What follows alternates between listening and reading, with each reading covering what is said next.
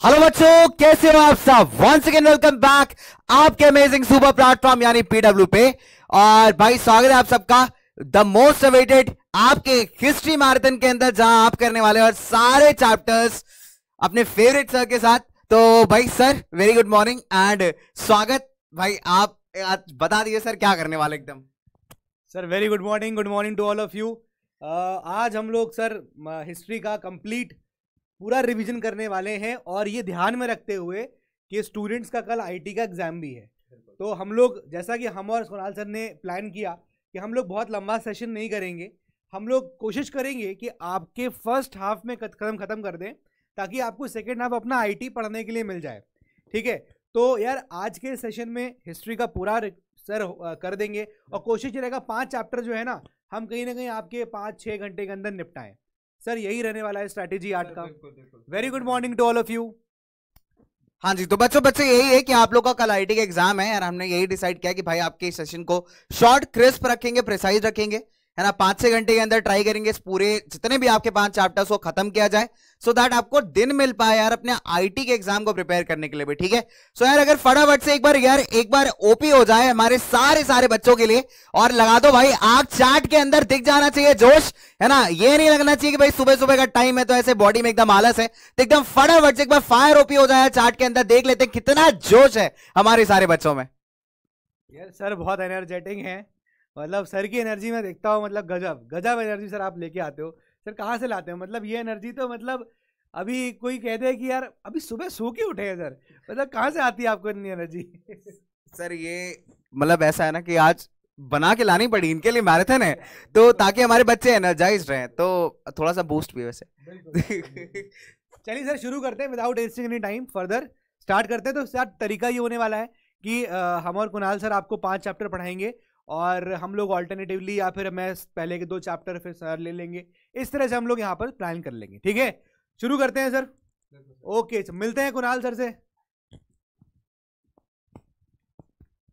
चलो यार स्टार्ट करते हैं और आ, सब लोगों की एकदम नज़रें सब लोगों का ध्यान एकदम आपकी आ, फ़ोन की स्क्रीन पर होना चाहिए। सब लोगों का ध्यान आपकी लैपटॉप स्क्रीन पर होना चाहिए। क्योंकि अभी हम शुरू करने जा रहे हैं the rise of nationalism in Europe और हम लोग कई बार इसको पढ़ चुके हैं। बैचेस के अंदर मैंने पढ़ाया है। कोई अगर यूट्यूब पे स्टूडेंट है जो फाउंडेशन चैनल से पढ़ रहा था तो मैंने वॉरियर क्लास में इस चैप्टर को साढ़े साढ़े चार घंटे में पढ़ाया है। लेकिन अब हम लोग एग्ज़ाम के ईव पे हैं। हम लोग रिवीजन कर रहे हैं। हम लोग को ये चाहिए कि हम लोग कम से कम टाइम में मैक्सिमम रिवीजन कर ले जाएँ। समय बर्बाद ना करें, क्योंकि सेल्फ स्टडी भी करना उससे ज़्यादा इंपॉर्टेंट है। तो चलो दोस्तों स्टार्ट किया जाए। मेरी आवाज़ आई थिंक आप सभी लोगों को बहुत प्रॉपरली आ रही होगी और मैं audible हूँगा। I think voice is clear to everyone OP Chaudhary B M R voice low voice क्या हो गया वॉइस को? देख लो भाई। वॉइस प्रॉपर है कि नहीं? अभी प्रॉपर आ रही है आवाज़। अभी सब लोगों को आवाज़ एकदम स्पष्ट रूप से साफ़ है। फिर हम लोग सेशन को शुरू करें आज के। आवाज़ एकदम प्रॉपर आ रही है। अभी एकदम आवाज़ साफ़ है। अभी एकदम आवाज़ साफ़ है सब लोग। जल्दी से एक बार बता दो यार। अब ठीक है ना? अब ठीक है ना? अब ठीक है ना? ठीक है? शुरू करें। तो देखो यार, मैं समझ सकता हूँ कि तुम लोगों के एग्ज़ाम है, कल एग्ज़ाम है, और इसीलिए ये स्ट्रैटेजी का पार्ट है कि तुम लोगों का रिवीजन हिस्ट्री का कम से कम टाइम में करा दिया जाए। ठीक है? शुरू करें आज हम लोग। चलिए। Let us start let us start I think the voice is now very crystal clear to everyone here एक बार क्रॉस चेक कर लो यार। एक बार क्रॉस चेक कर लिया जाए। आवाज़ एकदम ठीक है। आवाज़ ठीक है। प्रॉपर एकदम।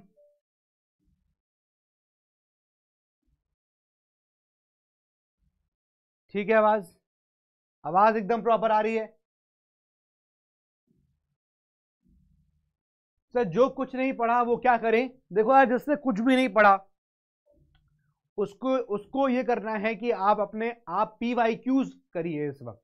और कोई, अगर आपने लिटरली मैं उनकी बात कर रहा हूँ, जिन्होंने किताब भी नहीं खोली, जिनको पता ही नहीं कितने चैप्टर हैं तो वो लोग इस वक्त कुछ मत करिए, सिर्फ़ पी वाई क्यू खोलिए प्रीवियस ईयर क्वेश्चंस और पिछले सात आठ साल के पेपर्स को लगा लीजिए।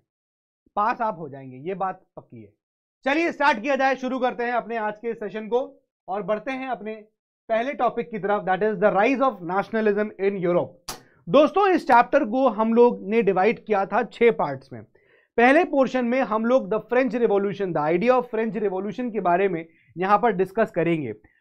फ्रेंच रिवॉल्यूशन जब हुआ था, किस प्रकार से वहाँ पर पहले कॉन्स्टिट्यूशनल मोनार्की थी, वो खत्म पहले मोनार्की थी, फिर कॉन्स्टिट्यूशन मोनार्की थी, फिर कैसे फ्रांस एक रिपब्लिक बन गया था, ये हमने कहानी क्लास नाइन्थ में पढ़ी थी। क्लास टेंथ की एनसीईआरटी में सबसे पहला चैप्टर जब शुरू होता है तो पहले यही बताया जाता है इस चैप्टर के अंदर कि क्या क्या चेंजेस थे जो फ्रांस में हुए थे जब फ्रांस एक रिपब्लिक बन गया था। वो हम लोग यहाँ डिस्कस करेंगे।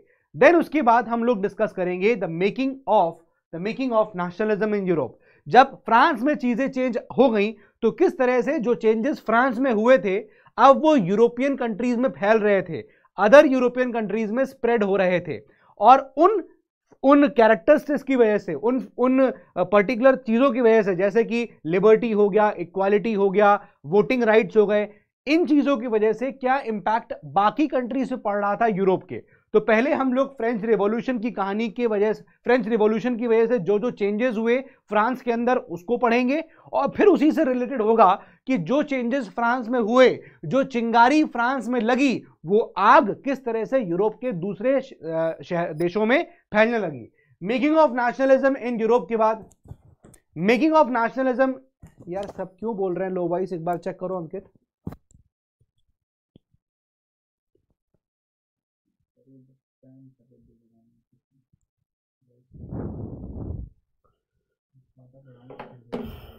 हाँ रुको, मैं चेक करता हूँ।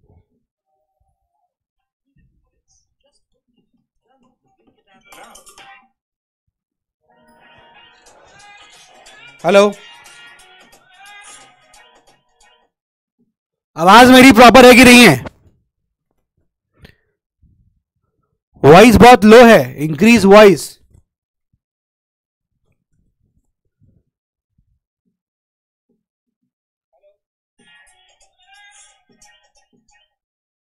आवाज़ मेरी प्रॉपर है कि नहीं है?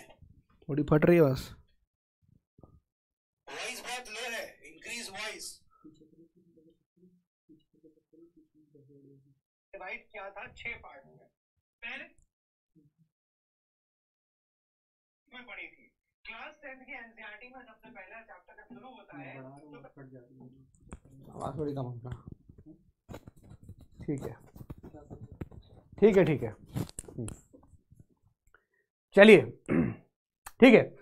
फिर उसके बाद एक बार जब हम लोग the making of nationalism in Europe देख लेंगे किस प्रकार से नेशनलिज्म यूरोप के दूसरे देशों में फैलना शुरू हुआ तो एक टसल स्टार्ट हो गई थी।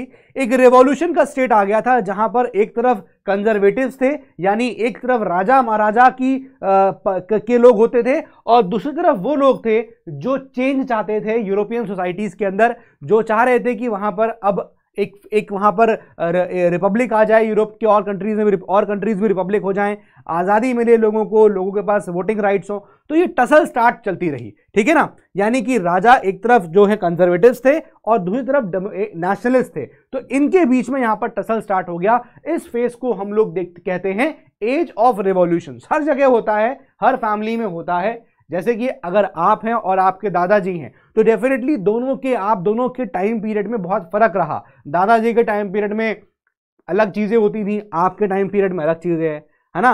आज आप कितनी सारी चीज़ें ओपनली देखते हो सोशल मीडिया हर चीज़ है। दादाजी कहते हैं, गंदी बातें मत करो, गंदी बात। क्योंकि दादाजी के टाइम में सोशल मीडिया था ही नहीं। तो दादाजी के पास ऑप्शन ही नहीं था कि गंदी बात करें वो।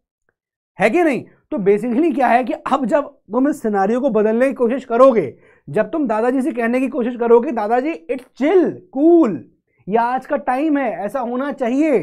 तो ज़ाहिर सी बात है, दादाजी भी एक बार कहेंगे, चुप, खामोश हो जा। तो मतलब एक तरह का टसल यहाँ पर रहता है, टसल। तो इस चीज़ को, जहाँ पर एक तरफ़ कंजर्वेटिव थे और एक तरफ़ आपके नेशनलिस्ट थे, उनके बीच में जब टसल हुआ तो उसको हम लोग रिवॉल्यूशन कहते हैं एज ऑफ़ रिवॉल्यूशन है, ठीक है? और पूरे यूरोप में फ्रॉम 1830 से लेकर 1840 तक 88 तक 1848 तक आपको पूरा रेवोल्यूशन का फ़ेज़ मिलेगा। इस रिवॉल्यूशन का आउटकम क्या हुआ? रेवोल्यूशन का आउटकम यह हुआ कि नेशनलिस्ट जगह जगह अपनी होल्ड बनाने लगे और कई सारे ऐसे नेशन स्टेट निकल के आते हैं, जैसे कि यहाँ पर जर्मनी बन जाता है इटली बन जाता है और स्ट्रेंज केस ऑफ़ ब्रिटेन भी यहाँ हम डिस्कस करेंगे। फिर जब नेशन बन गए तो नेशंस को कैसे विजुलाइज किया गया, वो हम यहाँ डिस्कस करेंगे। And then finally we will end this lecture this chapter by the topic of imperialism and nationalism imperialism का मतलब क्या होता है, ये मैं आपको वहाँ पहुँचेंगे तब बताऊँगा। अभी हम लोग यहाँ से स्टार्ट करते हैं द फ्रेंच रेवोल्यूशन मैंने आपको बताया हुआ है कि फ्रांस में पहले मोनार्की थी। 1789 में फ्रांस में रेवोल्यूशन होता है, फ्रांस एक कॉन्स्टिट्यूशनल मोनार्की बन जाता है।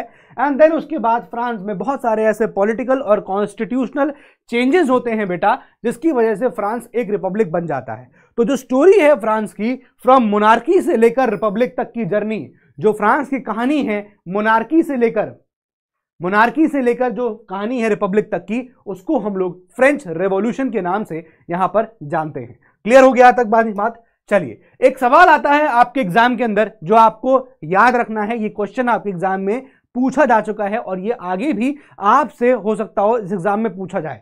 सवाल क्या है? What were the measures and practices introduce by the French revolutionaries to create a sense of collective belonging among the people भाई पाँच मार्क्स में क्वेश्चन आ सकता है वो क्या क्या ऐसी कौन से स्टेप्स लिए थे फ्रेंच रिवॉल्यूशनरीज ने ताकि लोगों के अंदर एक कलेक्टिव बिलोंगिंग बनाई जा सके यानी कि लोग जो रह रहे हैं यूरोप में वो एक दूसरे से बिलोंग करते हैं उनका कल्चर एक है कलेक्टिव बिलोंगिंग है बिरादरी के लोग हैं ऐसी चीज़ें ऐसा स्टेप्स कैसे कौन कौन कौन सी स्टेप्स यहाँ पर लिए गए ठीक है ना चलिए, पहला पॉइंट देखिए यहाँ पर दोस्तों, ये आठ पॉइंट मैंने लिखे हुए हैं। ये आठ के आठ पॉइंट आपको ऐसे ही लिखने हैं। कुछ बच्चे पूछते हैं कि, सर, लंबे लंबे आंसर एसएसटी में कैसे याद करें? उसको याद करने के लिए ही मैं आपको हमेशा इस तरह के फ्लो चार्ट्स में लाता रहा, आपको पॉइंट्स लिखाता रहा। अब आपको क्या करना है? आपको लंबे लंबे आंसर याद नहीं करने हैं, आपको रैदर पॉइंट्स याद करने हैं। अब यार, ये आठ तो आपको सीखनी पड़ेगी। भाई, आपको सिंपली क्या करना है? अब उन्हीं पॉइंट्स को सेंटेंसेस फॉर्मेट में कनेक्ट कर देना है।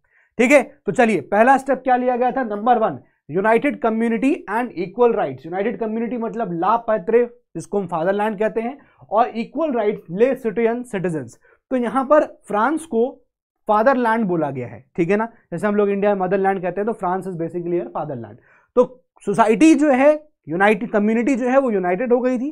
फ्रेंच रिवॉल्यूशन के बाद सभी लोग एकदम जो एकजुट हो गए थे और सोसाइटी के अंदर सभी लोगों को इक्वल राइट्स दे दिए गए थे। This is the concept of ला पात्रे एंड ले citizen number one number two number two देखिएगा न्यू ट्राई कलर फ्लैग को इंट्रोड्यूस किया गया। अब ट्राई फ्लैग का क्या इंपॉर्टेंस है आप समझ सकते हैं? जब आप वानखेड़े जाएँगे और वानखेड़े में जब इंडिया और पाकिस्तान का मैच हो रहा होगा, या वानखेड़े मत जाइए। If you happen to go South Africa Johannesburg में मैच चल रहा होगा। ठीक है? केप टाउन में मैच चल रहा है। India Pakistan T twenty two thousand seven का वर्ल्ड कप फाइनल और जब वहाँ पर तिरंगा लहराएगा, अरे भाई साहब तो आपको ट्राई कलर की वैल्यू समझ में आएगी। फ्लैग की वैल्यू समझ में आती है। फ्लैग एक लोगों को, की आइडेंटिटी है कि लोग किस कंट्री को बिलोंग कर रहे हैं। समझ रहे हो आप? मान लो यहाँ पर कोई आदमी पाकिस्तान झंडा लेकर खड़ा है, यहाँ पर एक इंडिया है और पाकिस्तान वाले के बगल में एक इंडिया है। तो दो जब इंडिया वाले खड़े हैं और बीच में पाकिस्तानी खड़ा हुआ है तो वो तो सैंडविच वैसे ही हो जाएगा। समझ रहे हो कि नहीं समझ रहे हो? तो भाई फ्लैग की वैल्यू अलग होती है, आपकी आइडेंटिटी होती है वो। ठीक है ना? तो भाई, जब फ्रांस में रेवोल्यूशन हुआ तो फ्रेंच रेवोल्यूशन के बाद एक नया ट्राई कलर का फ्लैग आ गया, यानी फ्रांस के लोगों की अलग आइडेंटिटी हो गई फ्लैग के नाम से फ्लैग से फ्लैग से। कि ये फ्लैग देख लिया, इसका मतलब this is these are the people of France बात समझ में आ गया? बात समझ में आ गया कि नहीं समझ में आ गया? फाइव पॉइंट्स नहीं चलेगा, आठों लिख के आ जाना। आठों लिख के आ जाना। क्लियर है? फिर उसके बाद नंबर थ्री देखिए, जब फ्रेंच रिवॉल्यूशन खत्म हुआ तो फ्रांस में अभी तक मैंने आपको बताया था, बहुत सारी रीजनल लैंग्वेजेस हुआ करती थी, ठीक है? लेकिन अब क्या हुआ कि वहाँ बहुत सारी रीजनल लैंग्वेज को खत्म कर दिया गया और अब वहाँ पर एक वन लैंग्वेज लेके आ गए दैट वाज फ्रेंच ठीक है? सो रीजनल लैंग्वेजेस या रीजनल डायलेक्ट्स को खत्म करे डायलेक्ट का मतलब लैंग्वेज से ही होता है। तो रीजनल लैंग्वेजेस को खत्म कर दिया गया और एक लैंग्वेज अब प्रमोट होने लगी पूरे कंट्री में एंड दैट वाज फ्रेंच आपको नहीं लग रहा ये सब चीज़ें कलेक्टिव बिलोंगिंग ला रही है? कलेक्टिव बिलोंगिंग मतलब लोगों को यूनाइटेड फील होगा। अरे, मेरा भी मेरा भी तिरंगा, मेरा भी झंडा जो है तिरंगा है, उसका भी झंडा तिरंगा है, उसका वो झंडा तिरंगा है, लेकिन उसका झंडा ऑस्ट्रेलिया का है, उसका वो झंडा पकड़े हैं ऑस्ट्रेलिया का। तो आप बताओ, आप किससे बात करने जाओगे? इंडिया के वाले, इंडिया वाले के पास जाओगे ना, जो इंडिया का तिरंगा लिए होगा, जो इंडिया का झंडा लिए होगा, है ना? तो देखो, तिरंगा या फ्लैग हम बोल सकते हैं, कैसे एक कैसे सोसाइटी के अंदर कलेक्टिव बिलोंगिंग लेके आ रहा है? यहाँ भैया अपन बिरादरी के लोग हैं, भाईजान भाईजान बोले, गले लग जाएँगे। अरे भैया, तुम हमारे देश के हो, तुम तिरंगा लिए हो। ठीक है? ऐसे ही लैंग्वेज का हुआ। अब अभी आप यूपी में हैं, ठीक है? For example if you are living in UP और अगर आप केरला चले जाएँगे तो केरला में अगर आपको कोई हिंदी बोलने वाला मिल गया और वहाँ एक ऐसा इंसान है जो हिंदी नहीं बोलता है तो जैसे ही आप कोई ऐसे इंसान को देखेंगे जो हिंदी बोलता है, आप उसको तुरंत एकदम उसके हाथ मिला लेंगे। अरे भैया, ये रास्ता कहाँ जाता है? भैया, खाना कहाँ मिलेगा? ये जगह कहाँ पर है? आप सारी चीज़ें पता उसी से कर लेंगे। है कि नहीं? लेकिन मान लो कोई ऐसा इंसान जो हिंदी नहीं बोल रहा है, आपकी उससे नहीं बन पाएगी।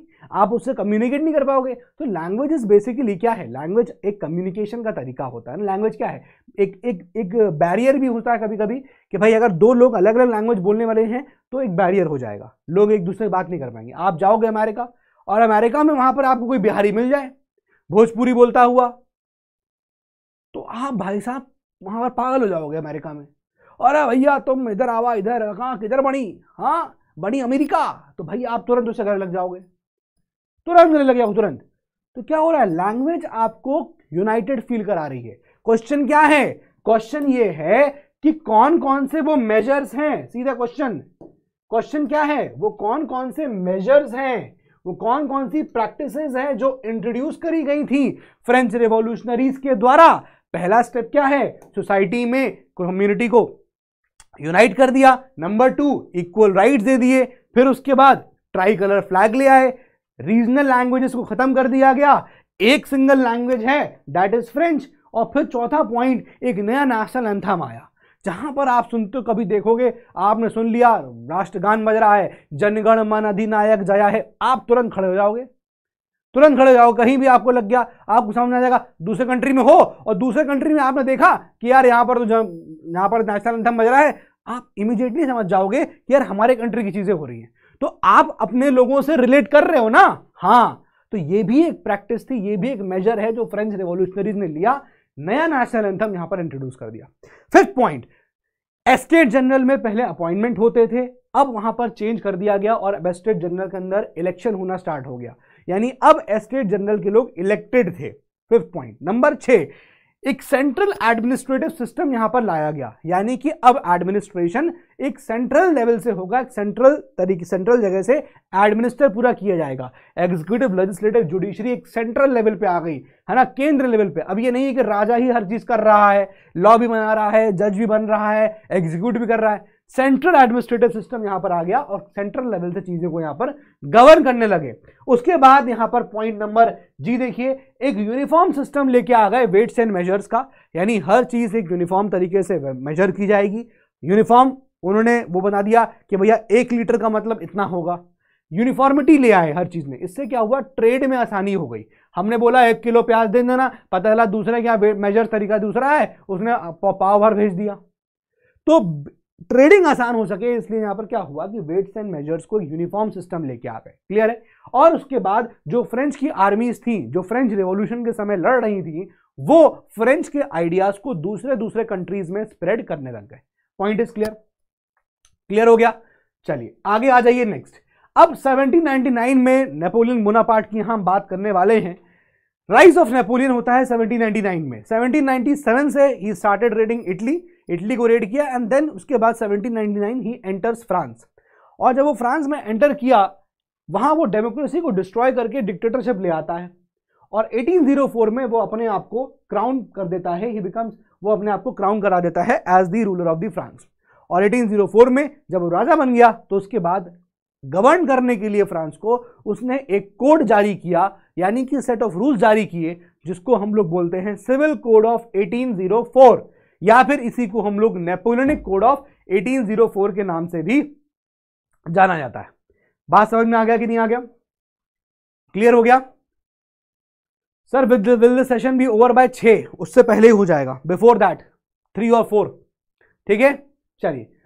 समझ में आ गया? तो नेपोलियन बोनापार्ट 1799 ही राइजेस टू पावर 1797 पहले वो इटली को रेड करता है, उसके बाद 1799 फ्रांस में एंटर किया। फ्रांस में एंटर करने के बाद उसने सोचा, किस तरह से हम डेमोक्रेसी को डिस्ट्रॉय करके डिक्टेटरशिप ले आए, और वही वो करता है। 1804 में वो अपने आप को क्राउन कर लेता है, और राजा बनने के बाद फिर वो फ्रांस के अंदर लागू करता है सिविल कोड ऑफ़ 1804 या फिर नेपोलियनिक कोड ऑफ़ 1804 अब इस सिविल कोड ऑफ़ 1804 या नेपोलियनिक कोड ऑफ़ 1804 के ऊपर सवाल आता है। इसका आंसर यहाँ पर हम लोग देख लेते हैं। आगे आ जाइए। देखिए write a short note on civil code of 1804 इस तरह क्वेश्चन आ गया। या फिर किसी और तरीके से अगर सिविल कोड पूछ लिया गया तो इसके कुछ गुड पॉइंट्स भी हैं, इसके बैड पॉइंट्स भी हैं। नेपोलियन ने नहीं बताया कि ये गुड पॉइंट है बैड पॉइंट है। ये हम लोग स्टडी करके देख रहे हैं कि अच्छा ये ये अच्छे, उसके स्टेप्स थे और ये खराब स्टेप्स थे। चलिए, देखिए सिविल कोड ऑफ़ 1804 का क्या क्या स्टेप्स है? पहला point abolish feudal system feudal system मतलब फ्यूडल लॉर्ड्स अब, यानी जमींदार, जो फ्यूडल लॉर्ड्स थे, जिनके पास ज़मीन के मालिक थे तो ज़मीन कुछ लोगों के पास थी। फ्यूडल लॉर्ड्स फ्यूडल सिस्टम को खत्म कर दिया गया। जब फ्यूडल सिस्टम खत्म हो गया, यानी कि अब बड़े बड़े लोगों का ज़मीन नहीं होगी तो क्या होगा जो पीजेंट्स उन जमीनों पे काम करते थे, वो भी आज़ाद हो गए। क्योंकि अब जब वो फ्यूडल लॉर्ड्स ही नहीं बचे तो उन जमीनों पे काम करने वाले लोग भी नहीं बचे। पहला point abolish the feudal system दूसरा point freed the peasants from serfdoms ठीक है? इसको हम लोग बंधुआ मजदूरी कहते हैं। वो पीस भाई, क्या होता था कि ज़मीन जो है, वो एक आदमी की है। ठीक है? मिस्टर एक्स की ज़मीन है। अब मिस्टर एक्स की ज़मीन पे दूसरे लोग काम करते थे, पीजेंट्स काम करते थे, और ये बंधुआ मजदूरी करते थे। यानी कि वो लैंडलॉर्ड इनको बंधुआ बाँध लेता था ज़मीन से कि आपको इसी ज़मीन में काम करना है, कहीं और जा नहीं सकते, कुछ और कर नहीं सकते। बदले में क्या होता था मैक्सिमम कि भैया फ्यूडल लॉर्ड कहता है, तुम यहाँ पर रह सकते हो। रह सकते हो जो उगाओ, उसे खा लो। लेकिन आप बने हैं सैलरी कुछ नहीं मिलेगी, खा लो जो उगा रहे हो, वहीं रह लो। लेकिन they were tied to the land ऐसा नहीं रस्सी से बांधे मतलब यह है कि उनको उसी ज़मीन पे काम करना है। तो पहला पॉइंट देखिए यहाँ पर क्या हुआ? एबॉलिश दी फ्यूडल सिस्टम पहला स्टेप तो नेपोलियन ने लिया। सिविल कोड ऑफ़ 1804 क्या कहता है कि फ्यूडल सिस्टम खत्म कर दिया गया। दूसरा, जब फ्यूडल सिस्टम खत्म हो गया तो उसी का आउटकम है freed the peasants from serfdoms जो सर्वडम थे, उनसे पीजेंट्स को फ्री कर दिया गया। क्लियर है? फिर उसके बाद बहुत ही इंपॉर्टेंट स्टेप था नेपोलियन का। और ये कि उसने ट्रांसपोर्टेशन और कम्युनिकेशन सिस्टम बड़ा ही गजब कर दिया था, बहुत ही अच्छा सिस्टम अच्छा अब ट्रांसपोर्टेशन और कम्युनिकेशन से क्या फ़ायदा होता है? जब अगर ट्रांसपोर्टेशन अच्छा हो जाए तो क्या फ़ायदा? देखो यार, अभी आप देखो जम्मू कश्मीर की बात करते हैं हम लोग अगर तो जम्मू कश्मीर जाने के लिए पहले रास्ते बहुत कम थे। पहले सड़क ही इतनी अच्छी नहीं थी। जम्मू से श्रीनगर पहुँच, रास्ता जो है 300 किलोमीटर का है, लेकिन उसको ट्रैवल करने में लगता है नौ घंटा। 300 किलोमीटर लगता है नौ घंटा। और रीजन क्या है? सड़कें। तो ट्रांसपोर्टेशन इतना अच्छा नहीं है, इसलिए लोग कश्मीर जाते ही नहीं थे इतना। है ना? इसीलिए जब वहाँ आर्टिकल 370 हटाया गया तो बहुत सारी चीज़ें हैं जो 370 की वजह से नहीं हो पा रही थी, अब हो पाएँगी। लोग ज़्यादा मूव करेंगे, है ना? पहले ऐसे कोई बाहर की कंपनी इंडस्ट्री जाके कश्मीर में बस नहीं सकती थी, वहाँ अपना बिज़नेस नहीं डाल सकती थी। अब क्या, जब वो वहाँ बिज़नेस डालेगी तो ज़ाहिर सी बात है ज़्यादा लोगों का मूवमेंट होगा। तो ट्रांसपोर्टेशन सर्विस बढ़ानी पड़ेगी इसके लिए। और जब ट्रांसपोर्टेशन आसान हो जाता है कहीं के लिए तो चीज़ें बहुत ईजी हो जाती हैं। समझ रहे हो? जैसे मैं तुमको हमेशा एग्ज़ाम्पल देता हूँ। मान लो तुम्हारा ये घर है, ठीक है? ये तुम्हारा घर है। अब देखना तुम लोग क्या करोगे। अब मान लो एक तुम्हारी मैडम का घर ये है। एक मैडम का घर ये एक मैडम का घर ये है। दो दो मैडम के घर है तुम्हारे। अब तुम्हारी दो मैडम तुम्हारा, तुम तुम लकी हो। अब ये जो रास्ता है यहाँ से यहाँ तक का मैडम, बड़ा ही उबड़ खाबड़ रास्ता है, बहुत खराब। बेकार, एकदम घटिया, पैदल चलने लायक नहीं, कीचड़ एकदम। लेकिन ये जो रास्ता है, एकदम मलाई रास्ता है, एकदम बहुत बढ़िया, सपाट रोड है। तुम कौन सी मैडम से मिलने जाओगे? तो भले ही वाली मैडम पास है, इनको तुम टोपी पहना दोगे। अरे एग्ज़ाम है, कल पढ़ नहीं पाएँगे। इनसे मिलने पहुँच जाओगे। अरे, तुम्हारे लिए तो है सनम। समझ रहे हो, समझ रहे हो?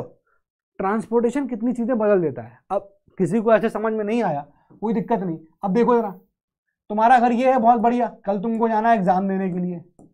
ठीक है? अब तुम मान लो तुम्हारा घर से एक पेट्रोल पंप यहाँ पर है। एक पेट्रोल पंप यहाँ पर बना हुआ है। अब ये पेट्रोल पंप पास है, लेकिन इस तक जाने की रास्ता बड़ा खराब है। ये वाला पेट्रोल पंप दूर है, लेकिन इसका रास्ता बहुत अच्छा है। कहाँ जाओगे?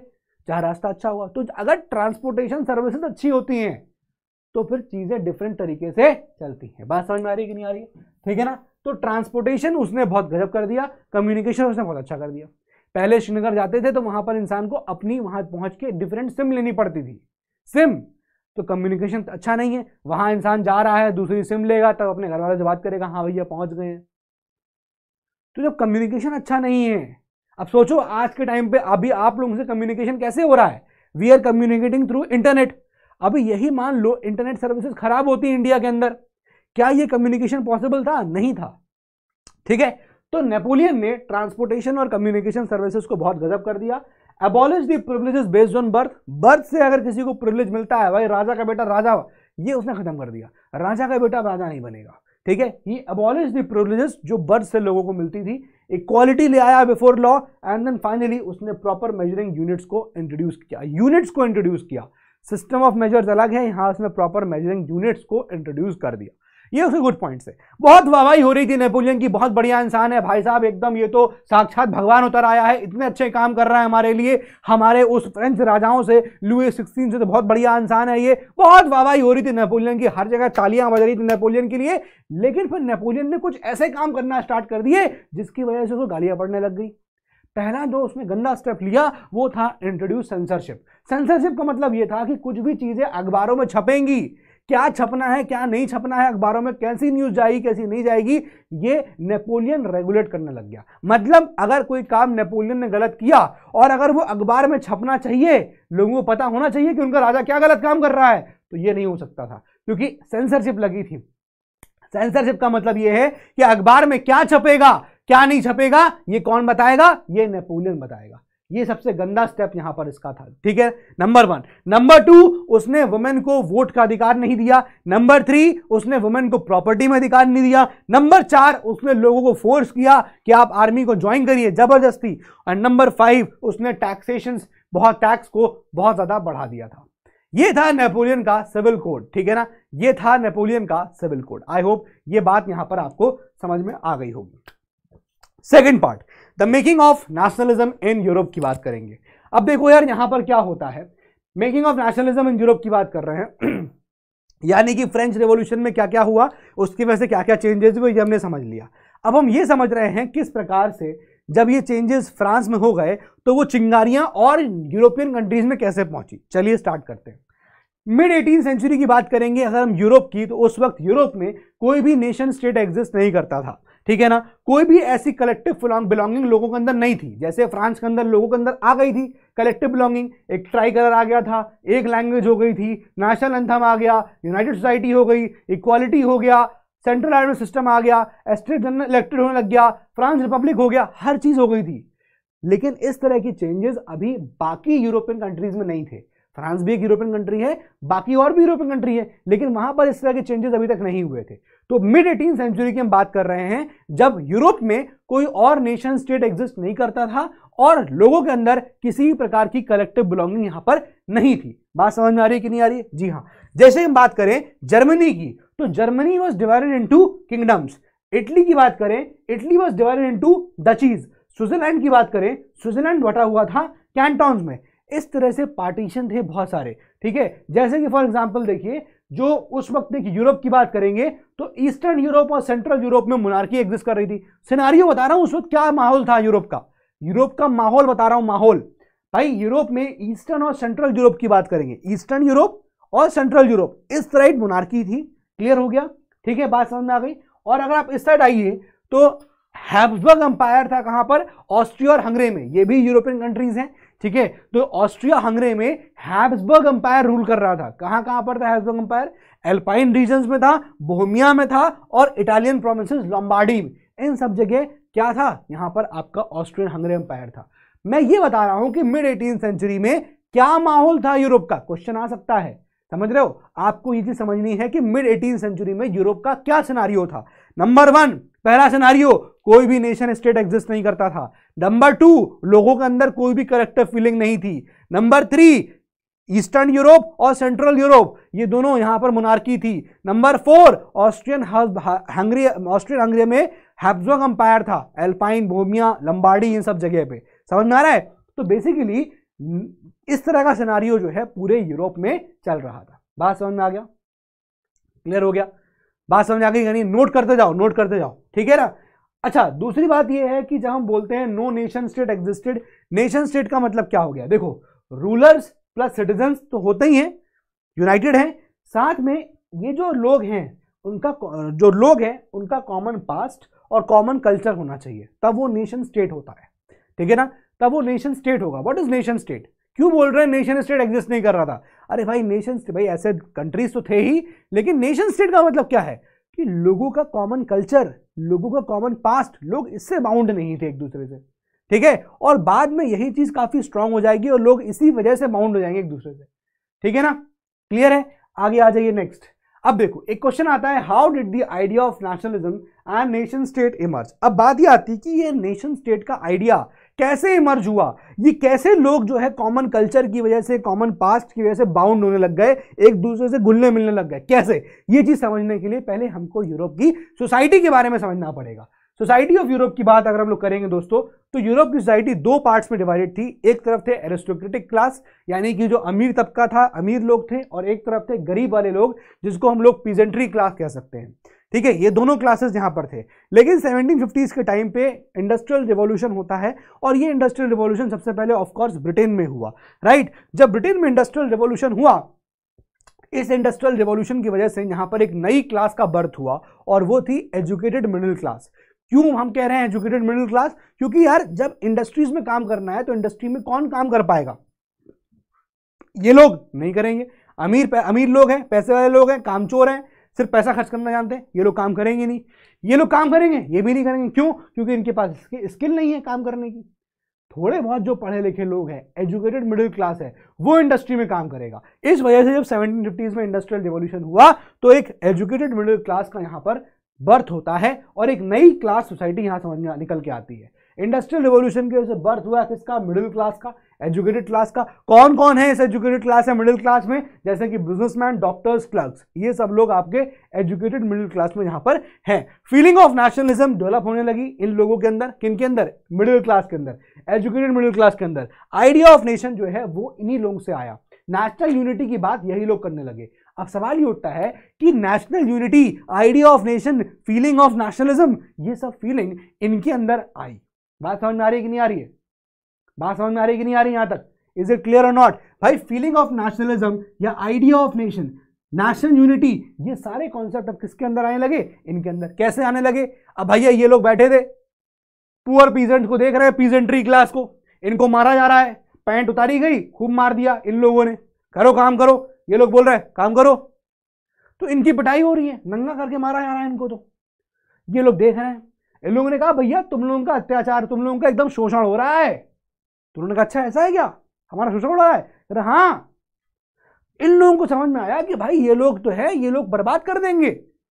परेशान कर रहे हैं एक्सप्लॉइट कर रहे हैं। इसीलिए इस क्लास के अंदर वो फीलिंग आई। क्या? वो फीलिंग ऑफ़ नेशनलिज्म क्योंकि इनके पास थोड़े बहुत दिमाग भी था, थोड़ा रिसोर्सेज भी थे मिडिल क्लास है ठीक है? तो इन्होंने वो रिवॉल्यूशन करने की बात करना शुरू किया। बात समझ में आ गया?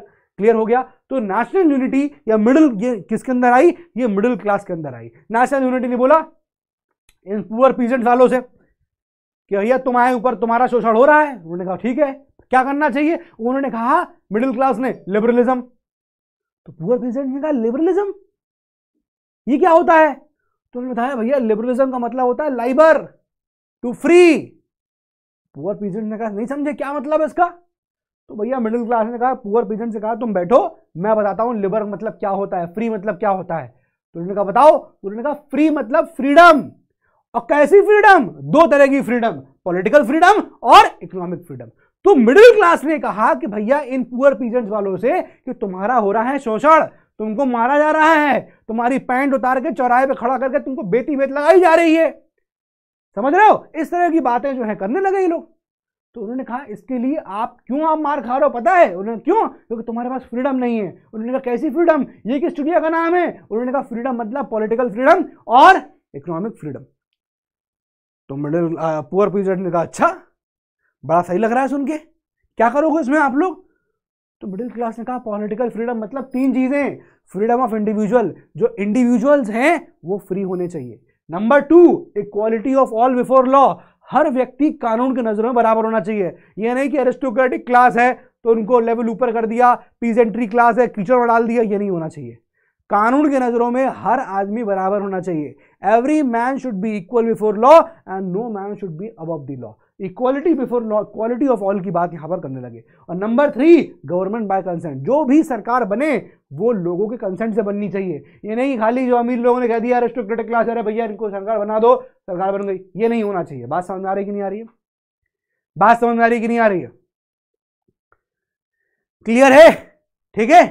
ये थी पॉलिटिकल फ्रीडम अच्छा ये मिली नहीं थी अभी लोगों को कि भैया लोगों को मिल गई हो। ये उनका आइडिया था, है ना? सवाल क्या कह रहा है? सवाल ये कह रहा है ना, देखो सवाल देखो ढंग से। हाउ डिड दी आइडिया कैसे ये idea of nationalism nation state emerge हुआ तो आंसर समझ में आ गया आपको एजुकेटेड मिडिल क्लास के थ्रू लेकिन ये एजुकेटेड मिडिल क्लास क्या कह रहा था? कि भैया, आपको पॉलिटिकल फ्रीडम मिलनी चाहिए। कैसी political freedom freedom of individual होना चाहिए क्वालिटी ऑफ़ ऑल होना चाहिए बिफोर लॉ एंड गवर्नमेंट में कंसेंट होनी चाहिए। ठीक है? लेकिन कुछ लूपहोल्स थे इनके भी थॉट प्रोसेस में। क्या? जैसे कि राइट टू वोट या राइट टू गेट इलेक्टेड ये सिर्फ़ और सिर्फ़ उनके पास था, यानी वोटिंग का अधिकार सिर्फ़ उन लोगों के पास था, या राइट टू गेट इलेक्टेड सिर्फ़ उन लोगों के पास था जो प्रॉपर्टी ओन कर रहे थे। यानी प्रॉपर्टी ओइंग मैन वही खाली राइट था वोट करने का उनके पास और राइट था उनके पास इलेक्ट होने का। बात समझ में आ गया? तो मैन विदाउट प्रॉपर्टी जिनके पास प्रॉपर्टी नहीं है, वो मैन जिनके पास प्रॉपर्टी नहीं है, या वुमेन इनको एक्सक्लूड कर दिया गया, इनको कोई भी पॉलिटिकल राइट्स नहीं दिए गए। ठीक है? तो जहाँ पर नेशनल जो जो मिडिल क्लास था, वो इन तीन पॉइंट्स की के बारे में बात कर रहा था, लेकिन इन चीज़ों को लेकर उसने अभी तक कुछ नहीं कहा। बात समझ में आ गया? क्लियर हो गया कि नहीं क्लियर हो गया? ठीक है? आगे देखिए। अब भैया उन्होंने कहा, ठीक है पुअर पुअर पीपल ने कहा पीजेड ने कहा, ठीक है, समझ गए। पॉलिटिकल फ्रीडम मतलब क्या हुआ? अब बताओ आगे। तो उन्होंने कहा, अब कहा, आगे समझाया। क्या? उन्होंने आगे समझाया इकोनॉमिक फ्रीडम बोले इकोनॉमिक फ्रीडम का मतलब क्या हुआ? बोले, इकोनॉमिक फ्रीडम का मतलब क्या हुआ? Freedom of market. मार्केट में क्या चीज़ कितनी बननी है? ये मार्केट डिसाइड करेगा। इसका मतलब क्या हुआ? कैसे डिसाइड करेगा? मार्केट बोलता थोड़ी है, सर। अरे भैया, आज इतना आज इतना प्रोड्यूस कर दो। मार्केट थोड़ी बोले, नहीं डिमांड बोलेगी। मान लो पार्ले जी की डिमांड है। मान लो पार्ले जी बिस्किट है। अब पार्ले जी की बिस्किट की डिमांड है मार्केट में एक दिन में सौ पैकेट की। तो भाई सौ पैकेट बन रहे हैं। कल को मान लो पार्ले जी के बिस्किट नहीं बिके। और रखे रह गए दुकानों में। कितने? चालीस। तो अब तुम बताओ, चालीस पैकेट रखे हैं तो क्या अभी भी अगले दिन सौ पैकेट बनेंगे? नहीं। अब देखेगा ना कि चालीस पैकेट बने हैं तो मार्केट कहेगा कि भैया, इतने की पार्ले जी की डिमांड हमको है ही नहीं। तो इंडस्ट्रियलिस्ट अपने आप कम पैकेट बनाएँगे, खाली सिक्सटी पैकेट बनाएँगे। या देखेंगे, यार, चालीस ही बच गया तो क्या करेंगे? कहेंगे, चलो ठीक है, बीस पैकेट और बना लो। थोड़ा शेल्फ में रखा रहेगा, थोड़ा बचा के रख लेंगे। ठीक है? तो बेसिकली इकोनॉमिक फ्रीडम का मतलब क्या हुआ? इकोनॉमिक फ्रीडम का मतलब हो गया फ्रीडम ऑफ़ मार्केट मार्केट की फ्रीडम यहाँ पर होगी। दूसरा abolition of state impose restriction on movement of capital goods अभी तक क्या होता था यूरोप में? जब गुड्स मूव करता था तो उनके ऊपर रिस्ट्रिक्शन लगाए जाते थे। स्टेट के ऊपर रिस्ट्रिक्शन इंपोज करता था। ठीक है ना? रिस्ट्रिक्शन इंपोज करता था। लेकिन अब 1834 में on the initiative of Prussia क्या किया गया? एक कस्टम यूनियन बनाया गया, जिसको हम लोग जॉलवरीन कहते हैं। और ये जॉलवरीन ने क्या किया? इस जॉलवरीन ने इस स्टेट इंपोज रिस्ट्रिक्शंस को खत्म कर दिया। मतलब कहने का क्या है? जैसे फॉर एग्ज़ाम्पल मान लीजिए, ये पूरा यूरोप है, और ये जो मैंने बाउंड्री दिखा रखी ना ऑरेंज ऑरेंज ये अलग अलग कंट्री है, ये कंट्री है, ये कंट्री है कंट्री है अलग अलग कंट्री दिखा रहा हूँ। अब मान लो कोई गुड्स यहाँ से लेकर यहाँ जाना है तो अभी तक जब वो गुड्स यहाँ से यहाँ मूव करता था तो क्या हो रहा था? यहाँ से यहाँ मूव करेगा तो जैसे जैसे वो कंट्री के बॉर्डर क्रॉस करता था, कुछ ना कुछ उस पर टैक्स लगाते थे। तो एक तरह का रिस्ट्रिक्शन थी रिस्ट्रिक्शन तो हो गया। भाई मना तो कर नहीं रहे कि नहीं ले जाओगे। ना ले जाने के लिए ऐसे हालात पैदा कर दिए कि वो ऑलरेडी एक तरह का स्टेट इंपोज रिस्ट्रिक्शंस के रूप में काम कर रहा है। तो जब 1834 में on the instance of Prussia जब वो जॉल्वरी बनाया गया तो ये स्टेट इंपोज रिस्ट्रिक्शंस को खत्म कर दिया, खत्म कर दिया। ये चीज़ बोली गई इकोनॉमिक फ्रीडम में। और तीसरा चीज़, अभी तक थर्टी करेंसीज थी यूरोप के अंदर जो चल रही थी अलग अलग कंट्रीज़ की वजह से, अब उन थर्टी करेंसीज को खत्म करके दो कर दिया गया। इससे क्या हुआ, जब करेंसी सेम हो गई तो ट्रेडिंग जो है, लेन देन ट्रेड करना, व्यापार करना बिज़नेस करना आसान हो गया। ठीक है ना? ये चीज़ें यहाँ पर आपको याद रखनी क्लियर हो गया? आगे आइए। तो यहाँ पर बेसिकली क्या है? लिबरलिज्म की शुरुआत जो है मिडिल क्लास करता है। वो बताता है लिबरलिज्म मतलब लाइबर लाइबर मतलब फ्रीडम तो भाई लिबरलिज्म की शुरुआत जो है मिडिल क्लास करता है, यानी पॉलिटिकल और इकोनॉमिक फ्रीडम की बात कर रहे हैं। जब वो पॉलिटिकल और इकोनॉमिक फ्रीडम की बात कर रहे हैं तो पर हुआ क्या कि मिडिल क्लास ने तो बात करी पॉलिटिकल फ्रीडम और इकोनॉमिक फ्रीडम की। लेकिन नेपोलियन ने नेपोलियन जो था, वो लिमिटेड सफरेज की बात करने लिमिटेड सफरेज पे चीज़ें ले आया। लिमिटेड सफरेज मतलब ये है कि सबको वोटिंग राइट्स नहीं देंगे। सबको वोटिंग राइट नहीं मिलेगा। उसने women did not get the right to vote women को वोट करने का अधिकार नहीं दिया और वुमेन का स्टेटस वही किया जो एक माइनर का होता है। माइनर को वोट देने का राइट होता नहीं है। तो वुमेन का जो स्टेटस है, वो क्या किया? वो वुमेन का स्टेटस माइनर की तरह बनाए रखा। तो जहाँ पर मिडिल क्लास एक पॉलिटिकल फ्रीडम की बात कर रहा था इकोनॉमिक फ्रीडम की बात कर रहा था, वहीं नेपोलियन ने चीज़ों को लिमिटेड सफरेज पर रोक दिया। सफरेज मतलब वोटिंग राइट्स है ना? 18 साल से ऊपर लोगों को वोट करने का मिलेगा, लेकिन उसने कहा कि नहीं नहीं नहीं, इनको यहाँ पर वुमेन को वोट करने का अधिकार यहाँ पर नहीं होगा। ठीक है? 1815 में फिर बैटल ऑफ़ वाटरलू होती है, सबको पता है। एक तरफ़ प्रैप कंट्रीज़ थे, अब नेपोलियन का देखो दौर शुरू हो रहा है, खत्म होने वाला। 1815 में नेपोलियन बोनापार्ट जो है, वो अपनी लड़ाई लड़ता है। बहुत सारी लड़ाई होती है जो आपके एनसीआरटी में नहीं है। जैसे बैटल ऑफ़ यालू हो गया बैटल ऑफ़ ट्रफालगर हो गया, ये सब बैटल्स हैं। What you have to study is battle of Waterloo 1815 में बैटल ऑफ़ वाटरलू होती है। एक तरफ़ होते हैं प्राग कंट्रीज़ यानी कि प्रशिया रशिया ऑस्ट्रिया और ब्रिटेन और एक तरफ़ होता है नेपोलियन मोनोपार्ट इन दोनों के बीच में बड़ा ही घमासान युद्ध होता है 1815 में इन दी वाटरलू जगह का नाम है, और इसी के नाम पे पड़ा है battle of Waterloo battle of Waterloo जब यहाँ खत्म होती है अब देखिएगा, ये जो कंट्री है प्राप कंट्रीज़ ये प्राप कंट्रीज़ कंजर्वेटिव कंट्रीज़ है। कंजर्वेटिव मतलब वह सोच जो मोनार्की को फेवर करता है। कंजर्वेटिव सोच होना, पुराने जमाने की सोच ओल्ड ट्रेडिशन ठीक है? ट्रेडिशनल सोच होना। तो ये कंजर्वेटिव वाले लोग थे जो मोनार्की को फेवर कर रहे थे, ठीक है? तो कंजर्वेटिव जो थे कंजर्वेटिज्म ले आए, यानी जब ये बैटल ऑफ़ वाटर हुई कंजर्वेटिव जीत गए कंजर्वेटिज्म आ गया कंजर्वेटिज्म मतलब मोनार्की आ गई ट्रेडिशनल इंस्टीट्यूशन का बलबोला हो गया। ट्रेडिशनल इंस्टीट्यूशन मतलब क्या? जैसे कि चर्च हो गया, इन सब का बलबोला हो गया।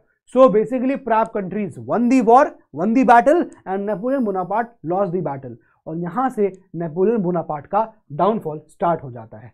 So after the defeat of Napoleon जब नेपोलियन हार गया तो यूरोप में जो गवर्नमेंट बनी, वो गवर्नमेंट कंजर्वेटिव की सरकार थी, वो गवर्नमेंट ओल्ड स्कूल थी, वो गवर्नमेंट क्या कर रही थी? वो गवर्नमेंट मोनार्की को सपोर्ट करती है, वो गवर्नमेंट नेशनल इंस्टीट्यूशन को सपोर्ट कर रही है चर्च को सपोर्ट कर रही है। लेकिन, अब ये कंजर्वेटिव जो थे, बड़े चलाक थे। उन्होंने कहा कि भैया, इनको हम स्ट्रांग क्यों ना कर ले? इनको हम स्ट्रांग क्यों ना करें? क्योंकि मोनार्की का पहले उखाड़ फेंक चुके थे। फ्रेंच रिवॉल्यूशन में 1789 में मोनार्की तो वैसे भी उखाड़ के फेंक चुके थे। कहीं दोबारा ना उखाड़ उखाड़ के फेंक फेंक दें। इसलिए अब इन कंजर्वेटिव का कहना यह था कि हमको मोनार्की को ट्रेडिशनल इंस्टीट्यूशन को और स्ट्रांग करना है स्ट्रेंथन करना है। इसके लिए वो क्या सोचने लगे? इसके लिए सोचने लगे, देखो यार, अगर हम दोबारा से वही सोच पे चले गए, एकदम ओल्ड स्कूल सोच पे चले गए तो हम फिर से उखाड़ फेंकें, उखाड़ फेंक दिए जाएँगे। इसलिए उन्होंने कहा कि ठीक है, हम चाहते हैं कि ट्रेडिशनल स्कूल हो इंस्टीट्यूशन हो, लेकिन चेंज भी होना चाहिए। हम चाहते हैं कि चेंज हो, लेकिन चेंज सडन नहीं होना चाहिए ग्रेजुअल होना चाहिए। They wanted the change conservative they wanted the change but the change should be gradual धीरे धीरे चेंजेस होना चाहिए, अचानक से चेंजेस ना हो। तो जान रहे थे क्यों? क्योंकि अगर हम लोग कंजर्वेटिव चर्च को बनाए रहेंगे स्ट्रांग अगर हम लोग मोनार्की को स्ट्रांग करे रहेंगे तो एक टाइम आएगा जैसे फ्रेंच रिवोल्यूशन में मोनार्की को उखाड़ फेंका था लोगों ने, फिर से उखाड़ फेंकेंगे। इसलिए अब वो लोग जो है, इनके यहाँ पर तरह से सोच रहे थे। क्लियर है? बात समझ में आ गई? आगे आ जाइए। 1815 में जैसा बताया मैंने बैटल ऑफ़ वाटरलू के बाद प्रैप कंट्री जीत गए थे। नेपोलियन बोनापार्ट हार गया। वाटर बैटल ऑफ़ वाटरलू के बाद ट्रीटी ऑफ़ वियना साइन होती है। ठीक है? वियना एक जगह का नाम है, जहाँ पर ये मीटिंग हुई वियना कांग्रेस बोलते हैं। और इसको होस्ट किया था ड्यूक मैटरनेच ने, जो कि ऑस्ट्रेलियन चांसलर था। ठीक है? ये था आपका ट्रीटी ऑफ़ वियना इसके बाद साइन होती अब क्या क्या प्रोविजंस थे ट्रीटी ऑफ़ वियना के? यानी कि जब नेपोलियन बोनापार्ट हार गया तो ट्रीटी ऑफ़ वियना साइन कराई गई। ट्रीटी ऑफ़ वियना के क्या क्या प्रोविजंस थे? Number one it was sign by प्रैब countries number पहला पॉइंट होगा। जब भी आ गया ट्रीटी ऑफ़ वियना तो पहला पॉइंट लिखोगे कि इट वॉज़ साइन बाय प्रैब आप एग्ज़ाम में प्रैब लिख के मत आइएगा। आप एग्ज़ाम में पूरा लिख के आइएगा। आपको पूरा लिखना है प्रशिया रशिया, ऑस्ट्रिया, ब्रिटेन, आपको पूरा लिखना है। कभी भी आप प्रैब मत लिख के आना, गलती से भी बता रहा हूँ, नंबर कट जाएँगे बोर्ड एग्ज़ाम के अंदर, ठीक है? तो प्रशिया रशिया, ऑस्ट्रिया और ब्रिटेन, ये आपको यहाँ पर ध्यान रखना है। तो साइन बाय प्रैब कंट्रीज़ पहला पॉइंट दूसरा ट्रीटी ऑफ़ वियना का ये प्रोविज़न था कि जो भी चेंजेस नेपोलियन बोनापार्ट ने किए, उसको हम अंडू कर देंगे। यानी जो भी चीज़ें, जो भी गलत काम नेपोलियन ने किए थे कंजर्वेटिव कह रहे थे कि ट्रीडी ऑफ़ वियना के तहत हम उसको बदल के वापस वही कर देंगे जो मोनार्की के टाइम पे था। तो undo the changes that were done by Napoleon and number three settlement of Europe ये सबसे बड़ा इंपॉर्टेंट पॉइंट था सेटलमेंट ऑफ़ यूरोप क्योंकि जब नेपोलियन था तो नेपोलियन फ्रांस से जब एक्सपैंड कर रहा था तो उसने फ्रांस के फ्रांस कराया था वो। फ्रांस ने जब एक्सपैंड किया अदर यूरोपियन नेशंस में तो उसने अगल बगल के कंट्रीज़ को भी कैप्चर करना स्टार्ट कर दिया।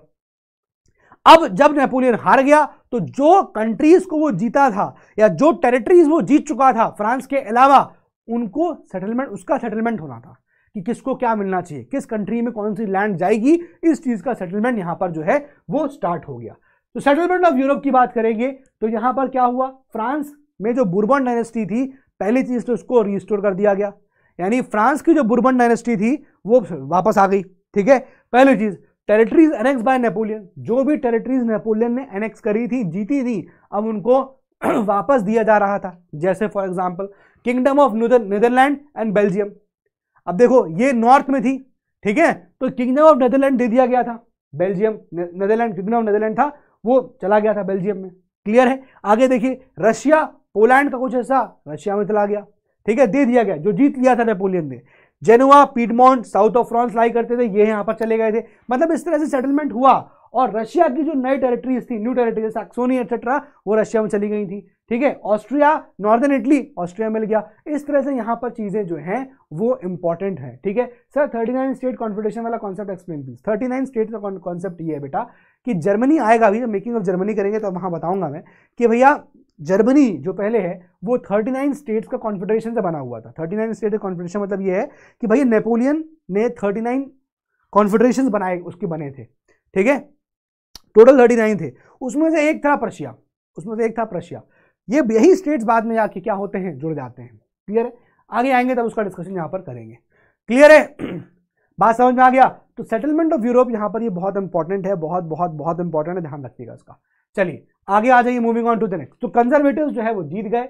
कंजर्वेटिव वन लिबरल्स जो है, यानी कि जो आपके दूसरे नेशनलिस्ट थे लिबरल्स थे, वो हार गए।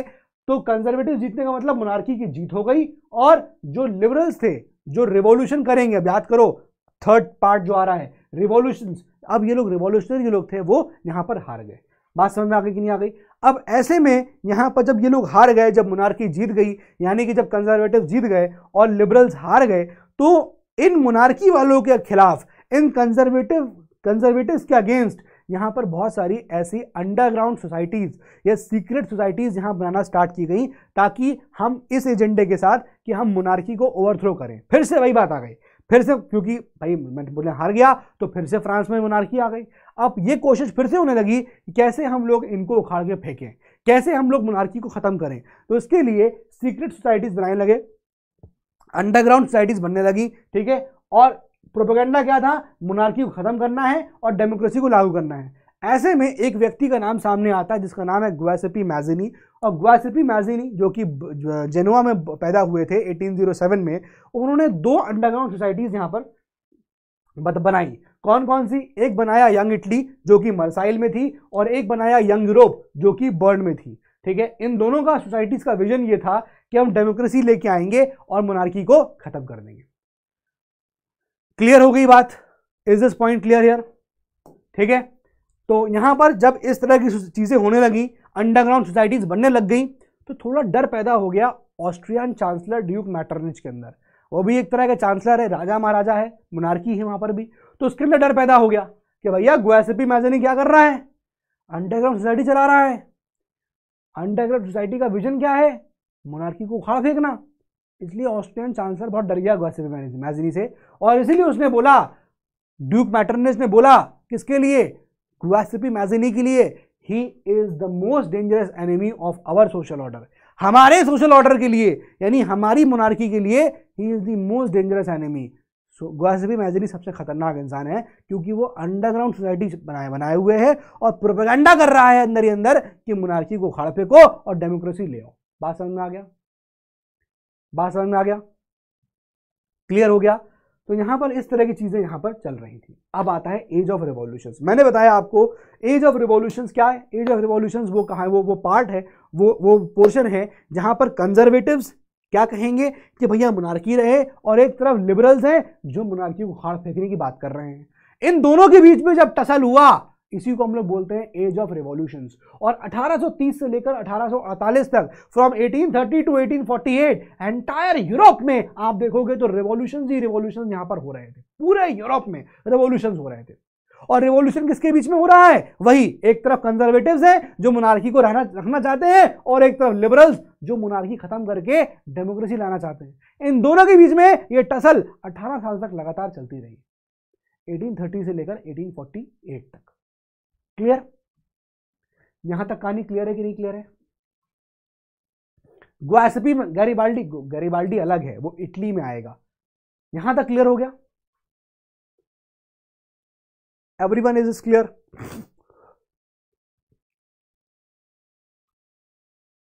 is it clear conservative Aditi वो लोग थे जो मोनार्की के फेवर में थे, जो ओल्ड स्कूल फेवर में थे। ओल्ड स्कूल मतलब जो पुरानी सोचों के फेवर में थे, जो चर्च को फेवर करते थे, वो लोग हैं। क्लियर? प्रोपेगेंडा मतलब एक तरह का, एक तरह का विजन कि हम चाहते हैं कि मोनार्की खत्म हो जाए और अंदर ही अंदर चाह रहे हैं कि भैया डेमोक्रेसी आ जाए। प्रोपेगेंडा है चलिए। तो यहाँ पर लिबरल्स यानी डेमोक्रेसी थे। और कंजर्वेटिव यानी मोनार्की थे, इन दोनों के बीच में जो रेवोल्यूशन हुए, वो है आपका एज ऑफ़ रेवोल्यूशन शुरू करते हैं यहाँ पर। अब कंजर्वेटिव जो थे, जैसा मैंने आपको बताया tried to consolidate their power वो चाहते थे, भाई कंजर्वेटिव कौन है जो मोनार्की को फेवर में करते हैं? मोनार्की की फेवर में बात करते हैं। तो पहले फ्रांस में मोनार्की ही थी। अब ये चाह रहे थे कि हम अपनी पावर को, जो हमारी पहले पावर हुआ करती थी फ्रेंच रेवोल्यूशन के टाइम पे फ्रेंच रेवोल्यूशन से पहले, हम उस पावर को कॉन्सोलिडेट कर लें, यानी कि और मज़बूत कर लें। Try to consolidate the power number one point number two they were against the change और वो चाह रहे थे कि सडन चेंज ना हो ग्रेजुअल चेंज होना चाहिए। एक तो point number two favour of monarchy में थे। बता दिए मैंने आपको पॉइंट नंबर थ्री ठीक है? तो ये जो कंजर्वेटिव्स थे, जो अपने चर्च के फेवर में थे, जो ओल्ड ट्रेडिशनल थॉट के फेवर में थे, जो मोनार्की के फेवर में थे, अब इन कंजर्वेटिव्स की लड़ाई सिर्फ़ और सिर्फ़ लिबरल से नहीं रह गई, अब इनकी लड़ाई नेशनलिज्म से भी यहाँ पर होने लगी। क्योंकि अभी तक तो लोग लिबरलिज्म लिबरलिज्म चिल्ला रहे थे। लिबरलिज्म होना चाहिए, आज़ादी मिलनी चाहिए freedom freedom freedom freedom political freedom economic freedom लेकिन एक तबके के लोग ऐसे भी थे जो ये कह रहे थे कि यार कब तक हम कब तक ऐसी लड़ाई लड़ते रहेंगे? हमको अब अलग देश की डिमांड करनी पड़ेगी। हमको अब नेशनलिज्म की डिमांड करनी पड़ेगी। क्लियर है यहाँ पर बात? ठीक है? तो कंजर्वेटिव की जो लड़ाई थी, वो लिबरलिज्म और अब नेशनलिज्म इन दोनों के साथ हो गई। लिबरलिज्म वेर एजुकेटेड क्लास और यहाँ नेशनलिज्म की जब बात करेंगे तो कैसे होगी? कल्चर की वजह से। अब लोगों को लगे लगा कल्चर हमारा सेम है। People were thinking of same culture भैया, हमारा कल्चर तो अब सेम है यहाँ पर। दोनों लोग एक जैसे कल्चर के हैं। तो एक जैसे कल्चर वाले लोग अब एक साथ आ गए। जैसे मैं हमेशा आपको इंडिया का एग्ज़ाम्पल देता हूँ, हमेशा। क्या हुआ 1857 में? फ़र्स्ट वॉर ऑफ़ इंडिपेंडेंस अंग्रेज़ों ने सबसे पहले किसको मारा था इंडिया में? बंगाली को मारा था। बंगालियों को मारा? तो बंगाली जो है, बंगाली पिटे तो अवध वो खुश हो गया। मैसूर वॉज़ हैप्पी जब मैसूर को मारा, हैदराबाद वॉज़ हैप्पी हैदराबाद को कूटा त्रावनकोर वॉज़ हैप्पी त्रावणकोर को मारा, मराठा वर हैप्पी मराठा को मारा अवध वॉज़ हैप्पी अवध को मारा, पंजाबीज वेर हैप्पी पंजाबियों को मारा, कश्मीरीज वेर हैप्पी कश्मीरी को मारा, जूनागढ़ वॉज़ हैप्पी 1857 में सब लोगों को अंग्रेज़ों ने मारा। और सब लोग ऐसे हाथ रखे खड़े थे। गाल पे, भैया पूछा क्या हुआ? काहे गाल पे हाथ रखे हो? कहा, भैया अंग्रेज़ों ने बहुत बुरी तरह मारा है। कहाँ मारा है? यार अपने गाल पे हाथ रखे और कहीं रख नहीं पा रहे हैं। तो सब लोगों को पीटा। 1857 ने सब लोगों को पीटा फ़र्स्ट वॉर ऑफ़ इंडिपेंडेंस लेकिन फ़र्स्ट वॉर ऑफ़ इंडिपेंडेंस कैसे हो गई? क्योंकि 1853 में पहली ट्रेन चली थी इंडिया में, मुंबई से थाने. और जब पहली ट्रेन चली so it is not only the people who were moving from train it were the ideas their thoughts their belief ये सब चीज़ भी उनके साथ मूव कर रहा था. और जब मूव किया तो 1853 में लोगों ने मूव किए 1857 में आए तो लोगों ने पूछा, क्या हुआ भैया? तुम तुम क्यों गाल पे हाथ लगे खड़े हुए हो? क्या भैया अंग्रेज़ों ने बहुत बुरा मारा है। तो तुमको ही मारा है, उसने कहा हाँ। तब 1857 में इंडियंस को समझ में ये आया कि सब लोग पिटे हुए हैं। तो इंडियंस को लगा कि यार हम लोग एक ही कल्चर में बिलोंग करते हैं। हमारा इंडिया का एक कल्चर है। तो इंडियंस कल्चरली बाउंड भी हो गए। पॉलिटिकली बाउंड तो हुए कल्चरली बाउंड हो गए। सेम चीज़ यहाँ पर थी। भाई इनको लगा कि जो लोग हैं कि भैया ये तो हमारे कंजर्वेटिव जो हैं, वो हमारे मार रहे हैं खाम का एक्सप्लॉइट कर रहे हैं। तो इनकी लड़ाई लिबरलिज्म और नेशनलिज्म, इन दोनों के खिलाफ शुरू हो गई। और जब ये लोग रिवॉल्यूशन करते हैं कंजर्वेटिव के अगेंस्ट अब इन दोनों की लड़ाई जो है, इनके अगेंस्ट है। जब रिवॉल्यूशन हुआ तो रिवॉल्यूशन कहाँ कहाँ हुआ? ये रिवॉल्यूशन आयरलैंड में देखने को मिला पोलैंड में देखने को मिला जर्मनी हो गया ऑटोमन अंपायर हो गया इटली हो गया। इन सारे कंट्रीज़ में आपको मेजर अपीवल्स देखने को मिलेंगे। मेजर अपीवल्स अब ये इन सारे कंट्रीज़ में क्या हो रहा है? रेवोल्यूशन काहे का रेवोल्यूशन कंजर्वेटिव को उखाड़ फेंकने का और डेमोक्रेसी स्टैब्लिश करने का।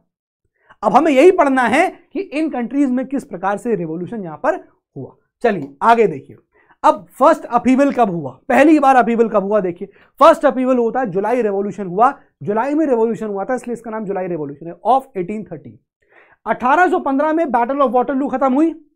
बैटल ऑफ़ वाटरलू हुई नेपोलियन हार गया। नेपोलियन के हारने के बाद कंजर्वेटिव वापस आ गए। और मैंने क्या बताया था? फ्रांस की जो बुरबन डायनेस्टी थी, वो रिस्टोर कर दी गई।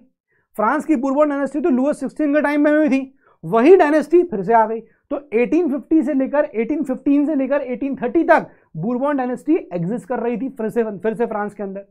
वही जो बुरबॉन डायनेस्टी अभी दोबारा आ गई थी रिस्टोर हो गई थी 1815 से लेकर 1830 के बीच में, उसी को इस जुलाई रेवोल्यूशन में उखाड़ फेंक दिया गया। ठीक है? तो जो नेपोलियन बोनापार्ट के बाद बुरबॉन डायनेस्टी आ गई थी कंजर्वेटिव्स की, अब जब पहला अपीवल हुआ वो था जुलाई रेवोल्यूशन ऑफ़ 1830 इस जुलाई रेवोल्यूशन में Bourbon dynasty which was restored to power in 1815 उसको यहाँ पर ओवरथ्रो कर दिया गया लिबरल्स के द्वारा। ये फ़र्स्ट है। और यही चीज़ यहाँ पर बोली गई। किसने बोली? ड्यूक मार्टन ने।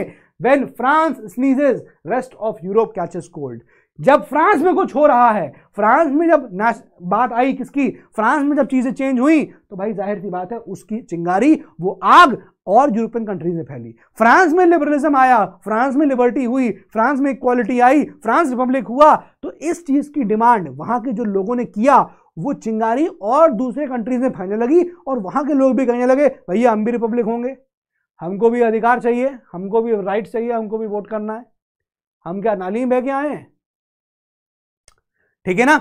ये चीज़ यहाँ पर हुए। तो पहली बार रिवॉल्यूशन शुरू हुआ इन कंट्रीज़ में। अब रिवॉल्यूशन हो रहा है। कंजर्वेटिव को पटका जाएगा भी पछाड़ा जाएगा एकदम, मार मार के एकदम, खुद बना दिया जाएगा और दूसरी तरफ़ क्या होगा? ये लोग डेमोक्रेसी स्टैब्लिश करेंगे। तो अब लड़ाई क्या है? कंजर्वेटिव को दबाना है डेमोक्रेसी को उठाना है। ये कैसे हुआ? यही कहानी यहाँ पर चल रही है। पहली कहानी क्या है? फ़र्स्ट अपीवल ऑफ़ 1830 1815 से लेकर 1830 तक जो बुरबन डायनेस्टी एग्जिस्ट कर रही थी, वो बुरबन डायनेस्टी यहाँ पर खत्म हो गई। 1830 में आके यही था हमारा जुलाई रेवोल्यूशन बात समझ में आ गया? क्लियर है? आगे आ जाइए नेक्स्ट दूसरा अपराइजिंग इन ब्रूसल्स ब्रूसल्स मतलब बेल्जियम की बात हो रही है। बेल्जियम अब देखिए, दूसरा राइजिंग आपको बेल्जियम में देखने को मिला। वहाँ भी कंजर्वेटिव के खिलाफ आवाज़ उठ गई। किसने उठाई? लिबरल्स ने नेशनलिस्ट ने। क्या हुआ? बेल्जियम ब्रोक अवे अब जब वहाँ पर लोगों ने इस तरह की आवाज़ें उठाई कंजर्वेटिव के खिलाफ तो बेल्जियम टूट गया वहाँ से broke away from kingdom of Netherland Netherland के अंदर था। और बेल्जियम टूट के अलग निकल गया। बात समझ में आ रही कि नहीं आ रही है? क्लियर हो रहा है कि नहीं क्लियर हो रहा है? क्लियर है? Third Greek war of independence बेटा ग्रीक वॉर ऑफ़ इंडिपेंडेंस लोग पूछते हैं, सर 1830 में ट्रीटी ऑफ़ कॉन्स्टेंटिनोपल साइन हो रही है. Actually Greek war of independence जो है 1832 में। Actually Greek war of independence 1821 में स्टार्ट हो गया था।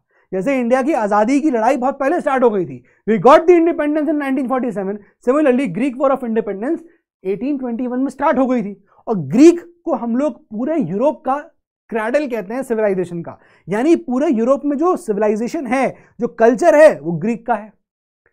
तो कहाँ से पूरे यूरोप का कल्चर पैदा हुआ? क्रैडल क्या होता है? क्रैडल मतलब वो पालना, जिसमें बच्चे को उल्टाला जाता है, सुलाया जाता है। जिसमें बच्चे को पाला जाता है ना, बड़ा किया जाता है, बच्चा सो रहा होता है। तो भाई कल्चर जो यूरोप का था, वो ग्रीक से स्टार्ट होता है। इसलिए ग्रीक को cradle of the European civilisation भी कहते हैं।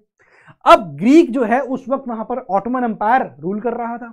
ऑटोमन अंपायर मतलब इस्लामिक अंपायर वहाँ पर ये रूल कर रहे थे फिफ्टीन सेंचुरी में। जैसे जैसे ऑटोमन अंपायर डिसइंटीग्रेट होने लगा, जैसे जैसे ऑटोमन अंपायर खत्म होने लगा, अब कम हो रहा था तो क्या हुआ? इसका आउटकम भी देखने को मिला ट्रीटी ऑफ़ कॉन्स्टेंटिनोपल 1821 में ग्रीक वॉर ऑफ़ इंडिपेंडेंस शुरू होती है 1830 में खत्म हो जाती है। जब 1830 में ग्रीक वॉर ऑफ़ इंडिपेंडेंस खत्म होती है तो आउटकम होता है इसका ट्रीटी ऑफ़ कॉन्स्टेंटिनोपल 1832 क्या क्या प्रोविज़न होते हैं इसके? चलिए देख लीजिए। ट्रीटी ऑफ़ कॉन्स्टेंटिनोपल 1832 पहला प्रोविज़न ये होता है growth of nationalism in Europe अब भैया, यूरोप के जो ग्रीक में जो चिंगारी लगी जो फ्रांस में चिंगारी थी, वो ग्रीस ही पहुँच गई। और ग्रीस में जब चिंगारी लगी तो ग्रीस की चिंगारी से क्या पता चल रहा है? वो स्पार्क नेशनलिज्म का ग्रीस ही पहुँच गया। यानी वहाँ पर भी लोग कहने लगे कि भैया, राजा को हटाओ कंजर्वेटिज्म हटाओ मुनारकी हटाओ, हमको डेमोक्रेसी लेके आनी है।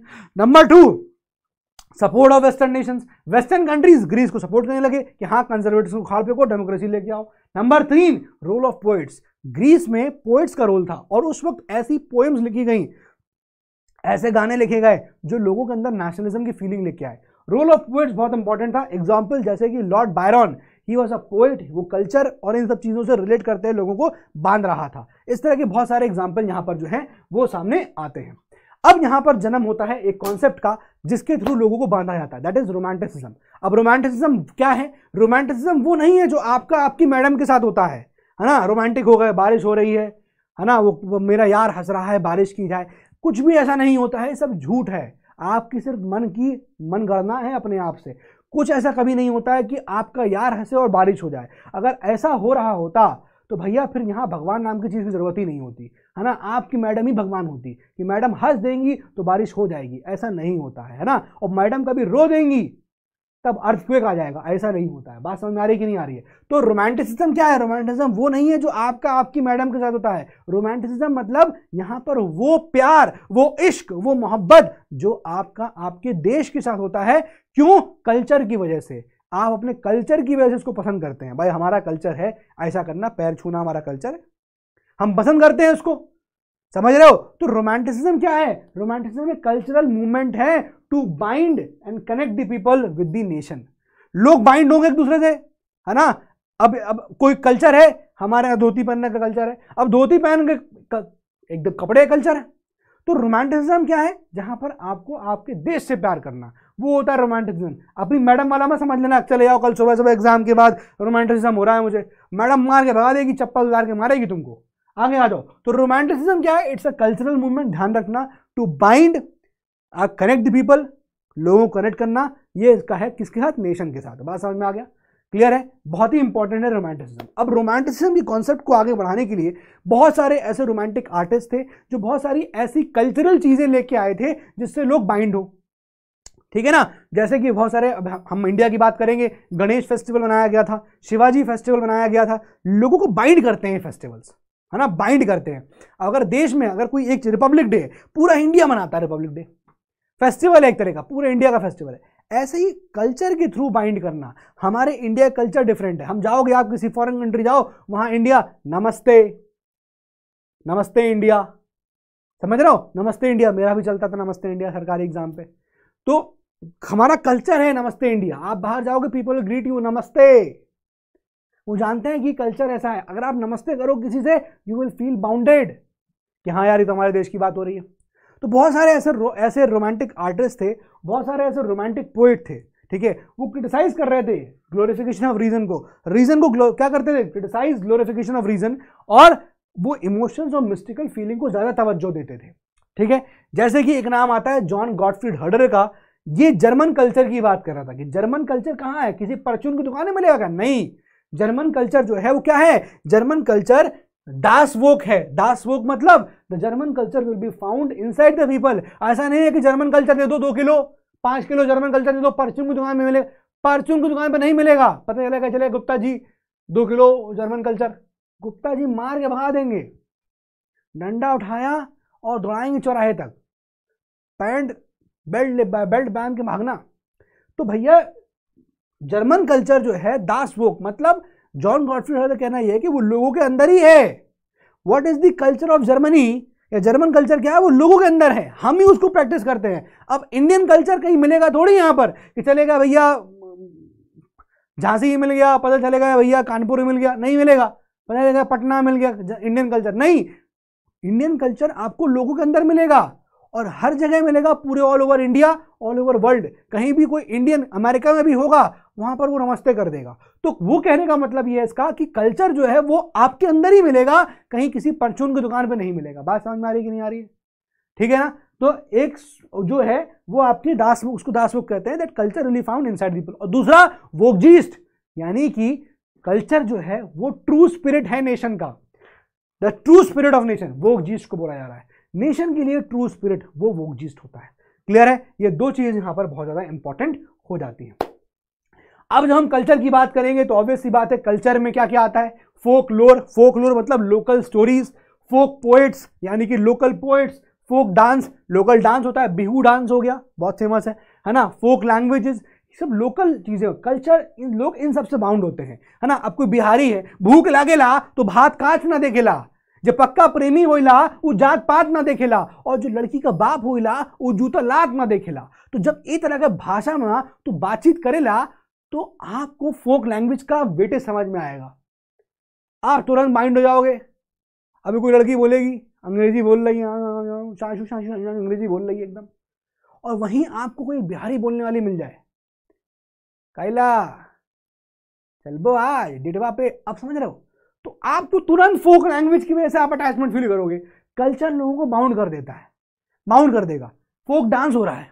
अब एक कर रहा है Michael Jackson I am disco dancer और एक कर देगा एकदम व्यू डांस एक कर देगा कथक। तो फोक डांसेस यहाँ पर अलग हो जाएँगे। लोगों को बाइंड करेंगे। अरे भैया ये तो हमारे बिरादरी के आओ अब तुम बारात में नाचते हो। अब बारात जब बैंड बजाया जाता है तो हर आदमी का एक ही तरह का डांस होता है। अलग अलग एक, एक ही तरह डांस करते हैं हर आदमी। करते हैं कि नहीं करते हैं? हाँ करते हैं। अब उसी बारात में कोई अगर माइकल जैक्सन बन जाएगा ब्रेक डांस करने लग जाए तो पब्लिक उसको मार के बाहर निकाल देगी भाई, साइड में आओ, उस वाली बारात में नाच के आओ, यहाँ मत नाचो। तो भाई, जो एक तरह का डांस कर रहे होंगे, फोक डांसेस, वो फिर मज़े करेंगे, बढ़िया से नाचेंगे। फोक पोएट्स, ये है कल्चर का इंपॉर्टेंस कल्चर लोगों को बाँध देता है। क्या करता है? बाँध देता है। बात समझ में आ रहा है? ऐसी लैंग्वेज तो कल्चर का एग्ज़ाम्पल देखने को आता है पोलैंड के अंदर।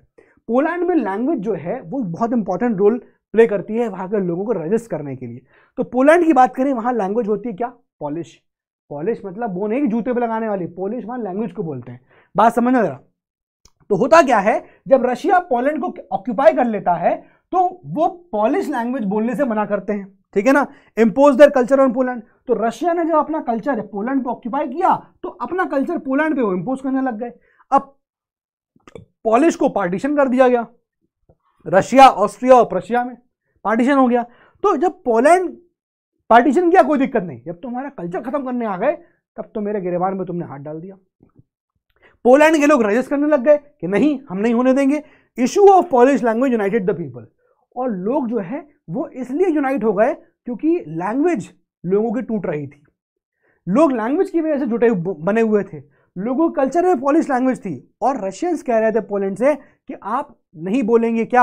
आप नहीं बोलेंगे पोलिश लैंग्वेज और language became the tool for the Polish people ठीक है? कल्चर से देखो पोलैंड यहाँ पर वो हो गया बाउंड हो गया. क्लियर है? अब 1830s में बहुत ज़्यादा हार्डशिप्स यूरोप में बढ़ने लग गई, बहुत प्रॉब्लम बढ़ने लग गई. इकोनॉमिक सिनारी बहुत ख़राब हो गया. यूरोप में पॉपुलेशन बढ़ गई. उसकी वजह से अनएम्प्लॉयमेंट बढ़ गया. फ़ूड की शॉर्टेज होने लगी. फ़ूड प्राइसेस बहुत बढ़ने लग गए. और उस साल फ़सल भी खराब हो गई. इतना दिक्कत आने लगी कि एरिस्टोक्रेटिक पीपल जो है, वो मज़े में थे, कोई दिक्कत ही नहीं हो रही थी। लेकिन जो बेचारे वहाँ काम कर रहे थे खेतों में, उनकी दिक्कतें और बढ़ने लगी। पीजेंट्स का यहाँ पर स्ट्रगलिंग और ज़्यादा इंक्रीज हो गया। 1848 आते आते फ़ूड शॉर्टेज बहुत ज़्यादा हो चुका था। फ़ूड प्राइसेस इसकी वजह से बहुत हाई हो गए थे और फ़ूड की क्राइसिस होने लगी थी। इसकी वजह से लोग अब प्रदर्शन करने सड़कों पर उतर आए। Food people came down on the roads और ऐसे में जो उस वक्त का राजा था लुइस फिलिप है ना, जिसकी आज तुम शर्ट पहनते हो एलपी वाली वो यहाँ से भाग निकला, उसने सरेंडर कर दिया, निकल के भाग गया। ठीक है? और जब लुइस फिलिप भाग गया, किंग चला गया तो अब किंग की जगह नेशनल असेंबली यहाँ पर फॉर्म करेगी। अब यहाँ पर नेशनल असेंबली फॉर्म करेगी। ये जो नेशनल असेंबली थी, ये कैसी होगी? इसमें अडल्ट सफरेज होगा। मेल्स को अडल्ट सफरेज ऑल अडल्ट को यहाँ पर क्या किया गया? वोट करने का मौका दिया गया। राइट टू वर्क मिला, यानी गारंटी किया गया राइट टू वर्क और नेशनल वर्कशॉप प्रोवाइड करी गई ताकि लोगों को एम्प्लॉयमेंट अपॉर्चुनिटीज़ मिल सकें। तो जो नेशनल असेंबली बनी, जब लुइस फिलिप भाग गया तो उसके बाद नेशनल असेंबली बनी। अब ये नेशनल असेंबली कैसी होगी? नंबर वन अडल्ट सफरेज है इसमें। सारे ऑल मेल्स को अडल्ट मेल्स को यहाँ पर क्या हुआ? वोट करने का अधिकार दिया गया। दूसरा राइट टू वर्क गारंटी किया गया। तीसरा नेशनल वर्कशॉप्स खरी कराई गई ताकि लोगों को एम्प्लॉयमेंट अपॉर्चुनिटीज़ यहाँ पर बढ़ सके। इस तरह की बात यहाँ पर करेगी। अब यहाँ पर आता है सिलेसिया एपिसोड। सिलेसिया एपिसोड क्या है? इसको हम लोग पाँच सवालों में पढ़ सकते हैं। एक मिनट एक मिनट का टॉपिक है ये, देखो। सिलेसिया एपिसोड 1845 में वो देखो, पहला टॉपिक है व्हाट है क्या ये? फिर वेन कब हुआ था? फिर इंसिडेंट क्या था? डिमांड क्या थी? और उसका आउटकम क्या था? चलिए समझते हैं, सिलेसिया एपिसोड क्या था? ध्यान सुनिएगा। सिलेसिया एपिसोड एक रिवोल्ट था वीवर्स का कॉन्ट्रैक्टर्स के अगेंस्ट वीवर्स कौन होते हैं? जो काम कर रहे हैं रॉ मटेरियल से चीज़ें बनाते हैं।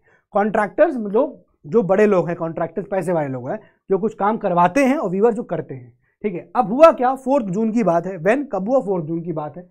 इंसिडेंट क्या था? दोपहर के दो बजे थे और दो बजे क्या हुआ? वीवर जो है अपने घरों से निकलते हैं और वो मार्च करते हैं कॉन्ट्रैक्टर्स के घर की तरफ़। वो उनके मेशंस की तरफ़ पहुँचते हैं और उनके घरों पर तोड़ा फोड़ी करने लगते हैं। विंडो पेंस तोड़ दिया दरवाजे तोड़ दिए, दया बन गए सीआईडी के, है ना? लात मार के दरवाजे के अंदर घुसने लग गए। ये सारे काम करने लग गए। ये इंसिडेंट हुआ था, ठीक है? वीवर्स ने कॉन्ट्रैक्टर से खिलाफ किया। वीवर्स बौखलाए हुए थे। क्यों बौखलाए थे? अब जरा सुन लो। हुआ ये था कि जो वीवर्स थे, वो चीज़ों को बनाते थे। कॉन्ट्रैक्टर्स क्या करते थे? कॉन्ट्रैक्टर्स जाते थे इनके पास। वीवर्स को रॉ मटेरियल दिया। वीवर्स रॉ मटेरियल बना के इनको कंप्लीट प्रोडक्ट देते थे फिनिश प्रोडक्ट देते थे। ठीक है? तो वीवर्स कच्चे चीज़ों को रॉ मटेरियल को फिनिश प्रोडक्ट्स बनाते थे और कॉन्ट्रैक्टर्स रॉ मटेरियल को प्रोवाइड करते थे। तो जो काम करवाया जा रहा था वीवर्स से, उनको उसके लिए वो उतनी अच्छी वेजेस नहीं मिलती थी। उतने अच्छे पैसे नहीं मिलते थे। इसी वजह से ये वीवर्स ने क्या किया? रिवोल्ट कर दिया। ठीक है? यहाँ तक बात समझ में आ रही है कि नहीं आ रही है? रीना कुमारी क्लियर हो रहा है? ठीक है? अब डिमांड क्या थी इनकी? बताया तुमको मैं बता दिया। कॉन्ट्रैक्टर्स वीवर्स के पास जाते थे वीवर्स उनको फिनिश गुड्स देते थे फिनिश आइटम देते थे। तो वीवर्स की वेजेस यहाँ पर डिमांड थी कि वेजेस हमारी बढ़ाई जाए। ये इनकी डिमांड थी डिमांड में लिखा हुआ है। क्या डिमांड है वीवर्स की? हमारी वेजेस बढ़ाई जाए। आउटकम क्या था? आउटकम क्या था कि वीवर्स ने क्या किया? स्मैश कर दिया घरों में घुस गए मेशंस के, कॉन्ट्रैक्टर्स के और उनके कॉन्ट्रैक्टर्स के घरों को तोड़फोड़ किया। कॉन्ट्रैक्टर्स भाग गए और पाँच से गाँव में आके शरण ले लिया। वहाँ पर एक रिवोल्ट वहाँ पर एक क्लैश होता है गाँव वालों में और कॉन्ट्रैक्टर्स के बीच में, जिसमें ग्यारह लोगों की मौत हो जाती है। ठीक है, contractors anyway near by village में वो पना लेते हैं। Village people did not give shelter उन्होंने शेल्टर नहीं दिया उन कॉन्ट्रैक्टर्स को। यहाँ पर क्लैश हुआ और ग्यारह वीवर्स यहाँ पर मर जाते हैं। यह है आपका सिलेसिया एपिसोड ऑफ़ एटीन अब आता है रिवोल्ट ऑफ़ 1848 फाइनली हम उस जगह पहुँच चुके हैं। अब 1848 की बात करेंगे तो ये रिवोल्ट किसने किया था? अगेन मिडिल क्लास ने किया एजुकेटेड मिडिल क्लास ने किया, ठीक है? और ये revolt by liberals of course तो एक तरफ़ लिबरल्स हैं, जो लिबर्टी फ्रीडम चाह रहे थे पॉलिटिकल फ्रीडम इकोनॉमिक फ्रीडम और वही लोग तो मिडिल क्लास है है ना? तो अब क्या हुआ कि जब 1848 में रिवोल्यूशन की बात होती है तो क्रिएशन ऑफ़ नेशन स्टेट्स सबसे पहले कहते हैं कि भैया हम नेशन स्टेट बनाएँगे। यानी कि अब लोग जो हैं, एक दूसरे से कल्चरली कल्चरली भी बाउंड हो जाएँगे। जो ये नेशन स्टेट बनेगी, वो पार्लियामेंट्री प्रिंसिपल्स पे चलेगी। उसमें हम लोग पार्लियामेंट्री प्रिंसिपल्स को इन्फोर्स करेंगे। मतलब अब क्या कहा जा रहा है? 1848 की वो बहुत इंपॉर्टेंट पोर्शन है, बहुत बहुत बहुत। 1848 का बहुत इंपॉर्टेंट क्वेश्चन है ये रिवोल्ट का 18 रिवोल्ट ऑफ़ 1848 में। क्या कहा गया? अब ये जो लिबरल्स हैं, जो मिडिल क्लास है, जो मिडिल क्लास है, ये क्या कह रहा है? ये कह रहा है कि भैया, पहले क्रिएशन ऑफ़ नेशन स्टेट होगा। नेशन स्टेट बनाए जाएँगे। ये जो नेशन स्टेट होंगे, इसमें पार्लियामेंट्री प्रिंसिपल्स को एनफोर्स किया जाएगा।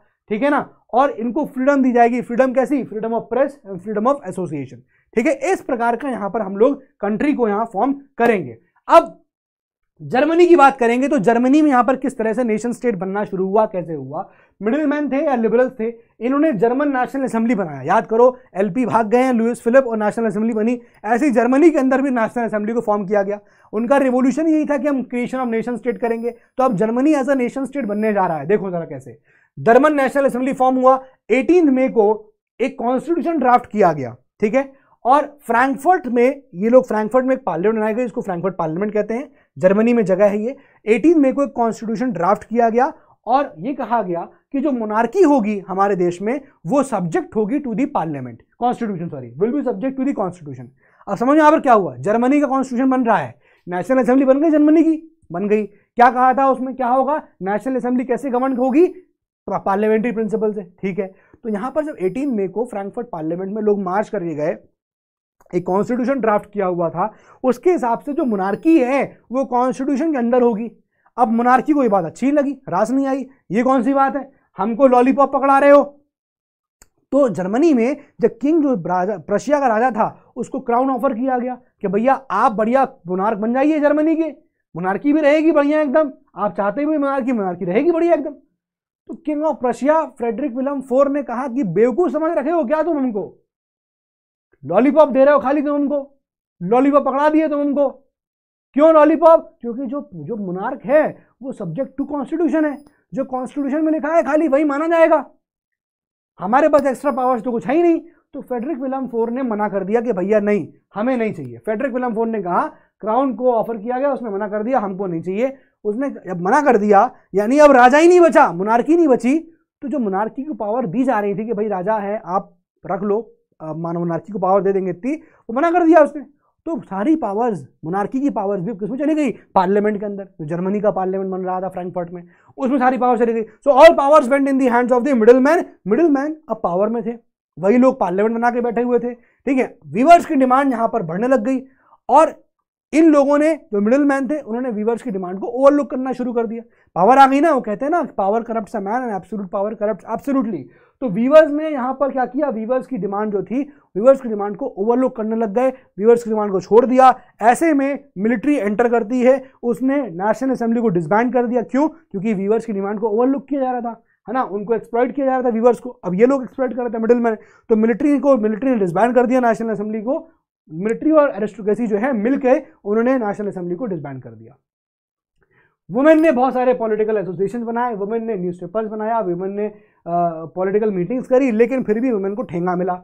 After all this hard work of women women got ठेंगा। उनको कुछ नहीं मिला। पार्लियामेंट में देवर मियरली क्या थे वो? वो सिर्फ़ और सिर्फ़ ऑब्जर्वर्स थे। वो सिर्फ़ और सिर्फ़ ऑब्जर्वर्स थे। बात समझ में आ रही है कि नहीं आ रही है? वो सिर्फ़ ऑब्जर्वर्स थे पार्लियामेंट के। मतलब इतना कुछ मेहनत करी, इतनी कुछ मेहनत करी किसने? वीवर्स ने वुमेन ने। उसके बाद भी उनको फिर भी वो राइट्स नहीं दिए जा रहे थे। इवन द मिडिल क्लास उनको यहाँ पर राइट्स नहीं दे रहा था। मिडिल क्लास की इतनी लड़ाइयाँ लड़ी। तो लिबरल्स यहाँ पर अब एक बात कंजर्वेटिव को समझ में आई। कंजर्वेटिव मतलब मोनार्की और लिबरल्स मतलब क्या? लिबरल्स आपके कौन हो गए? आपके जो नेशनलिस्ट हो गए। तो बेसिकली अभी बात समझ में आ रही कंजर्वेटिव को क्या रही कब तक चलेगा? 1830 से लेकर 1848 आ गया। 18 साल से हम लोग देख रहे हैं कि यार ये लोग रिवॉल्यूशन करते हैं, हम लोग सप्रेस कर देते हैं। ये लोग रिवॉल्यूशन करते हैं, हम लोग सप्रेस करते हैं। रिवॉल्यूशन किया? सप्रेस रिवॉल्यूशन सप्रेस ये कब तक सप्रेस और रिवॉल्यूशन की साइकिल चलती रहेगी? हमें कहीं ना कहीं इस सप्रेशन और रेवोल्यूशन की कहानी को साइकिल को रोकना पड़ेगा। ठीक है? तो ये जो सप्रेशन हो रहा है रेवोल्यूशन कर रहे हैं लिबरल्स वाले, ये सप्रेस करते रहे। ये रेवोल्यूशन कर रहे हैं सप्रेस करते रहे। रेवोल्यूशन कर रहे हैं सप्रेस कर देते हैं। तो कब तक करेंगे हम लोग? कब तक करेंगे? कब तक? ठीक है? तो ये जो कंजर्वेटिव थे, अब इनको डर लगने लगा यार कोशिश तो बहुत टाइम से हो रही है, हमको खाड़ा फेंकने की। वो तो ये कहो कि हम लोग इनको बार बार सप्रेस कर देते हैं। तो जो कंट्रीज़ थे प्रशिया रशिया ऑस्ट्रिया ब्रिटेन अब ये डर इनको डर लगने लगा। नाउ इन फियर उनको क्या लगने लगा? उनको लगा ऐसा ना तख्ता पलट हो जाए, हमको खा कर फेंक दे। तो उन्होंने चालाकी करी। उन्होंने कहा, ठीक है, एक काम करिए। उन्होंने क्या कहा? उन्होंने कहा कि ऐसा है नेशन स्टेट की बात ही करने लगे और जर्मनी और इटली कहानी। यहाँ पर क्या ठीक है भैया चेंजेस ये लोग कह रहे थे, अच्छी बात, भाई, ये लोग खुद ही अब ये ये लोग सोचने लग गए ना कि यार, देर सवेर तुम्हारा तख्ता पलट हो ही जाएगा। तो वाई नॉट हम इनकी बातों को मान लें?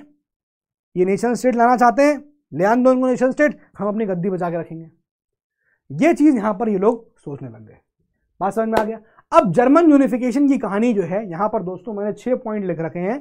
ये छो के छो पॉइंट्स अगर जर्मन यूनिफिकेशन पे क्वेश्चन आया तो एज इट इज़ लिख के आ जाइएगा एज इट इज़ कुछ भी मत बदलिएगा, मैं हट जा रहा हूँ। एक बार आप स्क्रीनशॉट ले लीजिए। जर्मन यूनिफिकेशन का आंसर ऐसे लिख के आएगा, फिर मैं समझाता हूँ। स्क्रीनशॉट ले लो एक बार जरा इसका। ठीक है? चलो, अब देखो यहाँ पर। बहुत इंपॉर्टेंट है। अब देखो जरा यहाँ पर क्या हो रहा है। जर्मन यूनिफिकेशन की कहानी समझिए। The initiative of liberals to unite Germany in 1848 was crushed by the combined forces of monarchy military अभी बताया। 1848 में जो कोशिश करी गई थी जर्मनी को यूनाइट करने की, भाई जर्मनी का कॉन्स्टिट्यूशन बना था जर्मनी का कॉन्स्टिट्यूशन बना। कॉन्स्टिट्यूशन जब बना तो कहा गया कि हम एक पार्लियामेंट बनाएँगे फ्रैंकफर्ट पार्लियामेंट उसमें जो मोनार्की होगी कॉन्स्टिट्यूशन के अंदर होगी ऑफ़र किया गया क्राउन क्राउन मना कर दिया उसने। तो जो कोशिश करी गई थी, फिर नेशनल असेंबली भाई मोनार्की ने क्राउन मना कर दिया। फेडरिक विलम फोर ने, सारी पावर मिडिल मैन के पास आ गई थी, है ना? और फिर जब मिडिल मैन ने ओवरलुक करना स्टार्ट कर दिया, किसको? व्यूवर्स को तो मिलिट्री और मोनार्की ने मिलकर डिसबैंड कर दी नेशनल असेंबली तो वही पहला पॉइंट है कि जो इनिशिएटिव लिबरल्स ने लिया था 1848 में रिवोल्ट ऑफ़ 1848 में, उसको क्रश कर दिया गया था by the military and the aristocracy number two so the responsibility to unify Germany was now on Prussia Russia पे अब सारी रिस्पॉन्सिबिलिटी दारमदार आ गया। कैसे यहाँ पर क्या करना है? कैसे हम यहाँ यूनिफाई करेंगे जर्मनी को? तीसरा पॉइंट ऑटोवन बिस्मार्क जो चीफ आर्किटेक्ट था ही was the chief chief minister of Russia इसी को जर्मनी की यूनिफिकेशन का चीफ आर्किटेक्ट बनाया गया। ठीक है? ये ऑटोवन बिस्मार्क कौन था? ये चीफ मिनिस्टर था प्रशिया का। ठीक है ना? ये चीफ मिनिस्टर था प्रशिया का he was the chief architect of German unification German unification का ये चीफ आर्किटेक्ट बोला गया। ऑटोमन बिस्मार्क ने तीन लड़ाइयाँ लड़ी in span of seven years against whom against Austria Denmark and France and in which Russia was the winner Russia उसमें क्या हो गया? विनर हो गया। बात समझ में आ गया? तो देखो यहाँ पर किस प्रकार रशिया जो है यहाँ पर विनर हो गया not Russia so finally in Jan 1871 Prussian का जो राजा था पर्शियन रूलर था king William king William one was proclaim the emperor तो विलियम वन जो है, वो यहाँ पर राजा बन जाता है 1871 में जनवरी 1871 में। ये कहाँ पर होती है ये? ये पूरी चीज़ सेरेमनी कहाँ होती है? On 18 January 1871 assembly comprising of princes of German states जो जर्मन स्टेट्स थे थर्टी नाइन कॉन्फेडरेशन स्टेट्स उनके सबके राजा महाराजा कहाँ मिलते हैं? हॉल ऑफ़ मिरर्स में इकट्ठा होते हैं इन पैलेस ऑफ़ वर्साइल और वहाँ पर ये ताजपोशी जो है जर्मन एम्पर की करी जाती है। क्लियर है? क्या कह रहे हो? सर बट मोनार्की आई ही क्यों? लिबरल थे ना वहाँ पर, वहाँ तो। भाई, वही तो बता रहे थे लिबरल्स खत्म हो गए थे ना। मोनार्की आ गई थी ना दोबारा। लिबरल्स कहाँ थे वो? मोनार्की तो एग्जिस्ट कर ही रही थी ना। ठीक है? इसका पीडीएफ मिल जाएगा। अब इटली की बात करते हैं। देखो यार, ये इटली का आपको एक तरह कंट्री का नक्शा दिख रहा है रफ नक्शा है। जो इटली जो है, तीन पार्ट्स में डिवाइड था। इटली की सेवन स्टेट्स थी, जिसमें सार्डिनिया पिडमॉन्ट सबसे स्ट्रॉन्गेस्ट उनका स्टेट था, ठीक है? सार्डिनिया पिडमॉन्ट याद रखना, इटली की सेवन स्टेट्स थे। सेवन स्टेट्स में सार्डिनिया पिडमॉन्ट उनका एक स्टेट था, सबसे पावरफुल था। ये तो हो गया स्टेट्स लेकिन इटली थ्री पार्ट्स में डिवाइडेड था। नॉर्दर्न पार्ट सेंट्रल पार्ट और सदर्न पार्ट नॉर्दर्न पार्ट जो इटली का था, वो ऑस्ट्रियन हैब्सबर्ग एम्पायर के कंट्रोल में था। सेंट्रल पार्ट था, यहाँ पर पोप रूल कर रहा था, और जो सदर्न पार्ट था, यहाँ पर बुरबन किंग्स थे, कहाँ के, स्पेन के बुरबन किंग्स थे। तो ये इस तरह के यहाँ पर पॉलिटिकल हिस्ट्री थी इटली की। अब देखो किस प्रकार से इटली का यहाँ पर यूनिफिकेशन होता है। चलिए, ये मैं आपको आंसर लिख के लाया हूँ, इटालियन यूनिफिकेशन का, इसका स्क्रीनशॉट ले लीजिए। एज इट इज़ एग्ज़ाम में लिख के आइएगा, पूरे पूरे नंबर मिलेंगे। चलो, ले लो।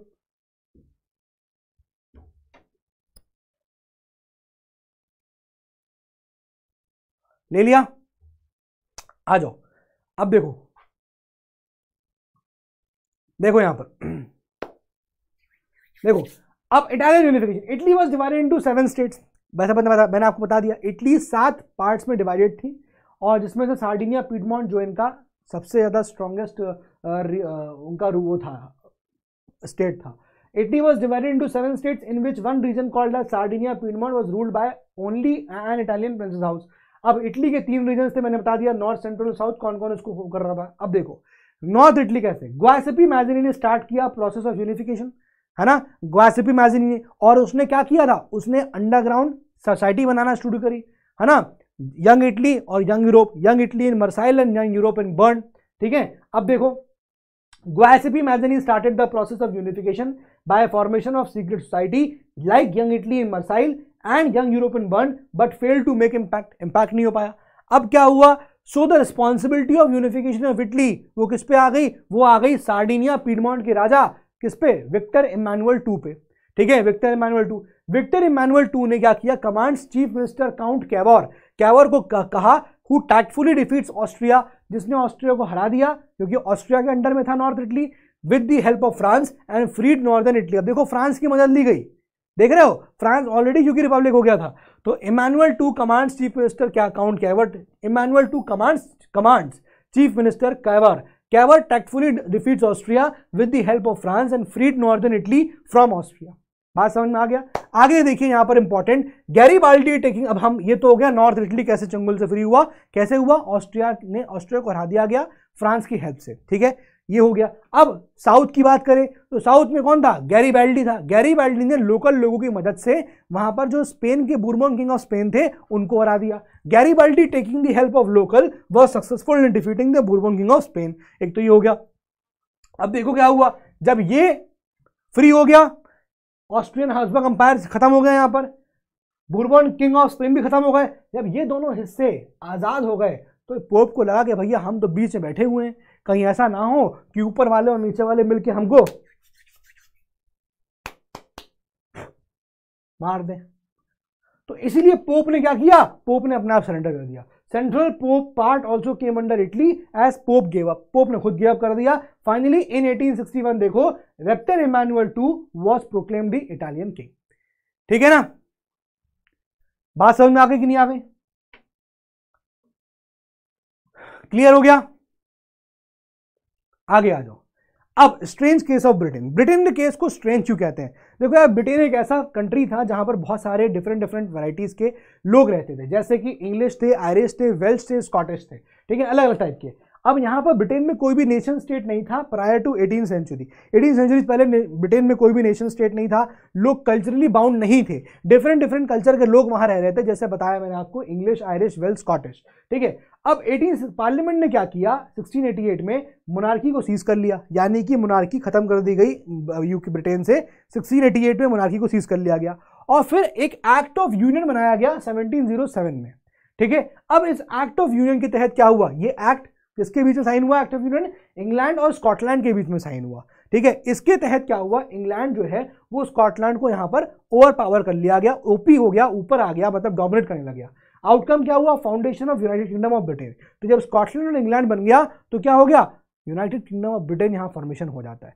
तो बेसिकली यहाँ जब इंग्लैंड है that is simply England England के साथ स्कॉटलैंड बन गया तो वो यूनाइटेड किंगडम ऑफ़ ब्रिटेन हो गया।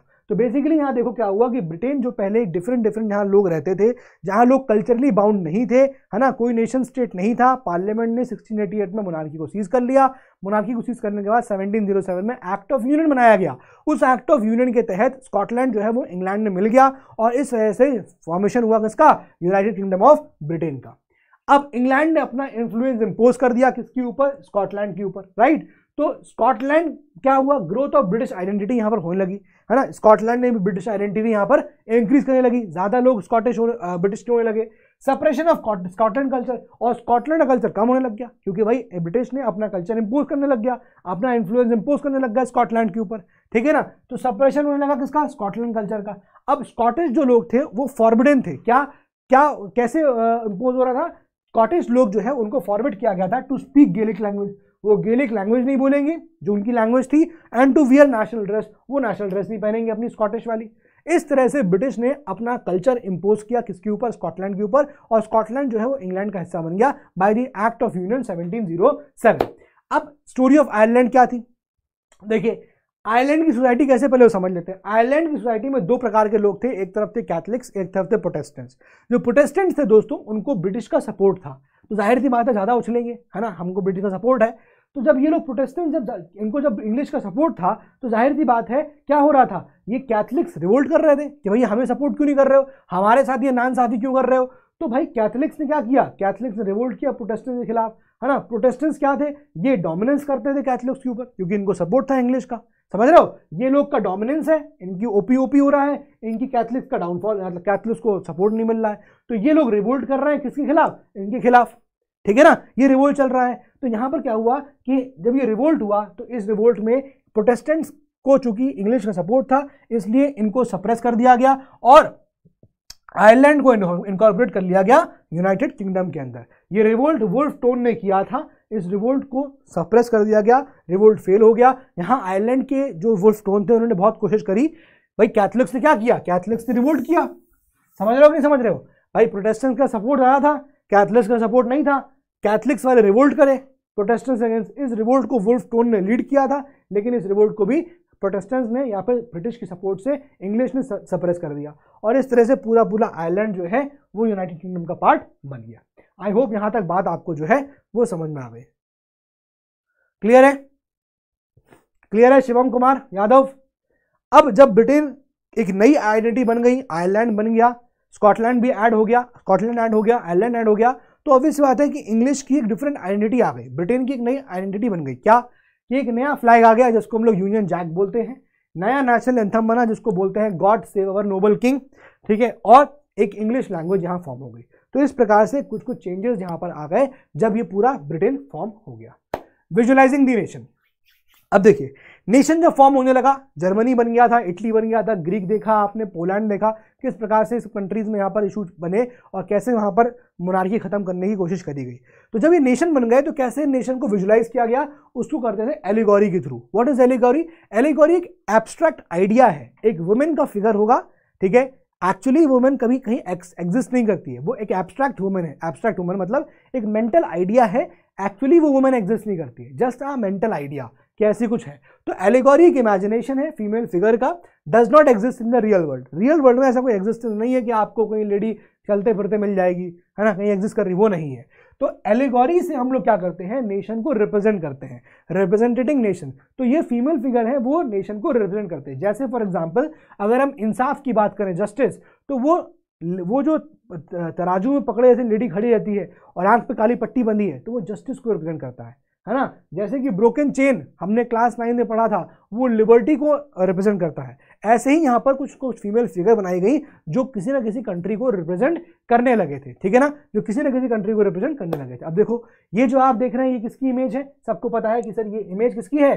सबको पता, बता दो कॉमेंट बॉक्स में, ये कौन है? ये मेरियाने है। फ्रांस की फ्रांस की एलेगोरी और ये देख रहे हैं कौन है? जर्मेनिया है। ये जर्मनी की एलेगोरी ठीक है ना? अब यहाँ पर हर चीज़ कुछ ना कुछ यहाँ रिप्रेजेंट कर रही है। चलिए इसको एक बार यहाँ देख लेते हैं। देखो, ये देखो, तलवार लिए हुए हैं हाँ लिए हुए हैं। तलवार के ऊपर देखो, ये लीव्स बनी हुई है ओक लीव्स हाँ बनी हुई है। ठीक है? और देखो, इस, यहाँ पर देखो, ये पत्ती लगी हुई है हाँ लगी हुई है। ठीक है? ये पीछे देखो, झंडा दिख रहा है ब्लैक ऑरेंज और वाइट येल्लो वाला। ठीक है? रेड वाला। हाँ झंडा दिख रहा है सर इसके देखो चेस्ट पे यहाँ पर एक ईगल प्लेट लगी हुई है हाँ लगी हुई है। नीचे देखो रेज निकल रही हैं। हाँ निकल रही हैं। तो ये सब चीज़ें कुछ ना कुछ यहाँ पर रिप्रेजेंट कर रही हैं। ठीक है ना? कुछ ना कुछ यहाँ पर ये रिप्रेजेंट कर रही हैं। क्लियर हो गया हमारे बात? अब देखिए, ये चीज़ आपके एनसीआरटी में दी गई है। एक बार इन सबके मीनिंग देख लेते हैं। ब्रोकन चेंज का मतलब क्या हो गया? लिबर्टी आज़ादी मिलना। ब्रेस्ट प्लेट विद ईगल का मतलब क्या हो गया? स्ट्रेंथ है ना? बहुत ताकत है हमें सिंबल ऑफ़ जर्मन अंपायर ये स्ट्रेंथ का सिंबल है। क्राउन ऑफ़ ओक लीव्स सर पे ओक लीव्स का ताज का मतलब क्या हुआ? हीरो है, हम हीरो हैं, है ना? हीरो होता है, उसको क्राउन बनाते हैं नहीं बनाते हैं? हाँ हीरो है। स्वार्ड का मतलब क्या है? हमेशा तैयार है लड़ने के लिए। ऑलिव ब्रांच जो लगी है स्वार्ड के अराउंड उसका मतलब क्या है? कि हम समझौता शांति समझौता करने के लिए भी तैयार हैं। हम लड़ने के लिए तैयार तो हैं तलवार का मतलब ये हुआ। लेकिन जिसको उसके ऊपर ओक लीव्स लगी हैं तलवार के ऊपर वो ये रिप्रेजेंट कर रही है कि हम शांति समझौता करने के लिए भी तैयार हैं। Black red and golden tricolour आप देख लो ये वो फ्लैग था जो 1848 के रिवोल्ट में इस्तेमाल किया गया था। 1848 में ना, लिबरल नेशनलिस्ट ने इस फ्लैग का इस्तेमाल किया था। और rays of the rising sun का मतलब क्या होता है? Beginning of the new era नए एरा की यहाँ पर शुरुआत हो रही है। ठीक है ना? क्लियर है? ठीक है? अब आते हैं last that is nationalism and imperialism nationalism मतलब क्या होता है? लव फॉर वंस नेशन अपने अपने देश वालों से प्यार करना। ये होता है आपका नेशनलिज्म इंपीरियलिज्म क्या होता है? कि जब आप अपने देश से प्यार कर रहे हैं, वो तो ठीक है लेकिन अपने देश से प्यार करते करते आप दूसरे के देश को भी कैप्चर करने लग जाएँ। दैट इज़ इंपीरियलिज्म मतलब अपनी मैडम से प्यार करना ही करना है। अपनी मैडम से प्यार कर रहे हैं। आओ भाई, तुमसे प्यार कर रहे हैं। और अपनी मैडम से प्यार करते करते दूसरे की मैडम को भी। तुम भी आओ, तुम भी आओ, तुम भी आओ। सबसे प्यार करने लग जाए। उनकी मैडम खींचने लग जाए। आपके पास टैलेंट है। बढ़िया गिटार बजाते हैं। एक मैडम इंप्रेस हो गई। अपनी मैडम तो इंप्रेस है। अब अपनी मैडम को इंप्रेस करते करते उनकी मैडम को गिटार बजा के इंप्रेस कर लिया। उनकी मैडम को गिटार बजा के इंप्रेस कर लिया। ये इंपीरियलिज्म होता है। तो हम कहते हैं ना चाइना इंपीरियलिज्म पॉलिसी फॉलो करता है। यानी कि टेरिटोरियल एक्सपेंशन करना। टेरिटरीज को एक्सपैंड करना। कैसे? वहाँ पर अपनी पॉलिसीज़ अप्लाई करके, वहाँ पर एक्सपेंशन करके, वहाँ पर बैटल के थ्रू लड़कर, इस तरह से। ठीक है ना? तो nationalism love for one own nation और इंपीरियलिज्म मतलब क्या होता है? नेशनलिज्म तो है ही प्लस टेरिटोरियल एक्सपेंशन अपने देश से प्यार करना ही है प्लस अपने देश से प्यार करते करते टेरिटोरियल एक्सपेंशन करना और दूसरे देश के लोगों को कब्जा करना, दूसरे देश की जमीनों को कब्जा करना। दिस इज़ इंपीरियलिज्म बात समझ में आ गई कि नहीं आ गई? ये बहुत ही इंपॉर्टेंट हो जाता है। अब क्या हुआ? देखो, यहाँ पर सिंपल क्या था कि भैया एक रीजन है जिसको हम लोग बोलते हैं बालकन्स का। बालकन्स में वहाँ पर आप देखो कि बहुत रिसोर्सेज हैं और वहाँ पर पहले ऑटोमन अंपायर रूल कर रहा था। ठीक है? बहुत बढ़िया। तो ऑटोमन अंपायर क्या था? ऑटोमन अंपायर बॉयफ्रेंड था। बालकन जो है वो गर्लफ्रेंड थी इसकी। समझना बात को? ठीक है? बालकन क्या है? गर्लफ्रेंड है। ऑटोमन अंपायर क्या है? बॉयफ्रेंड है। अब दोनों के बीच में क्या हो गया? ब्रेकअप हो गया। दिल टूट गए? ब्रेकअप हो गया। जब ये दिल टूट गए ऑटोमन अंपायर और बालकन का ब्रेकअप हो गया तो बालकन सिंगल हो गई। अब यहाँ चार मुस्टंडे खड़े हुए हैं बागड़ बिल्ले जर्मनी, इटली, ब्रिटेन, रशिया, इन सब बागड़ बिल्लों की नज़र पड़ी बालकन्स के ऊपर। सिंगल है, हम पटाएँगे, हम जाएँगे। इन सबने अटैक कर दिया बालकन के ऊपर। कब्जा करेंगे हम उस पर क्यों? क्योंकि बालकन्स पर रिसोर्सेज बहुत थे। यहाँ बहुत रिसोर्सेज थे। जो भी बालकन को कैप्चर कर लेगा, उसके हाथ में चाबी होगी पूरे वर्ल्ड की। और इसी वजह से बालकन्स को कैप्चर करने के लिए इन चारों कंट्रीज़ ने क्या कर दिया? इस पर अटैक किया और इसके अटैक क्या किया इस बालकन्स के लिए लड़ने लग गए। इतनी खूबसूरत थी बालकन ठीक है? बालकन से लड़ने लग गए and this became the reason for the first war world war ठीक है ना? ये है यहाँ पर आपका बालकन्स का एरिया देखो कौन कौन से कंट्री है बालकन्स में? Croatia, Herzegovina, Bosnia Montenegro Kosovo, Albania, Macedonia, Serbia, Romania, ये सारा बाल्कन का रीजन है। और बाल्कन का रीजन जो है बहुत ज़्यादा रिच रीजन था रिसोर्सेज में। बहुत अच्छे रिसोर्सेज थे। जिसके पास ये कैप्चर जिसके पास ये रीजन आ जाएगा, वो भैया आदमी उसकी बल्ले बल्ले हो जाएगी। तो ये चार जो हैं बागड़ा बल्ले जर्मनी, रशिया, ऑस्ट्रिया, ब्रिटेन, ये सारे लड़ने लग गए बाल्कन्स के लिए। और यही रीजन बन गया। This was the reason this was the beginning of the first world war पहली वर्ल्ड वॉर इसी तरह से शुरू होती है। बात समझ में आ गई? बात क्लियर हो गई कि नहीं क्लियर हो गई? ठीक है भाई लोग? ठीक है कि नहीं ठीक है? अब यहाँ पर अपन ब्रेक ले लेते हैं। और इसके बाद हम लोग अपना नेशनलिज्म इन इंडिया को स्टार्ट करेंगे। और पाँच मिनट का ही ब्रेक होगा मात्र। सिर्फ़ फाइव मिनट्स का ब्रेक होगा। या आप ब्रेक करेंगे, ना करें, बता दो एक बार। डिसइंटीग्रेशन ऑफ़ ऑटोमन अंपायर का मतलब होता है कि जो ऑटोमन अंपायर रूल कर रहा था, वो खत्म होने लग गया, उसकी पावर वहाँ से कमज़ोर होने लग गई और वो गिरने लग गया अंपायर ठीक है?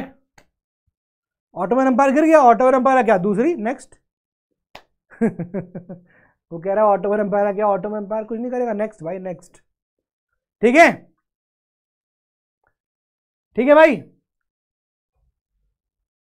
दस मिनट का ब्रेक ले लेते हैं, चलो दस मिनट का ब्रेक ले लेते हैं, उसके बाद हम लोग नेशनलिज्म इन इंडिया से मिलते हैं।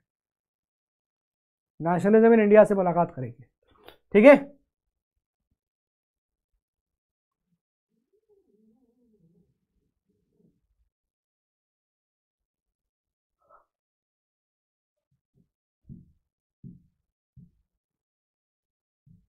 चलिए।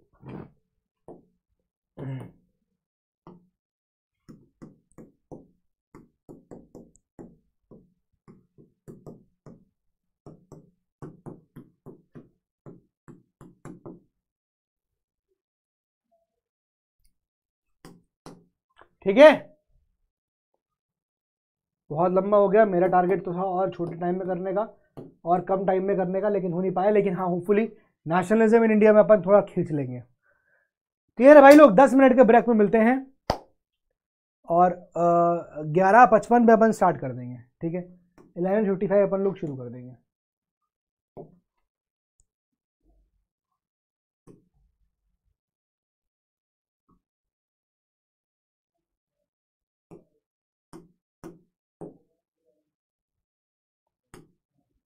चलो। ठीक है?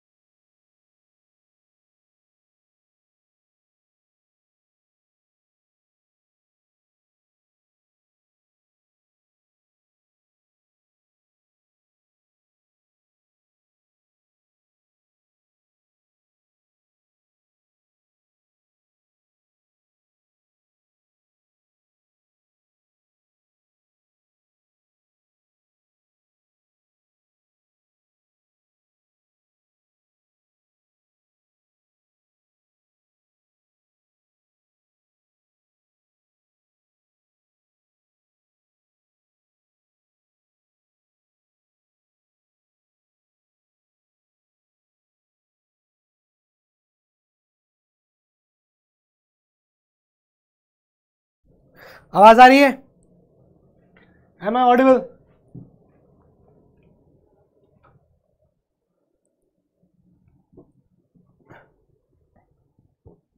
आवाज़ आ रही है मेरी सब लोगों को?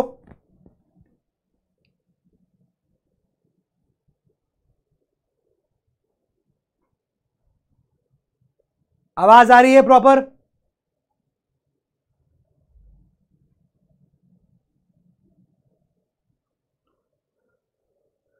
मैं ये पढ़ाऊँगा, इसके बाद फिर आपको कुणाल सर दो चैप्टर्स पढ़ाने वाले हैं एज ऑफ़ इंडस्ट्रियलाइजेशन और making of a global world वो दोनों चैप्टर्स पढ़ाएँगे आपको। ठीक है? आई होप मेरी आवाज़ आप लोगों तक बहुत अच्छे से आ रही है। ठीक है? अबे नो वॉइस ओपी करके ना स्पैमिंग सही मत किया करो यार। चलो, बहुत बढ़िया। लेट स्टार्ट लेट स्टार्ट शुरू करते हैं। तो चलो, अभी हमने पढ़ ही रहे थे, उसी के आगे कंटिन्यूशन में आगे हम लोग देखते हैं। दोस्तों, आपने देखा किस प्रकार से जर्मनी, इटली, ब्रिटेन और ग्रीक ये सब नेशन स्टेट बन जाते हैं। यहाँ नेशन स्टेट जब बनते हैं तो कल्चर से बाइंड हो जाते हैं, है ना? तो यहाँ के नेशन स्टेट में जर्मनी, इटली, इन सब के लोगों में कुछ आइडेंटिटी होती है। इनका कुछ स्पेसिफिक सिंबल्स होते हैं, जैसे ब्रिटेन का नेशनल फ्लैग ब्रिटेन का नेशनल एंथम लैंग्वेज ऐसे ही फ्रांस का देखने को मिला हमें।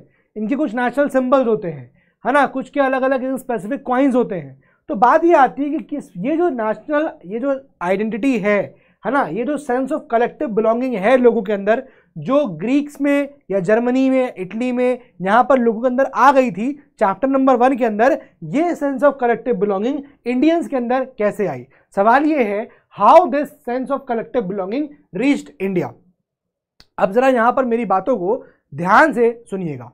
देखिए जरा दोस्तों, अगर हम बात करें ब्रिटेन की तो ब्रिटेन जब इंडिया में आया तो ब्रिटेन ने इंडिया कैप्चर कर लिया। और ब्रिटेन ने जब इंडिया कैप्चर किया तो अब वो अपना एक्सपेंशन करना चाहता था।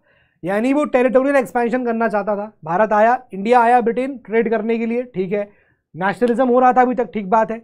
लोग अपने देश से प्यार कर रहे थे ब्रिटेन वाले, ठीक बात है। लेकिन जब ब्रिटेन के लोगों ने टेरिटोरियल एक्सपेंशन करना शुरू किया, इंडिया के ऊपर, इंडिया को ऑक्यूपाई करना शुरू कर दिया तो दैट वॉज़ इम्पेरियलिज्म है ना? इम्पेरियलिज्म ये देखा ना हमने, कि अपने देश से प्यार तो कर रहे हैं और अपने देश से प्यार करते करते अब दूसरे के देश के लोगों को, दूसरे के देश की टेरिटरीज को कैप्चर करने लग जाओ। दैट इज़ इम्पेरियलिज्म तो ब्रिटेन जब इम्पेरियलिज्म करने लग गया तो इम्पेरियलिस्टिक पॉलिसी इंडिया के ऊपर थोपने लग गया। और ब्रिटेन जब इंडिया आया तो उसने इंडिया को अपनी कॉलोनी बनाया। और कॉलोनी बनाया तो जो रूल होगा ब्रिटेन का इंडिया में, उसको हम लोग कोलोनियलिज्म बोलते हैं। ठीक है? क्या बोलेंगे? कोलोनियलिज्म तो भारत जब इस एम्पीरियलिस्टिक पॉलिसी के खिलाफ लड़ेगा, ब्रिटेन की तो उसको हम लोग एंटी एम्पीरियलिज्म बोलेंगे।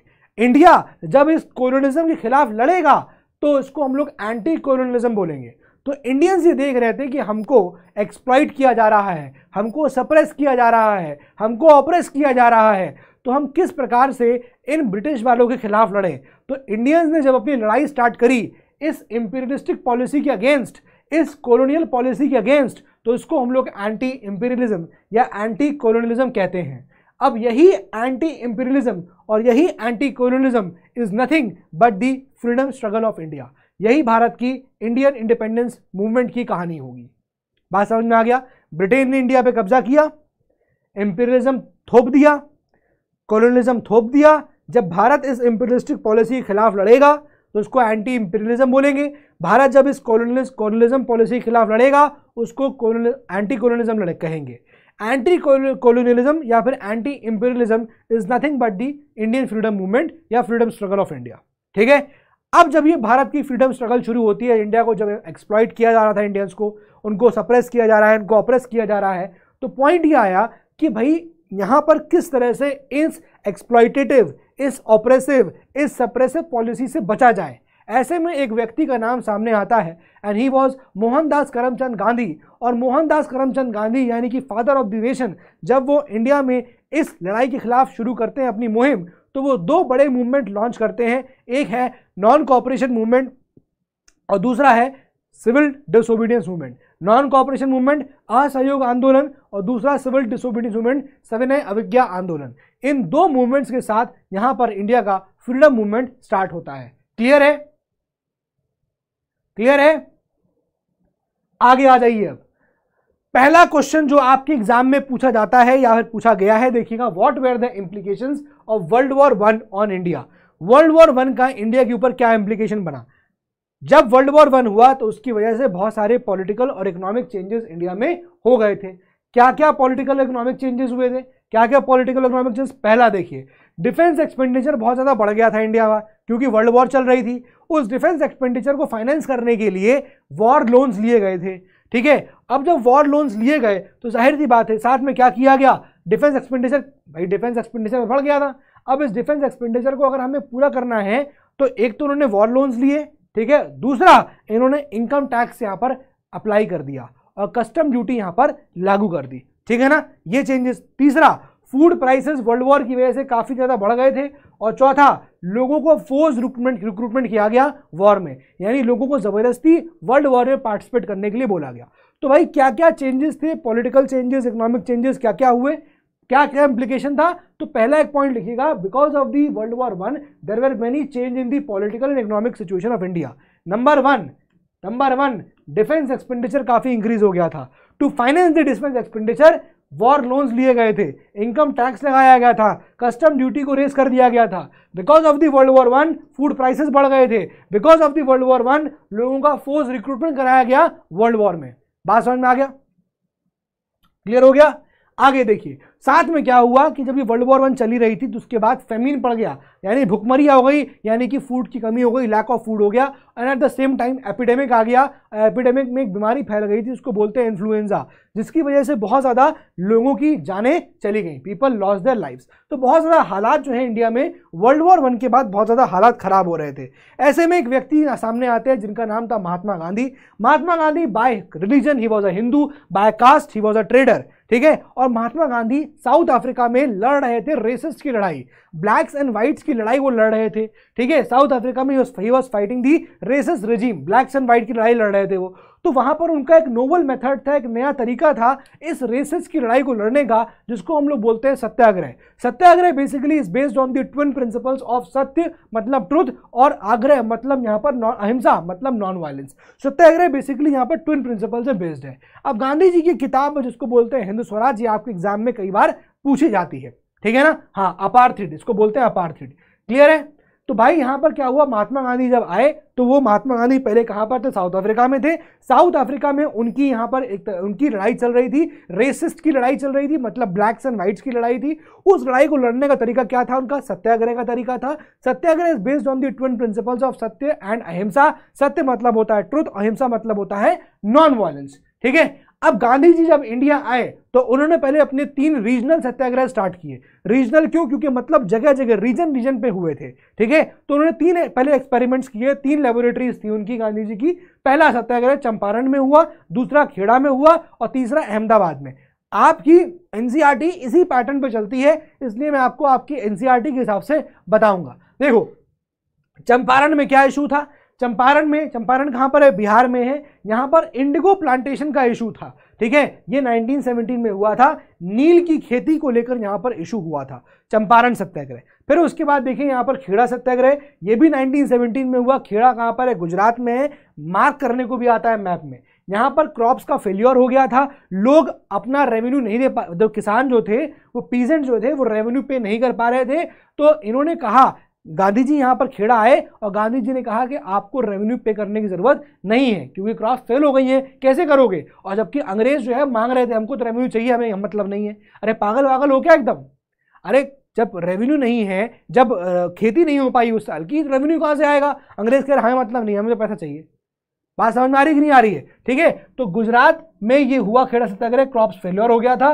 पीजेंट्स ने रेवेन्यू पे करने को मना कर दिया। गांधी जी ने कहा डोंट पे द रेवेन्यू आपको रेवेन्यू पे करने की ज़रूरत नहीं है। इसके बाद जो आता है, वो आता है Ahmedabad mill strike Ahmedabad mill strike Ahmedabad जगह का नाम है आपको पता है। वहाँ पर एक मिल थी जिसके ओनर थे अंबालाल सारा भाई ठीक है ना? उनकी, एक उनकी यहाँ सिस्टर थी अनुसिया सारा भाई तो अनुसिया सारा भाई ने गांधी जी को कॉल किया और बुलाया कि भैया, यहाँ पर बड़ा इशू हो गया है। क्या मामला हो गया? अहमदाबाद में बेसिकली क्या था कि वहाँ पर प्लेग फैल गया था, बीमारी फैल गई थी प्लेग जब प्लेग फैल गया तो जो वर्कर्स थे मिल वर्कर्स थे, वो अपने अपने घर की तरफ़ भागने लग गए। जान बचाने के लिए कि भैया यहाँ रहेंगे तो मर जाएँगे।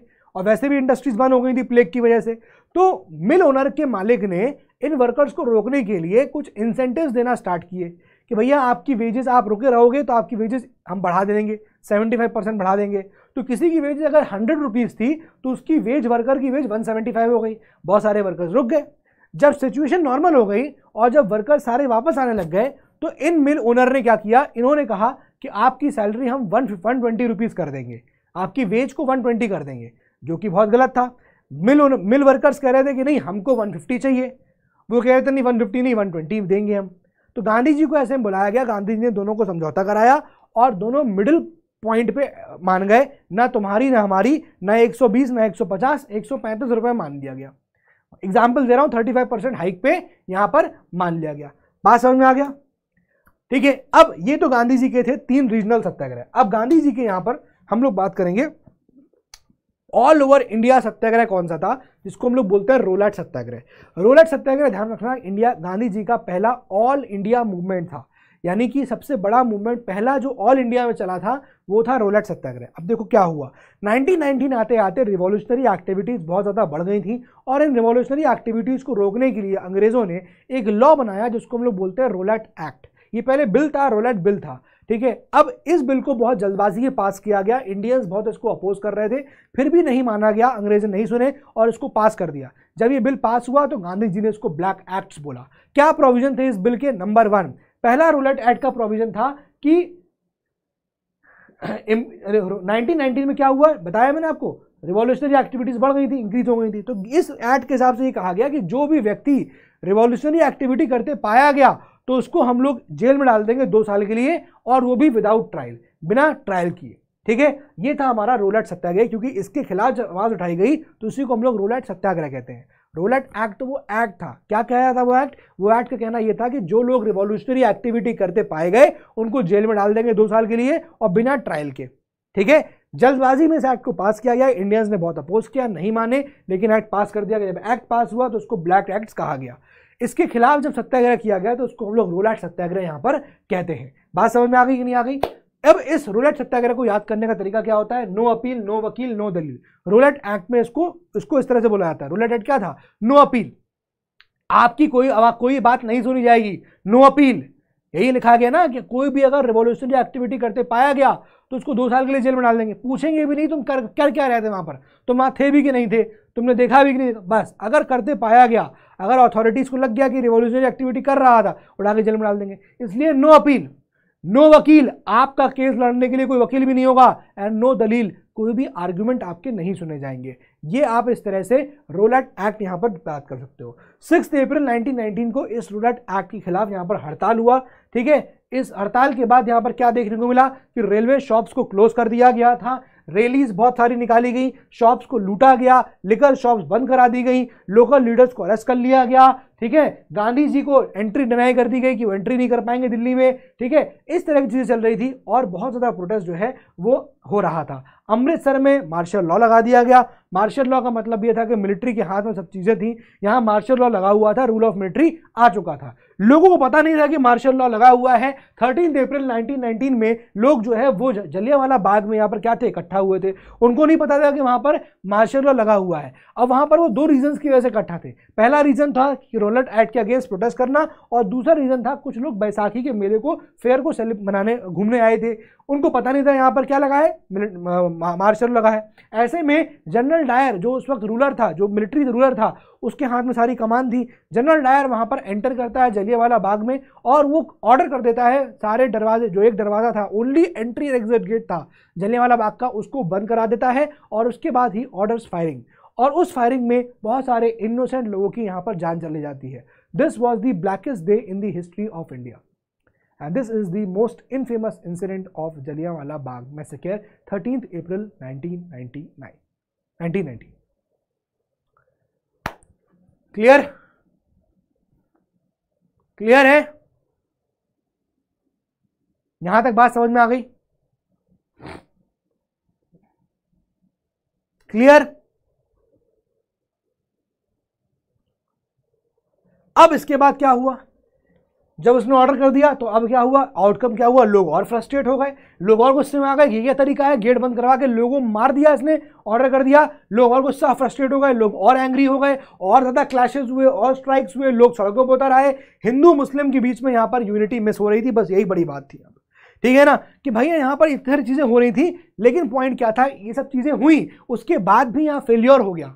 इतनी सारी चीज़ें हुई। लोग फ्रस्ट्रेट हुए, लोग गुस्सा हुए, लोग उतरे, लोगों ने प्रोटेस्ट किया, लेकिन फिर भी जलियांवाला बाग या फिर रोलट सत्याग्रह उतना सक्सेसफुल नहीं हुआ। रीज़न क्या था? कि हिंदू, मुस्लिम में यूनिटी यहाँ पर नहीं थी। यहीं से आता है खिलाफत इशू खिलाफत इशू क्या था? समझिएगा जरा। भाई, हुआ क्या कि टर्की में क्या था? टर्की में ऑटोवन अंपायर था मुस्लिम अम्पायर था इस्लामिक अम्पायर था। ऐसी रूमर फैल गई कि इंग्लिश ने जो लड़ाई हुई है अभी टर्की से उसमें बहुत ह्यूमिलेटिंग ट्रीटी साइन करवाई है टर्की वालों से। बहुत ह्यूमिलेटिंग मुसलमानों को, हिंदुस्तान के मुसलमानों को खराब लगा। तो ये तो हमारे गिरबान में हाथ डाल रहे हैं। क्योंकि जो ऑटोमन अम्पायर का हेड होता है, खलीफा, कैलिफ जिसको बोलते हैं he is the head of the Muslim empire Islamic ruler Islamic empire वही वो हेड है। और टर्की पर ही पूरा कब्जा कर लिया गया। और वहाँ के जो कैलिफ को है, उसको पूरा वो कर दिया गया। ट्रीटी से बाँध दिया गया। ये रूमर फैल गया था कि बहुत हार्श ट्रीटी इम्पोज करी गई टर्की के ऊपर।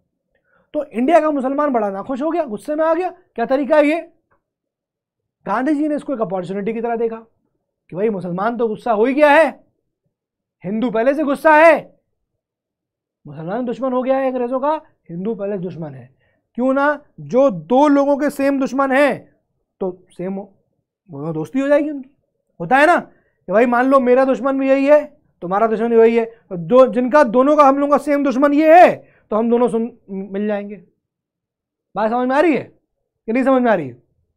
होता है ना, भाई तुमको किसी से बदला लेना है, उसको भी किसी से, उसी आदमी बदला लेना है, तुम दोनों मिल जाओगे हाँ भाई, एकदम साठ साठ घंट कर ले हम लोग। होता है कि नहीं होता है?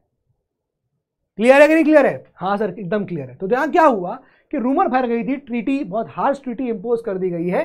कैलिफ के ऊपर, जो उस वक्त टर्की में रूल कर रहा था ऑटोमन एम्पायर का हेड था ऑटोमन एम्पायर मतलब इस्लामिक एम्पायर हो गया। ठीक है तो इंडियन मुस्लिम को लगा कि भैया ये तो उनके प्रेस्टीज पे अटैक कर दिया गया है। इसलिए यहाँ पर एक खिलाफत कमेटी बनाई गई 1919 बॉम्बे में बाय अली ब्रदर्स जिसको हम लोग बोलते हैं मोहम्मद अली एंड शौकत अली। इन लोगों ने खिलाफत कमेटी बनाया और खिलाफत कमेटी की चाबी बागडोर गांधी जी को दे दिया कि अब आप इसको यहाँ से आगे प्रोसीड करिए। गांधी जी को ये एक तरह से अपॉर्चुनिटी दिखी कि यहाँ पर हिंदू मुस्लिम की यूनिटी हो सकती है, और यहाँ पर उन्होंने यही देखा कि मुसलमान भी नाराज़ है इस वक्त अंग्रेज़ों से और हिंदू वैसे भी नाराज़ है। दोनों अगर यूनाइट हो जाएँगे तो अंग्रेज़ों को दौड़ा दौड़ा के मारेंगे, भगा देंगे, और यहाँ पर इस तरह से हिंदू मुस्लिम की यूनिटी हो जाती है। ठीक है? यहाँ से इस तरह का यहाँ पर बात समझ आती है। ठीक है? क्लियर हो गया? अब गांधी जी ने यहाँ पर नॉन कॉपरेशन मूवमेंट को लॉन्च करने की बात सोची ऑन थ्री ग्राउंड्स अब उन्होंने देखा कि हिंदू मुस्लिम की यूनिटी हो रही है, बढ़िया। अब उन्होंने कहा नॉन कॉपरेशन करना है हमको। उन्होंने कहा नॉन कॉपरेशन ये क्या होता है? किस चिड़िया का नाम है? उन्होंने कहा नॉन कॉपरेशन अंग्रेज़ों के साथ कॉपरेट मत करो।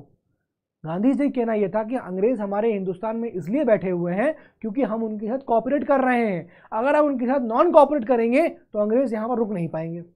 Gandhi ji decided to start the non cooperation movement on three grounds number one Punjab injustice यानी जलियावाला बाग में जो हुआ। दूसरा, खिलाफत इशू जो खिलाफ, जो अंग्रेज़ मुसलमानों के साथ हो रहा था।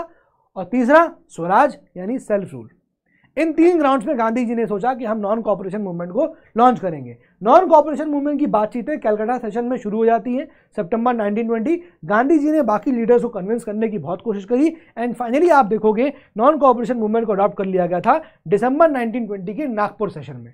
तो कभी आपसे क्वेश्चन नहीं पूछता है कि एनसीएम को अडॉप्ट कब किया गया? नागपुर सेशन में किया गया दिसंबर नाइनटीन क्लियर हो गया यहाँ तक बात? ठीक है? अब आगे आ जाइए। तो नॉन कॉपरेशन मूवमेंट शुरू कैसे होता है? शुरू कैसे होता है? टाइटल सरेंडर कर दिए लोगों ने अपने। अब नॉन कॉपरेट करना है ना तो लोग कैसे दिखाएँगे गुस्सा अपना? टाइटल जो दिए थे अंग्रेज़ों ने, वो सरेंडर कर दिए गए। सिविल सर्विसेज़ को बाइकआउट कर दिया गया। पुलिस कोर्ट्स स्कूल्स इन सबको बाइकआउट किया। लेजिस्लेटिव असेंबली को बाइकआउट कर दिया। फॉरेन गुड्स को बाइकआउट कर दिया। इस तरह से नॉन कॉपरेशन मूवमेंट अनफोल्ड हुआ स्टेजेस में। पहले टाइटल सरेंडर किए गए, फिर सिविल सर्विसेज़ बाइकआउट किया गया। कोर्ट स्कूल्स पुलिस इन सबको बाइकआउट कर दिया लेजिस्लेटिव असेंबली पार्लियामेंट को बाइकआउट कर दिया फॉरेन गुड्स को बाइकआउट कर दिया, इस तरह से अनफोल्ड हुआ है नॉन कॉपरेशन मूवमेंट स्टेजेस में। बात समझ में आ गया? तो ब्रिटिशर्स, जैसे मैंने बताया कि इंडिया में थे, गांधी जी कहना यह था कि वो लोग इसलिए इंडिया में क्योंकि हम लोग कॉपरेट करते हैं। अगर हम इनके साथ नॉन कॉपरेट करेंगे तो वी विल ओवरथ्रो देम हम ब्रिटिशर्स को ओवरथ्रो कर देंगे। Different stand in the movement अब जब नॉन कॉपरेशन मूवमेंट स्टार्ट हुआ तो वो अलग अलग शहरों में अलग अलग तरीके अलग अलग जगह में हिंदुस्तान की अलग अलग तरीके से चला। जब गांधी जी ने कहा नॉन कॉपरेशन मूवमेंट तो उसका मतलब शहरों में अलग लगाया गया। गाँव या ग्रामीण इलाकों में अलग लगाया गया कंट्री साइड में, और प्लांटेशन में उसका मतलब अलग निकाला गया। अब हमको ये पढ़ना है किस कंट्री किस जगह पे क्या क्या मतलब निकाले गए थे, किस जगह पे क्या क्या मतलब निकाले गए थे। मूवमेंट इन टाउन्स हुआ तो क्या मतलब निकाला गया? मूवमेंट इन कंट्री साइड था तो नॉन कॉपरेशन मूवमेंट क्या मतलब निकाला गया? और स्वराज इन प्लांटेशन प्लांटेशन में क्या मतलब निकाला गया? स्वराज का। ठीक है ना? आगे आ जाइए।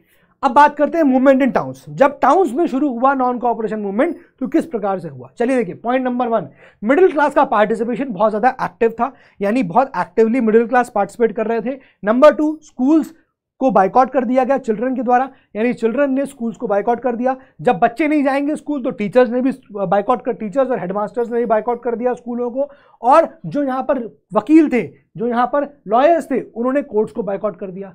And you will see provincial elections को बाइकआउट कर दिया गया सारी पार्टी के द्वारा except except the Justice Party. यानी प्रोविंशियल इलेक्शन मतलब जो इलेक्शंस प्रोविंसेस में होने थे, उन इलेक्शंस को बाइकआउट कर दिया गया सारी पार्टीज़ के द्वारा। हर पार्टी ने प्रोविंशियल इलेक्शंस को बाइकआउट किया। नॉन कॉपरेशन मूवमेंट के नाम पे। लेकिन एक्सेप्ट दी जस्टिस पार्टी। इस तरह से टाउन मूवमेंट यहाँ पर स्टार्ट होता है। इकोनॉमिक इंपैक्ट क्या है नॉन कॉपरेशन मूवमेंट का? पहला देखिए फॉरेन गुड्स को बाइकआउट किया गया। इकोनॉमिक इंपैक्ट इकोनॉमी पैसे में क्या फ़र्क पड़ा? जब गांधी जी ने कहा नॉन कॉपरेशन मूवमेंट तो अंग्रेज़ों के पैसों रेवेन्यू पे क्या फ़र्क पड़ा? पहला फॉरेन गुड्स बाइकआउट कर दिया। दूसरा लिकर शॉप्स को पिकेट किया गया। तीसरा फॉरेन क्लॉथ बर्न कर दिया गया। चौथा फॉरेन फॉरेन ट्रेड हाफ़ कर दिया गया। एंड पांचवा traders and merchants they refuse to trade in the foreign goods traders और मर्चेंट्स ने रिफ्यूज कर दिया कि वो फॉरेन गुड्स में ट्रेड नहीं करेंगे। सोचो, इससे कितना ज़्यादा खराब इंपैक्ट पड़ा ब्रिटिशर्स के रेवेन्यू पे। ब्रिटिशर्स को पैसा आना बंद हो गया। कहाँ से पैसा आएगा? बताओ। फॉरेन गुड्स को बाइकआउट कर दिया, लोग फॉरेन गुड्स खरीद नहीं रहे दूसरा लिकर शॉप्स को पिकेट कर दिया मतलब बंद बंद हो गया, ताला लगवा दिया गया। अब शराब नहीं बिकेगी तो टैक्स नहीं मिलेगा, बिक्री नहीं होगी। फॉरेन क्लॉथ को बंद कर दिया गया फॉरेन ट्रेड हाफ़ कर दिया गया और ट्रेडर और मर्चेंट ने फॉरेन गुड्स में ट्रेड करने से मना कर दिया।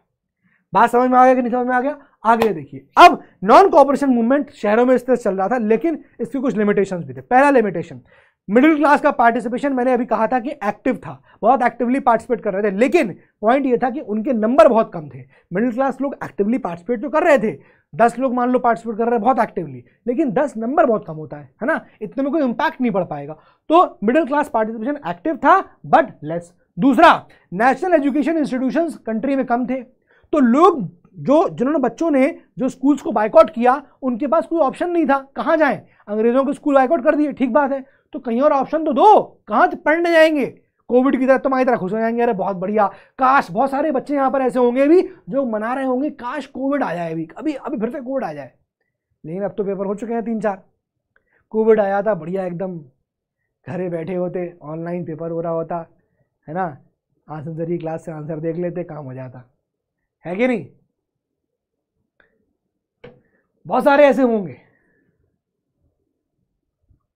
है ना? तो भाई नेशनल एजुकेशन इंस्टीट्यूशन इंडिया में थे ही नहीं। अगर तुमने स्कूल बाइकआउट करवाया है तो भाई साहब, कोई दूसरी जगह दो तो पढ़े कहाँ? मजबूरी हो गई, वापस जाना पड़ गया। ठीक है ना? चिल्ड्रन में force to go back to government school अब जब बच्चे वापस पहुँच गए तो टीचरों पहुँच गए। पढ़ाएँगे, तनख्वाह मिलेगी, बढ़िया एकदम। घर पे मुर्गा काटेंगे चिक चिकन खाएँगे। लॉयर्स कब तक बैठते अलग? वो भी अपना प्रोफेशन दोबारा स्टार्ट कर दिए। और जो फॉरेन गुड्स बाइकआउट करवाया था फॉरेन क्लॉथ को बर्न करवा दिया, जो लोग पहनते थे अभी तक। अब उसकी जगह खादी ले आए वो लोग, खादी पहनो। लेकिन खादी की प्रॉब्लम क्या थी? Khadi was very very expensive तो क्या करते भैया? नंगे थोड़ी घूमेंगे। कपड़े पहनना हो तो ढूंढ लो दर्जी। कपड़े पहनना हो, ढूंढ लो दर्जी। नंगू पंगू घूमना हो तो आपकी मर्ज़ी। यही कही बोल रहे थे इंडियंस के लोग। भाई, कपड़े पहनना हो तो ढूंढ लो दर्जी। कपड़े पहनना हो तो ढूंढ लो दर्जी। सिलवाओ खादी। नंगू पंगू घूमना है तो आपकी मर्ज़ी। पर भाई खादी इतनी एक्सपेंसिव थी, क्या करें? खादी इतनी एक्सपेंसिव है कि लोग खरीद ही नहीं पा रहे हैं। इसलिए लोग वापस फॉरेन क्लॉथ खरीदने चले गए। भैया, कपड़े तो पहनाओ पता चला ऐसे चले जा रहे हैं मार्केट में। हाँ भाई। समझ रहे हो नहीं समझ रहे हो?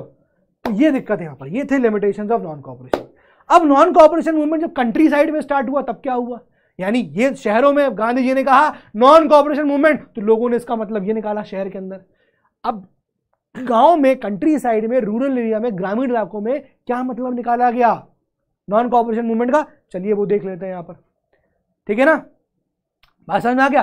देखो, पहला एग्रीरियन राइट्स बहुत सारा एग्रीकल्चर राइट्स हुए। एग्रीकल्चर को लेकर राइट्स हुए समझ आपने क्या हुए। फिर नाई धोबी बंद मूवमेंट हुआ। फिर अवध किसान सभा बनाई गई, फिर ट्राइबल इंटरप्रिटेशन ऑफ़ स्वराज, ठीक है? तो इस तरह से यहाँ पर चीज़ें चली। तो यहाँ पर पूरा वायलेंस ही वायलेंस चल रहा था। Pushpa Raj violence violence violence I don't like violence but violence likes me ऐसा हो रहा था यहाँ पर कंट्री साइड और गांधी जी ऐसे थे जिनको बिल्कुल वायलेंस नहीं पसंद था। कंट्री साइड में violence violence violence I don't like violence but violence likes me तो भाई कंट्री साइड में अभी देखो, वहाँ वायलेंस ही होगा। शहर में वायलेंस नहीं हुआ। शहर में मारधाड़ नहीं हुई। वहाँ बाइकआउट की गई चीज़ें। लेकिन कंट्री साइड में लोगों को पता ही नहीं था। बीडीपी के बैठे हैं, उनको पता ही नहीं क्या मतलब होता है नॉन कॉपरेशन मूवमेंट का। पता ही नहीं भाई साहब। उन्होंने मारकाट शुरू कर दी। गांधी जी इसके अगेंस्ट थे वायलेंस के। कि भाई वायलेंस नहीं होना चाहिए। बात समझ में आ रही है समझ में आ रही है? तो भाई एग्रीरियन राइट्स नाई धोबी बंद मूवमेंट अवध किसान सभा ट्राइबल इंटरप्रेशन ये सब चीज़ें यहाँ पर स्टार्ट हुई। चलो एक एक करके डिस्कस करते हैं पहले एग्रीरियन राइट्स में यहाँ पर क्या हुआ। देखो जरा। अब एग्रीरियन राइट्स जो है, ये राइट्स ट्राइबल्स और पीजेंट्स ने किए थे तालुकदार के अगेंस्ट तालुकदार या फिर लैंडलॉर्ड्स के अगेंस्ट तालुकदार, जमींदार, ये तो ज़मीन के ओनर्स थे. तालुकदार और लैंडलॉर्ड्स ये इनकी जमीनें थी और ट्राइबल्स और जो पीजेंट्स हैं, ये ये इनकी जमीनों में काम करते थे. ठीक है? अब ये तालुकदार और जो लैंडलॉर्ड थे, ये हाई रेंट मांग रहे थे. पैसा चाहिए हमको हाई रेंट चाहिए. ये high rent no right to और दूसरी बात, एक तो पहले हाई रेंट मांगते थे ये लोग तालुकदार. हाई रेंट दो, पैसा ज़्यादा दो, पहला चीज़ तो ये मांग रहे थे। दूसरा no right to peasant peasant को किसी प्रकार का राइट नहीं था, ज़मीन के ऊपर। तीसरा नो सिक्योरिटी ऑफ़ जॉब जब चाहे मुक्का मार के बाहर निकाल देंगे पीजेंट को। चौथा फोर्स टू डू बेगार बेगार बेगार मतलब वर्क विदाउट सैलरी वेजेस बिना वेजेस के काम करना बेगार नहीं है। अभी एक आध लिखिएगा सर बेगर सर बेगर ठीक है ना? तो एग्रीरियन राइट्स में क्या हुआ? कि ये एग्रीकल्चरल राइट्स थे एग्री एग्रेरियन राइट्स थे। भाई, ये जो ट्राइबल्स थे और जो पीजेंट्स हैं, ये खेती बाड़ी करते थे किनकी ज़मीनों पे? इन तालुकदार और लैंडलॉर्ड्स की ज़मीनों पे। खेती बाड़ी कर रहे हैं, चीज़ों को उगा रहे हैं, बेच रहे हैं। बदले में ये पीजेंट्स ये जो लैंडलॉर्ड तालुकदार हैं, ज़मीन इनकी है और ये रेंट मांग रहे हैं ऊपर से। क्यों रेंट मांग रहे हैं? क्योंकि हम तुमको ज़मीन दे रहे हैं काम करने के लिए। तो ये बहुत हाई रेंट मांगते थे। रेंट ले रहे हैं। अब ये ज़मीन उनके पास रहेगी पीजेंट्स के पास ट्राइबल्स के पास अगले सीज़न भी बोने के लिए इसकी कोई ज़िम्मेदारी नहीं थी। कोई सिक्योरिटी ऑफ़ जॉब नहीं है। कोई राइट नहीं है पीजेंट्स को। ठीक है ना? ऊपर दे फोर्स टू डू बेकार। वो लोग बेचारे काम कर रहे थे ताल्लुकदार और लैंडलॉर्ड की ज़मीन पे, लेकिन उनको वेजेस नहीं मिलता था। वो ये कहते थे कि भाई, जो भी चीज़ आप पैदावार करो, उसको आप मार्केट में बेचो। हम पैसे नहीं देंगे आपको। उल्टा हमें खाना भी दो, हमको रेंट भी दो। बात समझ में आ रही है? क्लियर है? ये चीज़। आउटकम क्या हुआ? ऐसे में जब ये पीजेंट्स और ट्राइबल्स बहुत ज़्यादा परेशान हो गए। तो बाबा रामचंद्र, ये एक सन्यासी थे। He was an indentured labour of Fiji indentured labour का मतलब आपको अभी कुणाल साथी बताएँगे आगे वाले चैप्टर्स में जब आप पढ़ोगे making of the global world का। इंडेंचर्ड लेबर मतलब यहाँ से इंडियंस को प्रॉमिस करके ब्रिटिशर्स ले गए बाहर, दूसरे कंट्रीज़ में कि तुमको बाहर ले जाएँगे, बढ़िया घुमाएँगे, पैसा भी देंगे, काम भी देंगे पाँच साल बाद ले आएँगे।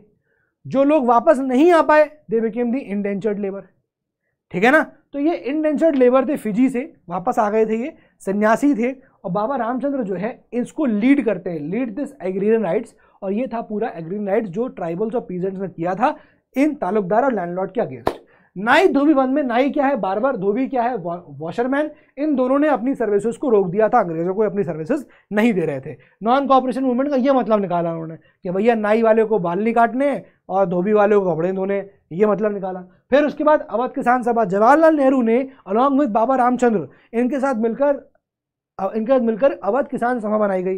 ये अवध अवध किसान सभा का ऑब्जेक्टिव था कि लोगों के जो ग्रीवियांसेस हैं, उसको सुने। क्या प्रॉब्लम्स है लोगों की? ये जगह जगह ज़्यादा के सुनते थे। ठीक है ना? ये अवध किसान सभा बनाई गई। ठीक है? और फिर इसका आता है ट्राइबल इंटरप्रिटेशन ऑफ़ स्वराज अब देखो, भाई आंध्र प्रदेश में एक पहाड़ी है जिसको बोलते हैं गुडिम हिल्स ठीक है? अब गुडिम हिल्स में ट्राइबल्स यहाँ पर रहते हैं। और ये ट्राइबल्स जो है वो फॉरेस्ट पर डिपेंडेंट होते हैं। अंग्रेज़ों ने क्या किया? फॉरेस्ट एक्ट पास कर दिया ब्रिटिशर्स ने, और जिसके हिसाब से इन ट्राइबल्स को फॉरेस्ट राइट्स डिनाई कर दिए गए कि अब आप जंगल में नहीं जाएँगे, ये सब चीज़ें आप काम नहीं करेंगे, जो भी आप लीव्स इकट्ठा कर रहे थे कैटल ग्रेजिंग करते थे, आप फ्यूल वुड कलेक्शन करते थे, आप ये फ्रूट कलेक्शन करते थे, ये सब आप नहीं कर सकते, ठीक है? तो ये जो राइट्स थे, वो डिनाई कर दिए गए। अब ज़ाहिर सी बात है ट्राइबल्स को जब राइट्स डिनाई कर दोगे तो ट्राइबल्स को गुस्सा तो आएगा ही, क्योंकि ट्राइबल्स की ज़िंदगी तो जंगलों पर डिपेंड है, और अंग्रेज़ों ने फॉरेस्ट राइट्स फॉरेस्ट एक्ट बना दिया, जिसके हिसाब से इन ट्राइबल्स को जो राइट्स थे फॉरेस्ट के अंदर, वो खत्म हो गए। अब क्या करेंगे बेचारे ये? क्या करेंगे? तो भाई ज़ाहिर सी बात है हिल पीपल एंग्री हो गए ट्राइबल्स एंग्री हो गए। ये क्या हो रहा है? Not only the livelihood is affected ना ही उनकी लाइवलीहुड इफ़ेक्ट हुआ था, बल्कि traditional rights for also denied उन ट्राइबल्स के ट्रेडिशनल राइट्स को भी डिनाई कर दिया गया, और साथ में उन ट्राइबल्स को अब बेकार करने में मजबूर कर दिया गया। ठीक है? ऐसे में यहाँ पर एक व्यक्ति का नाम सामने आता है and he is Alluri Sitarama Raju बहुत इंपॉर्टेंट है, बहुत इंपॉर्टेंट है। अभी इनकी मूर्ति भी प्राइम मिनिस्टर साहब ने कुछ टाइम पहले आंध्र प्रदेश में इनोग्रेट भी करी थी। अब एलूरी सीताराम राजू जो है, वो कहते थे कि हमारे पास स्पेशल पावर है। किसी को अगर गोली लग जाएगी टिचकिया तो मैं उस गोली को ठीक कर दूँगा। मैं उसके मरहम को ठीक कर दूँगा। ठीक है? उन्होंने कहा कि मुझे चेस्ट पे, छाती मैंने गोली खाई है बुलेट और मैं फिर भी ज़िंदा हूँ सर्वाइव कर गया हूँ। ठीक है? कैन डू एस्ट्रोलॉजिकल प्रोडिक्शन मैं भविष्यवाणी कर सकता हूँ। कैन हील पीपल मैं लोगों को ठीक कर सकता हूँ। इस तरह की बातें एलूरी सीताराम राजू ने करी थी। अब सोचो, लोगों को लगा कि भाई साहब, ये तो भाई यहाँ एक साक्षात भगवान है हमारे लिए, है ना? तो लोग एलूरी सीताराम राजू के फ़ैन हो गए। एलूरी सीताराम राजू जब वो आए तो he was inspired by the concept of NCM non cooperation movement करना है, हमको कॉपरेट नहीं करना है। प्रमोटेड खादी, इन्होंने खादी को प्रमोट किया। ठीक है? ही गेव अप ड्रिंकिंग इन्होंने खुद ड्रिंकिंग पीना छोड़ दिया, ठीक है? लेकिन अलूरी सीताराम राजू का एक दिक्कत ये हो गई कि इन्होंने वायलेंस का इस्तेमाल कर दिया। क्यों वायलेंस का इस्तेमाल किया? जो ट्राइबल के राइट्स खत्म हुए डिनाई हुए तो उन्होंने ट्राइबल के राइट्स को वापस दिलाने के लिए मिलिटेंट गुरिल्ला वॉरफेयर स्टार्ट कर दिया। उन्होंने मिलिटेंट गुरिल्ला वॉरफेयर को स्टार्ट कर दिया। अब मिलिटेंट गुरिल्ला वॉरफेयर क्या है? गुरिल्ला वॉरफेयर में क्या हुआ? कि भैया, जंगल में छुप के वो जाएँगे और जो अंग्रेज़ के लोग मिलेंगे, उनको मार के चले आएँगे। गुरिल्ला वॉरफेयर ठीक है? तो एक तरह से उन्होंने वायलेंस का सहारा ले लिया। और गांधी जी को वायलेंस पसंद नहीं था। Violence violence violence Gandhi ji भी like violence violence violence I don't like violence this is what Gandhi ji was saying ठीक है ना? तो भैया, सीताराम राजू ने क्या किया? उन्होंने वायलेंस का सहारा ले लिया और यहीं पर वो गांधी जी के रास्ते से थोड़ा सा भटक गए। तो गोरिल्ला वॉरफेयर हुआ, जब स्टार्ट हुआ तो ऐसे में पुलिस स्टेशन को जलाया दिया गया। पर पुलिस स्टेशन हमले किए गए। ब्रिटिश ऑफिसर्स को मार दिया गया। और फाइनली जब इस तरह की चीज़ें हुई तो सीताराम राजू को पकड़ लिया गया and he was executed in 1924 और उनको 1924 में एग्जीक्यूट कर दिया गया। क्लियर है? क्लियर है? अब आते हैं Swaraj in plantation non cooperation movement की बात कर रहे हैं तो स्वराज इन प्लांटेशन से क्या मतलब? देखो प्लांटेशन का मतलब क्या हुआ? बड़े बड़े बगान, खेत प्लांटेशन जहाँ एक प्रकार की खेती होती है। चाय के बगान होते हैं, चाय टी प्लांटेशन कॉफ़ी प्लांटेशन तो जब इन प्लांटेशन में गांधी जी ने कहा, स्वराज तो वहाँ पर लोगों ने क्या मतलब निकाला इसका? देखो अब जैसे मान लो ये प्लांटेशन वर्कर है प्लांटेशन है, यहाँ पर वर्कर्स काम करते हैं। एक एक्ट पास किया अंग्रेज़ों ने इसको बोलते हैं इनलैंड इमिग्रेशन एक्ट ये बनाया इनलैंड इमिग्रेशन एक्ट 1859 का। और इस एक्ट के तहत जो वर्कर्स इस प्लांटेशन के अंदर काम कर रहे हैं, वो बाहर नहीं निकल सकते। जब गांधी जी ने कहा स्वराज तो लोगों ने कहा अच्छा स्वराज, इसका मतलब क्या है? नॉन कॉपरेशन इसका मतलब क्या है? लोग जो है इन प्लांटेशन को छोड़ छोड़ कर जाने लग गए।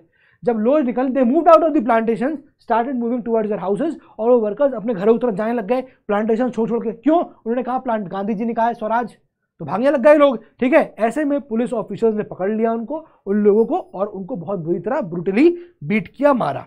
ठीक है ना? ये चीज़ें यहाँ पर हुई थी। तो प्लांटेशन वर्कर्स जो है, उनको रिस्ट्रिक्ट कर दिया कन्फाइन कर दिया गया था and they were not allowed to leave the plantation उनको मना किया गया था, ठीक है? लेकिन जब गांधी जी ने कहा, स्वराज तो ये लोग क्या होने लगे? ये अपने अपने घरों से बाहर निकलने लग गए, और ये जाने लगे अपने घर, ये प्लांटेशन से बाहर निकलने लग गए, और ये अपने घरों की तरफ़ जाने लग गए। पुलिस ने इनको रास्ते में पकड़ लिया, और बुरी तरह इनको ब्रूटली मारा। ये था स्वराज इन प्लांटेशन बात समझ में आ गया? क्लियर हो गया? अब गांधी जी को लगा कि मासेस को पता ही नहीं है। नॉन कॉपरेशन मूवमेंट का मतलब क्या है? भाई, शहरों में अलग मतलब निकाला गया कंट्री साइड में अलग मतलब निकाला गया, Swaraj and plantation tribal interpretation अलग था, स्वराज एंड प्लांटेशन अलग मतलब निकाला गया। गांधी जी का ये सोचना था कि बगता है मासेस को, यानी मासेस मतलब लोगों को, पता ही नहीं है कि मतलब क्या है नॉन कॉपरेशन मूवमेंट का? इसलिए गांधी जी को सोचा कि हम इसको विड्रॉ कर लेंगे मूवमेंट को नॉन कॉपरेशन इससे पहले वो नॉन कॉपरेशन मूवमेंट को विड्रॉ करते हैं उससे पहले एक बहुत बड़ा इंसिडेंट हो गया and that is Chauri Chaura incident Chauri Chaura basically Gorakhpur में है। वहाँ पर लोगों ने जो प्रोटेस्ट कर रहे थे, वो गुस्से में जाके वो गोरखपुर के चौरी चौरा में इस थाने को, पुलिस थाने को आग लगा देते हैं, जिसमें पुलिसकर्मियों की मौत हो जाती है, पुलिसमैन मर जाते हैं, और इस इंसिडेंट के बाद गांधी जी ने इमीडिएटली नॉन कॉपरेशन मूवमेंट को खत्म कर दिया। This was the end of non cooperation movement civil disobedience movement की यहाँ से शुरुआत होती है। अब बात क्या हुई? नॉन कॉपरेशन मूवमेंट वापस ले लिया। गांधी जी ने विड्रॉ कर लिया एनसीएम अब लोग पूछ रहे हैं गांधी जी से आप क्या करना है भैया? फ्यूचर प्लान क्या है? एनसीएम तो वापस ले लिया। आप बहुत कह रहे थे एनसीएम एनसीएम एनसीएम ढिंडोरा पीट रहे थे आप एनसीएम का। अब क्या करोगे? एनसीएम तो खत्म कर दिया आपने। Now what is your future plan Gandhi ji ने कहा, क्या? Protest Gandhi ji was very simple chill out Gandhi ji was protest करेंगे. तो जो लोग गांधी जी के साथ थे, कि ठीक है भैया प्रोटेस्ट करेंगे, यानी गांधी जी की स्ट्रैटेजी में कोई चेंज तो आया नहीं। गांधी जी पहले भी प्रोटेस्ट कर रहे थे, अब भी प्रोटेस्ट कर रहे हैं। तो जो लोग गांधी जी की स्ट्रैटेजी के साथ थे कि हम प्रोटेस्ट करेंगे, उनको हम कहते हैं नो चेंजर्स कोई चेंज नहीं करेंगे गांधी की स्ट्रैटेजी में। और जो लोग गांधी जी के प्रोटेस्ट स्ट्रैटेजी से पक गए थे अब, कि भैया इससे कुछ हो रहा नहीं है, कोई और तरीका अपनाना पड़ेगा, उसको बोलते हैं प्रो चेंजर्स क्या बोलते हैं? प्रो चेंजर और ये जो प्रो चेंजर वाले लोग थे, इनकी स्ट्रैटेजी क्या थी? कि अब भैया हम प्रोटेस्ट नहीं करेंगे, बहुत हो गया प्रोटेस्ट अब एक काम करते हैं प्रोविंशियल इलेक्शन में पार्टिसिपेट करते हैं। यानी कि अब हम लोग पार्लियामेंट के इलेक्शन में पार्टिसिपेट करेंगे पार्लियामेंट में एंटर करेंगे और फिर एंटर करने के बाद हम लोग फिर उसके बाद पार्लियामेंट में बैठकर हम पॉलिसीज़ बनाएँगे और अंग्रेज़ों को अपोज करेंगे। ये थे प्रो चेंजर्स बात समझ में आ गया? ऐसे में यहाँ पर हम बात करेंगे प्रो चेंजर्स की। तो भाई, एक स्वराज पार्टी बनाई गई प्रो चेंजर्स के द्वारा, क्योंकि वो इलेक्शन में पार्टिसिपेट करना चाहते हैं। तो इलेक्शन में कोई अकेले इंसान तो पार्टिसिपेट करेगा नहीं, पार्टी पार्टिसिपेट करेगी। तो स्वराज पार्टी बनाई गई फ़र्स्ट जनवरी 1923 याद रखना न्यू ईयर के दिन। फ़र्स्ट जनवरी नाइनटीन ट्वेंटी को बनाई गई by Chittaranjan Das C R Das and Motilal Nehru M L Nehru इन लोगों ने मिलकर बनाई लेकिन चित्रंजन दास जी की अनटाइमली डेथ हो जाती है और उनकी डेथ की वजह से ये पार्टी उतना इम्पैक्ट नहीं छोड़ पाती है, जिसके लिए बनाई गई थी। ठीक है ना? And party could not make a big impact अब आता है Simon commission government of India act आया था 1919 में। गवर्नमेंट ऑफ़ इंडिया एक्ट 1919 में कुछ बहुत सारे ऐसे प्रोविजंस थे, उनमें से एक प्रोविज़न ये था कि 10 साल के बाद हम इस गवर्नमेंट ऑफ़ इंडिया एक्ट 1919 को रिव्यू करेंगे। क्या ये एक्ट अभी भी वैलिड है और हम भारत की कॉन्स्टिट्यूशन को ड्राफ्ट करने की कोशिश करेंगे? तो मतलब 10 साल के बाद ये हुआ कि 1990 के बाद 1929 में एक कमीशन आना चाहिए था रिव्यू करने के लिए। लेकिन ये कमीशन दो साल पहले ही आ गया, ठीक है ना? तो रिव्यू द फंक्शनिंग करना है। तो 1927 में क्या हुआ? कि क्या हुआ? इंडियन स्ट्रैटेजरी कमीशन बनाई गई और इंडियन स्ट्रेटेजरी कमीशन को यहाँ पर हेड किया था जॉन साइमन ने। इसलिए इसको हम लोग साइमन कमीशन भी कहते हैं। 1927 में आ गई। ये एक्चुअली आई 1927 में इंडिया लास्ट दिसंबर में। और इसकी फंक्शनिंग 1928 में एक्चुअली स्टार्ट होती है।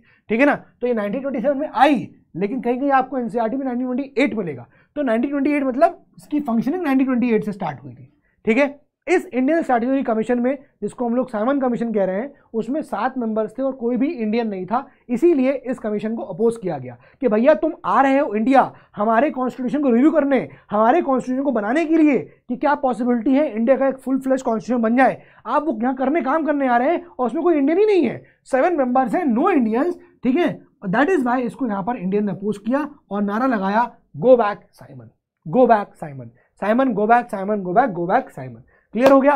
अब यहाँ पर लॉर्ड इरविन जो उस वक्त के वाइसराय थे, उस वक्त के वाइसराय थे जब उस जिस चल रहा है तो उन्होंने कहा, उन्होंने देखा कि यार माहौल माहौल बड़ा खराब हो रहा है। साइमन कमीशन को अपोज कर दिया गया। नॉन कॉपरेशन मूवमेंट इतना बवाल हुआ है। तो उन्होंने क्या प्रपोज किया? उन्होंने कहा, ऐसा है इंडियंस को कहा, आपको हम डोमिनियन स्टेटस देते हैं। भैया डोमिनियन स्टेटस जैसे बोला उन्होंने इंडियन के जो लीडर्स थे सीनियर लीडर्स नाराज़ हो गए। कि भैया, तुम बेवकूफ़ समझ रहे हो क्या? है? लॉलीपॉप पकड़ा रहे हो? तो इंडियन लीडर्स देखो, बहुत सख्त थे। सख्त सख्त लड़के थे, बहुत सख्त लड़के, है ना? वो कहते नहीं सख्त लड़के हो। पर यहाँ में पिघल गया। तो इंडियन इंडियन लीडर नहीं पिघले। बहुत सख्त थे। उन्होंने कहा डोमिनियन स्टेटस नहीं चाहिए हमको। जवाहरलाल नेहरू और और सुभाष चंद्र बोस। उन्होंने कहा हमको डोमिनियन स्टेटस नहीं चाहिए। डोमिनियन स्टेटस मतलब क्या हुआ? कि भैया ठीक है डोमिनेट कर सकते हो। इस, इस टेरिटरी को आप डोमिनेट कर लीजिए। लेकिन ओवरऑल कब्जा हमारा हुआ। उन्होंने कहा ये नहीं चाहिए हमको। हमको चाहिए पूर्ण स्वराज। आज़ादी चाहिए। तुम यहाँ से निकल लो। पहली फुर्सत में निकल जाओ। पहली फुर्सत में निकल। ये चाहिए हमको। पूर्ण स्वराज चाहिए। और इसके लिए एक कंप्लीट मतलब पूर्ण स्वराज मतलब कंप्लीट इंडिपेंडेंस और इसके लिए एक रेजोल्यूशन भी पास किया गया और इस कहाँ पर? लाहौर में 1929 में, जिसको हम लोग लाहौर सेशन भी कहते हैं. क्या बोलते हैं? लाहौर सेशन भी कहते हैं. अरे इलेवन मेंबर्स हैं. इलेवन कर लो मालिक. सेवन मेंबर्स हैं इलेवन मेंबर्स हैं. सेवन है. आईटी कब पढ़े? तीन, चार बजे, तीन, चार चार बजे तक पढ़ लेना आईटी भाई.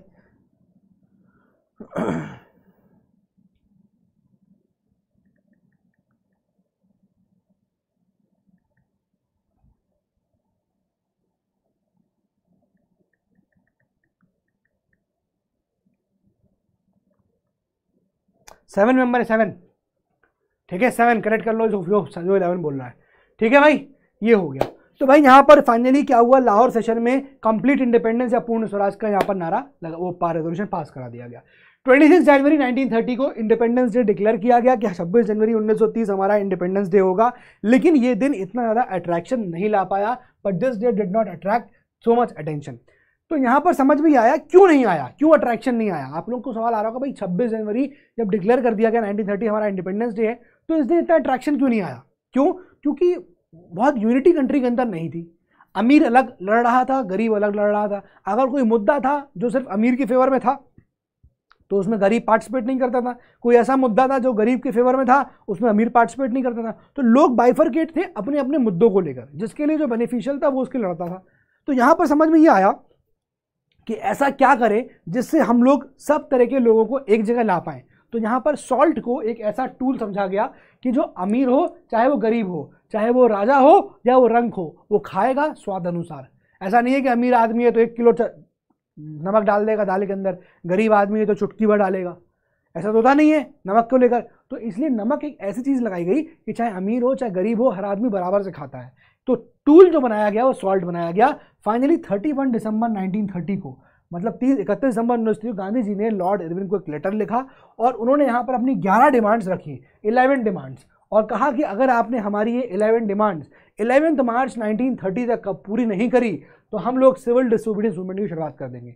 वही होता है इलेवेंथ मार्च तक डिमांड फुलफिल नहीं होती है ट्वेल्थ मार्च को गांधी जी सॉल्ट मार्च शुरू कर देते हैं and this was the beginning of the civil disobedience movement twelfth March 1930 को जब सिविल डिसोबीडियंस मूवमेंट शुरू हुआ तो भैया 78 वॉलेंटियर्स के साथ गांधी जी निकलते हैं 12 मार्च को और वो 6 अप्रैल को पहुँचते हैं साबरमती के आश्रम।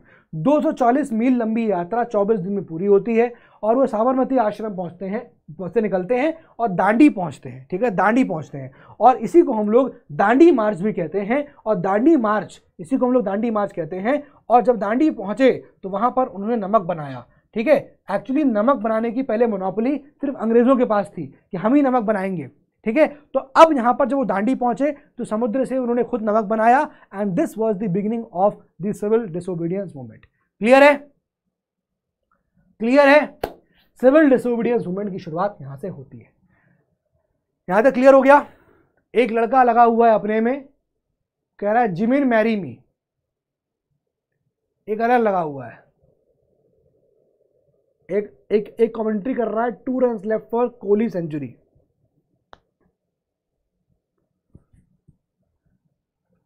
Kohli भी आके इसको अवार्ड देगा, दो रन के बाद। ले बेटा, तू चॉकलेट खा, तूने मेरी सेंचुरी करवाई है। एक अलग कह रहा है, शिवानी को बुलाओ। एक अलग प्रपोज कर रहा है। भाई बैंड बज जाएगी तेरी, तेरह तारीख को कल। और पंद्रह को महा बैंड बजेगी, महा मैराथन की तरह।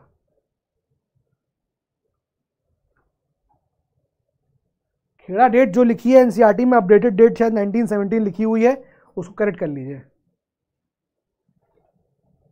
एक बच्चा अब आया ग्लेड ग्लेड स्टार्स वाला, कह रहा है यूरोप हो गया क्या? यूरोप हो गया इंडिया भी होने वाला है।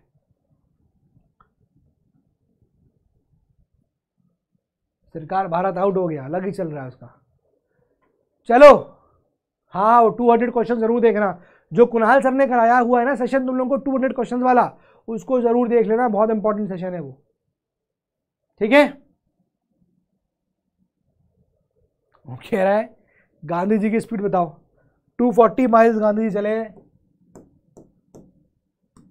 डिस्टेंस दे रखा है। 24 डेज़ तक चले। तो टाइम दे रखा है डिस्टेंस दे रखा है स्पीड निकालो। Speed equals to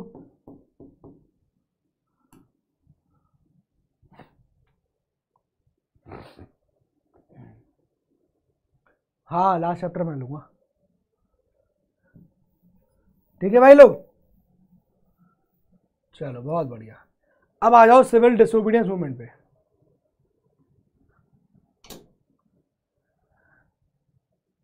ten miles a day मैं बस ये दो पढ़ा रहा हूँ, इसके बाद फिर मैं last chapter पढ़ाऊँगा print culture and modern world ठीक है? और सर, ये बाकी जो है, बीच में दो चैप्टर जो है, वो कुणाल सर लेने वाले हैं। ठीक है? और जल्दी ज़्यादा होगा तो कुणाल सर वो भी ले लेंगे। लास्ट वाला चैप्टर क्लियर है? बढ़े आगे। बढ़ा जा आगे। ओ भाई, थक गया मैं तो।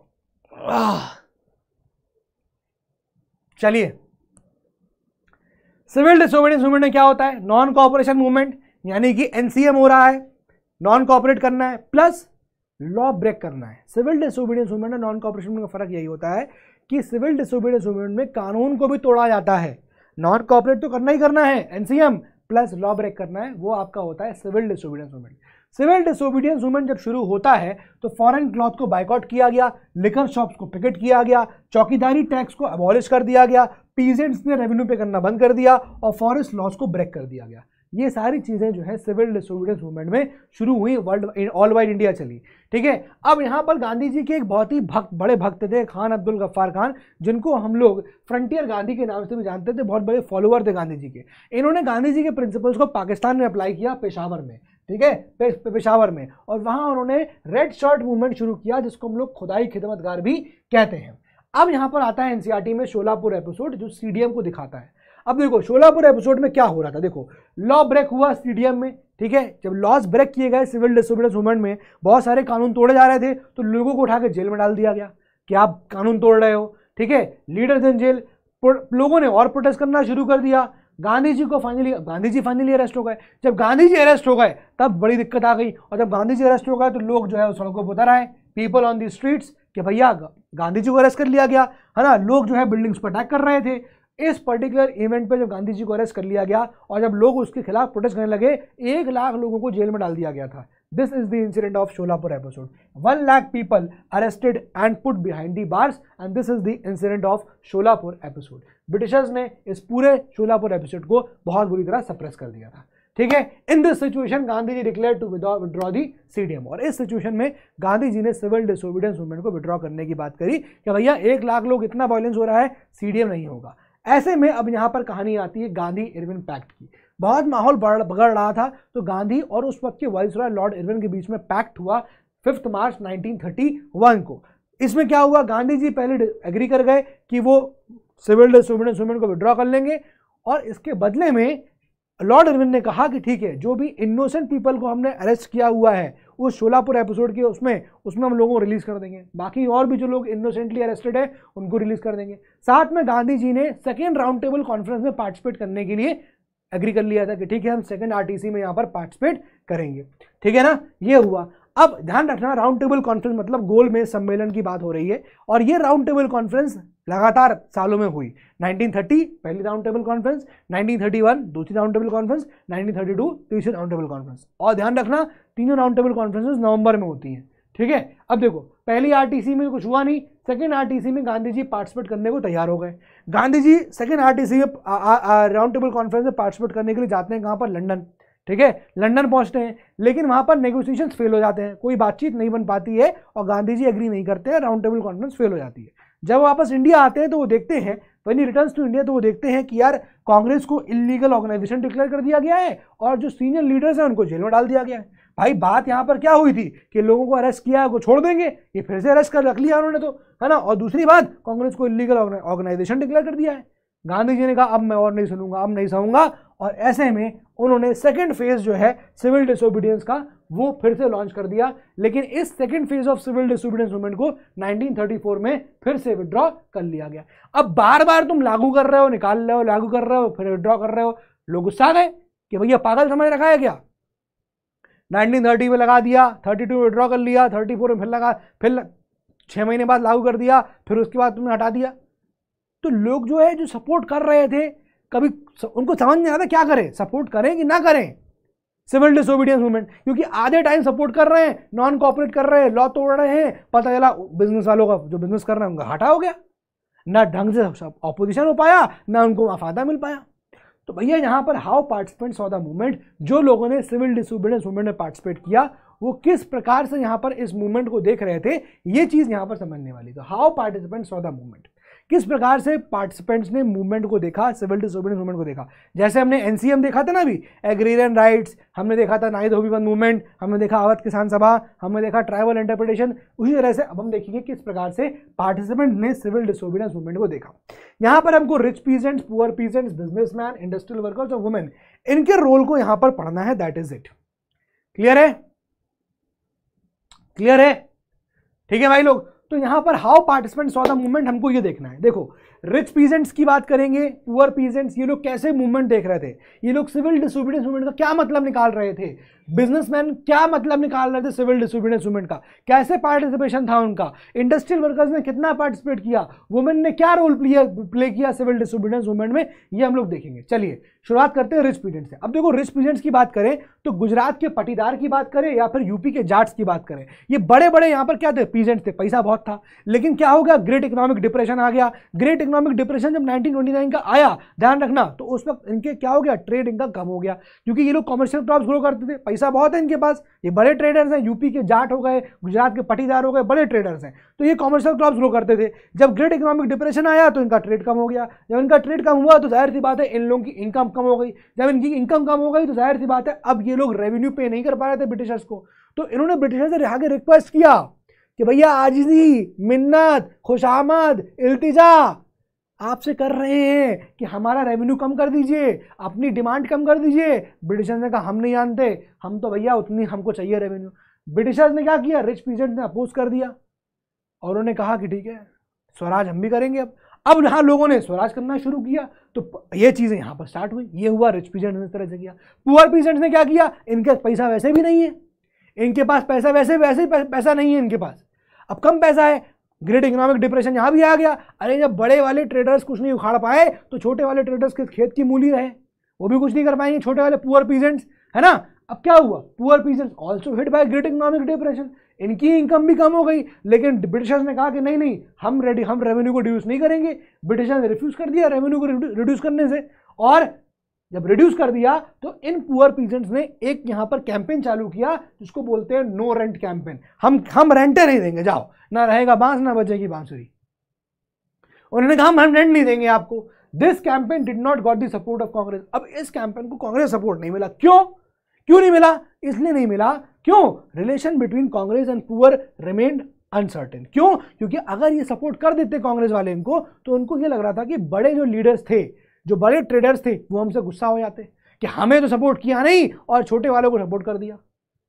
कांग्रेस का जो सब, कांग्रेस को जो सपोर्ट मिल रहा था बड़े ट्रेडर से फंडिंग वंडिंग होती ना पार्टी की, वो होती थी।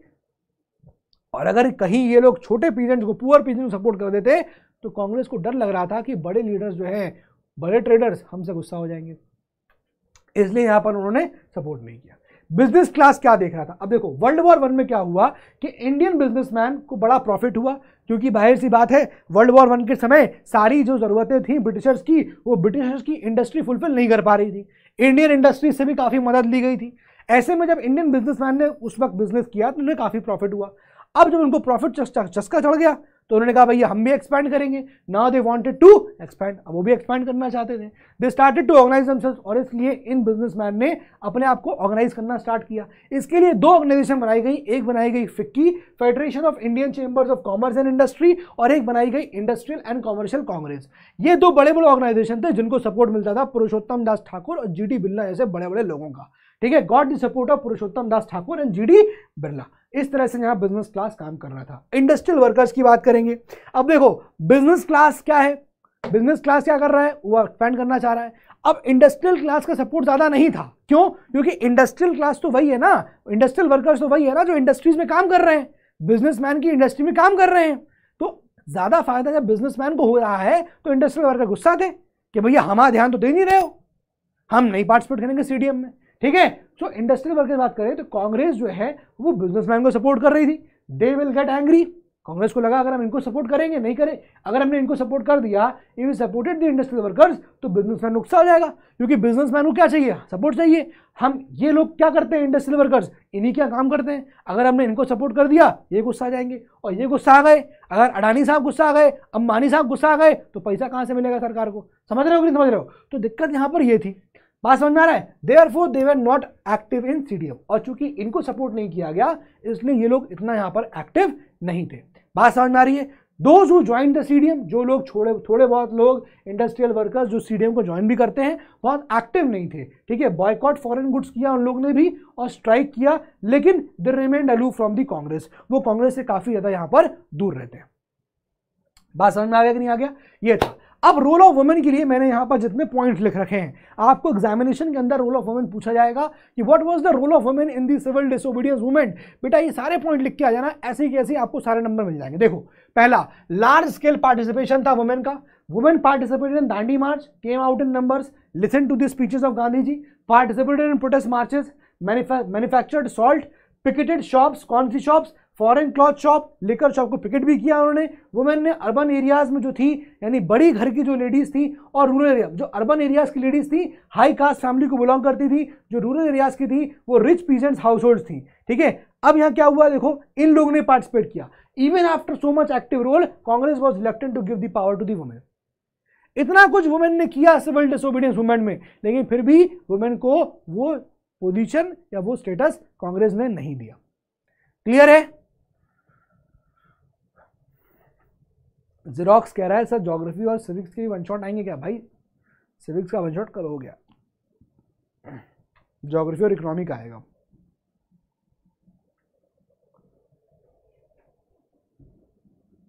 क्लियर है? ठीक है? चलिए नेक्स्ट अब जैसे हमने नॉन कॉपरेशन मूवमेंट के लिमिटेशंस को पढ़ा था वहाँ पर भी लिमिटेशन बताए थे मैंने आपको, वैसे ही सिविल डिसोबीडियंस मूवमेंट के भी लिमिटेशन हैं। चलिए उसको यहाँ पर एक बार डिस्कस कर लेते हैं। अच्छा स्क्रीन शॉट हाँ ले लो स्क्रीनशॉट ले लो। ठीक है? चलिए, आगे आ जाओ। लिमिटेशन ऑफ़ सिविल डिस अब देखो, दो लिमिटेशन है। एक तो क्या लिमिटेशन है? पहली लिमिटेशन थी जो आपके दलित लोग थे अनटचेबिलिटी का इशू और दूसरा लिमिटेशन था मुस्लिम पॉलिटिकल ऑर्गेनाइजेशन जरा दोनों इश्यूज़ को ध्यान सुन लेना क्या क्या लिमिटेशन थी। पहला लिमिटेशन अनटचेबिलिटी का। अनटचेबिलिटी क्या कह रहा था? अनटचेबिलिटी कह रहा था, भाई, तुम लोग हमारी सुनते ही नहीं हो। हमारी कोई देखभाल नहीं, हमारी कोई वेलफेयर नहीं कर रहा है। हम काहे को सपोर्ट करें सीडीएम में? हम सपोर्ट नहीं करेंगे। अनटचेबिलिटी सपोर्ट कर अनटचेबिलिटी जो थे, वो सपोर्ट करने तैयार नहीं। क्योंकि उनका साफ़ साफ़ कहना था, भाई, हमारी कोई देखभाल नहीं कर रहा है।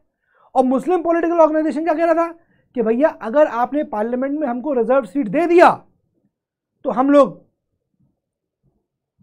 सीडीएम में पार्टिसिपेट कर लेंगे। समझ आई? डिटेल में देखते हैं।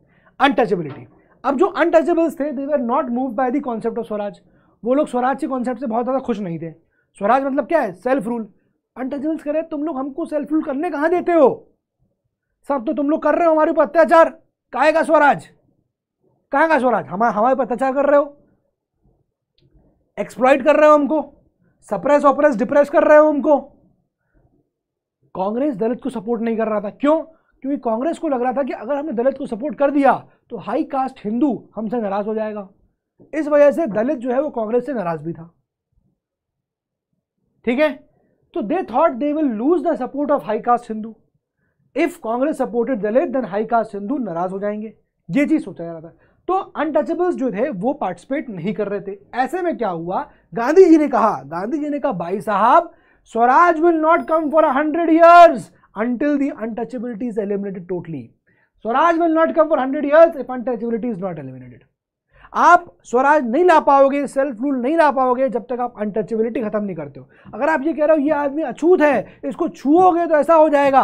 अगर आपकी सोच ही यही है सोसाइटी में ऐसा अभी तक निकल रहा है सोच तो भाई बहुत बेकार। बेकार का स्वराज। सेल्फ रूल का ऐसा हो जाता है कई बार। कभी की गलती हो जाती है। मेरे साथ भी हो गया था एक बार। मेरे मुँह से ऐसा कुछ निकल गया था। It's a slip of tongue लेकिन देखो, लोग वही समझते हैं उसको। सीधे वही ले गए। समझे लोगों ने वही गलत चीज़ें। आप भी समझ लो टीचर पढ़ा रहा है, उसके मुँह से गलत चीज़ें निकल सकती हैं। स्लिप ऑफ़ टंग हो सकता है उसका। Slip of tongue just a slip of tongue एक वर्ड मैंने ऐसा बोल दिया था जिसका बस मात्रा का फ़र्क था। लोग गलत समझ लेते हैं उसको। सोसाइटी में लोग, भाई, मेरे दोस्त, आज के टाइम में मेरे जो बेस्ट दोस्त हैं बेस्ट मेरे जो बेस्ट दोस्त हैं they belong to this caste only but there are best friends तो ये तो बात ही नहीं है कहीं। सोसाइटी में इस प्रकार का डिवीज़न होना चाहिए। ये लोग इस तरह से देखते हैं उनको। बहुत गलत बात है। एनी anyway, तो गांधी जी ने कहा कि swaraj will not come for hundred years if the untouchability is not eliminated clear है? क्या स्टेप्स लिए गांधी जी ने अनटचेबिलिटी खत्म करने के लिए? पहला गांधी जी ने अनटचेबल्स को हरिजन कहा। हरिजन का मतलब चिल्ड्रन ऑफ़ गॉड पहला स्टेप उन्होंने लिया, ताकि लोगों को लगे, अरे गांधी जी इतनी इंपॉर्टेंस दे रहे हैं, इसका मतलब हमें अनटचबिलिटी खत्म करनी है। दूसरा गांधी जी ने सत्याग्रह कराया ऑर्गेनाइज सत्याग्रह। क्या क्या किया? एंट्री इंटू टेम्पल्स टेंपल में एंट्री पहले अलाउड नहीं थी। एंट्री इंटू टेम्पल्स करवाया और access to public park and toilet पहले ये होता था टॉयलेट्स को टॉयलेट टॉयलेट का एक्सेस नहीं था पब्लिक पार्क का एक्सेस नहीं था, वो यहाँ पर दिलवा दिया। बात समझ में आ रही? गांधी जी क्लीन टॉयलेट्स गांधी जी ने खुद टॉयलेट साफ़ किए। ताकि लोगों को ये ना लगे कि यार, ये लोग अछूत इसलिए है क्योंकि टॉयलेट साफ़ करते हैं। गांधी जी ने कहा सेल्फ खुद का काम करो ना। टॉयलेट साफ़ करना कौन सी, क्या है?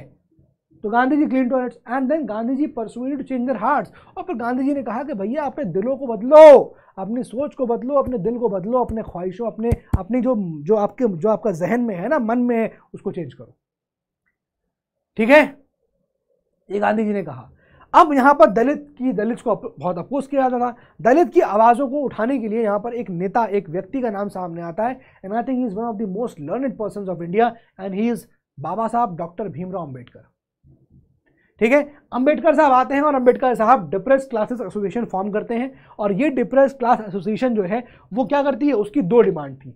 इस डिप्रेस क्लास एसोसिएशन की दो डिमांड थी। पहली डिमांड रिज़र्व सीट्स होनी चाहिए एजुकेशनल इंस्टीट्यूशन में, यानी कि कोई अगर एजुकेशनल इंस्टीट्यूशन है, कोई स्कूल है, उसमें सौ बच्चे पढ़ेंगे तो उसमें से कुछ सीटें रिज़र्व कर दो सिर्फ़ और सिर्फ़ दलित के लिए अनटच दलित क्लास के लिए।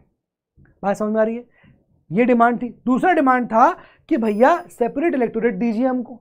सेपरेट इलेक्टोरेट का मतलब ये है कि हमारी कॉन्स्टिट्युएंसी में कौन खड़ा होगा? वो एक दलित व्यक्ति होना चाहिए और उसको वोट कौन देगा? वो भी दलित होने चाहिए। तो वोटर्स भी दलित हो और कैंडिडेट भी दलित हो। ये होता है सेपरेट इलेक्टोरेट हमारा इलेक्टोरेट ही अलग कर दो। जो व्यक्ति चुनाव लड़ेगा, वो भी दलित हो। जो वोट दे, वो भी दलित हो। ये डिमांड थी उनकी। लेकिन ज्वाइंट इलेक्टोरेट क्या होता है? जो व्यक्ति खड़ा होगा चुनाव लड़ने के लिए, वो तो हो सकता है। रिज़र्व सीट्स क्या होंगी? भाई चलो अभी सेपरेट इलेक्ट्रेट समझ लो। सेपरेट इलेक्ट्रेट की बात हो रही थी कि भाई सेपरेट इलेक्ट्रेट मतलब वोटर्स भी दलित हो और कैंडिडेट भी दलित होना चाहिए। ये यहाँ पर डिप्रेस क्लास की बात थी। अंबेडकर साहब की इस डिमांड को ब्रिटिश ने तुरंत कंसीड किया। कह रहा भैया, बहुत बढ़िया। अंग्रेज़ों को तो पसंद था डिवाइड एंड रूल करना। हिंदू, मुस्लिम को लड़वा दिया। फिर वो कह रहा था, भैया कास्ट कास्ट को लड़वा दो। तुरंत अगर, भैया, अंग्रेज़ों ने कहा, भाई साहब, इधर आओ अंबेडकर साहब को जो मांग रहा है, जल्दी दो। बहुत बढ़िया चीज़ मांग रहे हैं तो। कास्ट को डिवाइड कर रहे हैं। ब्रिटिशर्स ने, Britishers consider the demand Gandhi ji ने जब देखा कि ब्रिटिशर्स ने सुन ली है उनकी बातें गांधी जी ने कहा कि, अब गांधी समझ गए। गांधी जी अंडरस्टूड कि भैया, ये तो एक प्लान्ड गेम है ब्रिटिशर्स का। वो तो चाहते ही हैं कि यहाँ पर पूरी तरह से इनको डिवाइड कर दिया जाए। गांधी जी आमरण अनशन में बैठ जाते हैं। Gandhi ji sits on to fast on to death आमरण अनशन में गांधी जी बैठ जाते हैं। यहीं पर आता है bone of contention this was the main bone of contention between Gandhi and Ambedkar Ambedkar Saheb separate electorate चाह रहे थे। He was in favour of separate electorate Gandhi ji separate electorate के अगेंस्ट थे कि नहीं सेपरेट इलेक्टोरेट नहीं होना चाहिए। अगर इलेक्ट्रेट सेपरेट कर दोगे तो देश तो बढ़ जाएगा। आज को दलित अलग मांग रहे हैं, कल को मुसलमान अलग मांगेंगे, फिर हिंदू के अंदर भी अलग कास्ट हो जाएँगे अलग अलग मांगे लग जाएँगी। समझ रहे हो कि नहीं समझ रहे हो? इसी वजह से गांधी जी और अंबेडकर साहब के इस बोन ऑफ़ कंटेंशन को, इस जो उनके बीच का डिस्प्यूट था, उसको सॉल्व करने के लिए पूना पैक्ट साइन होता है 1932 का। पूना पैक्ट के हिसाब से क्या हुआ? पूना पैक्ट के हिसाब से कि भैया रिज़र्व सीट्स दी जाएँगी, लेकिन एजुकेशन इंस्टीट्यूशन में, ठीक है, रिज़र्व सीट्स। लेकिन इलेक्शंस में पार्लियामेंट के अंदर सेपरेट इलेक्टोरेट नहीं होगा रिज़र्व सीट्स होंगी। रिज़र्व सीट का मतलब सीट रिज़र्व हो गई यहाँ से दलित का व्यक्ति चुनाव लड़ेगा, लेकिन उसके वोटर्स भी दलित होंगे, ये नहीं होगा। अगर ऐसा हो जाएगा तो सेपरेट इलेक्टोरेट हो जाएगा। सेपरेट इलेक्टोरेट तो है नहीं। रिज़र्व सीट है। चुनाव खड़ा होगा वहाँ से लड़ने के लिए दलित का व्यक्ति, लेकिन वोट उसको सब लोग दे सकते हैं, ठीक है? तो प्रोविंसेस में जैसे यूपी की फिफ्टी सीट्स हैं, मान लो टेन सीट्स रिज़र्व कर दी दलित के लिए वोटिंग सब करेंगे वोटिंग ऑल करेंगे, लेकिन कैंडिडेट दस दलित ही खड़े होंगे। सेंट्रल असेंबली में 545 सीट्स हैं इस वक्त, पता है आपको? 50 सीट्स मान लो रिज़र्व कर दी गई तो कैंडिडेट दलित का होगा, ठीक बात है, लेकिन वोटिंग सभी लोग कर सकते हैं। ये था रिज़र्व सीट का कॉन्सेप्ट क्लियर है? क्लियर है? अब मुस्लिम पॉलिटिकल ऑर्गेनाइजेशन क्या कह रहा था? वो भी यही कह रहा था, हमको भी सेपरेट इलेक्टोरेट चाहिए। उन्होंने कहा कि अगर हमको आप ये आश्वासन दे दें, अगर हमको आप ये कह दें कि भैया if you are assured reserve seats in the central assembly अगर आप हमको इस सेंट्रल असेंबली में रिज़र्व सीट दे दें कि इतनी सीटें तो मुसलमानों के लिए हो गई तो हम सेपरेट इलेक्टेड की डिमांड खत्म कर देंगे। या तो आप हमारा उस वक्त की पार्लियामेंट की बात हो रही है, अभी की नहीं। उस वक्त की पार्लियामेंट में ये कहा गया मुस्लिम पॉलिटिकल ऑर्गेनाइजेशन जिन्ना के द्वारा कि भैया, या तो आप हमको इतनी पर्टिकुलर सीट रिज़र्व कर दीजिए पार्लियामेंट के अंदर। जैसे मान लो पाँच सौ पैंतालीस आज हैं, पता चला अगर मान ली गई होती तो बोलो सौ सीटें, डेढ़ सौ सीटें मुसलमानों की रिज़र्व हो जाती पॉपुलेशन के हिसाब से। डेढ़ सौ सीटें पर मुसलमान लड़ेगा। हो सकता है जनारी ऐसा बन जाता। ठीक है? तो उन्होंने कहा कि भाई, अगर आप हमको रिज़र्व सीट दे सकते हैं तो हम सेपरेट इलेक्ट्रेट की डिमांड छोड़ देंगे। ठीक है? उन्होंने डिमांड किया। अगर आपने हमें, हमारी पॉपुलेशन के हिसाब से हमको रिज़र्व सीट्स दे दिया, अगर आपने हमको ये एश्योर कर पा रहे हैं इफ़ यू आर एश्योर्ड तो हम रिज़र्व सेपरेट इलेक्ट्रेट की डिमांड को यहाँ पर छोड़ देंगे। ये चीज़ वो बोल रहे थे, ठीक है?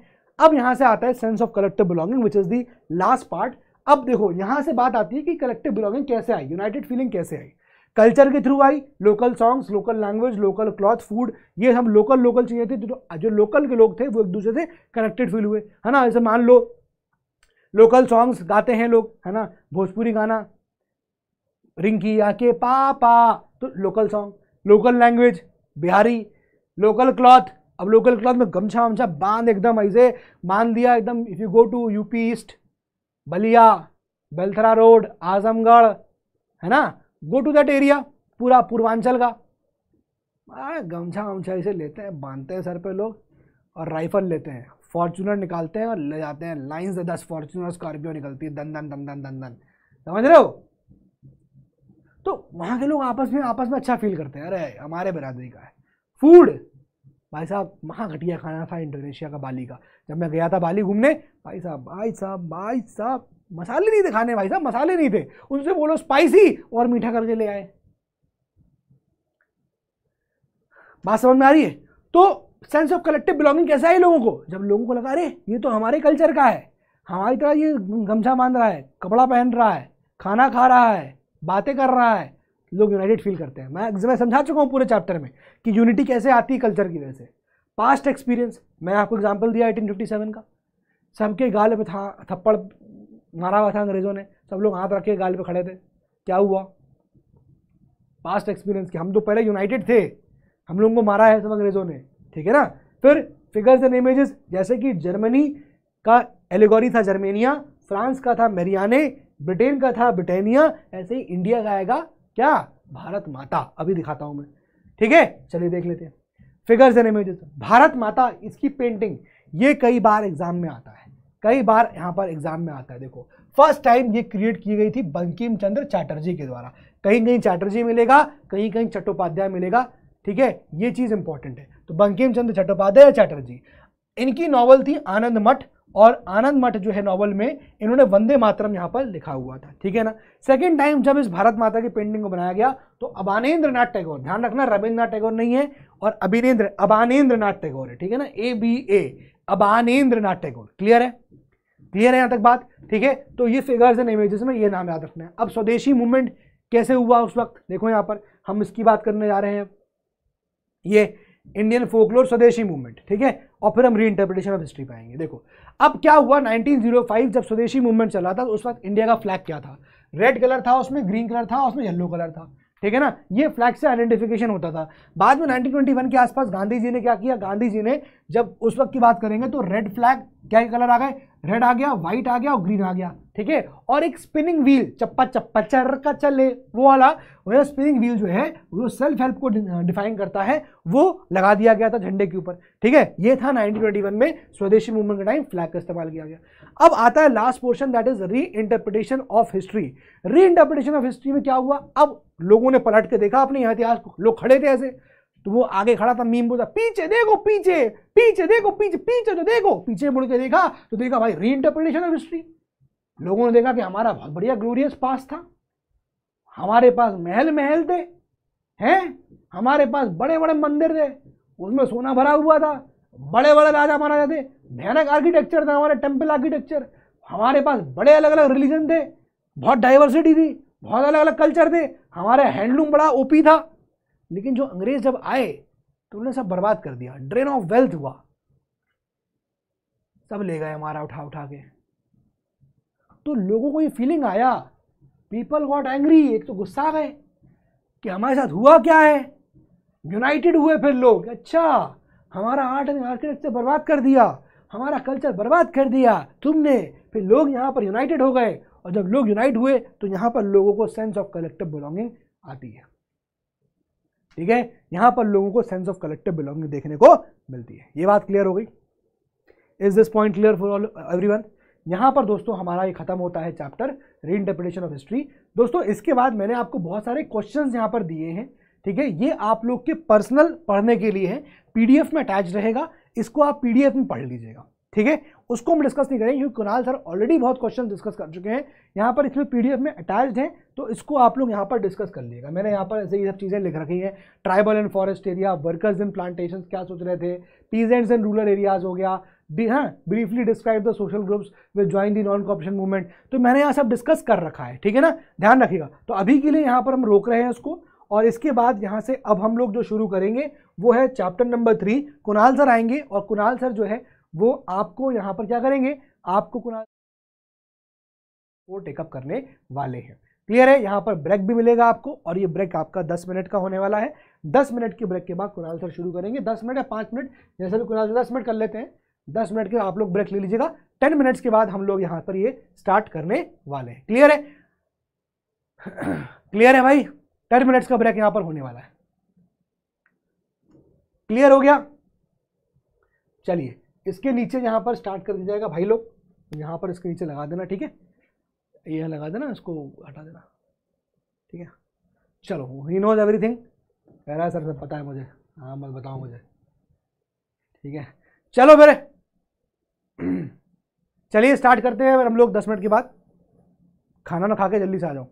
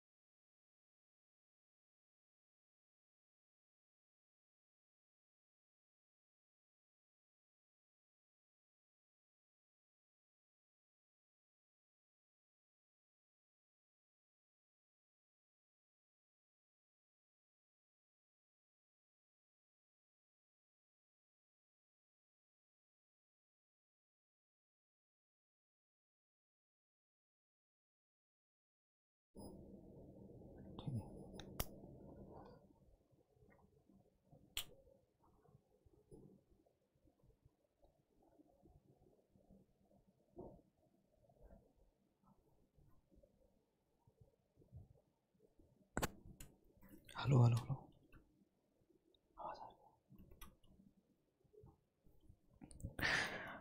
हेलो बच्चों, आ रही आवाज़ मेरी, तुम लोग को कैसे हो तुम सब? बहुत सारे प्यारे प्यारे बच्चे मेरे को दिख रहे हैं। और कुछ तो भैया एंड्रू ट्रेड के फ़ैन भी दिख रहे हैं। तो वंस अगेन वेलकम बैक आपके अमेजिंग सुपर बहुत ज़बरदस्त वाले प्लेटफॉर्म यानी कि पीडब्ल्यू पे। स्वागत है आप सबका, दोबारा से ब्रेक के बाद एंड बच्चा पार्टी देखो, ऐसा है कि भाई, सर थोड़े से हमारे सर को बोला कि सर थोड़ा रेस्ट ले लीजिए। भाई, सर इतने देर से आपको पढ़ा रहे थे, इतना मस्त है ना आपके अपने प्यारे प्यारे आसन सर। आंसर को बोला, सर, थोड़ा सा रेस्ट ले लीजिए, थोड़ा कॉफ़ी ऑफी पी लीजिए, क्योंकि सर आपसे मुलाकात करेंगे लास्ट चैप्टर यानी कि print culture in the modern world में, ठीक है? चलिए तो बच्चे यहाँ से कहानी को मैं कंटिन्यू करूँगा अगले दो चैप्टर्स के लिए, यानी कि the making of global world और आपका द एज ऑफ़ इंडस्ट्रियलाइजेशन ठीक है? तो ये दो चैप्टर्स में हम लोग मिलकर के पढ़ेंगे, मज़े करेंगे, मस्ती करेंगे, धमाल करेंगे, बहुत सारी कहानियाँ सुनेंगे, उसके बाद से वापस बुलाएँगे भाई सर को आपको print culture in the modern world पढ़ाने के लिए, ठीक है? और ट्राई करेंगे बच्चे को सेशन को शॉर्ट रखेंगे, जैसा कि हमने स्टार्टिंग में प्लान किया था। तो मैंने और आसिम सर ने बिल्कुल इस चीज़ को डिसाइड किया था कि भाई बच्चों का आईटी का पेपर है ठीक है और आईटी के पेपर में बहुत ज़रूरी है कि आप लोग के पास सफिशिएंट टाइम होना चाहिए पढ़ने के लिए और सफिशिएंट टाइम होना चाहिए रिवाइज करने के लिए है ना? तो हम ट्राई करेंगे कि जल्दी से जल्दी फटाफट से पहले तो ये दो चैप्टर्स आपके किए जाए और इन दो चैप्टर्स के बाद फटाफट से प्रिंट कल्चर करा करके आपकी क्लास को वाइंड अप किया जाए ताकि आप जाओ और आईटी के पेपर के लिए भी अच्छे से पढ़ सको ठीक है? चलो। सो so, हमारे प्यारे प्यारे बच्चा पार्टी अच्छा एक चीज़ और बड़ी इंपॉर्टेंट भैया कोहली ने तीन साल बाद सेंचुरी मार दी।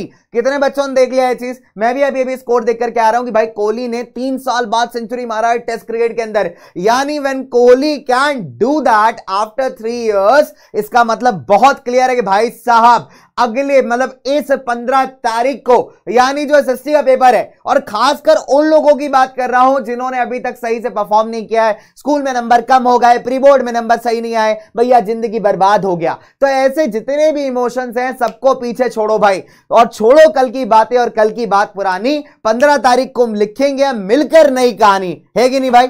चलिए तो अभी आप नेशनलिज्म वाले मोड से बाहर आए हैं थोड़ा सा, है ना? हालाँकि वापस जाएँगे अभी उसमें, लेकिन अब हम बात करेंगे भाई हमारे एक ऐसी दुनिया की, जहाँ पे इतने सारे प्रोडक्ट्स हम यूज़ करते हैं, इतनी सारी चीज़ें हम यूज़ करते हैं, और ये इन सब रीजंस इन सब चीज़ों के पीछे कहीं ना कहीं एक बहुत बड़ी हिस्ट्री है। अगर आज तुम मेरे से पढ़ पा रहे हो YouTube के ऊपर, आज मैं डिजिटल पेन का यूज़ करके तुम्हारे सामने लिख रहा हूँ भाई, है ना? या फिर तुम अपने फेवरेट फेवरेट वाले जो तुम्हारी क्रश है ना, उसके साथ तुम इंस्टाग्राम वाली आईडी मांग पा रहे हो उसकी तो उसके पीछे अगर कोई चीज़ रिस्पॉन्सिबल है तो भैया वो एक ग्लोबलाइजेशन प्रोसेस है। अब ये ग्लोबलाइजेशन क्या है, क्या हुआ था इसमें? वर्ल्ड वॉर टू क्या थी? वर्ल्ड वॉर वन क्या था भाई? इनका क्या इंपैक्ट पड़ा? भारत की बैंड कैसे बजी? ग्रेट डिप्रेशन नाम की बीमारी क्या है? ठीक है, ये सारी की सारी चीज़ें कवर करेंगे हम लोग। कहाँ पे बच्चे? हमारे chapter that is making of global world में। तो आप एक और बच्चे का क्वेरी था कि सर, इन सारी चीज़ों के नोट्स कहाँ मिलेंगे? तो बेटा, इसके नोट्स मिलेंगे आपको फिजिक्स वाला के एप्लीकेशन के ऊपर। वॉरियर बैच है, बिल्कुल फ्री ऑफ़ कॉस्ट है, उसका लिंक दिया हुआ है। डिस्क्रिप्शन के अंदर आप वहाँ जा करके नोट्स डाउनलोड कर सकते हैं जब क्लास आपकी खत्म हो जाएगी। इसके अलावा 200 क्वेश्चंस करवा रखे हैं। हिस्ट्री के अंदर मैंने, मेरे ऑलरेडी मैंने क्लास लिया था। उसके भी नोट्स आपको मिल जाएँगे वॉरियर बैच के अंदर। इसके अलावा अगर मैं बात करूँ बच्चे तो मैंने आपको करवाए थे 200 ज्योग्राफी क्वेश्चन तो उसके भी नोट्स आपको मिल जाएँगे। जोगिंदर सर ने करवाए थे आपको इकोनॉमिक्स पॉलिटी उसके भी नोट्स आपको मिल जाएँगे, ठीक है? तो सारे के सारे नोट्स आपको मिलने वाले हैं पीडब्ल्यू ऐप के ऊपर बिल्कुल फ्री ऑफ़ कॉस्ट लिंक दिया हुआ है डिस्क्रिप्शन के अंदर, आप वहाँ से जाके भी नोट्स को डाउनलोड कर सकते हो, ठीक है? चलिए तो ये तो हो गई भाई नोट्स की बात। जिन बच्चों ने पूछा कि सर नोट्स कहाँ से मिलेंगे, किधर मिलेंगे तो उन सारे बच्चों के लिए हमारा एक मज़ेदार वाला, बढ़िया वाला सेशन ठीक है? चल स्टार्ट करते हैं भाई हमारा मेकिंग ऑफ़ ग्लोबल वर्ल्ड की मस्त वाली कहानी। Sir how can we complete बच्चे, हम सारे चैप्टर्स आपको कंप्लीट करवा रहे हैं। कल शिग्रफ मैम जोगिंदर सर ने ऑलरेडी आपको पॉलिटिकल साइंस करवा दिया है। आज आपके फेवरेट आसन सर और मैं मिलकर के आपको पाँच चैप्टर्स हिस्ट्री करा रहे हैं और फिर हम लोग वापस आएँगे आपको ज्योग्राफी कराने और कल मैम और सर आएँगे आपको करवाने के लिए इकोनॉमिक्स तो आप इन सेशन को भी अच्छे से पढ़ लेते हैं नोट्स को अच्छे से पढ़ लेते हैं बच्चे। जो क्वेश्चन हमने करवाए, उसको अच्छे से कर लेते हैं। तो डेफिनेट सी बात है, आपके सोशल के पेपर में आपको ताबड़तोड़ मचाने से भाई कोई नहीं रोक सकता, ठीक है?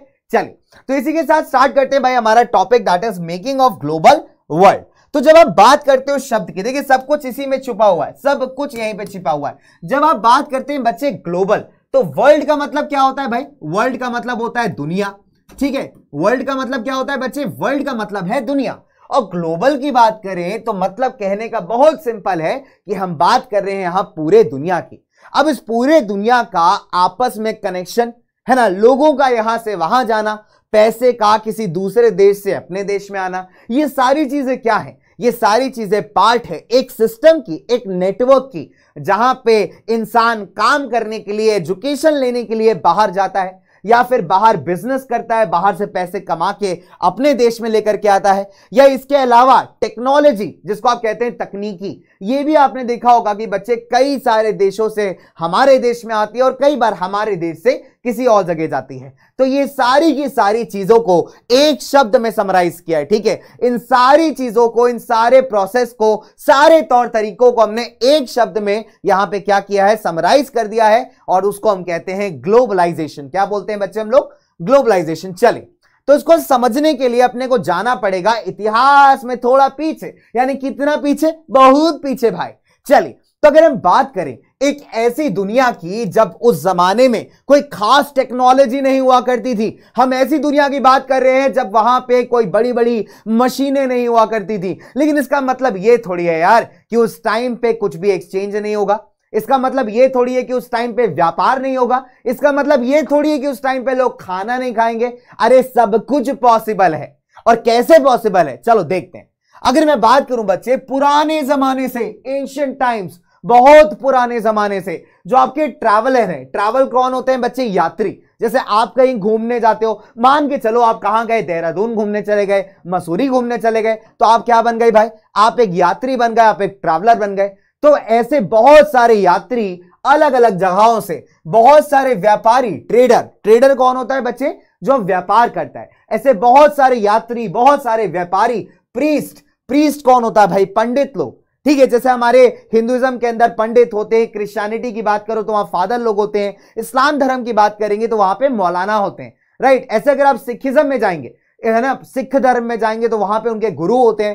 तो ऐसे बहुत सारे जो धर्म गुरु थे, जो प्रीस्ट थे रिलीजन का प्रचार करने वाले लोग थे, वो भी एक देश से दूसरे देश में जाया करते थे, है ना? और इसके अलावा अगर हम बात करें तो हम ये भी देखते हैं जो पिलग्रिम्स है। पिलग्रिम्स कौन होते हैं बच्चे? श्रद्धालु।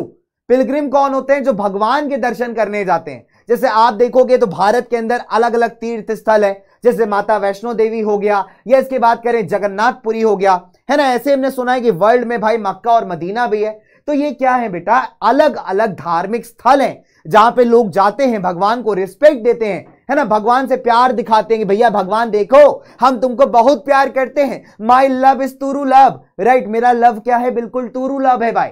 तो भगवान को एकदम श्रद्धा दिखाने के लिए भी हम लोग क्या करते हैं कई बार? ऐसे तीर्थ स्थलों पर जाते हैं। तो हम लोग क्या कहलाते हैं? तीर्थ यात्री और इंग्लिश में कहें तो पिलग्रिम्स ठीक है? तो ये जितने भी टाइप के लोग थे, ये बहुत दूर दराज के इलाकों से आते थे। अलग अलग देशों से भारत में आते थे। अगर आप बात करें इंडियन हिस्ट्री की तो हमने कई बार क्लास सिक्स सेवन एट्थ में पढ़ा है कि चाइनीज़ ट्रेवलर भारत आए। अरे भाई चाइनीज़ ट्रेवलर क्यों आए भारत? ऐसा तो है नहीं कि उन्होंने मंचूरियन का ऑर्डर दिया होगा कि भैया, एक सुनो, एक मैम चार प्लेट मंचूरियन पैक करना, अभी हम चाइना से लेने आ रहे हैं, ठीक है? या सुनो भैया, तुमने चाउमीन में कल मसाला बढ़िया नहीं डाला था, ये मसाला इस बार ठीक करके डालो। तो डेफिनेट सी बात है, इसलिए तो आएँगे नहीं।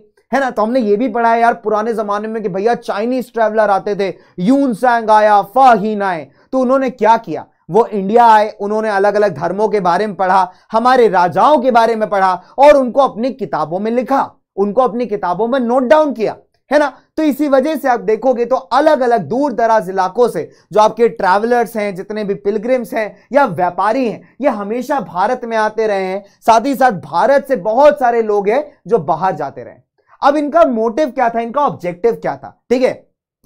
बहुत सारे ऐसे लोग थे बच्चे जो नॉलेज यानी कि ज्ञान लेने आते थे। बहुत सारे ऐसे लोग थे जो काम की तलाश में आते थे। और बहुत सारे ऐसे लोग थे जो धर्म धर्म से रिलेटेड जानकारी पाने के लिए, धर्म को सीखने के लिए, समझने के लिए भाई इंडिया में आया करते थे अलग अलग देशों में जाया करते थे। और कुछ लोग ऐसे भी थे, कुछ लोग ऐसे भी थे जो परसिक्यूशन परसिक्यूशन का मतलब होता है, हिंदी में कहें तो दमन।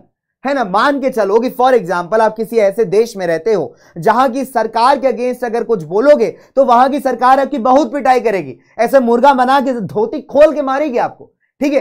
तो मान लो कोई ऐसे देश में रहते हो, जहाँ की सरकार के अगेंस्ट बोलने से सरकार आपकी धोती खोल के बैंड बजा रही है। मतलब बहुत पिटाई कर रही है। ठीक है? तो ऐसे केस में क्या होगा कि आप वहाँ से भागोगे। आप क्या करोगे भैया? वहाँ से निकल के सीधे भागोगे और सौ में लगा धागा, चोर निकल के भागा। ठीक है? तो वहाँ क्या करोगे? वहाँ से निकल के आप भागोगे। तो जब ये लोग अलग अलग देशों में जाते थे, जब ये लोग अलग अलग एरियाज़ में जाते थे तो अपने साथ बहुत सारा नॉलेज लेके जाते थे। क्या लेके जाते थे भाई? बहुत सारा नॉलेज साथ ही साथ पैसे, साथ ही साथ स्किल्स खाने का तौर तरीका, जीने, जीवन जीने का तौर तरीका। कि भाई ऑब्वियस सी बात है, अगर मान के चलो एक जापानी आदमी इंडिया में आ रहा है तो वो जापानीज कल्चर अपने साथ लेके आएगा। वो बताएगा कि हमारे जापान में ऐसा ऐसा खाना बनता है। एक चाइनीज़ आदमी इंडिया में आ रहा है तो क्या करेगा? वो अपनी चाइनीज़ भाषा लेके आएगा। है ना? मंचूरियन है ना? है कि नहीं भाई? तो सिंपल सी बात है, वो क्या करेगा? अपनी चाइनीज़ भाषा, अपना चाइनीज़ खाना ड्रेस पहनने का तौर तरीका, ये सारी चीज़ें लेकर के आएगा उस देश के अंदर जहाँ वो जा रहा है। तो बच्चे सिंपल सी बात है, जब ये लोग जाते थे अलग अलग एरियाज़ में अलग अलग देशों में तो अपने साथ ऐसी बहुत सारी जानकारी लेके जाते थे और साथ ही साथ अपने साथ जर्म्स एंड डिसीजेस बीमारियाँ भी लेके जाते थे। चाइना का वुहान वायरस तो याद ही होगा आपको, है ना? वुहान वायरस कह लीजिए कोविड वायरस कह लीजिए। अब चाइना वाले, जब भैया बाहर गए, चाइना वाले ने कहा, चीनी, मिनी, चीन, चाओ हमको बैठ का मतलब चमगादड़ का सूप पिलाओ? ठीक है, मैं एक एक एग्जांपल दे रहा हूँ ठीक है? बहुत सिंपल तो वे चाइना वालों ने क्या किया? चमगादड़ अमगादड़ खतरनाक चीज़ें खा रहे हैं। हम लोग इधर पी रहे हैं हॉट एंड सॉर सूप ये पी रहे हैं चमगादड़ का सूप इनका ज़िंदगी अलग ही चल रहा है भाई, ठीक है? तो इन्होंने कहा, चीनी मिनी, चीन चाओ, ये हमको चमगादड़ का सूप पिलाओ। अब चमगादड़ का जो सूप पिया इन्होंने, बच्चे, उसके चक्कर में पूरी दुनिया की जो बैंड बजी है ना भाई, वो एक नंबर है। है ना? उसके बाद इन्होंने मस्त वायरस फैलाया अपने साथ, जहाँ जहाँ गए। उन्होंने कहा, कोई टेंशन नहीं है। ये वायरस हमको काटेगा, तुमको नहीं काटेगा, ठीक है? अब हमको क्या पता था ये चीनी लोग बेवकूफ़ बना रहे है? ना? हमको क्या पता था, भैया, चीनी लोग जो है चीनी चीनी करके मीठी मीठी बातें बोल के जो है, हमको बेवकूफ़ बना रहे अब इन्होंने क्या किया? अपने साथ वायरस फैलाने लगे। अब अगर आप कोविड में देखोगे तो कोविड में लॉकडाउन क्यों लगाया गया? ताकि लोग इधर से उधर ना भागे। लोग भागेंगे तो वायरस उनके साथ जाएगा। लोग किसी को मिलेंगे तो वायरस उसके चिपक जाएगा। आई मीन ट्रांसफ़र हो जाएगा। ऑब्वियसली बात है, लड़की थोड़ी है भाई। है ना? मतलब तुम्हारी मतलब तुम्हारी वाली की बात कर रहा हूँ भाई मैं। ठीक है? तो नॉर्मल सी बात है यार, अगर हम बात करें तो भाई इसी वजह से अपने साथ साथ ये नॉलेज तो लेके आए, लेकिन अपने साथ साथ बीमारियाँ भी लेके आए। है ना? अपने साथ साथ बच्चों, बीमारियाँ भी लेके आए। चलिए, आगे बात करते हैं। अब अगर साल तीन हज़ार की बात करेंगे, तीन हज़ार बीसी यानी बहुत पुराना टाइम बिफोर कॉमन एरा तो 3000 बीसी में जो इंदस वैली था इंदस वैली समझते हो बच्चे? जो हमारी सिंधु सभ्यता है, ठीक है? जो जनरली भारत के नॉर्थ और नॉर्थ वेस्ट इलाकों में थी। ठीक है, अगर हम बात करें जो इंडस वैली बच्चे, सिंधु सभ्यता भारत के नॉर्थ और नॉर्थ वेस्ट इलाकों में थी। अगर हम उसकी बात करें तो वो लोग व्यापार किया करते थे वेस्ट एशिया के साथ। कैसे व्यापार करते थे बच्चों? वेस्ट एशिया के साथ कोस्टल ट्रेड यानी समुद्र के रास्ते, है ना? फिर अगर हम बात करें बच्चों तो ये चलिए, ये पॉइंट तो हमने पढ़ लिया, आगे बढ़ते हैं। अगर हम देखेंगे कौड़ी कौड़ी क्या होती है? सीशल होता है, सीशल। सी का मतलब होता है समुद्र। समुद्र में से व्हाइट कलर के ना ऐसे शेल मिलते हैं। ठीक है, जैसे पत्थर पत्थर से लगते हैं बट पत्थर नहीं होते। तो उनको क्या था बच्चे? एज करेंसी यूज़ किया जाता था। कहाँ करेंसी यूज़ किया जाता था? मतलब मॉलदीव्स वगैरह के अंदर। करेंसी मतलब जैसे आज आप नोट लेते हो, अभी मेरे पास है नहीं मतलब मैं तुमको दिखा था। तो अगर हम नोट की बात करें नोट है ना? जो करारे करारे नोट होते ना, है कड़क है, डेढ़ सौ रुपया देगा। ठीक है तो जो करारे करारे कड़क कड़क नोट होते हैं ना भाई तो जो ये क्या होता है करेंसी होती है, इसको हम देते हैं तो सामान मिलता है हमको। तो ऐसे ये लोग कहते हैं कि डेढ़ सौ कौड़ी देगा, है ना? डेढ़ सौ कौड़ी देगा। ए, कड़क है एकदम। तो ये लोग क्या करते थे? कौड़ी के थ्रू डील करते थे। कौड़ी से ये लोग एज अ करेंसी यूज़ करते थे। तो ये जो कौड़ियाँ थी आपकी, ये कहाँ से मूव कर रही थी? ये मालदीव से मूव करके कहाँ गई आपकी? चाइना और ईस्ट अफ्रीका। तो ये क्या है बच्चे? एक तरीके का ग्लोबल ट्रेड यानी एक देश से सामान जा रहा है दूसरे देश। क्या जा रहा है बच्चे? एक देश से सामान जा रहा है भाई, हमारे दूसरे देश। राइट चले तो भाई ये तो हो गया अपना कौड़ी वाला सिस्टम अब अगर मैं आगे बात करूँ तो कहानी आती है सिल्क रूट्स की। अब देखो सिल्क रूट से जुड़ा हुआ क्वेश्चन पूछने के चांसेस आपसे बहुत ज़्यादा है। ठीक है? आपसे क्वेश्चन दे देगा कि silk routes link the world explain the statement आपसे दो नंबर तीन नंबर में दे दिया। या ऐसा दे दिया क्वेश्चन फॉर एग्ज़ाम्पल ऐसे इन्वर्टेड कॉमा लगाया सीबीएसई e की आदत है माहौल बनाना। सीबीएसई e क्या करती है कि किसी भी स्टेटमेंट को उठा के इन्वर्टेड कॉमा लगा के माहौल बना देती कहती बच्चे अभी डर जाएँगे। तुम भी बोल के आना सीबीएसई e को, ये इन्वर्टेड कॉमा वाला क्वेश्चन देख करके तुम क्या समझे? फ्लावर है में? अरे फ्लावर नहीं भाई फायर में। है कि नहीं भाई? ऐसा बोल के आना एकदम सीबीएसई वालों को, एकदम पक्का। कैसे? पेपर में सॉल्व करके भाई। चलिए अगर हम बात करें सिल्क रूट्स की तो आपसे क्वेश्चन कहेगा कि silk routes are a good example of vibrant pre modern trade ठीक है vibrant pre modern trade vibrant का मतलब होता है कोई चीज़ जब बहुत अच्छी क्वांटिटी में की जाए, बहुत अच्छे स्तर पे, बहुत अच्छे लेवल पे की जाए, वो कहलाता है आपका वाइब्रेंट ठीक है, अगर हम बात करें सिल्क रूट, पहले क्वेश्चन ये है कि भैया सिल्क रूट क्या है? देखिए, रूट क्या है? रूट का मतलब होता है रास्ता. ठीक है, रूट का मतलब होता है रास्ता. हास्ता, लविस्ता, पास्ता, रूट का मतलब है रास्ता. ठीक है? तो अगर आप रूट्स की बात करेंगे, और यहाँ पे क्या लिखा है? सिल्क तो सिल्क क्या होता है? हिंदी में हम कहते हैं इसको रेशम, ठीक है? रेशम का रूमाल। तो अगर हम बात करें भैया रेशम की, और हम बात करें रास्ता की तो अगर हिंदी में बोलोगे इसका ट्रांसलेशन करोगे डबिंग करोगे तो हिंदी में बहुत फनी डबिंग हो जाएगी, यानी रेशमी रास्ता। हालाँकि ऐसा रेशमी रास्ता जैसा कोई इसका नाम नहीं है। इसका नाम है सिल्क रूट उसका एक रीजन है। अगर आप देखोगे तो सिल्क रूट इस वजह से पड़ा क्योंकि इसमें जो सबसे ज़्यादा किसी सामान का व्यापार किया जाता था, वो थी आपकी सिल्क, यानी कि रेशम, ठीक है? तो क्योंकि बच्चे यहाँ पे सिल्क सबसे ज़्यादा ट्रेडेड कमोडिटी थी, इस वजह से इस एरिया को कहलाते हैं हम लोग सिल्क रूट। अब सिल्क रूट जो है ना बच्चे बड़ा ही इंपॉर्टेंट है। हमारे जो इतिहासकार हैं हिस्टोरियन जिनको गड़े मुर्दे उखाड़ने की आदत है, तुम्हारे एक्स की बात नहीं कर रहा हूँ मैं फ़िलहाल यहाँ पे। ठीक है, तुम ये मत कह देना, सर, वो भी जो है हिस्टोरियन थी। ठीक है तो मैं तुम्हारे एक्स की बात नहीं कर रहा हूँ यहाँ पे गड़े मुर्दे उखाड़ना, ठीक है? तो भैया, जो हमारे हिस्टोरियन होते हैं, पुरानी चीज़ों के बारे में पता लगाते हैं तो भाई, उन्होंने बहुत सारे ऐसे सिल्क रूट्स पता लगाए हैं लैंड और सी के ऊपर, यानी ज़मीन के ऊपर भी और साथ ही साथ हमारे सी के ऊपर भी। ज़्यादातर जो आपके लैंड सिल्क रूट्स हैं बच्चे, वो ज़मीन पे है। अगर हम बात करें किसको कनेक्ट करते हैं, किसको जोड़ते हैं तो बच्चे, जो आपके सिल्क रूट्स हैं, ये कनेक्ट करते हैं एशिया के बहुत सारे इलाकों को राइट तो ये कनेक्ट करते हैं आपके एशिया के बहुत सारे इलाकों को और साथ ही साथ ये एशिया को जोड़ते हैं यूरोप और नॉर्दर्न अफ्रीका के साथ। तो दो चीज़ें आपको याद रखनी नंबर वन कि जो आपके सिल्क रूट्स हैं, किसको जोड़ते हैं? एशिया के अंदर बहुत सारे इलाकों को, और दूसरा आपको याद रखना है कि एशिया को कनेक्ट करते हैं यूरोप के साथ और साथ ही साथ आपके नॉर्दर्न अफ्रीका के साथ। चलिए, अब इसी से जुड़ा एक और सवाल आता है, ठीक है? अब इसी से जुड़ा एक और सवाल आता है, इसको हम लोग नेक्स्ट स्लाइड में देखेंगे। चलिए, अब क्वेश्चन ये उठता है यार कि भारत से या एशिया से यूरोप में क्या बेचा जाता था और यूरोप से हम लोग क्या खरीदते थे इन सिल्क रूट्स के थ्रू ठीक है, अगर हम बात करें बच्चे तो भारत से साउथ ईस्ट एशिया से और चाइना से बहुत सारे ऐसा सामान था जो हम लोग यूरोप भेजते थे। किसके थ्रू इन्हीं सिल्क रूट्स के द्वारा। ठीक है सिल्क रूट क्या है? वो रास्ते हैं जिनके थ्रू व्यापार किया जा रहा है। अब क्योंकि यहाँ पे सिल्क एक ऐसी कमोडिटी है जो सबसे ज़्यादा व्यापार होता है जिसका, इस वजह से इसका नाम पड़ गया सिल्क रूट लेकिन सिल्क के अलावा भी बहुत सारे ऐसे प्रोडक्ट्स थे जो हम लोग यहाँ से बाहर के देशों में बेचा करते थे। तो खासकर अगर बात करोगे बच्चे, जो आपका भारत है साउथ ईस्ट एशिया है चाइना है, यहाँ से यूरोप तक बहुत सारा सामान जाता था। क्या क्या जाता था? चाइनीज़ पॉटरी पॉटरी समझते हो क्या होती भाई? वो नहीं, उसकी बात नहीं कर रहा हूँ जो तुम सुबह सुबह चले जाते हो, ठीक है? यहाँ चाइनीज़ पॉटरी की बात की जा रही है। इसका मतलब होता है किसी प्रकार का, आप समझ लो, जो घड़े हो गए या फ्लावर पॉट हो गया, उसमें सुंदर सुंदर पेंटिंग बनाना सुंदर सुंदर कलर करना, आपके घर में भी फ्लावर पॉट लगा होगा, है ना? जिसमें आप फूल रखते हो, अपने रूम को सुंदर बनाते हो ताकि गेस्ट आए और आपकी तारीफ़ करे। वाह शर्मा जी, वाह, क्या ड्राइंग रूम है, मज़ा ही आ गया। है कि नहीं भाई? तो एक पॉइंट है। तो बच्चे, जो चाइनीज़ पॉटरी है ना, वो फ़ेमस थी अपनी डिज़ाइन के लिए, अपनी पेंटिंग्स के लिए, अपने ड्रॉइंग्स के लिए। पॉटरी समझ लो कुछ इस तरीके का, ऐसे पॉट्स बना दिए, ठीक है? तो ऐसे पॉट्स बना दिए और इस पॉट्स में जो है मैंने सुंदर सुंदर डिज़ाइन बना दी। तो हालाँकि सुंदर डिज़ाइन नहीं है।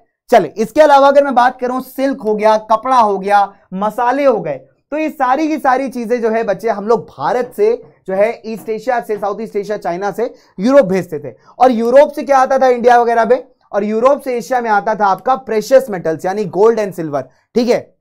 यूरोप से भारत के अंदर क्या आता था बच्चे?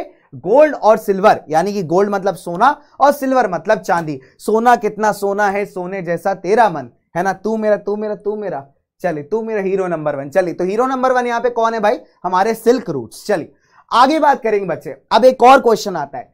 क्वेश्चन कहता है कि silk routes were important for trade and cultural exchange हो सकता है आपको एक क्वेश्चन दो या तीन नंबर में यहाँ से दे दे कि भैया दो या तीन नंबर में क्वेश्चन बताओ कि silk routes serve as important routes of trade and cultural exchange यानी व्यापार के साथ साथ संस्कृति, यानी कल्चरल एक्सचेंजेस भी यहाँ पे होते थे। ऐसा क्यों कहा गया है? तो इसमें आप एग्ज़ाम्पल देंगे बुद्धिज्म और क्रिश्चियनिटी का। किसका एग्ज़ाम्पल दोगे बेटा? बुद्धिज्म और क्रिश्चियनिटी यानी बौद्ध धर्म और क्रिश्चियन धर्म का। खासकर अगर आप देखोगे, जो क्रिश्चियन मिशनरीज थे मिशनरीज कौन होते हैं? जो किसी धर्म का प्रचार करने आते हैं। ठीक है? मिशनरीज क्या होते हैं बच्चे? जो किसी धर्म का प्रचार करने आते हैं मतलब उसको बताने आते हैं। जैसे फॉर एग्ज़ाम्पल मान के चलो मैं किसी को बताने गया कि भैया आपको पता है, सनातन धर्म में ये होता है, वो होता है। या कोई ऐसा पर्सन है जो बता रहा है कि अच्छा क्रिश्चियन धर्म में ये होता है, या कोई सिखिज्म के बारे में बता रहा है तो मिशनरीज का काम होता है अपने धर्म के बारे में लोगों को समझाना, लोगों को बताना। जैसे क्रिश्चियन धर्म के बताने वाले होते हैं क्रिश्चियन मिशनरीज तो बच्चे, वो भी भारत के अंदर या एशिया के अंदर इन्हीं सिल्क रूट्स के थ्रू आए हैं, ठीक है? इसके अलावा अगर बात करोगे, बहुत सारे ऐसे मुस्लिम प्रीचर्स थे। मुस्लिम प्रीचर्स कौन हुए बच्चे जो इस्लाम धर्म के बारे में आपको समझाते हैं, सिखाते हैं, वो भी इन्हीं रूट्स के द्वारा जो है भाई एशिया के अलग अलग हिस्सों में गए। फिर अगर हम बात करें बच्चे बुद्धिज्म बुद्धिज्म की अगर हम बात करें तो बुद्धिज्म एराइज करता है ईस्टर्न इंडिया से, जनरली बिहार वाले रीजन से, और उसके बाद पूरे दुनिया में जो बुद्धिज्म फैला है, खासकर एशियन कंट्रीज़ के अंदर, वो इन्हीं सिल्क रूट्स के थ्रू फैला है राइट यानी बहुत सारे ऐसे देश हैं जो इन सिल्क रूट्स पे पढ़ते हैं। तो जो हमारे बुद्धिस्ट प्रीचर थे, यानी बौद्ध गुरु थे, वो बहुत सारे ऐसे बौद्ध गुरु हैं जो अलग अलग देशों में जा करके जिन्होंने बुद्धिज्म के बारे में बताया है डिस्क्राइब किया है, चर्चा की है तो उन्होंने भी बच्चे कहीं ना कहीं सिल्क रूट्स का ही सहारा लिया है राइट तो इस वजह से जो सिल्क रूट्स का इंपॉर्टेंट है, वो अपने आप में बच्चे बड़ा इंपॉर्टेंट हो जाता है। चले। अगला पैटर्न आता है, बच्चे, अगला क्वेश्चन आता है कि आपका food travels many examples of long distance cultural exchange ये क्वेश्चन आपके प्रैक्टिस पेपर में आया था, ठीक है? ये क्वेश्चन आपका दो नंबर में प्रैक्टिस पेपर में आया है सीबीएसई ने। जो प्रैक्टिस पेपर रिलीज़ किया था, हमने डिस्कस भी किया हुआ है उसको। तो बेटा, उसमें ये क्वेश्चन आया था कि food offers many example of long distance cultural exchange देखिए, बड़ा सिंपल सा, बड़ा आसान सा, बड़ा विन विन वाला क्वेश्चन है। अगर हम बात करें खाने की तो आज आप कितने तरीके के खाने खाते हो, है कि नहीं? आप जाते हो रेस्टोरेंट के अंदर, भैया ऑर्डर लेने आते हैं हाँ सर हाँ सर क्या चाहिए आपको? वड़ा पाव वड़ा पाव वड़ा पाव, इडली पाव इडली पाव इडली पाव, वड़ा पाव, मसाला डोसा, है ना प्लेन डोसा पेपर डोसा, इडली पाव वेज चाउमीन, और ऐसे ऐसे करके, है ना कड़ी चावल, छोले चावल, राजमा चावल, पनीर चावल दिस चावल, दाल चावल, ये चावल, वो चावल। आप कहते हो, भैया, एक काम करो, दो प्लेट छोले चावल। ठीक? तो ऐसा होता है ना कि भाई, अब अगर हम बात करेंगे फ़ूड की यार, अगर हम बात करेंगे भोजन की, खाने की तो खाने का ऐसा बहुत सारा सामान है, जिसके बारे में हम जानते ही नहीं थे। जैसे वो जो तुम बाहर खाते हो ना, नाले के बाहर जो भैया मोमोज की चटनी लगा के देते हैं तुमको तो उसके बाद खा के बाद बोलते हो वाह, क्या स्वाद है भैया, मज़ा आ गया। अब तुम क्या जानो, तुम मासूम इंसान की वो स्वाद भैया की चटनी में जो है, उसके पीछे का राज भैया के पीछे ही खड़ा है, यानी वो बहता हुआ नाला। कई बार उस नाले के पानी का जो एकदम टेस्टी टेस्टी तुम्हें स्वाद आता ना, कहता है, भैया, चटनी बहुत तीखी बनाई है। बहुत टेस्टी चटनी, भाई, बहुत मज़ा आ रहा है। है ना? या फिर या फिर आपके आसपास खड़े होने वाले कोई चाइनीज़ स्टॉल्स इंडो चाइनीज़ जहाँ जाके बोलते हो कि, भैया, एक प्लेट चिली पटेटो बना देना। भैया चिली गार्लिक नूडल लगा देना। दो प्लेट बहुत मज़े से खाएँगे आज हम। है ना? कई बार आप लोग स्कूल के बाहर खाते होगे। तो अगर हम बात करें इन खानों की, इन खानों के बारे में हम नहीं जानते थे, ठीक है? हमें पता भी नहीं था कि, भैया, इस तरीके का कोई खाना एग्जिस्ट भी करता है। तो ये जो अलग अलग टाइप के खाने हैं बच्चे, कहाँ से आए जब अलग अलग देशों के लोग आए इंडिया में इंडिया से बहुत लोग बाहर गए, तभी तो आपको जो है बच्चे खाना अवेलेबल हुआ। आज अगर आप कहीं भी फॉरेन कंट्री घूमने जाइए तो आपको बहुत सारे इंडियन रेस्टोरेंट्स मिलेंगे राइट अगर आप कहीं भी चले जाइए इवन अफ्रीका के बहुत सारे देश हैं जहाँ इंडियन रेस्टोरेंट्स हैं तो भाई इंडियन फ़ूड इन्हीं लोगों के द्वारा तो वहाँ पहुँच रहा है। वहाँ के बहुत सारे रेस्टोरेंट्स हमारे यहाँ हैं। भारत के बड़े शहरों में आइए, आपको इटालियन स्पेनिश हर तरीके का खाना मिलेगा। कैसे मिलेगा? क्योंकि वहाँ से लोगों ने आके यहाँ पे अपना बिज़नेस सेटअप किया है। ऐसे अगर हम बात करें, जो ट्रेडर्स एंड ट्रैवलर्स थे, वो जहाँ जहाँ जाते थे, कुछ नए प्रकार के क्रॉप्स वगैरह वहाँ पे उगा दिया करते थे। जैसे नूडल्स की बात करें तो जो नूडल्स है, वो एक्चुअली कहाँ के भैया, वो चाइना के लेकिन जब नूडल्स चाइना से निकल करके इटली गए इटली में एक जगह थी बच्चे, ठीक है? तो जब नूडल्स चाइना से निकल करके यूरोप गए या फिर इटली गए तो बच्चे क्या बन गए वो? वो बन गए स्पेगेटी आज कभी आप इटालियन रेस्टोरेंट में जाएँगे, उनसे बोलेंगे, मेरे को स्पेगेटी पास्ता ले आओ. तो पता है वो लोग क्या करते हैं? भैया, वो लोग नूडल्स में ऐसा क्रीम और चीज़ लपेट के एकदम ताबड़ तोड़ और चिली फ्लेक्स डाल करके दे देते हैं। Sir you go your Italian pasta right sir your spaghetti bolognese ऐसे करके एकदम मस्त सर्व करते हैं। अब दो मिनट तो तुम समझ नहीं पाते हो कि भैया ये क्या मज़ाक है? है ना, ये क्या दे दिया हमको समझ ही नहीं आ रहा इसको खाना कैसे? ठीक है? क्योंकि तुमने तो नूडल्स अभी तक चिली गार्लिक वाले खाए। पहली बार तुम देख रहे हो कि क्रीम और चीज़ के अंदर नूडल्स बन रहे हैं और उसको ये कह रहे हैं स्पेगेटी तो भाई, जब नूडल्स चाइना से पहुँचे कहाँ पे? यूरोप में तो क्या नाम पड़ गया इनका? इनका नाम पड़ गया स्पेगेटी क्या नाम पड़ गया भाई? स्पेगेटी चलिए, इसके अलावा अगर हम बात करें पास्ता हास्ता लविस्ता पास्ता तो अगर हम पास्ता की बात करें तो पास्ता जो है अरेबियन ट्रेडर्स ने इंट्रोड्यूस किया था सिसली के अंदर। तो भैया, मेरा नाम है सिसली, मैं आज तक नहीं फिसली। चलिए तो अगर हम सिसली की बात करें तो सिसली एक छोटा सा आइलैंड है, ठीक है? सिसली जो है बच्चे, एक छोटा सा आइलैंड है इटली के अंदर। आज हम पास्ता और पिज्जा को इटली के नाम से जानते हैं, लेकिन अगर हम बात करेंगे पास्ता की तो बच्चे, पास्ता को इंट्रोड्यूस करने वाले कौन थे हमारे? अरेबियन ट्रेडर्स थे। तो इस तरीके से आप देख सकते हो बच्चे की जो हमारा फ़ूड है, वो कहीं ना कहीं बच्चे एक जगह से दूसरी जगह क्या हो रहा है? ट्रैवल कर रहा है, और ट्रैवल करने के साथ साथ ये भी पॉसिबल है कि हम लोग जो है दूसरे लोगों के खाने के बारे में जान रहे हैं और अपने खाने के बारे में उनको बता रहे हैं। अब ऐसे बहुत सारे ऐसे सब्ज़ियाँ हैं जिनके बारे में हमें, हमारे दादा वादा को कुछ पता ही नहीं था। मतलब दादाजी के भी दादाजी को नहीं पता था, ठीक है? हमारे एंसिस्टर्स हमारे पूर्वज को पता ही नहीं था कि आलू क्या चीज़ होती है है ना? मेज भुट्टा क्या होता है? सोया क्या होती है? ग्राउंडनट्स क्या होती है? मूंगफली वगैरह क्या होता है बच्चे? है ना? चीली चीली जो मिर्ची लगती है ना कई बार, मिर्ची मिर्ची कहाँ लगती है भाई?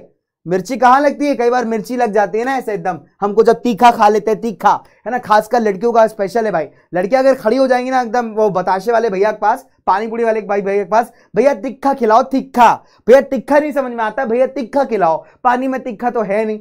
फिर भैया मिक्स करते हैं अपने गंदे वाले हाथ, है ना? एकदम जिसमें चटनी, धूल, मिट्टी सब लगी होती भैया ये हाथ लेते, ऐसा पानी में डालते हैं। ए, मस्त। इन्होंने मिक्स किया, एक नया मिक्सचर तैयार हुआ। उसके बाद भैया ने इसे डाला पानी और खिलाया पानी पूरी। फिर कहती है हाँ भैया, तिखा है तिखा है, बहुत बढ़िया बढ़िया है। बच्चे वो भैया के हाथ का कमाल है। मैं पहले ही बता रहा हूँ, सावधान रहें, सतर्क रहें। चलिए। अगर 500 साल पहले तक अगर आप अपने पूर्वजों की बात करेंगे तो उनको ये सारी चीज़ें पता ही नहीं थी कि ऐसा भी कुछ खाने में एग्जिस्ट करता है, ठीक है? तो ये एक्चुअली कहाँ से आया है? बच्चे, आपके आया है फ्रॉम द अमेरिकन रीजन ठीक है? यूरोप और एशिया में ये सारी चीज़ें कहाँ से आई है? अमेरिका से। ठीक है? अमेरिका को जब क्रिस्टोफर कोलंबस ने डिस्कवर किया, अमेरिका को जब क्रिस्टोफर कोलंबस ने डिस्कवर किया तो बच्चे डेफिनेट सी बात है, जितना भी खाना वहाँ यूटिलाइज होता था, वो सारा का सारा आ गया यूरोप और आपके एशिया में। अमेरिका, ध्यान दीजिएगा बच्चों, हम लोग यहाँ पे अमेरिका किसकी बात कर रहे हैं? अमेरिका हम लोग यहाँ पे बात कर रहे हैं नॉर्थ अमेरिका, साउथ अमेरिका और कैरिबियंस की। यानी जो वेस्ट इंडीज की टीम है ना आजकल ट्रिनिडेड टोबैगो है ना? क्रिस गेल भाई साहब है हमारे। वो इस वाले रीजन से बिलोंग करते हैं कैरिबिया वाले रीजन से, ठीक है? तो Caribbean North America, South America, इनको मिला के मिला आपका अमेरिका। चलिए आगे बात करते हैं। अब बात करते हैं भैया यूरोप यूरोप के गरीब लोगों की। यूरोप के गरीब लोगों को जब आलू का पता चला है ना जब तक रहेगा समोसे में आलू तब तक यूरोपियन गरीब बनेगा। क्या नहीं बनेगा यार? ए, बना नहीं चलो छोड़ो। तो जब तक रहेगा समोसे में आलू तब तक हमारा यूरोपियन गरीब नहीं बनेगा भालू। ठीक है, तब तक यूरोपियन गरीब नहीं बनेगा भालू। चलिए तो भैया सिंपल सी बात है, जब आलू आया तो उन्होंने कहा, बहुत बढ़िया चीज़ है।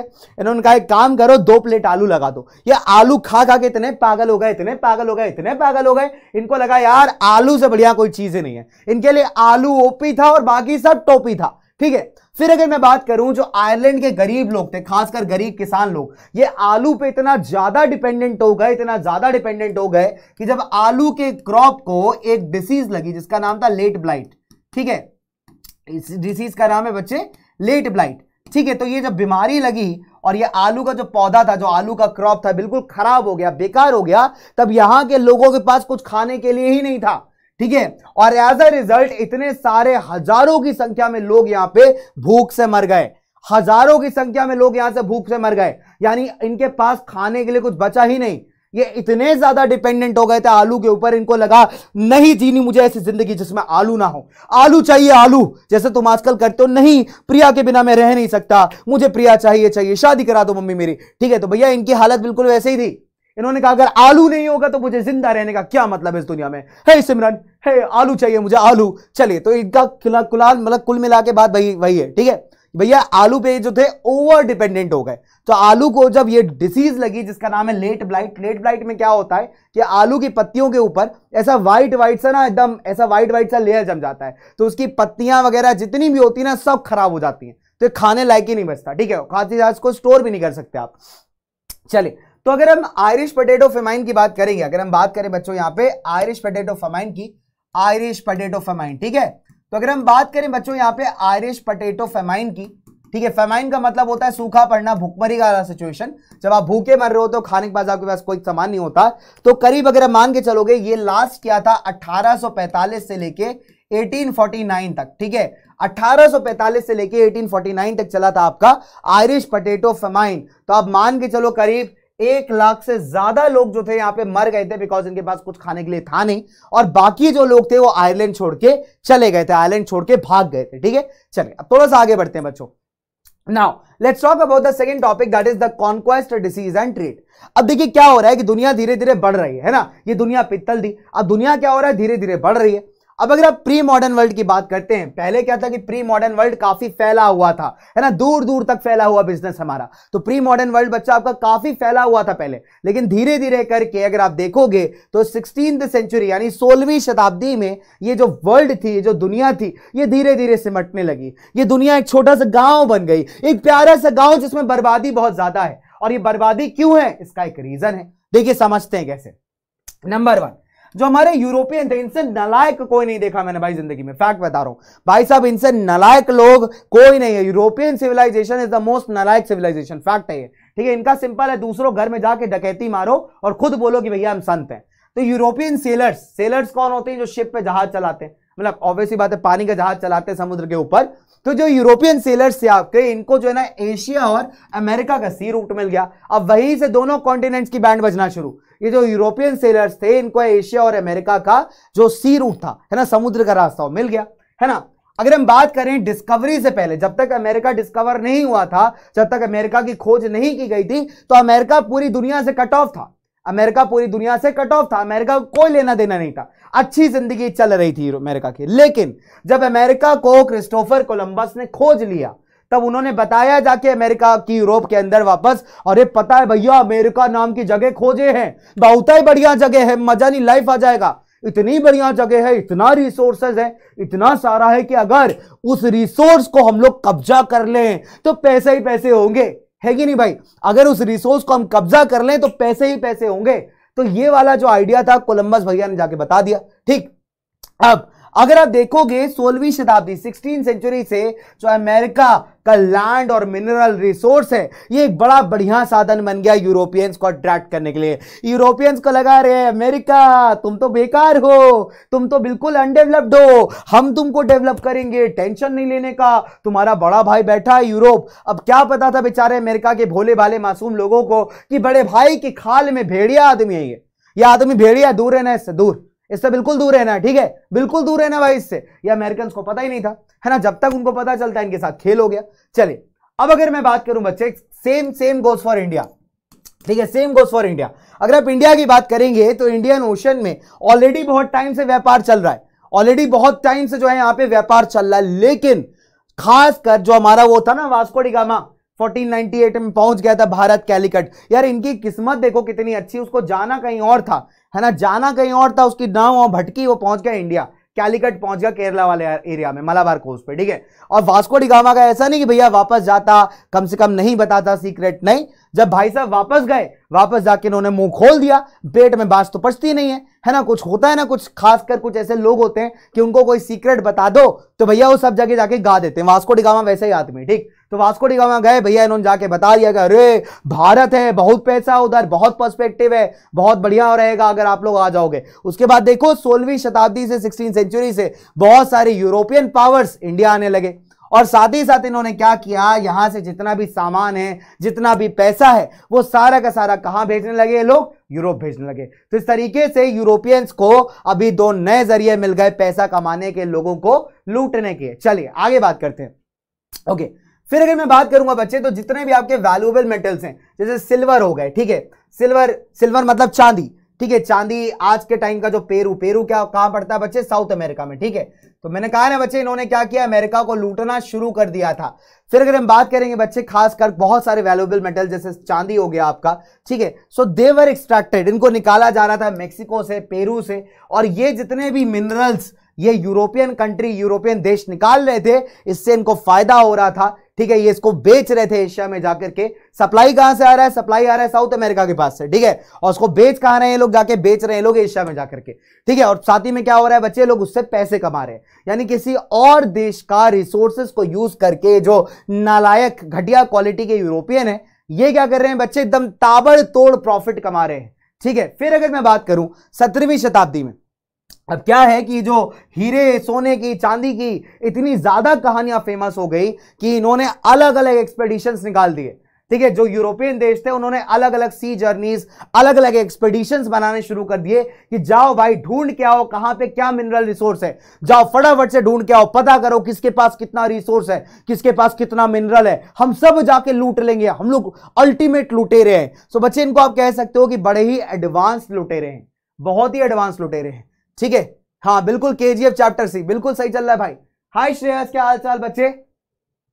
हाँ अरे बच्चे, आशिकी वालों का क्या कर सकते हैं? दुनिया आशिकी में बर्बाद है, कुछ नहीं कर सकते उसका। ठीक है, तुम लोग एसएसटी पेपर पे ध्यान दो यार। एल्डोराडो का मतलब होता है सिटी ऑफ़ गोल्ड हम लोग तेज तेज़ी चल रहे हैं बच्चे, हम लोग तेज तेज़ी चल रहे हैं। एल्डोराडो का मतलब होता है सिटी ऑफ़ गोल्ड जैसे हमारे यश भैया की थी ना के जी एफ़ टिंग टिंग टिंग टिंग टिंग टिंग टिंग टिंग टिंग टिंग तो वैसे ही भैया ये एल्डोराडो है ठीक है तो कुल मिला के इन लोगों को कहीं से इन्होंने कहानियों में पढ़ लिया कि एक ऐसा शहर एग्जिस्ट करता है जहाँ सोना ही सोना है इसकी खुदाई कर डालोगे तो सोना ही सोना मिलेगा तुम अमीर हो जाओगे ठीक है और पागलों की तरह निकल गए इस एल्डोराडो को ढूंढना हालाँकि एल्डोराडो मिली नहीं थी चलिए आगे बात करते हैं बच्चा अब आता है भैया कॉलोनाइजेशन ऑफ़ अमेरिका देखिए बहुत सिंपल सा लॉजिक है, बहुत सिंपल सी बात है कि हमेशा एक मज़बूत आदमी एक कमज़ोर आदमी को दबाता है है ना? ये इतिहास गवाह इस बात का कि हमेशा से मज़बूत स्ट्रांग लोगों ने कमज़ोर व्यक्तियों को दबाया है। और यही हालात होते हैं हमारे अमेरिका के। अब देखिए, अमेरिका एक मासूम सा बच्चा है, अभी बच्चा नहीं है, ठीक है? अभी वो भी नालायकी है।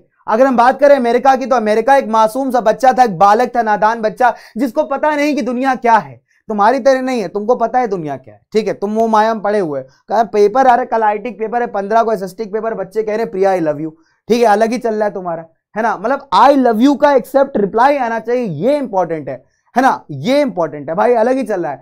आईटी का पेपर क्या है? है ना? आईटी पेपर मोम आया है एसएसटी पेपर मोम आया है, अपने को रिप्लाई आना चाहिए, घर बसना चाहिए, बहुत ज़रूरी है। है कि नहीं? चलो ठीक है, जो घर बसा रहे हैं, उनको घर बसाने देते हैं, हम लोग पेपर बसाते हैं। चलो, अगर मैं बात करूँ बच्चे पुर्तगाली और स्पेनिश की, पोर्तुगीज, हिंदी में बोले तो पुर्तगाली और स्पेनिश लोगों की इनको अमेरिका मिल गया। तो इनके लिए जो छोटा नादान सा बालक था वो कौन था? हमारा अमेरिका था। क्या था भाई? हमारा अमेरिका। तो उन्होंने कहा कि अमेरिका के पास तो भैया बहुत रिसोर्स है। इसके बाद पैसे ही पैसे हैं, इसके पास लैंड है मिनरल है, कितनी सारी चीज़ें चलो उस पर कब्जा करते हैं, ठीक है?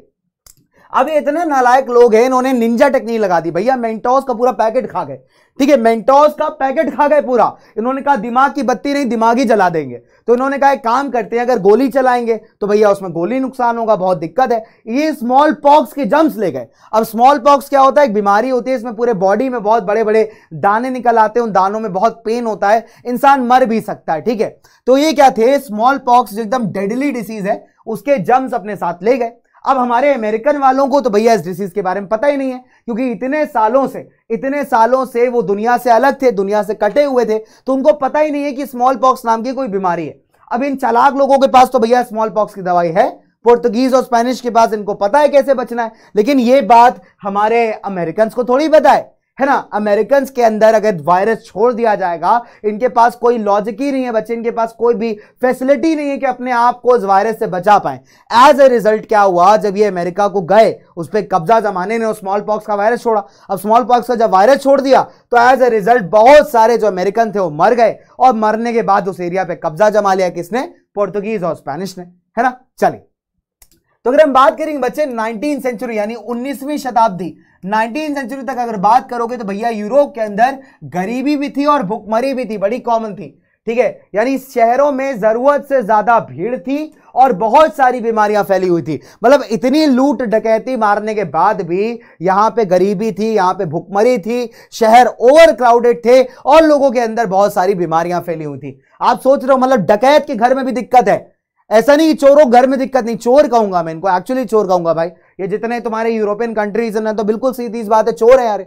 बिल्कुल चोर है भाई, जाते हैं दूसरे कंट्री जाके चोरी करते हैं, वहाँ के रिसोर्सेज उठा के ले आते हैं बिना उनसे पूछे। है ना, इन चोरों के घर में भी दिक्कत है। फिर अगर बात करें, आगे बात करते हैं चलिए फिर अब देखोगे बच्चे रिलीजियस डिस्प्यूट्स बहुत ही कॉमन थे यहाँ पे। ठीक है तो बहुत सारे ऐसे लोग थे जो यूरोप से भाग के कहा पहुँच गए, अमेरिका। अगर आपको 1517 का मार्टिन लूथर याद हो, है ना, प्रिंट कल्चर वाला मार्टिन लूथर, जिसने, भैया, हमारे कैथोलिक समाज की एकदम बैंड बजा के रख दी थी वहाँ के प्रीस्ट वगैरह की उनको क्रिटिसाइज कर दिया जा था। ठीक है तो वो क्या है बच्चे? वो भी सोलहवीं शताब्दी है। तो रिलीजियस डिबेट्स रिलीजियस धर्म के नाम पे झगड़े धर्म के नाम पे लड़ाइयाँ ये बड़ी कॉमन थी। सो so, बहुत सारे ऐसे लोग थे जो यूरोप से भाग के कहाँ पहुँच गए? अमेरिका पहुँच गए। ठीक है प्रोसिक्यूशन का मतलब होता है दमन। जब आप किसी सरकार के अगेंस्ट किसी पर्टिकुलर अथॉरिटी के अगेंस्ट जब आप कुछ बुरा बोल रहे हो, कुछ खराब बोल रहे हो, उनसे लड़ रहे हो, और अगर वो आपकी पिटाई करना शुरू कर दे, वो बिल्कुल डिसाइड कर ले कि भैया तुम्हारी पिटाई करनी है, तुम्हारी बैंड बजानी है, तब उस केस में आप देखोगे बच्चे कि उसको हम कहते हैं परजिक्यूशन तो ऐसे परजिक्यूशन से बचने के लिए क्या हो रहा था? लोग भाग करके कहाँ जा रहे थे? सीधा सीधा अमेरिका जा रहे थे. कहाँ जा रहे थे भाई? अमेरिका. चलिए, आगे बात करते हैं. फिर अगर हम बात करेंगे अठारहवीं शताब्दी की एटीन सेंचुरी की तो एटीन सेंचुरी में आप देखोगे जो अफ्रीकन गुलाम थे स्लेव्स इनको बच्चों खरीद लिया गया था। क्यों खरीदा गया था? क्योंकि जो शुगर एंड कॉटन प्लांटेशन थे यूरोपियन देशों के अंदर, ठीक है? प्लांटेशन क्या होता है बच्चे? जहाँ पे आप एक ही एरिया में बड़ा सा क्रॉप लगाते हो, बहुत सारा क्रॉप लगाते हो राइट मतलब मान के चलो मेरा एक बड़ा सा एरिया है, अब यहाँ पे सब जगह जो है मैंने यहाँ पे खेती बाड़ी कर रखी है। तो इस खेती बाड़ी के लिए, काम करने के लिए मुझे लेबर चाहिए होगी।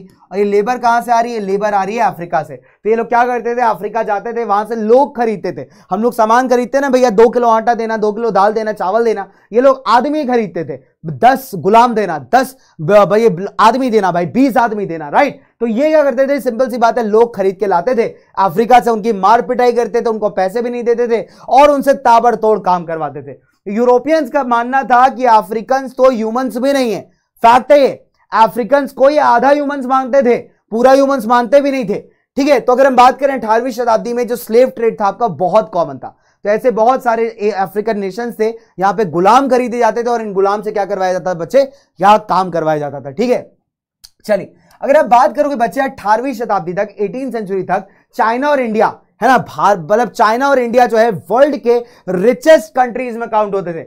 अगर आप इंडिया की बात करें तो बच्चे भारत को सोने की चिड़िया भी कहा जाता है। ऐसा क्यों कहा जाता है? क्योंकि हमारे पास सबके पास सोने की चिड़िया थी। नहीं भाई, क्योंकि इंडिया इतना रिच था, इंडिया इतना अमीर था, इंडिया के पास ताकत थी यार। इंडिया को ऐसा हल्के में नहीं ले रहे थे। इंडिया सुन के फ्लावर समझे, क्या फायर है मैं? तो वो वाला एटीट्यूड था इंडिया का। अपना चीनी मिनी चीन चाओ यानी चाइना ये भी काफ़ी अमीर था। लेकिन चाइना बहुत निंजा आदमी था। चाइना ने क्या किया? उसके बाद बोला कि भैया ऐसा है कि मैं ज़िंदगी की मोमाया से थक चुका हूँ, मैं जा रहा हूँ आइसोलेशन में। तो अभी चाइना के आइसोलेशन की बात हम करेंगे, ठीक है? चलिए।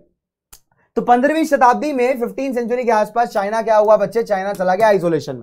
यानी चाइना ने कहा कि मैं अपने जितने भी ओवरसीज बॉर्डर्स हैं मतलब मैं अपने देश की जो सीमाएँ हैं बाउंड्री है है ना, जितना व्यापार मैं करता हूँ दूसरे देशों के साथ, सब कुछ मैं बंद कर रहा हूँ। चाइना ने कहा ज़िंदगी में बहुत मोहमाया थी, मैंने सबको बंद कर दिया, ठीक है? जिसे मान के चलो आपने डिसाइड किया कि नहीं, चलो भाई पेपर के लिए सीरियस हो जाते हैं और इस वजह से आपने इंस्टाग्राम फेसबुक और व्हाट्सएप ये सारी चीज़ें बंद कर दी। इनफैक्ट आपके नियर एंड डियर वाले का मैसेज आया तो भी आपने कहा उससे कि सुनो, ऐसा है, मैं एग्ज़ाम के बाद में बात करूँगा। तो इसको कहते हैं आइसोलेट हो गए आप, ठीक है? आप इन सारी मोमाया से कट गए, ठीक है? तो वैसे ही बच्चे, चाइना क्या था भाई यहाँ पे आइसोलेशन में चला गया। चाइना ने कहा कि, देखो, ऐसा है, ये दुनिया मेरे मतलब की है नहीं ठीक है? तो मैं अभी किसी के साथ व्यापार व्यापार करना चाहता नहीं हूँ। मैं अपने ही देश में काम करूँगा, अपने ही देश की इंडस्ट्रीज़ पे जो है फोकस करूँगा। और फिफ्टीन सेंचुरी से चाइना वेंट इनटू आइसोलेशन चलिए, आगे बात करते हैं। ओके जब यूरोप में पॉपुलेशन ज़्यादा थी, बेटा यूरोप की पॉपुलेशन ज़्यादा से मतलब ये नहीं कि यूरोपियंस काम करेंगे। यूरोपियंस बहुत घमंडी टाइप के लोग हैं, ठीक है? यूरोपियंस बहुत घमंडी टाइप के लोग हैं। यूरोपियन वाले ऐसे हैं बच्चे कि इनको आदमी लोगों को काम नहीं करना है। इनको चाहिए बाबू साहब वाला जॉब तुम्हारा सवाल अच्छा है कि सर पॉपुलेशन ज़्यादा थी तो स्लेव्स क्यों बचे इसके? भैया, मार पिटाई करके आप यूरोपियन से काम नहीं करवा सकते, ठीक है? आपको काम करवाने के लिए ऐसा चाहिए जो आपकी बात सुने। और यूरोपियन क्योंकि भैया अपने आप को बहुत सुपीरियर भी मानते थे, इनका मानना था कि भैया, हमारे जैसा कोई है ही नहीं। यानी मेरे मेरा जैसा स्टाइल मेरे जैसी स्माइल मेरे काले काले गोरे गोरे गाल और मेरे लंबे लंबे लंबे लंबे बाल, ठीक है? तो यूरोपियन का अलग ही स्वैग चल रहा है। तो उनको ये सब काम वाम करना, उनको लगता था ये बेकार का काम है भाई, इसमें मज़ा नहीं आ रहा, ठीक है? तो सिंपल है, यूरोपियन ये सब काम करने में इंटरेस्टेड नहीं थे। इस वजह से ज़रूरत था कि भैया लेबर शॉर्टेज को पूरा करने के लिए स्लेव्स को खरीद के लाया जाए। चलिए, आगे बात करते हैं। नाउ अगर हम देखेंगे जब हमारा चाइना चला गया आइसोलेशन में इंडिया के ऊपर यूरोपियन कंट्रीज़ ने आके यहाँ पे कब्जा जमा लिया। तो ऐसे टाइम पे मौका मिल गया अमेरिका को और यूरोप एज अ कॉन्टिनेंट को कि वर्ल्ड ट्रेड का सेंटर बन जाए, ठीक है? तो अमेरिका को एक अच्छा मौका मिला कि अभी चाइना जब वापस चला गया आइसोलेशन में चला गया, चाइना ने कहा भी हमको किसी के साथ व्यापार नहीं करना है। तो किसके पास मौका आ गया? मौका आ गया पे अमेरिका के साथ और अमेरिका बन गया आपका सेंटर ऑफ़ वर्ल्ड ट्रेड या फिर आप कह सकते हैं यूरोप बन गया आपका सेंटर ऑफ़ वर्ल्ड ट्रेड चलिए, आगे बात करते हैं। लेट्स मूव फर्दर ओके अब 19वीं शताब्दी की बात करते हैं बच्चे, हमारा अगला सब टॉपिक है। तो 19 सेंचुरी में इकोनॉमिस्ट ने तीन तरीके के फ्लो को बताया है, ठीक है? पहला आपका फ्लो ऑफ़ ट्रेड दूसरा फ्लो ऑफ़ लेबर और तीसरा फ्लो ऑफ़ कैपिटल अब इसको ना बड़े प्यारे वाले एग्ज़ाम्पल समझेंगे, ठीक है? बहुत बेसिक एग्ज़ाम्पल समझेंगे। मेरी आवाज़ को, मेरी बात को ध्यान से सुनना बहुत है, ठीक है? और खासकर उन लोगों के लिए बता रहा हूँ जो अभी भी प्यार में डूबे हुए हैं और बेटा कल डूबे डूबे हो जाएगा पेपर में। ठीक है तो इसलिए सुन लो, इससे पहले कि वहाँ डूबो। चलो तो अगर हम बात करें flow of trade flow of trade का मतलब होता है बच्चे व्यापार, ठीक है, यानी सामान का इधर से उधर जाना। दूसरी बात कहते हैं flow of labour lower labour का मतलब होता है पीपल यानी लोगों का एक कंट्री से दूसरी कंट्री जाना, काम करने के लिए राइट और तीसरा है फ्लो ऑफ़ कैपिटल कैपिटल का मतलब है पैसा, यानी कि मनी ठीक है? तो पैसे का एक कंट्री से दूसरे कंट्री को ट्रैवल करना। तो ये आपके तीनों टाइप के ट्रेड्स अब इसको समझते हैं हम लोग इंग्लैंड के एग्जांपल्स ठीक है? बच्चे अगर आप इंग्लैंड की बात करोगे तो इंग्लैंड की जनसंख्या लगातार बढ़ती जा रही है। वहाँ गोरे लोग जो है फैमिली प्लानिंग का सोच ही नहीं रहे, उनका अलग ही चल रहा है। वो कह रहे हैं hey Lucia it's nice weather today या सो भैया, उनका अलग चल रहा है, ठीक है? सिंपल सी बात है। तो वहाँ उनका फैमिली प्लानिंग वाला कोई कॉन्सेप्ट चल नहीं रहा है। वो बढ़ा रहे हैं पॉपुलेशन ताबड़तोड़ पॉपुलेशन बढ़ा रहे हैं, ठीक है? अब बढ़ती पॉपुलेशन के लिए क्या चाहिए? बढ़ता खाना चाहिए, ज़्यादा खाना चाहिए। अब मज़े की बात यह है कि उस खाने को लोगों तक पहुँचाने के लिए जो ब्रिटेन था, वो क्या करता था? खाना बाहर से मंगाता था इंपोर्ट करता था। खासकर कॉर्न्स की बात हो गई राइट कॉर्न्स मतलब भुट्टा होता है। तो ये लोग क्या करते थे कि बाहर से खाना मंगाते थे, बाहर से खाना इंपोर्ट करते थे। अब समस्या ये है भाई कि भैया खाना इंपोर्ट करने के साथ साथ इनकी डिमांड तो पूरी हो गई। लेकिन जो लोकल किसान है, जो लोकल फार्मर है, ठीक है? जो लोकल फार्मर है लोकल किसान है, बेटा उसका काम धंधा बंद हो गया। क्योंकि उसको कंपटीशन फेस करना पड़ रहा है। ठीक है, तब ऐसे केस में कोई भी किसान रुक के काम करना चाहेगा नहीं। तो ऐसे किसानों ने क्या किया? ये अलग अलग देश जाने लगे। तो जब ये अलग अलग देश जा रहे हैं काम की तलाश में तो क्या हो रहा है बच्चे यहाँ पे? फ्लो ऑफ़ लेबर यानी लेबर लेबर कौन होता है? जो काम करता है। किस लिए काम करता है? ताकि उसे पैसे मिल सके। राइट तो ऐसे क्या हो रहा है कि इंग्लैंड से निकल करके जो लेबर है यह अलग अलग देशों में जा रही है। अब इंग्लैंड के सामने तो बड़ी समस्या है। इंग्लैंड को क्या चाहिए? खाना चाहिए अपनी बढ़ती जनसंख्या के लिए। है ना? तो बहुत सिंपल सी बात है बच्चे, यहाँ पे इंग्लैंड क्या कर रहा है कि बाहर की कंट्रीज़ को ऑर्डर दे रहा है। अब इंग्लैंड की डिमांड को पूरा करने के लिए ऑस्ट्रेलिया और अमेरिका सामने आते हैं। वो कहते हैं, कोई दिक्कत नहीं, तुम पॉपुलेशन बढ़ाओ, खाना हम देंगे।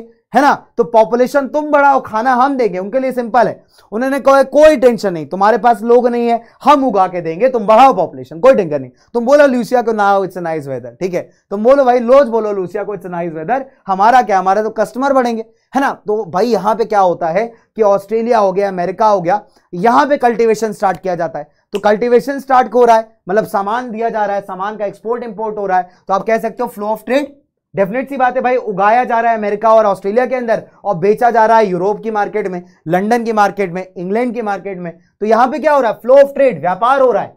अलग अलग देशों के बीच में व्यापार हो रहा है। ठीक है?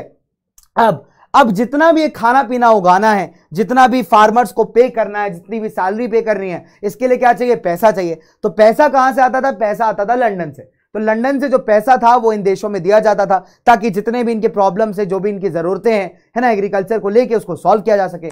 तो यहाँ पे पैसा भी मूव हो रहा है, यानी एक जगह से दूसरी जगह जा रहा है। तो ये तीनों फ्लोज बच्चे एक ही एग्ज़ाम्पल में आप समझ सकते हो flow of labour flow of trade और फ्लो ऑफ़ कैपिटल है ना तो ये तीन तरीके के फ्लोज बड़े कॉमन थे हमारे किसी भी इकोनॉमी के अंदर, हमारी किसी भी अर्थव्यवस्था के अंदर इन द नाइनटीन सेंचुरी यानी एक ऐसा फ्लो जब कई देश व्यापार कर रहे हो फ्लो ऑफ़ ट्रेड। जब एक जगह से दूसरे के आदमी काम करने जा रहा हो, फ्लो ऑफ़ लेबर, और पैसा जब एक जगह से दूसरी जगह इन्वेस्ट किया जा रहा हो किसी और देश के अंदर तो वो कहलाएगा बच्चे आपका flow of capital.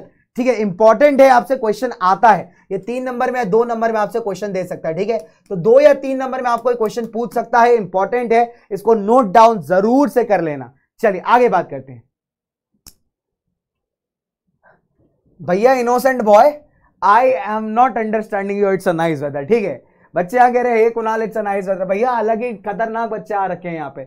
I don't enjoy the nice weather number one ठीक है? चलो, आगे बात करते हैं लेट्स मूव फर्दर अब बात करें, बच्चे वर्ल्ड इकोनॉमी टेक्स प्लेस ठीक है? अब ये वर्ल्ड इकोनॉमी कैसे मैनेज हो रहा है, कैसे चल रहा है, ठीक है? नंबर वन अगर हम बात करें अठारहवीं शताब्दी की फिर टॉक अबाउट एटीन सेंचुरी अठारहवीं शताब्दी ठीक है? देखिए, क्या हो रहा है कि भाई सिंपल सी बात है, ब्रिटेन में पॉपुलेशन बढ़ती जा रही है, जनसंख्या बढ़ती जा रही है। एग्ज़ाम्पल दिया मैंने कहा लुइसा इट्स नाइस वेदर ठीक है? तो भैया, ब्रिटेन में पॉपुलेशन बढ़ती जा रही है। अब इस बढ़ती पॉपुलेशन को क्या चाहिए भैया? खाना चाहिए। पॉपुलेशन क्या कर रही है ब्रिटेन में? पॉपुलेशन कह रही खाना दो खाना दो खाना दो खाना दो खाना दो।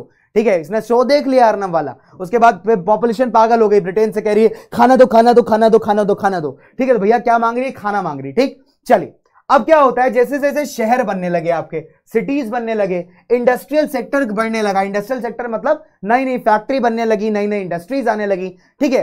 तो ये जो डिमांड था ना फ़ूड ग्रेन्स का, अनाज का, वो बढ़ता गया और साथ ही साथ जो हमारा दाम था फ़ूड ग्रेन्स का, बच्चे, वो भी बढ़ता गया। तो जितना डिमांड बढ़ेगा, और डिमांड के मुकाबले अगर सप्लाई नहीं हुआ मान लो कि डिमांड बहुत ज़्यादा बढ़ता जा रहा है, लेकिन हम सप्लाई नहीं कर पा रहे हो तो बच्चे डेफिनेट सी बात है, सामान का दाम बढ़ने लगेगा, क्योंकि डिमांड आपकी ज़्यादा है, सप्लाई आपकी कम है तो डेफिनेट सी बात है, लोगों को तो सामान चाहिए ना तो कुछ भी पैसे देके खरीदेंगे। तो एज अ रिज़ल्ट डेफिनेट सी बात है बच्चे, क्या होने वाला है? कि जो सामान का दाम है, वो क्या करेगा? बढ़ने लगेगा राइट अब इस बढ़ती हुई डिमांड को और इस बढ़ते हुए दाम को क्या करना पड़ेगा? बच्चे कहीं ना कहीं यहाँ पे थोड़ा सा नॉर्मलाइज करना पड़ेगा। तो नॉर्मलाइज करने के लिए जो ब्रिटिश सरकार थी, वो क्या करती थी बच्चे? यहाँ पे कॉर्न इंपोर्ट करती थी। क्या करती थी यहाँ पे बच्चों? कॉर्न कौन समझते हो? भुट्टा। हाँ वही जो बरसात के मौसम में तुम खाते हो ना, हाथ में हाथ लिए अपने फ्रेंड्स के साथ यार ऑब्वियस सी बात है, अपने फ्रेंड्स के साथ ऐसे हाथ में पकड़ के हाथ ऐसे घूमते हो ना लल्ला लल्ला लोरी, ऐसे खाएँगे हम लोग भुट्टे में कटोरी। मतलब कुल मिला के जो भुट्टा उट्टा मिलता है स्कूल के पास, तुम लोग मस्ती करते हो, गेड़िया मारते हो, आते हो, और इस गरम गरम भुट्टे पे ऐसा नींबू, नमक, मसाला लगा के खाते हो, है ना? तो बच्चे जो कॉर्न है ना, इसका इंपोर्ट बहुत ज़्यादा हो रहा था ब्रिटेन में। अब ये कॉर्न सस्ता पड़ता था पॉपुलेशन को भी पसंद था, यानी जनता भी खाती थी तो उसका डिमांड अच्छा खासा था। लेकिन दिक्कत ये थी कि जो वहाँ पे लोकल एग्रीकल्चरिस्ट थे, यानी वहाँ के जो लोकल किसान थे, उनको बहुत ज़्यादा कंपटीशन का सामना करना पड़ा है, ठीक है? अब ये जो कॉर्न है आपका, ये जो भुट्टा है हमारा डेफिनेट सी बात है, सस्ता मिल रहा है। अब जब सस्ता मिलेगा कोई सामान तो जनता खरीदेगी। भैया देखो, सस्ता सामान हर एक देश की जनता खरीदना चाहती है। ब्रिटेन के भी वही हाल है। लेकिन यहाँ पे समस्या इस बात की है, दिक्कत इस बात की है कि भैया जो लोकल फार्मर है, जो लोकल किसान है, उसको बहुत नुकसान झेलना पड़ रहा है। तो लोकल किसान ने क्या किया? ब्रिटिश सरकार पे दबाव बनाया कि एक काम करिए, जो कॉर्न के इंपोर्ट है ना बच्चे, जो कॉर्न का इंपोर्ट है उस पर रोक लगाइए। है ना? आप कॉर्न इंपोर्ट करना रोकिए, हमारा बहुत नुकसान हो रहा है। और ये जो कानून आया था जिसने कॉर्न के इंपोर्ट को रोक दिया, इसको हम कहते हैं कॉर्न लॉस कॉर्न लॉस बच्चे, एक मार्क में काफ़ी पूछा जाता है, इंपॉर्टेंट है, ठीक है? वन मार्कर से इंपॉर्टेंट है तो याद रखिएगा इस चीज़ को बच्चों, कि कॉन लॉस की हम बात कर रहे हैं यहाँ पे। सो कॉन लॉस क्या है भाई आपके? कौन लॉस क्या है? The laws that are implemented to restrict the import of cotton cotton के इंपोर्ट को रोकने के लिए ब्रिटिश सरकार ने जो लॉज लगाए, वो कहलाते हैं आपके कॉन लॉस लेकिन कॉन लॉस लगाने की वजह से क्या हुआ? जो सामान था मार्केट के अंदर वो महँगा हो गया। है ना? अब जो लोकल फार्मर है लोकल किसान है, उसको तो फ़ायदा हो रहा है, लेकिन जो आम आदमी है, जो आम जनता है, उसको नुकसान हो रहा है। क्योंकि अभी जो सस्ते सस्ते कॉर्न भुट्टे वो खरीद के खा रही थी, अभी वो अवेलेबल नहीं है। तो उनको मजबूरी में महँगा अनाज खरीदना पड़ रहा है और ऐसा महँगा अनाज जनता खरीद के खाना नहीं चाहती। तो जनता आंदोलन पे उतर लाई। भुट्टा लाओ भुट्टा लाओ, वरना सरकार वापस जाओ, ठीक है? तो सिंपल सी बात है भाई, यहाँ पे जनता क्या हुई? आंदोलन पे उतर आई। जनता ने कहा, ऐसा है, सुनो। भैया भुट्टा खिलाओगे हमको, तभी तुमको वोट देंगे, नहीं तो ये जूता मारेंगे तुमको खींच के, ठीक है? सिंपल सी बात है। भैया जनता ने कहा कि भैया हमको भुट्टा चाहिए वी वॉन्ट भुट्टा बैक ठीक? चलिए तो भुट्टा ओपी हो गया भाई। चलिए तो अगर हम बात करें जो इंडस्ट्रियलिस्ट थे, जो शहर में रहने वाले लोग थे, कौन लॉस से बहुत ज़्यादा दुखी थे?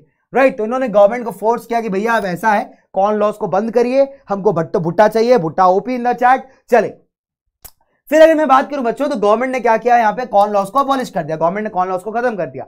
एज ए रिज़ल्ट क्या होता है? कि सस्ता सस्ता कॉर्न जो था, देश के अंदर आने लगा। लेकिन जब ये कॉर्न सस्ता सस्ता देश में आने लगा तो जो हमारे बेचारे कॉर्न उगाने वाले लोकल लोग थे, जो हमारे लोकल किसान थे, उनको एक बड़ा तगड़ा कॉम्पिटिशन मिलने लगा। क्योंकि अभी क्या है भाई, उनका प्रोडक्ट महँगा है और जो इंपोर्टेड सामान है वो कंपेरेटिवली सस्ता है। तो डेफिनेट सी बात है बच्चे तो लोगों ने क्या किया कि ऐसा है, ऐसी खेती बाड़ी से कोई लेना देना नहीं। इन्होंने कहा, ऐसा खेती बाड़ी किस काम का, जो मेरे ही काम ना आए? तो इन्होंने क्या किया? अच्छा चलता हूँ, दुआ में याद रखना, ठीक है? तो इन्होंने क्या किया? ज़मीन को ऐसे ही छोड़ा और कहा कि किसी और देश में चलते हैं, कहीं और चलते हैं, वहाँ काम धंधा ढूंढेंगे, यहाँ तो मेरा कोई नहीं, ठीक है? तो एज ए रिज़ल्ट क्या हुआ कि अनएम्प्लॉयमेंट बहुत बढ़ गया, है ना? बिकॉज़ भाई, हमारे जो एग्रीकल्चरिस्ट हैं, जो हमारे फार्मर है, किसान है लोकल किसान, उसको बहुत कंपटीशन झेलना पड़ रहा है इंपोर्टेड सामान से। इंपोर्टेड सामान सस्ता है लोकल किसान का महँगा है। इसके पास कोई ऑप्शन नहीं बचा, इसने कहा, एक काम करता हूँ, मैं चलता हूँ भाई। मेरा कोई काम नहीं है यहाँ पे, मेरे को कोई प्रॉफिट ही नहीं तो मैं क्यों करूँ खेती बाड़ी ठीक है? तो एज ए रिज़ल्ट ये लोग क्या थे? अलग अलग शहरों में चले गए अलग अलग देशों में चले गए काम करने के लिए। ठीक है? So they went to other cities and other countries to work चले। फिर अगर आप देखोगे धीरे धीरे क्या हुआ बच्चे? जब फ़ूड का प्राइस गिरना शुरू हुआ, ठीक है? जब फ़ूड का प्राइस यानी खाने का जो दाम का, जो खाने का सामान का दाम है, जब वो गिरना शुरू हुआ, जब खाना सस्ता होना स्टार्ट हुआ तो डेफिनेट सी बात है, जो कंजम्पशन है वो बढ़ गया। कंजम्पशन का मतलब बच्चे यहाँ पे जो खाने का रेट है, या कितना लोग कंज्यूम कर रहे हैं, कितना खाना खा रहे हैं, वो रेट बढ़ गया भाई, है ना? तो डेफिनेट सी बात है, कोई चीज़ सस्ती मिलेगी तो आप ज़्यादा खाओगे, वही हो रहा है ब्रिटेन के अंदर।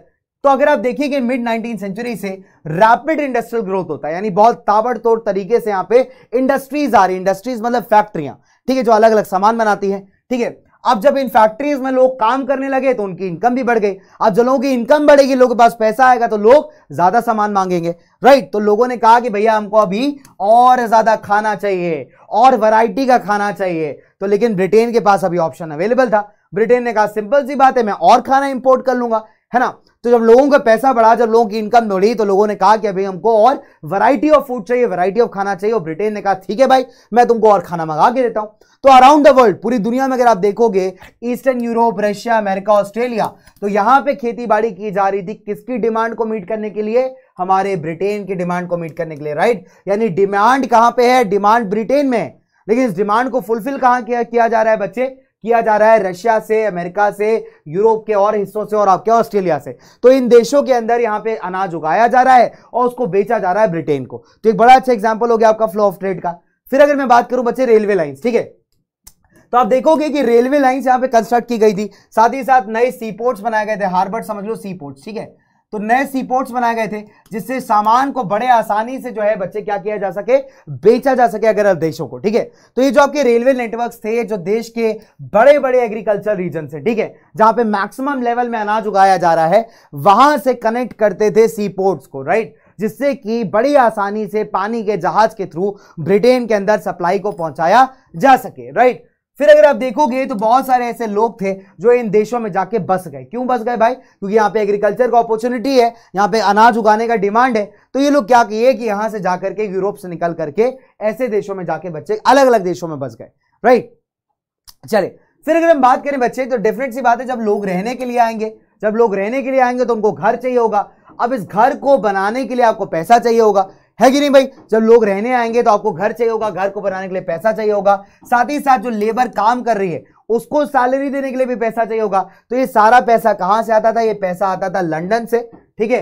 एंड जो सप्लाई ऑफ़ लेबर आता था वो अमेरिका और ऑस्ट्रेलिया से। तो कैपिटल यानी पैसा आता था आपका लंडन से और जो लेबर सप्लाई आपका आता था अमेरिका और ऑस्ट्रेलिया से तो यहाँ पे तीनों टाइप के फ्लोस कनेक्ट हो रहे हैं। यानी ब्रिटेन का डिमांड है, उसको पूरा कौन कर रहा है आपका? अमेरिका, ऑस्ट्रेलिया रशिया ये लोग अनाज उगा रहे हैं, अनाज उगा के यूरोप में बेच रहे हैं। ठीक है, इंग्लैंड के अंदर बेच रहे हैं, ब्रिटेन के अंदर बेच रहे हैं। फिर लंदन से पैसा आ रहा है इन देशों के पास, क्योंकि भैया आप हमारे लिए अनाज उगाइए, जो सैलरी देनी है लेबर को वो दीजिए, जो घर वर बनाने इनके लिए वो दीजिए। तो ये सारे के सारे ट्रेड्स बच्चे इस पूरे एग्ज़ाम्पल में आप देखे समझा सकते हो, अगर क्वेश्चन पाँच नंबर में आता है। वैसे पाँच में नहीं आएगा, तीन में आएगा तो आपको परेशान होने का ज़रूरत नहीं है। चलिए लेट्स मूव फर्दर आगे बात करते हैं।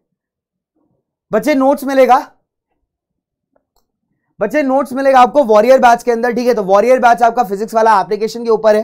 तो आप वॉरियर बैच पर जाएँगे तो बच्चे आपको नोट्स मिल जाएँगे, ठीक है?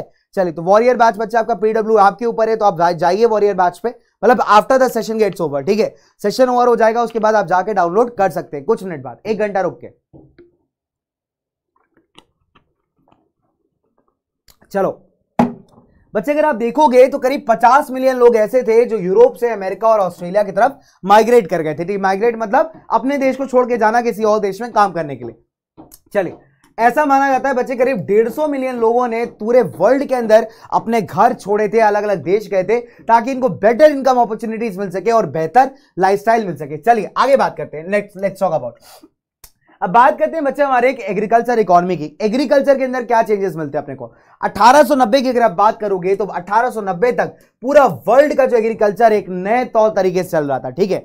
और इसमें मेजर फैक्टर्स क्या थे जो उसके इंपैक्ट कर रहे थे? लेबर मूवमेंट हो गया कैपिटल फ्लो हो गया टेक्नोलॉजी हो गई। तो इस तरीके से अलग अलग फैक्टर्स है जिसने पूरे एग्रीकल्चर को, यानी खेती बाड़ी वाले पूरे सेक्टर को बच्चे यहाँ पे बदल के रख दिया चेंज करके रख दिया। चलो, इसको हम पार्ट बाय पार्ट पढ़ेंगे बच्चे नंबर वन अब अगर हम बात करें तो यहाँ पे लोगों के पास खाना किसी पास के गाँव से नहीं आ रहा था, लेकिन आ रहा था बहुत दूर दराज के इलाकों से राइट बहुत दूर दराज के इलाकों से, जैसे यूरोप और ऑस्ट्रेलिया सॉरी अमेरिका और ऑस्ट्रेलिया। तो अमेरिका और ऑस्ट्रेलिया में अनाज उगाया जा रहा था, बेचा जा रहा था आपका ब्रिटेन के अंदर। तो खाना आ रहा है दूर से, कोई पास के गाँव से नहीं आ रहा है। एक बड़ा अच्छा एग्जांपल है एग्रीकल्चर वर्कर्स जो थे बच्चे ज़मीन पे काम करने लगे ठीक है, जितने भी आपके एग्रीकल्चर रीजन्स मिलेंगे। एग्रीकल्चर रीजन्स मतलब ऐसे इलाके जहाँ पे खेती बाड़ी की जाती है एग्रीकल्चर किया जाता है। तो ऐसे सारे इलाकों को जोड़ने के लिए अभी बहुत ही तगड़ा इंफ्रास्ट्रक्चर अवेलेबल था। रेलवेज अवेलेबल थे, जिसमें ट्रेनों के अंदर सामान भर के जो है ले जाया जा रहा है। सी पोर्ट्स थे सी पोर्ट्स मतलब बंदरगाह, समुद्र के अंदर जहाज़ जहाँ पे खड़े होते हैं। तो जहाजों में सामान को लोड करके भेजा जा रहा है। तो कहीं ना कहीं बच्चे टेक्नोलॉजिकल एडवांसमेंट है। फिर अगर मैं बात करूँ जो शिप्स की, ऐसी शिप्स जो आपका अनाज लेके जाती थी, ठीक है? तो जनरली इनको मैनुअल लेबर चलाता था, लोग हायर किए जाते थे इनको चलाने के लिए, ठीक है? तो ये southern Europe Asia Africa Caribbean तो अलग अलग देशों में आप देखोगे बच्चे तो इस तरीके से जो अनाज है फ़ूड ग्रेन्स है रेलवेज के थ्रू शिपों के थ्रू पहुँचाया जा रहा है। तो अभी एग्रीकल्चर इकोनॉमी बहुत चेंज हो रही है। पहले एग्रीकल्चर बहुत लिमिटेड था। है ना? कुछ इलाकों में किया जा रहा है, कुछ हिस्सों में किया जा रहा है, लेकिन अभी ऐसा नहीं है। अभी क्या एग्रीकल्चर किया जा रहा है अलग अलग देशों के अंदर और उन देशों से सामान लेके आया जा रहा है, उस देश में जहाँ पे उसकी ज़रूरत है, जहाँ पे उसकी डिमांड है। राइट फिर अगर आप बात करोगे भारत में, वेस्ट पंजाब में भी आपको सेम चीज़ देखने को मिलती है। देखिए, वेस्ट पंजाब की अगर हम बात करते हैं, वेस्टर्न पंजाब के बहुत सारा इलाका जो था, सूखा था। यानी एग्रीकल्चर करने के लिए बेकार था। तो ब्रिटिशर्स ने क्या किया? ब्रिटिशर्स ने इस इलाके में नहरें बनानी शुरू की, जिसको आप कहते हैं कैनाल्स तो इन्होंने क्या किया बच्चे? एक कैनाल सिस्टम बनाया, ठीक है? बहुत सारे कैनाल्स बहुत सारी नहरें बनाई, जिसके पानी को यूज़ करके वहाँ पे खेती बाड़ी की जा सके एग्रीकल्चर किया जा सके राइट तो ऐसी नहरों को हम कहते हैं कैनाल कॉलोनीज क्या कहते हैं बच्चे हम लोग? कैनाल कॉलोनीज वन नंबर में कई बार क्वेश्चन आता है, ठीक है? तो ब्रिटिशर का मेजर एम था कि वेस्ट पंजाब में कॉटन और वीट यानी कॉटन और गेहूँ को उगाया जाए और उगा करके बेचा जाए बाहर की मार्केट्स में राइट तो ब्रिटिशर्स का जो मेजर एम था वो यही था कि भैया कॉटन को और गेहूँ को उगा करके इंटरनेशनल मार्केट में बेचना है। उगा कहाँ रहे हैं? वेस्टर्न पंजाब के रीजन में। वेस्टर्न पंजाब में इन्होंने क्या किया है? जितने भी सूखे इलाके हैं, वहाँ पे नहरें बनाई हैं कनाल्स बनाए हैं और नहरों के पानी से वहाँ पे एग्रीकल्चर किया जा रहा है राइट चलिए आगे बात करें बच्चों। फ़ूड ग्रेन्स के अलावा कॉटन और रबर भी ग्रो किया जा रहा था, ठीक है? इसका भी डिमांड अगर आप देखोगे तो ब्रिटेन के अंदर काफ़ी ज़्यादा हाई है। तो मेजर ऑब्जेक्टिव यही है ब्रिटिशर्स का यहाँ पे कैनाल कॉलोनीज बनाने का, कि जिससे ये लोग सामान उगा करके इंटरनेशनल मार्केट में बेच पाए। अगर आप बच्चे डेटा की बात करेंगे तो वर्ल्ड ट्रेड 1820 से 1914 के बीच में करीब 25 से 40 टाइम्स बढ़ गई है बच्चे। 25 एक्स से लेकर के 40 एक्स तक ये जो है वर्ल्ड ट्रेड आपकी बढ़ गई है। ठीक है? मतलब जितनी पहली हुआ करती थी, उसमें कई बार कई टाइम कई गुना इंक्रीज आया राइट चलिए, फिर अगर मैं बात करूँ बच्चे करीब 60 परसेंट जो ट्रेड थी, वो सिर्फ़ प्राइमरी प्रोडक्ट्स की थी। अगर आप इंटरनेशनल ट्रेड की बात करेंगे तो उसका 60 प्रतिशत, यानी 60 परसेंट जो ट्रेड था बच्चे 60 प्रतिशत जो ट्रेड था, उसमें सिर्फ़ और सिर्फ़ प्राइमरी प्रोडक्ट्स यानी एग्रीकल्चर प्रोडक्ट्स को ही बेचा जाता था। जैसे गेहूँ हो गया, अनाज हो गए आपके कॉटन हो गए मिनरल्स हो गए तो जितने भी आपके प्राइमरी प्रोडक्ट्स हैं एग्रीकल्चर प्रोडक्ट्स हैं, सिर्फ़ इन्हीं को बेचा जाता था साठ परसेंट ट्रेड के बाद। चलिए फिर अगर मैं बात करूँ बच्चे टेक्नोलॉजी का रोल क्या है? देखिए टेक्नोलॉजी वाला टॉपिक बहुत इंपॉर्टेंट है, ठीक है? टेक्नोलॉजी का टॉपिक बहुत इंपॉर्टेंट है बच्चे, क्योंकि यहाँ पे आपसे रेफ्रिजरेटेड शिप्स का एग्जांपल पूछेगा। टेक्नोलॉजी की अगर आप बात करेंगे तो जब रेलवेज का इन्वेंशन हुआ स्टीम शिप का इन्वेंशन हुआ टेलीग्राफ का इन्वेंशन हुआ तो इसने आप कह सकते हैं बच्चे, पूरे सिस्टम को, पूरे इकोनॉमी को, पूरी अर्थव्यवस्था को, पूरे व्यापार को, एकदम ताबड़तोड़ तरीके से बदल के रख दिया राइट देखिए, पहले क्या होता था, बेचारी जो हमारे एनिमल्स होते थे, जानवर, है ना, उनको तो वैसे ही कंसिडर कर चुके हैं, उनकी कोई फीलिंग्स नहीं है। अब सोचो, जानवर के साथ कितना बुरा हो रहा है। जानवर को पता है कि उसको काटा जा रहा है, उसको मारा जा रहा है, किस लिए मारा जा रहा है? क्योंकि किसी इंसान को मीट एंजॉय करना है, ठीक है? दैट इज़ द रीजन भैया, अपन तो वेजिटेरियन आदमी है, बिल्कुल सिंपल अपन खाते हैं एकदम साग, सब्ज़ी, एकदम खतरनाक वाली, ठीक है?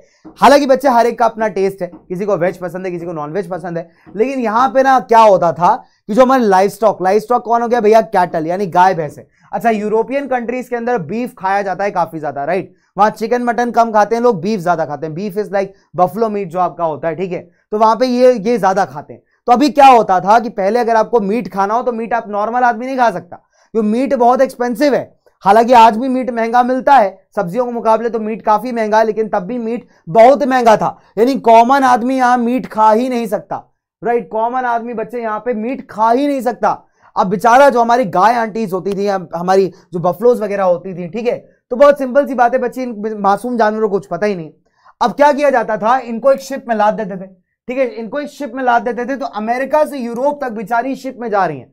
अब एक जानवर को तुम दो तीन महीने की जर्नी पे भेज दोगे, वो भी शिप के ऊपर, पानी के जहाज़ के ऊपर, पानी का जहाज़ जैसे हिल रहा है। हाँ बेचारी हमारी भैंस आंटी खड़ी हुई है मतलब बफलो खड़ी हुई है। उसको पता ही नहीं चल रहा है उसके साथ क्या हो रहा है, उसकी पूंछ अपने आप हिल रही है। वो सोच रही कि मैंने पूंछ तो हिलाई ही नहीं थी, मेरी पूंछ हिल कैसे रही है? अब उसको क्या पता है कि वो पानी के जहाज़ के ऊपर है। अब दो तीन महीने की लंबी जर्नी में क्या होता था, या तो बीमार हो जाती थी, या तो फिर वो मर जाती थी, है ना?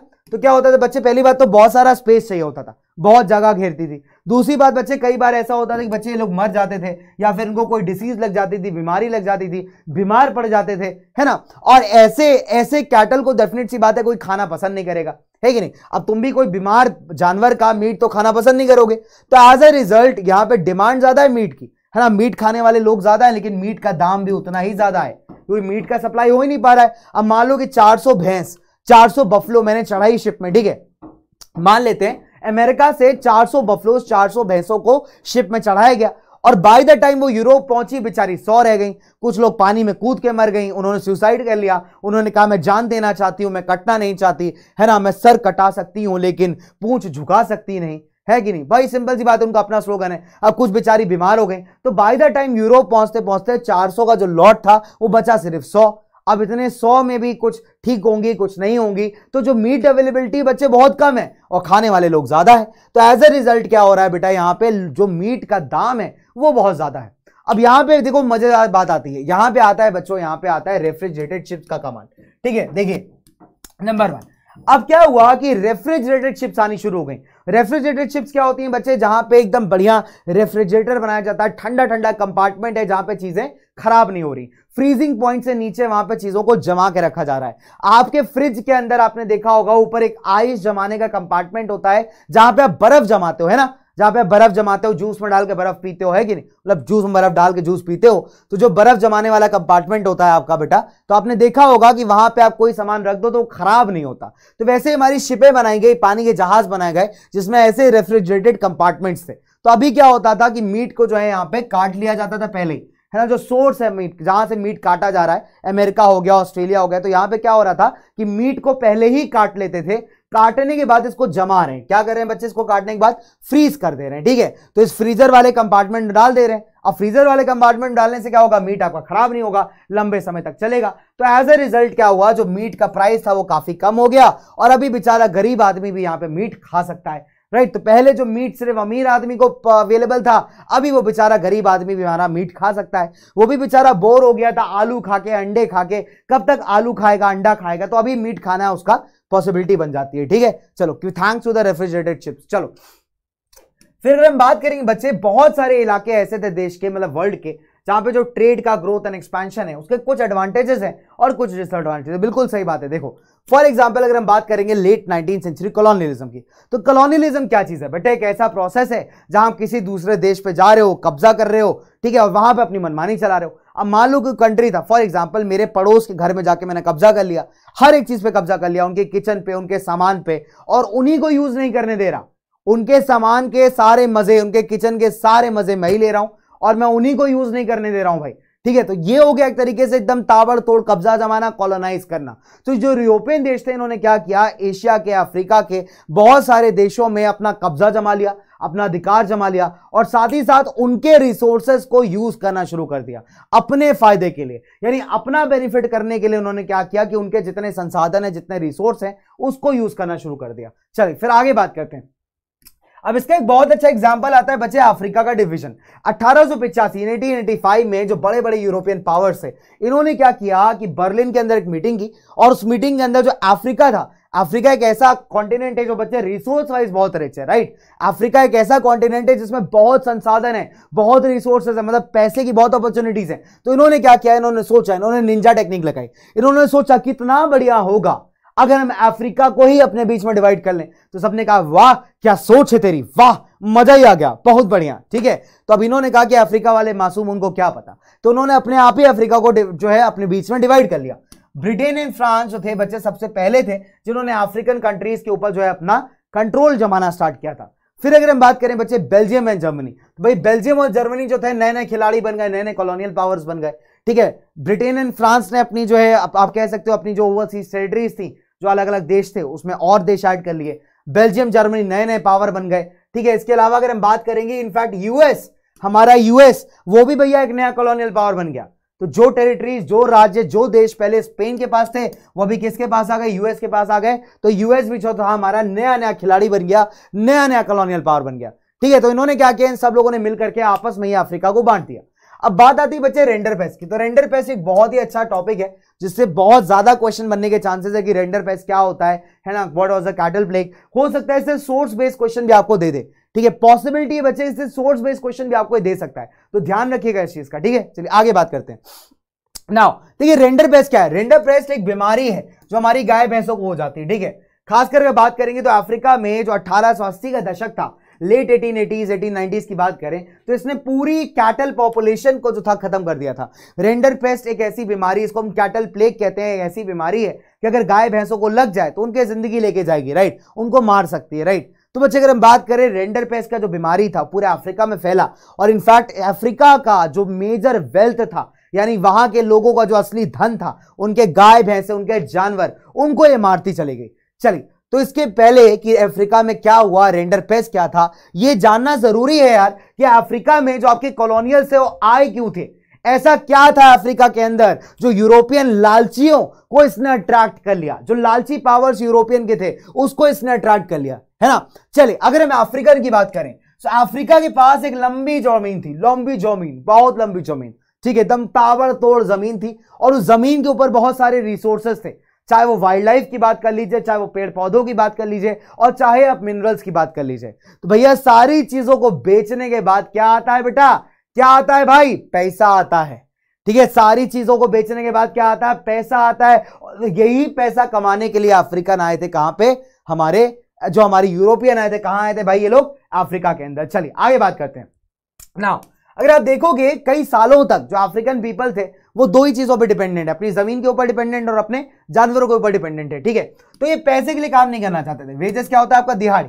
तो पैसे के लिए काम करने में बिल्कुल भी इंटरेस्टेड नहीं थे। तो इसलिए जब यूरोपियंस इतने सारे सपने लेकर के आए कि हम अफ्रीका जाएँगे, वहाँ पे माइनिंग करेंगे प्लांटेशन खोलेंगे, लेकिन इनके पास दिक्कत थी। जब ये अफ्रीका आए तो इनके लिए काम करने के लिए कोई तैयार नहीं था, क्योंकि पैसा किसी को चाहिए नहीं था। तो ये नालायक आदमी, बदतमीज आदमी, ठीक है? इन्होंने क्या किया? लेबर जुटाने के लिए गंदे प्रैक्टिस अपना लिए। इन्होंने कहा कि, बेटा, अगर तुम मर्ज़ी से काम नहीं करोगे ना, तुमको इतना मजबूर कर देंगे, कि इतना मजबूर कर देंगे कि आओगे हमारी हवेली पे। अभी ब्रिटिशर गया कि हो या अफ्रीकन हम तुमको बुलाता है, कभी आओ, हमारी हवेली पे। अफ्रीकन ने कहा, छी, मैं, छी, वो नहीं आऊँगा मैं, ठीक है? अफ्रीकन ने सीधा मना कर दिया, भैया, मैं नहीं आऊँगा, ठीक?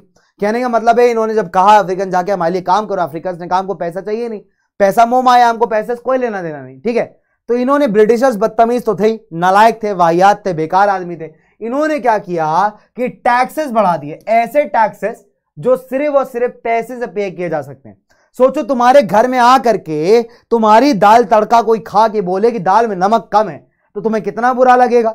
है कि नहीं? बोले कि दाल में नमक कम है और उस नमक के लिए मैं पेनाल्टी दो, तुम्हें कितना बुरा लगेगा? अब ब्रिटिशर यही है भाई। ब्रिटिशर क्या है? अफ्रीका में घुस के टैक्स लगा रहे हैं। दूसरे की ज़मीन पे ये टैक्स लगा रहे हैं, ठीक है? और टैक्स लगा के कह रहे कि भैया इसको टैक्स को तुम्हें पैसे में ही देना है, रुपए में देना है। हम, ऐसा नहीं कि तुम्हारे ऊपर टैक्स लगाएँगे तो तुम्हारी एक भैंस ले लेंगे, नहीं। ठीक है, ऐसा नहीं होने वाला है कि तुम भैंस दे दो, कोई काम बन जाएगा। तो एज अ रिज़ल्ट मजबूरी में इन लोगों को क्या करना पड़ेगा, काम करना पड़ेगा। फिर क्या होता है इनहेरिटेंस राइट को चेंज करना, ठीक है। अफ्रीका में एक सिस्टम था कि अफ्रीका में मान के चलिए, अगर एक परिवार के पाँच लोग हैं, ठीक है, अफ्रीका में एक सिस्टम था कि मान लीजिए एक परिवार के पाँच लोग हैं तो जितनी भी ज़मीन है, उन पाँचों लोगों में डिवाइड कर दी जाएगी, ठीक है। लेकिन जब ये ब्रिटिशर आए, ये नालायक बदतमीज आदमी, वाहियात लोग, इन्होंने क्या किया, इन्होंने आकर के सिंपल सी बात है इस लॉ को चेंज कर दिया। वक्त, जज्बात, कानून सब बदल दिए। इन्होंने कहा, अगर एक परिवार के अंदर पाँच लोग हैं तो उसमें से सिर्फ़ एक आदमी के पास ज़मीन रखने का अधिकार होगा। बाकी सारे के सारे लोगों को काम करना पड़ेगा। ठीक है तो इन्होंने क्या कहा भैया? भैया, अगर परिवार के अंदर फाइव पीपल है तो फाइव में से सिर्फ़ एक आदमी ज़मीन रख सकता है, बाकी सबको काम करना पड़ेगा, ज़मीन रखने का अधिकार नहीं है। एज ए रिज़ल्ट बाकी जितने भी लोग थे परिवार को, उनको क्या करना पड़ा? मजबूरी में यहाँ पे लेबर परफॉर्म करना पड़ा, ठीक है? फिर अगर हम बात करें माइन वर्कर्स माइन में काम करने वाले लोगों की ज़िंदगी बहुत खराब थी। माइन में काम करने वाले लोगों को उस पूरे इलाके के बाहर जाने ही नहीं दिया जाता था। बिना स्पेशल परमिशन के आप जा ही नहीं सकते थे। और मज़े की बात यह है कि स्पेशल परमिशन कभी मिलती ही नहीं थी। तो आप कह सकते हो, भैया, इन लोगों की ज़िंदगी काफ़ी खराब थी राइट चलिए, अगर हम बात करें बच्चे अफ्रीका में, जो रेंडर पेस्ट आपकी बीमारी है कैटल प्लेग आया था करीब लेट एटीन के अंदर, ठीक है? अब ये आया कैसे था? देखिए इटालियन सोल्जर, जो इटालियन आर्मी के जवान थे, वो लोग ईस्ट अफ्रीका में एक जगह पड़ती है, एरिट्रिया करके, ठीक है? तो एरिट्रिया करके जो जगह है, यहाँ पे हमला कर रहे थे, अटैक कर रहे थे, अब भैया लड़ाई करते करते इनको लग गई भूख। अब भूख में ऐसा नहीं कि चाय, बिस्किट खा के काम चला ले, नहीं, इनको चाहिए पूरा का पूरा कैटल, इनको चाहिए बीफ। तो भैया इनकी भूख मिटाने के लिए, इनको खाना खिलाने के लिए ब्रिटिश एशिया से गाय मंगाई गई, भैंस मंगाई गई कैटल मंगाई गई, राइट? तो इनको खिलाने के लिए ब्रिटिश एशिया से क्या हुआ? भाई, कैटल मंगाई गई। अब इस कैटल के अंदर बीमारी थी। है ना? अब क्या था भैया इस कैटल के अंदर बीमारी थी और ये बीमारी वहाँ के बाकी कैटल को भी लग गई। अब एज अ रिज़ल्ट धीरे धीरे करके पूरे अफ्रीका की जितनी हमारी गाय भैंसी थी, उनको बीमारी लगने लगी लगने लगी, है ना? फिर अगर आप देखोगे कि बहुत जल्दी वेस्ट अफ्रीका से बीमारी कहाँ पहुँच गई? ईस्ट अफ्रीका और ईस्ट अफ्रीका से बीमारी पहुँच गई अटलांटिक कोस्ट पे भाई 1892 तो धीरे धीरे करके तीन, चार, पाँच सालों के अंदर बच्चे पूरी की पूरी जो बीमारी थी, उसने पूरी अफ्रीकन जितने भी कैटल थी, जितने भी भाई भैंसे, जो मतलब जितने भी आपके गाय वगैरह थे, भैंस वगैरह थे, उसकी नब्बे पॉपुलेशन को यहाँ पे खत्म कर दिया राइट नब्बे परसेंट पॉपुलेशन को यहाँ पे रेंडर पेस्ट ने खत्म कर दिया। अब बेचारे हमारे गरीब लोग, हमारे खासकर जो बेचारे भोले भाले अफ्रीकन लोग, ये इसी पे डिपेंडेंट थे। इनकी दिनचर्या, इनका जीवन सिर्फ़ इनकी जानवरों से चलता था, लेकिन अभी इनके पास कोई ऑप्शन बचा ही नहीं। और इसी मौके का फ़ायदा उठा के ब्रिटिशर्स ने, बाकी यूरोपियंस ने मौके पर चौका मारा। जैसा इनका कैटल वेल डिस्ट्रॉय हो गया भाई, इनके पास कोई ऑप्शन नहीं बचा। और मजबूरी ने इनको एज अ लेबरर काम करना पड़ा। ठीक है तो मजबूरी में इनको एज अ लेबरर बच्चों काम करना पड़ा। चलिए। ओके, चलिए चलिए चलिए। ओके। चले, आगे बढ़े भाई लोग, आगे बढ़े भाई लोग रेंडर बेस समझ में आया? देखो रेंडर बेस का क्विक रिकॉल देता हूँ, एक ऐसी बीमारी है, जो कैटल को हो जाती गाय, भैंसों को हो जाती है, और एक गाय, भैंस से दूसरे गाय, भैंस तक फैलती है, ठीक है? यूरोपियंस जो थे अफ्रीका क्यों आए थे? क्योंकि उनको वहाँ प्लांटेशन लगाने थे माइने खोलनी थी, पैसा कमाना था, ठीक है? लेकिन दिक्कत क्या थी कि अफ्रीकन लोग पैसे के लिए काम करने को तैयार नहीं थे। तो उन्होंने क्या किया? वहाँ पे कई सारे कानून चेंज कर दिए, ठीक है? और उसकी वजह से क्या हुआ? ये लोग मजबूर हो गए इनके काम करने के लिए। फिर जब रेंडर पेस्ट फैला, जब कैटल प्लेग फैला तो जितना नब्बे प्रतिशत जो गाय भैंसे थी यहाँ पे मर गई। तो एज ए रिज़ल्ट अफ्रीकन लोगों के पास कोई ऑप्शन बचा ही नहीं और इन्होंने क्या किया? ब्रिटिशर्स के काम करने वाले प्रपोजल को मान लिया, ठीक है? तो एक कहानी है भाई यहाँ पे रेंडर पेस्ट की। चलिए, आगे बढ़ा जाए भाई फटाफट से। ओके हाई इनोसेंट बॉय यार, मैं ऑलरेडी स्माइल कर रहा हूँ यार। वो क्या है भाई आपको फटाफट से फटाफट से कराना है ना? फटाफट से आपको कंप्लीट कराना है। इसलिए थोड़ा सा ब्रेक हम लोग कम ले रहे हैं। तो जल्दी जल्दी जल्दी जल्दी चल रहे हैं। चैप्टर्स आपके लंबे हैं। चलिए ओके ओके ओके ओके बच्चे ब्रेक लास्ट में पूरे चैप्टर का हाँ मैं मैं बिल्कुल रिकॉल दे दूँगा आपको, बिल्कुल क्विक रिकॉल दे दूँगा, ठीक है? चलिए, बिल्कुल क्विक रिकॉल दूँगा। बच्चे ब्रेक अभी नहीं दे रहा हूँ बिकॉज़ ब्रेक अभी दे दूँगा तो फिर आप बहुत टाइम हो जाएगा, ठीक है? ब्रेक में दूँगा इस चैप्टर के बाद, उसके बाद हम लोग करेंगे इंडस्ट्रियलाइजेशन उसके बाद सर को बुलाएँगे सर कराएँगे प्रिंट कल्चर उसके बाद करेंगे क्लास को आया ठीक है? चलिए, आगे चलते हैं। Knowledge talk about indenture labour देखिए इंडेंचर लेबर कौन है सबसे पहले नंबर वन देखिए इंडेंचर लेबर कौन है इंडेंचर लेबर एक ऐसा मजदूर है जो एक कॉन्ट्रैक्ट साइन करके पाँच साल के लिए किसी और देश जा रहा है काम करने, ठीक है? यानी मैं एक मजदूर, मान लीजिए मैं क्या हूँ? मजदूर मेरा नाम है कुणाल खैनी, ठीक है? मेरा नाम क्या है? कुणाल खैनी, ठीक है? तो भैया कुणाल खैनी नाम का मैं मजदूर हूँ, खतरनाक मजदूर। अब मैंने क्या किया कि अपनी गरीबी से भागने के लिए एक बढ़िया पाँच साल का कॉन्ट्रैक्ट साइन किया। मेरे पास एक आदमी आया, उसने कहा, सुनो, विदेश जाके काम करोगे क्या? मैंने कहा वल्ला हबीबी, मज़ा ही आ जाएगा। ठीक है तो मैंने कहा, कहा कि बहुत बढ़िया मैं जाऊँगा विदेश जाऊँगा। तो मैंने क्या किया उस कॉन्ट्रैक्ट पे साइन किया पाँच साल के लिए अपना सिग्नेचर मारा कुणाल खैनी। और सिग्नेचर मारने के बाद जो था मैं पाँच साल के लिए दूसरे देश चला गया। अब वहाँ जाके मैंने काम किया। अब जब मेरा पाँच साल का कॉन्ट्रैक्ट खत्म हो जाएगा तो उसके बाद या तो मैं भारत वापस आ सकता हूँ या फिर किसी और देश में चला जाऊँगा काम करने। ठीक है तो भैया कुणाल खेनी जो है अभी पाँच साल के लिए जा रहे हैं कहीं काम करने। ठीक समझ गए कि नहीं समझे? चलो तो ये होता है आपका इंडेंचर लेबर तो इंडिया से और चाइना से बहुत सारे ऐसे लोग थे जो अलग अलग देशों में काम करने गए थे। कुछ लोग रेलवे बनाने गए थे, कुछ लोग रोड बनाने गए थे, कुछ लोग प्लांटेशन में काम करने गए थे। अगर हम बात करें इंडियन इंडेंचर लेबर को कॉन्ट्रैक्ट के अंदर हायर किया जाता था, ठीक है, भारतीय, भारत से लोगों को कॉन्ट्रैक्ट के अंदर हायर करते थे कि पाँच साल तक के लिए आपको काम करना है, पाँच साल बाद आप देश वापस आ सकते हो। चलिए, फिर अगर हम बात करें मैक्सिमम वर्कर कहाँ से आता था? मैक्सिमम वर्कर मैक्सिमम वर्कर आता था यूपी से आता था एमपी से आता था, बिहार से आता था और साथ ही साथ तमिलनाडु के ऐसे इलाके जहाँ खेती बाड़ी नहीं होती, जहाँ पानी की बहुत ज़्यादा प्रॉब्लम है। अब दिक्कत ये कि भैया ये लोग काम क्यों करना चाहते थे? ठीक है? ये लोग बाहर क्यों जाना चाहते थे? नंबर वन उसका पहला रीजन है डिक्लाइन ऑफ़ कॉटेज इंडस्ट्रीज़ यानी जितनी भी आपकी स्मॉल स्केल इंडस्ट्रीज़ थी, जब वो बेकार होने लगी, लोगों के पास काम नहीं बचा, लोगों के पास इनकम नहीं बची, कर्ज इनके बढ़ते जा रहे हैं ऑप्शन के पास बचा नहीं है तो ये हो जाता है आपका पहला reason rise in rent of the land अब सरकार ने क्या किया भैया? जो ज़मीन के ऊपर टैक्स लग रहा है, उसको बढ़ा दिया. अब इतना टैक्स दे नहीं पा रहे तो उन्होंने कहा काम करते कहीं और चलते हैं. ठीक? फिर अगर हम बात करेंगे इनकी बहुत सारी जो जमीनें थी, वो भी सरकार ने छीन ली थी। किस लिए? प्लांटेशन लगाने के लिए माइंस खोलने के लिए। तो इनके पास ना तो ज़मीन बची, ना काम बचा, ना ही पैसा बचा। तो एज ए रिज़ल्ट इन्होंने सोचा कि इसी ऑल देश जाते हैं और वहाँ जाके हम लोग काम करेंगे, ठीक है?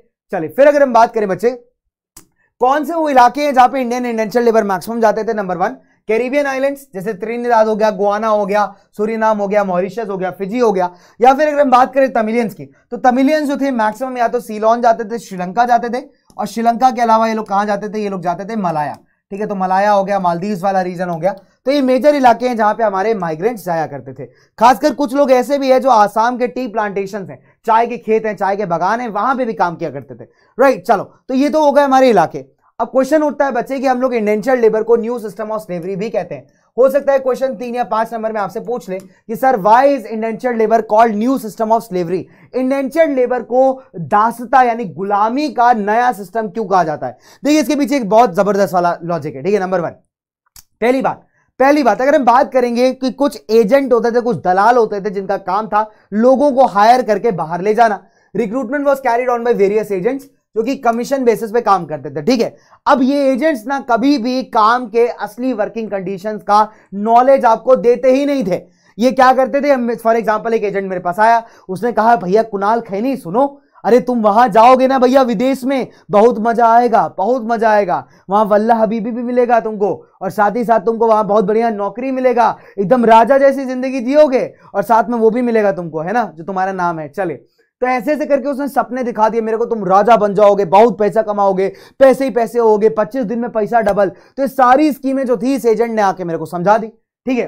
कि गुड वेजेस होंगी गुड वर्किंग कंडीशन होंगी तो ऐसे ऐसे खूबसूरत सपने दिखा करके, पागल बना के, गधा बना के जो था, मेरे को भेज दिया। तो भैया चले गए कुणाल खेनी काम करने, लेकिन मज़े की बात तो ये है कि जब हम पहुँचे तो हमारे जितने भी वक्त और जज्बात थे, वो सारे के सारे बेकार हो गए, खराब हो गए, है ना? जैसे अगर हम देखेंगे तो कहीं ना कहीं बच्चे, पहली बात तो हम, हमने एक्सेप्ट क्यों किया? क्योंकि हमको लगता था कि हम अपनी गरीबी को दूर कर सकते हैं, ये बढ़िया जॉब करके। लेकिन दिक्कत ये कि हमारे साथ हो गया धोखा। हम जहाँ पहुँचे, हमने सोचा कि बढ़िया हमको सीट ईट मिलेगी। ज़बरदस्ती उठा के पानी जहाज़ पे बैठा दिया। कहते, भैया, तीन महीने का जर्नी है, यहीं बैठो।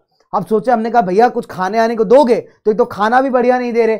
पीने के लिए प्रॉपर खाना पीना है नहीं। उसके ऊपर जहाज़ के ऊपर बैठा दिया। और दो दो तीन तीन महीने की जर्नी है। पता ही नहीं चल रहा बेचारे, हम बैठे हुए मेरे को मिल गया राम खिलावन। मैंने कहा, ओ राम खिलावन, कैसन बाबे तुम यहाँ क्या कर रहे हो? ठीक है? उसने कहा, हमको भी सपना दिखाए थे।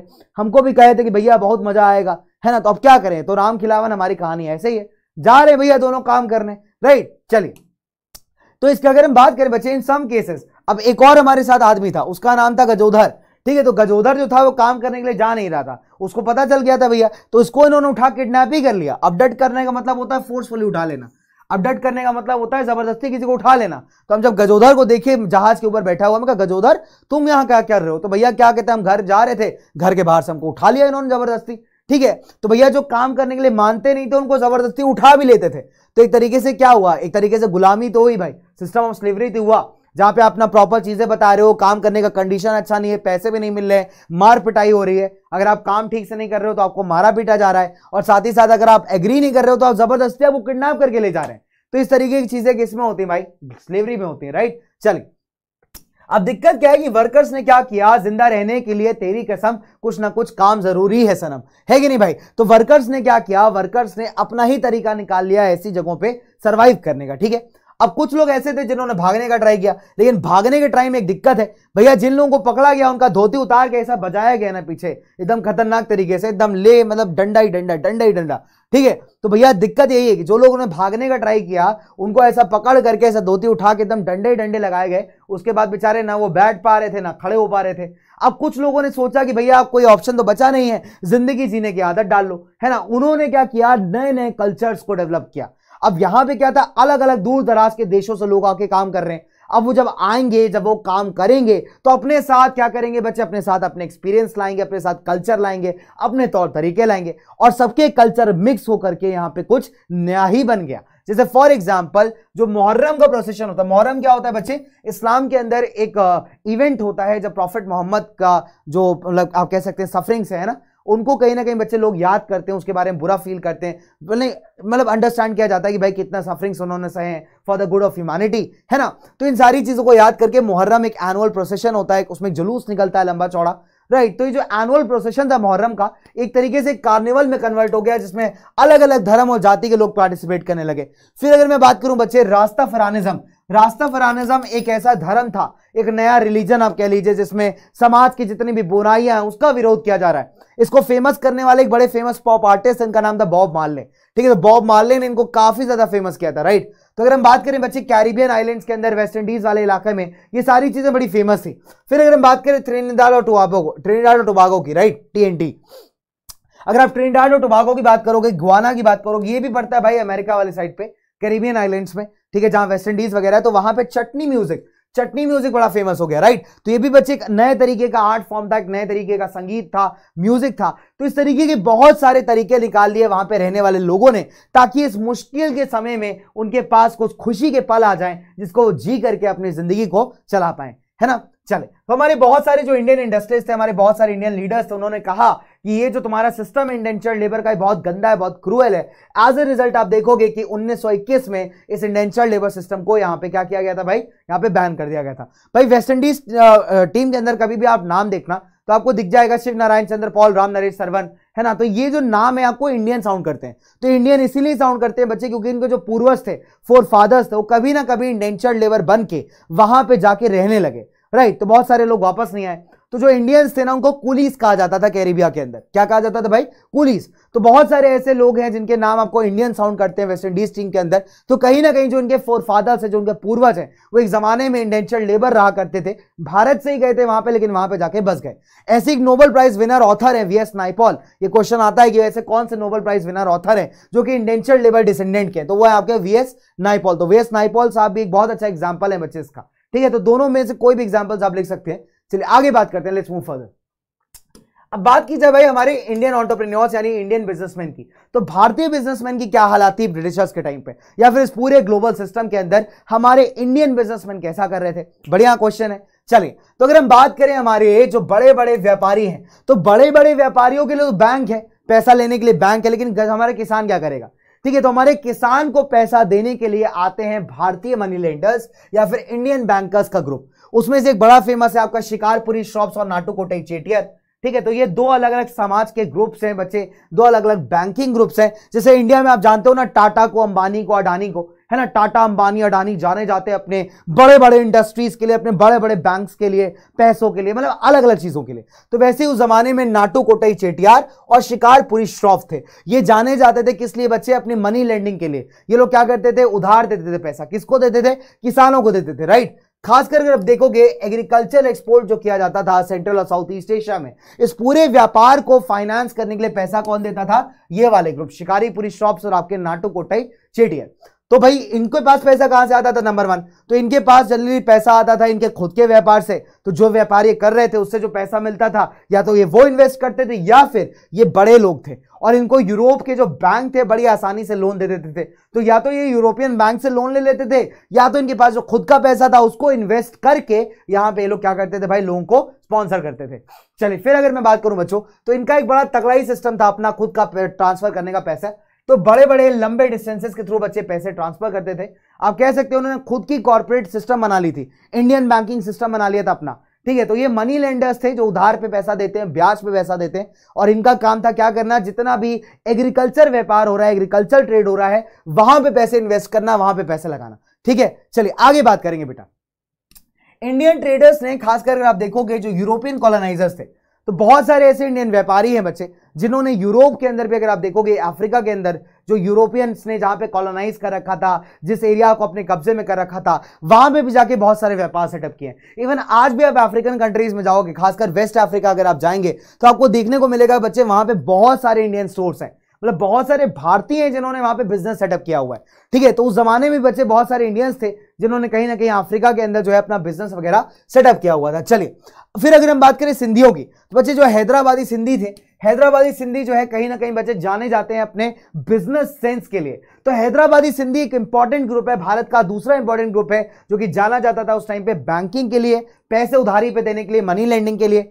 फिर अगर हम बात करें बच्चे with the development of safe and comfortable passenger vehicles ठीक है the Indian traders were able to establish the shops nationwide worldwide right अब क्या हुआ जब शिप पानी का जहाज़ वेसल्स का मतलब है बच्चे यहाँ पे शिप्स अब बहुत सारे ऐसे पानी के जहाज़ बने जिसमें लोगों को ट्रांसपोर्ट किया जाता था राइट तो जब लोगों को ट्रांसपोर्ट किया जाने लगा, लोग पानी के जहाज़ में बैठ के इधर से उधर जाने लगे सेफ़ पानी के जहाज़, जो काफ़ी स्टेबल है, मज़बूत है, डूबेंगे नहीं। तो ऐसे पानी के जहाज़ के इन्वेंशन के बाद, ऐसे जो बिज़नेस हाउसेज हैं, हमारे भारतीय बिजनेसमैन हैं, इनको एक बड़ा अच्छा अपॉर्चुनिटी मिल गया दूसरे देशों में जा करके, वहाँ पर अपना व्यापार, अपना धंधा सेटअप करने का। Right right. तो ये लोग क्या करते थे? कई बार बच्चे जो लोकल सामान है, उसको बेचा करते थे, या फिर बाहर से सामान इंपोर्ट किया करते थे। तो ऐसे बहुत सारे ट्रेड प्रैक्टिस इसमें हमारे इंडियन ऑन्टरप्रेन्योर्स ऑलरेडी इन्वॉल्व हैं। फिर अगर हम देखेंगे हिस्टोरिकली अगर आप पहले के जमाने में जाओगे, चलिए तो अगर पहले के जमाने में जाएँगे बच्चे तो भारतीय कपड़े का इंटरनेशनल मार्केट के अंदर एक बहुत ज़्यादा वैल्यू है, ठीक है? भारतीय कपड़े का इंटरनेशनल मार्केट के अंदर बहुत ज़्यादा वैल्यू था। और जैसे जैसे बच्चे आपका टेक्नोलॉजी बढ़ता गया टेक्नोलॉजी इंप्रूव होता गया तो ब्रिटेन ने भी कहीं ना कहीं कपड़ा मैन्युफैक्चर करना स्टार्ट कर दिया। ठीक है, ब्रिटेन चलाक आदमी। ब्रिटेन के पास, ब्रिटेन क्या करता था? पहले भारत से कपड़ा इंपोर्ट करता था। लेकिन जब ब्रिटेन में टेक्नोलॉजी इंप्रूव हुई ब्रिटेन के पास क्या आ गया बच्चा निंजा टेक्निक आ गई। तो ब्रिटेन ने क्या किया? अपने ही देश में कपड़ा बनाना स्टार्ट कर दिया। ब्रिटेन ने कहा, अब हम भारत से कपड़ा नहीं मंगाएँगे। भारत का कपड़ा हमको नहीं चाहिए। अब दिक्कत यह है कि इंडिया का जो क्वालिटी का कपड़ा है इंडिया का जो कॉटन फैब्रिक है, वो एक नंबर फैब्रिक है। और यूरोपियन तो चोर ठहरे हमारे चोर, है ना? अब वहाँ पे समस्या आ गई। अब इनका बड़ा सिंपल है, ये क्या है? छोटे बच्चे की तरह। छोटे बच्चे क्या करते हैं? जब उनके बैटिंग वो आउट हो जाते हैं क्रिकेट खेला कभी? छोटे में जब क्रिकेट खेलते हो गए आप तो अगर आप आउट हो जाते हो तो आप क्या करते हो? ट्राई बॉल थी ट्राई बॉल थी, नहीं नहीं, दोबारा कराओ दोबारा कराओ। मान लो तुम पहली बॉल पे आउट हो गए, मान लो तुम पहली बॉल पे आउट हो गए तो क्या बोलोगे? ए ट्राई बॉल थी ट्राई बॉल थी, मैं दोबारा खेलूँगा, मैं नहीं मानता, मेरा बैट है, मेरा बैट है, मेरा बॉल है। ऐसे करोगे ना? तो बच्चे ये भी नालायक लोग थे। अब इनको इतना तगड़ा कंपटीशन मिल रहा है भारत से तो इन्होंने क्या किया अपनी इंडस्ट्रीज़ में? इन्होंने क्या किया अपनी सरकारों को? इन्होंने बोला कि एक काम करो, भारत से जो कपड़ा तुम मंगा रहे हो, उसको बंद करो। भारत का कपड़ा मंगाओगे तो हम कहाँ बेचेंगे? ए बावले हो गए हो क्या? भारत का कपड़ा मंगा के हमारी दुकानें बंद कराओगे? हमारा कपड़ा बिकवाओ, भारतीय मार्केट में। समझ रहोगे नहीं? वोट नहीं दूँगा मंत्री तुमको अगली बार। तो धमकी दे रहे हैं भाई। सही में धमकी दे रहे हैं इधर। कह रहे वोट चाहिए, इनको वोट है man you want vote first stop the export right simple सी बात है, उन्होंने कहा, भैया, वोट नहीं दूँगा। बता रहा हूँ तुमको, ना पैंट पहन पाओगे, ना शर्ट पहन पाओगे, ना सूट पहन पाओगे। ठीक है तो सिंपल सी बात है। तो उन्होंने क्या किया? सरकारों पर दबाव बनाए as a result as a result जो भारत से कॉटन एक्सपोर्ट किया जाता था, वो कॉटन भैया बंद हो गया। अगर आप देखोगे नाइनटीन सेंचुरी यानी 19वीं शताब्दी के स्टार्टिंग में अगर आप देखोगे, जो ब्रिटिश ट्रेडर्स थे, उन्होंने इंडियन मार्केट्स में और अलग अलग देशों के अंदर जो है, अपना सामान बेचना स्टार्ट कर दिया। ठीक है? जब इनके पास सामान बनने लगा, इन्होंने क्या किया? अपना सामान दूसरे दूसरे देशों में जाके बेचने लगे। और खासकर इंडिया में तो बहुत ज़्यादा।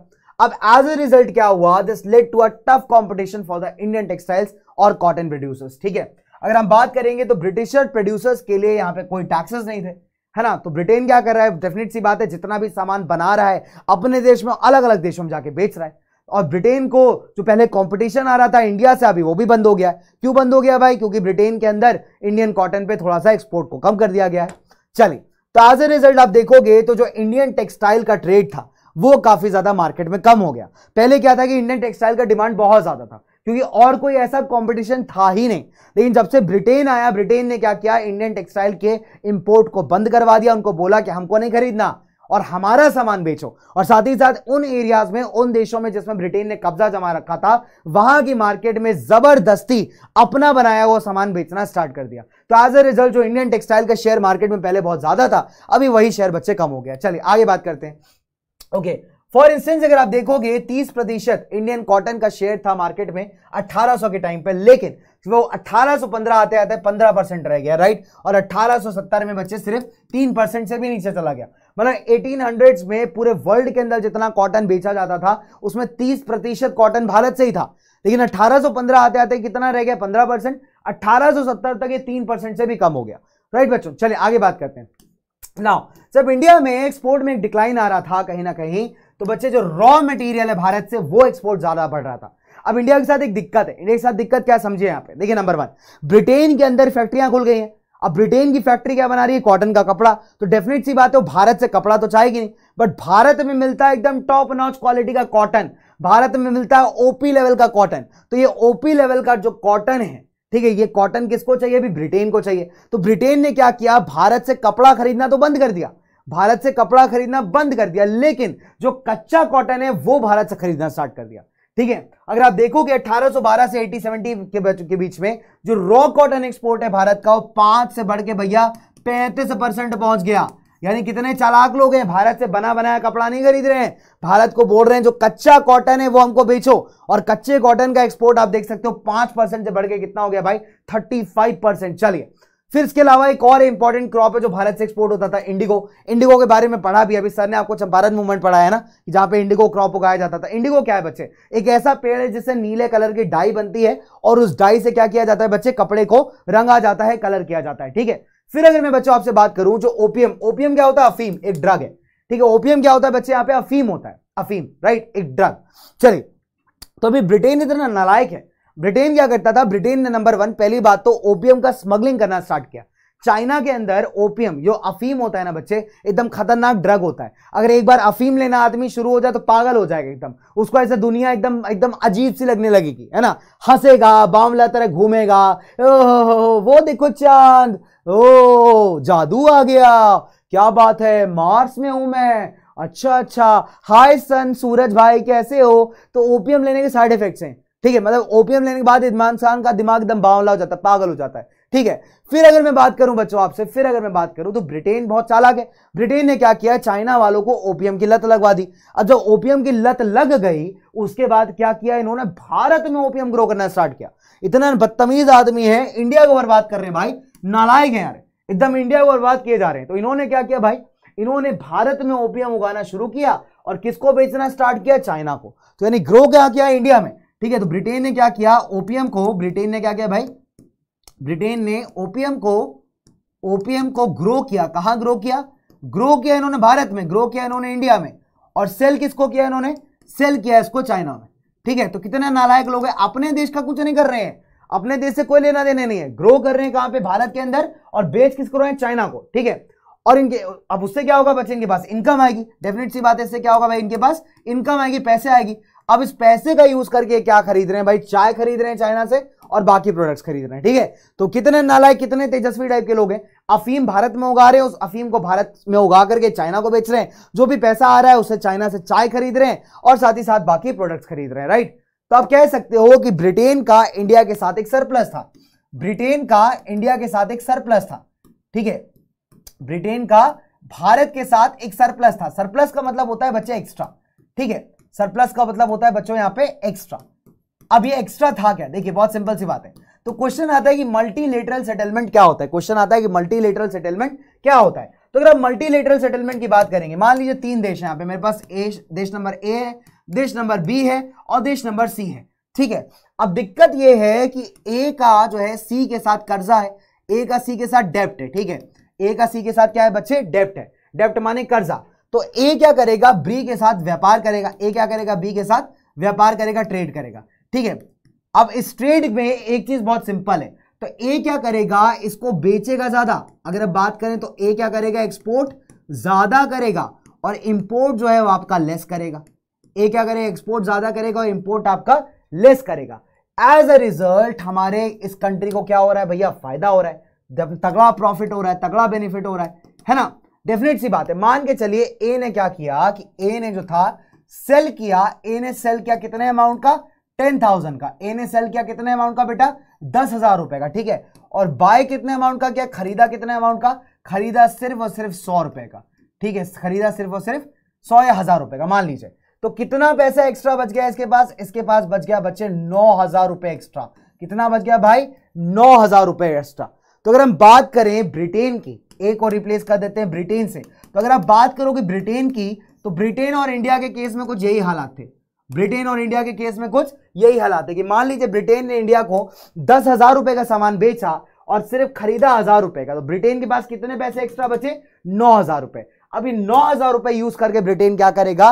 ये जो कंट्री से इसने उधार ले रखा है, जो भी कर्जा है इसका, वो सारे के सारे कर्जे को चुकाएगा। इसी को हम कहते हैं मल्टीलेटरल सेटलमेंट जहाँ पे आप एक कंट्री के साथ व्यापार करते हो और उस कंट्री के साथ व्यापार करने पे जितना भी आपको प्रॉफिट मिलता है, जितना भी पैसा आप कमा पाते हो, उस पैसे से आप अपने कर्जे उतारते हो, अपने एक्सपेंसेस को मैनेज करते हो। ये कहलाता है आपका मल्टीलेटरल सेटलमेंट ठीक है, चलिए।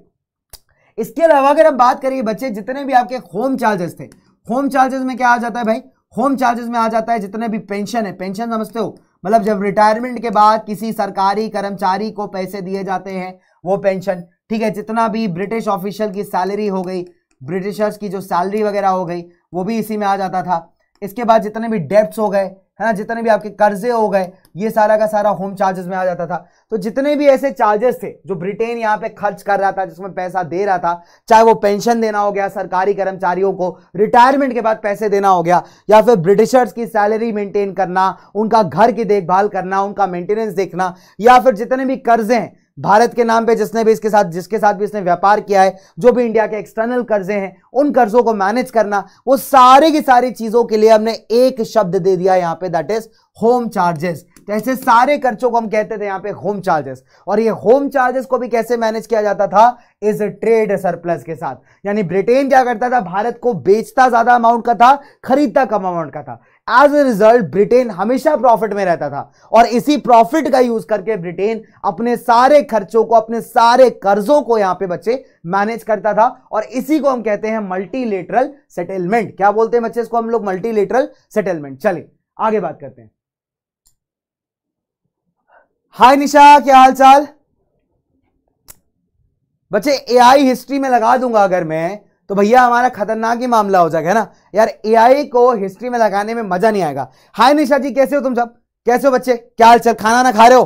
खाना ना खा रहे हो नहीं? पानी वानी पी रहे हो? यार, पानी पीते रहा करो, ये मौसम का जो माहौल है ना ऐसा, इस टाइम का जो मौसम है भाई साहब, ऐसा मौसम है, क्या बताऊँ? ऐसा ओपी लेवल पे ऐसा खाना खाने के बाद जो ऐसा मस्त आता है ना मज़ा ही आ जाता है, ऐसा मस्त, ऐसा हो जाता है हाँ कढ़ाई पनीर बटर नान वाह!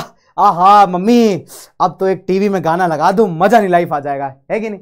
चलिए तो हमारे जितने भी बच्चे भैया, जब पढ़ने बैठा करो करो तो एकदम हैवी मत खाया करो नंबर वन ठीक है? पढ़ने बैठा करो तो हैवी मत खाया करो यार, सबसे पहली बात है, ठीक है? जब पढ़ने बैठेंगे आप तो हमेशा लाइट खाया करिए और लिक्विड्स लिया करिए, ठीक है? जूस वूस लेता रहा करो, चाय कॉफ़ी लेता रहा करो, मखाने वखाने खाते रहा करो लाइट खाया करो, जिससे ना आपको हैवी फील नहीं होगा, चलिए। बच्चे मल्टीलेटरल सिस्टम की डेफिनेशन बहुत इजी है। देखिए, मैं बता देता हूँ। जिन बच्चों को दिक्कत आ रही है मल्टीलेटरल की डेफिनेशन क्या है तो मैं लिख देता हूँ भाई। फटाफट से आप लिख लो, फटाफट से। मल्टीलेटरल सिस्टम ठीक है? चले a system of trade a system in which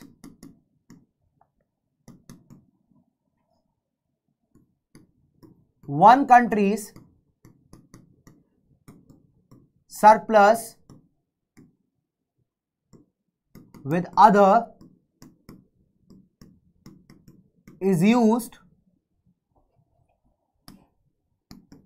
to settle its debt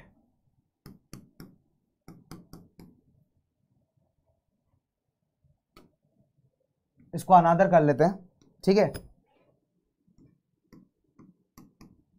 with another is use to settle its debt with other countries. ठीक है, बच्चे, आपके एनसीआरटी में भी डेफिनेशन दिया हुआ है, आप ये भी लिख के आ सकते हो। तो इस तरीके से आप मल्टीलेटरल सिस्टम को डिफाइन कर सकते हैं, ठीक है? आपके एनसीआरटी में भी दिया हुआ है बच्चे, इसको मैंने थोड़ा सा ब्रेक करके लिख दिया आपके लिए। चलिए, बच्चे ब्रेक अभी मैं दूँगा, इस चैप्टर को खत्म करने के बाद हम काफ़ी आगे आ चुके हैं चैप्टर के अंदर। ठीक है मतलब हम ऑलमोस्ट चैप्टर मतलब सब टॉपिक नंबर थ्री पे हैं। तो मैक्सिमम मेरे को लगता है यार कि मैक्सिमम से मैक्सिमम ना अपने को लगना चाहिए। पंद्रह पंद्रह मिनट और मतलब सवा तीन तक चैप्टर वाइंड अप हो जाएगा फॉर श्योर ठीक है, चलिए। हम बात करते हैं बच्चों यहाँ पे इंटर वॉर इकोनॉमी की। अगर आप देखोगे बच्चे फ़र्स्ट वर्ल्ड वॉर के बारे में तो फ़र्स्ट वर्ल्ड वॉर चली थी आपकी चार साल रफली 1914 से लेकर के 1918 तक, ठीक है? और ये लड़ी गई थी आपकी यूरोप के अंदर, यूरोप के साथ साथ बाकी कॉन्टिनेंट्स में भी, इसीलिए इसको हम फ़र्स्ट वर्ल्ड वॉर कहते हैं, ठीक है? अब इसने क्या किया बच्चे? इकोनॉमिक और पॉलिटिकल स्टेबिलिटी मतलब पूरे दुनिया के अंदर, खासकर ऐसे देशों में जो कि कॉलोनियल पावर्स का पार्ट थे, उन देशों की इकोनॉमी को पॉलिटी को, यानी कि वहाँ की अर्थव्यवस्था को और वहाँ की राजनीति को एकदम ताबड़तोड़ तरीके से हिला के रख दिया था। राइट और ऐसा क्यों हुआ था? चलिए देखिए। नंबर वन पहली वर्ल्ड वॉर की अगर हम बात करेंगे तो दो पावर्स के बीच में लड़ी गई, ठीक है? दो ग्रुप से। कौन कौन से ग्रुप से बच्चे? नंबर वन ग्रुप है आपका लाइट पावर और दूसरा ग्रुप है आपका सेंट्रल पावर ठीक है? अलाइट पावर में कौन आ जाता है? लाइट पावर में आ जाता है बाबू बाबू फ्रांस वाले, ठीक है? बाबू फ्रांस रमेश तो बी एफ़ आर ठीक है? बी एफ़ आर ठीक है? तो बहुत सिंपल सी बात है ब्रिटेन फ्रांस और रशिया बाबू फ्रांस रशिया चलिए तो पहले आ जाते हैं भैया ब्रिटेन फ्रांस रशिया और बाद में इनको 1917 में 1917 में ज्वाइन किया था आपके यूएस ने। फिर दूसरे साइड पे थे भैया आपके सेंट्रल पावर्स यानी जर्मनी हो गया ऑस्ट्रिया हंगेरी हो गया, और आपका ऑटोमन एम्पायर हो गया राइट तो ये दो मेजर पावर्स थे आपके। कौन कौन से थे? भैया, बाबू, फ्रांस, रशिया वाले, यानी ब्रिटेन, फ्रांस और रशिया। ये आपके हो गए बच्चे हमारे, जितने भी अलाइट पावर्स है। और सेंट्रल पावर्स में हमारे पास आ जाएँगे जर्मनी ऑस्ट्रिया हंगरी और ऑटोमन टर्की तो इन दोनों के बीच में हुआ था प्रथम विश्व युद्ध जिसको आप फ़र्स्ट वर्ल्ड वॉर भी कहते हैं। तो ये फ़र्स्ट वर्ल्ड वॉर को आप कई बार मॉडर्न इंडस्ट्रियल वॉर के नाम से भी जानते हैं। इसका रीजन ये है कि इसमें यूज़ किए गए जितने भी इक्विपमेंट्स थे, वो सारे के सारे कहाँ बनाए गए थे? वो बनाए गए थे आपके इंडस्ट्रीज़ के अंदर राइट चलिए, जैसे फॉर एग्ज़ाम्पल मशीन गन हो गए टैंक हो गया एयरक्राफ्ट हो गया, है ना केमिकल वेपन्स हो गए तो ये बहुत सारी चीज़ों का वर्ल्ड वॉर वन में यूटिलाइजेशन किया गया यूज़ किया गया राइट right. और ये सारी की सारी चीज़ें कहाँ बनी बच्चा, आपकी इंडस्ट्री के अंदर। अगर हम कैजुअलिटी की बात करें तो 90 लाख लोगों की जाने गई थी और करीब 20 लाख 20 मिलियन लोग बच्चे यहाँ पे इंजर्ड हुए थे।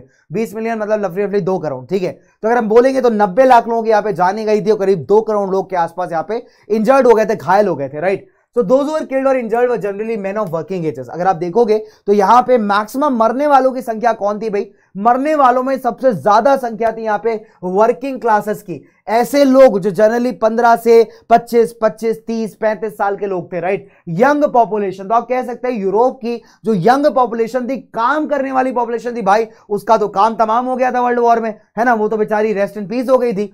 अब एज ए रिज़ल्ट की यूरोप के अंदर क्या हुआ? Labour shortage as a result जो काम करने वाले लोग थे, उसका तो तुमने काम तमाम कर दिया। गोली आई, एकदम धड़ाक से लगी, धड़ाक से लगने के बाद वो एकदम रेस्ट इन पीस हो गया। है कि नहीं भाई? अब बेचारा काम कौन करेगा? अब यहाँ पे as there were only few members left in the family household income decline definite सी बात है यार। अब मान के चलो घर के पाँच लोग हैं, पाँच सदस्य हैं। अब पाँच में से तीन को उठा गए वर्ल्ड वॉर लड़ने। अब सोचो मैं अपने घर की सफ़ाई कर रहा हूँ और आर्मी वाले आके मुझे उठा ले जाए क्या वर्ल्ड वॉर चली, चलो लड़ते चल के। अब सोचो मैं झाड़ू लगा रहा हूँ। मैंने कहा, भैया, झाड़ू लगाने में और गन चलाने में फ़र्क है। कहते कोई फ़र्क नहीं है, ऐसे झाड़ू का ऐसे लगाना है, गन ऐसे चलाना कोई दिक्कत नहीं। ठीक है? तो भैया, झाड़ू लगाने में गन चलाने में फ़र्क है? अब मैं झाड़ू लगा रहा हूँ घर में, मस्त आर्मी वाले उठा के ले गए। कहाँ ले जा रहे हो? कहाँ ले जा रहे हो भाई? पता चला मैं वर्ल्ड वॉर वन में खड़ा हूँ। मुझे गोली चलानी नहीं आती मैंने बस। समझ गए? तो उसे गोली आई, लगी मैं, चला गया। तो भाई वर्किंग पॉपुलेशन की यहाँ पे बहुत कमी हो गई। अब दिक्कत क्या है कि जब लोगों की फैमिली में मेंबर्स कम हो गए तो उनकी फैमिली इनकम भी कम हो गई, कमाने वाले नहीं बचे। अब वॉर के चलते क्या हुआ भैया? जो इंडस्ट्रीज़ थी, वो दोबारा से रिस्ट्रक्चर हुई। डेफिनेट सी बात है यार। है ना? क्योंकि वॉर के टाइम में अगर आप देखोगे तो वॉर के लिए चाहिए आपको सामान। वॉर के लिए चाहिए, लड़ने के लिए बहुत सारे सामान चाहिए। सोल्जर्स को रुकाने के लिए टेंट चाहिए, आपको मशीनरी चाहिए, आपको बॉम्ब चाहिए, आपको गन चाहिए। तो बनाना पड़ेगा ना? है कि नहीं भाई? सिंपल सी बात है। चलिए। तो अगर आप देखोगे बच्चे कि इनफैक्ट सोसाइटी में भी बहुत सारे चेंजेस आ रहे हैं। जो मैन है आपके जो पुरुष हैं, वो वहाँ युद्ध लड़ने जा रहे हैं जो हमारी महिलाएँ हैं, जो विमेन है, वो घर पे रुक के काम कर रही हैं। तो और घर पे रुकने के काम करने के अलावा फैक्ट्री के अंदर भी काम कर रही हैं। बिकॉज़ जितना भी मैन है हमारे, जितने भी पुरुष हैं, वो तो वहाँ गन चला रहे हैं। ऐसे डुड़ूम डुड़ूम डुड़ूम, ड्यू। ऐसे करके वो गन चला रहे हैं तो भैया जितने काम, जो बचे हुए काम है वो कौन करेगा? वो करेगी विमेन हमारी। अगर हम बात करेंगे बच्चे, वॉर ने क्या किया? सबका खर्चा बढ़ा दिया, खासकर ब्रिटेन का। ब्रिटेन उधारी पे लड़ाई लड़ रहा है। सोच के देखो कितना बुरा होगा। अपने आप में कितना फनी बात है कि भैया पापा मुझे दो सौ रुपए चाहिए। क्यों भैया लड़ाई हो गई है? सोचो, पापा के पास जाओ, पापा मुझे दो सौ रुपए चाहिए। क्यों? पापा लड़के बुलाने लड़ाई हो गई है। ठीक है? नॉर्मल सी बात है। पापा, लड़के बुलाने लड़ाई हो गई है। तब पापा, दो सौ रुपए चाहिए। दो सौ रुपए में करोगे तो पापा, सबको समोसे खिलाऊँगा, लड़के आ जाएँगे। है, समोसे खिलाऊँगा, लड़के आ जाएँगे। सोचो। ठीक है? तो वैसे ही हमारे साथ भाई ब्रिटेन के साथ भी यही है। ब्रिटेन क्या कर रहा है? उधारी पर लड़ रहा है। तो ब्रिटेन ने जो था, यूएस के जो बैंक्स हैं, है ना, यूएस के बैंक से भी पैसा उधार ले रखा और साथ ही साथ यूएस की पब्लिक से भी पैसा उधार रखा है। सुनो सुनो, तुम्हारे घर पे कोई आए, सुनो, सोचो। तुम्हारे घर पे लोग आ रहे हैं। पैसे होंगे आपके घर में दस हज़ार? अच्छा बम खरीदना है, बम। हाँ गोली भी खरीदनी, गोली, दस हज़ार है, डोनेट कर दो। ये हाल है ब्रिटेन का, समझ रहे हो? तो ब्रिटेन क्या है, वहाँ के बैंक पे भी जा रहा है, वहाँ की पब्लिक पे भी जा रहा है और जाके पैसे मांग रहा है। ठीक? अब यूएस वालों को तो मज़े हो गए भाई।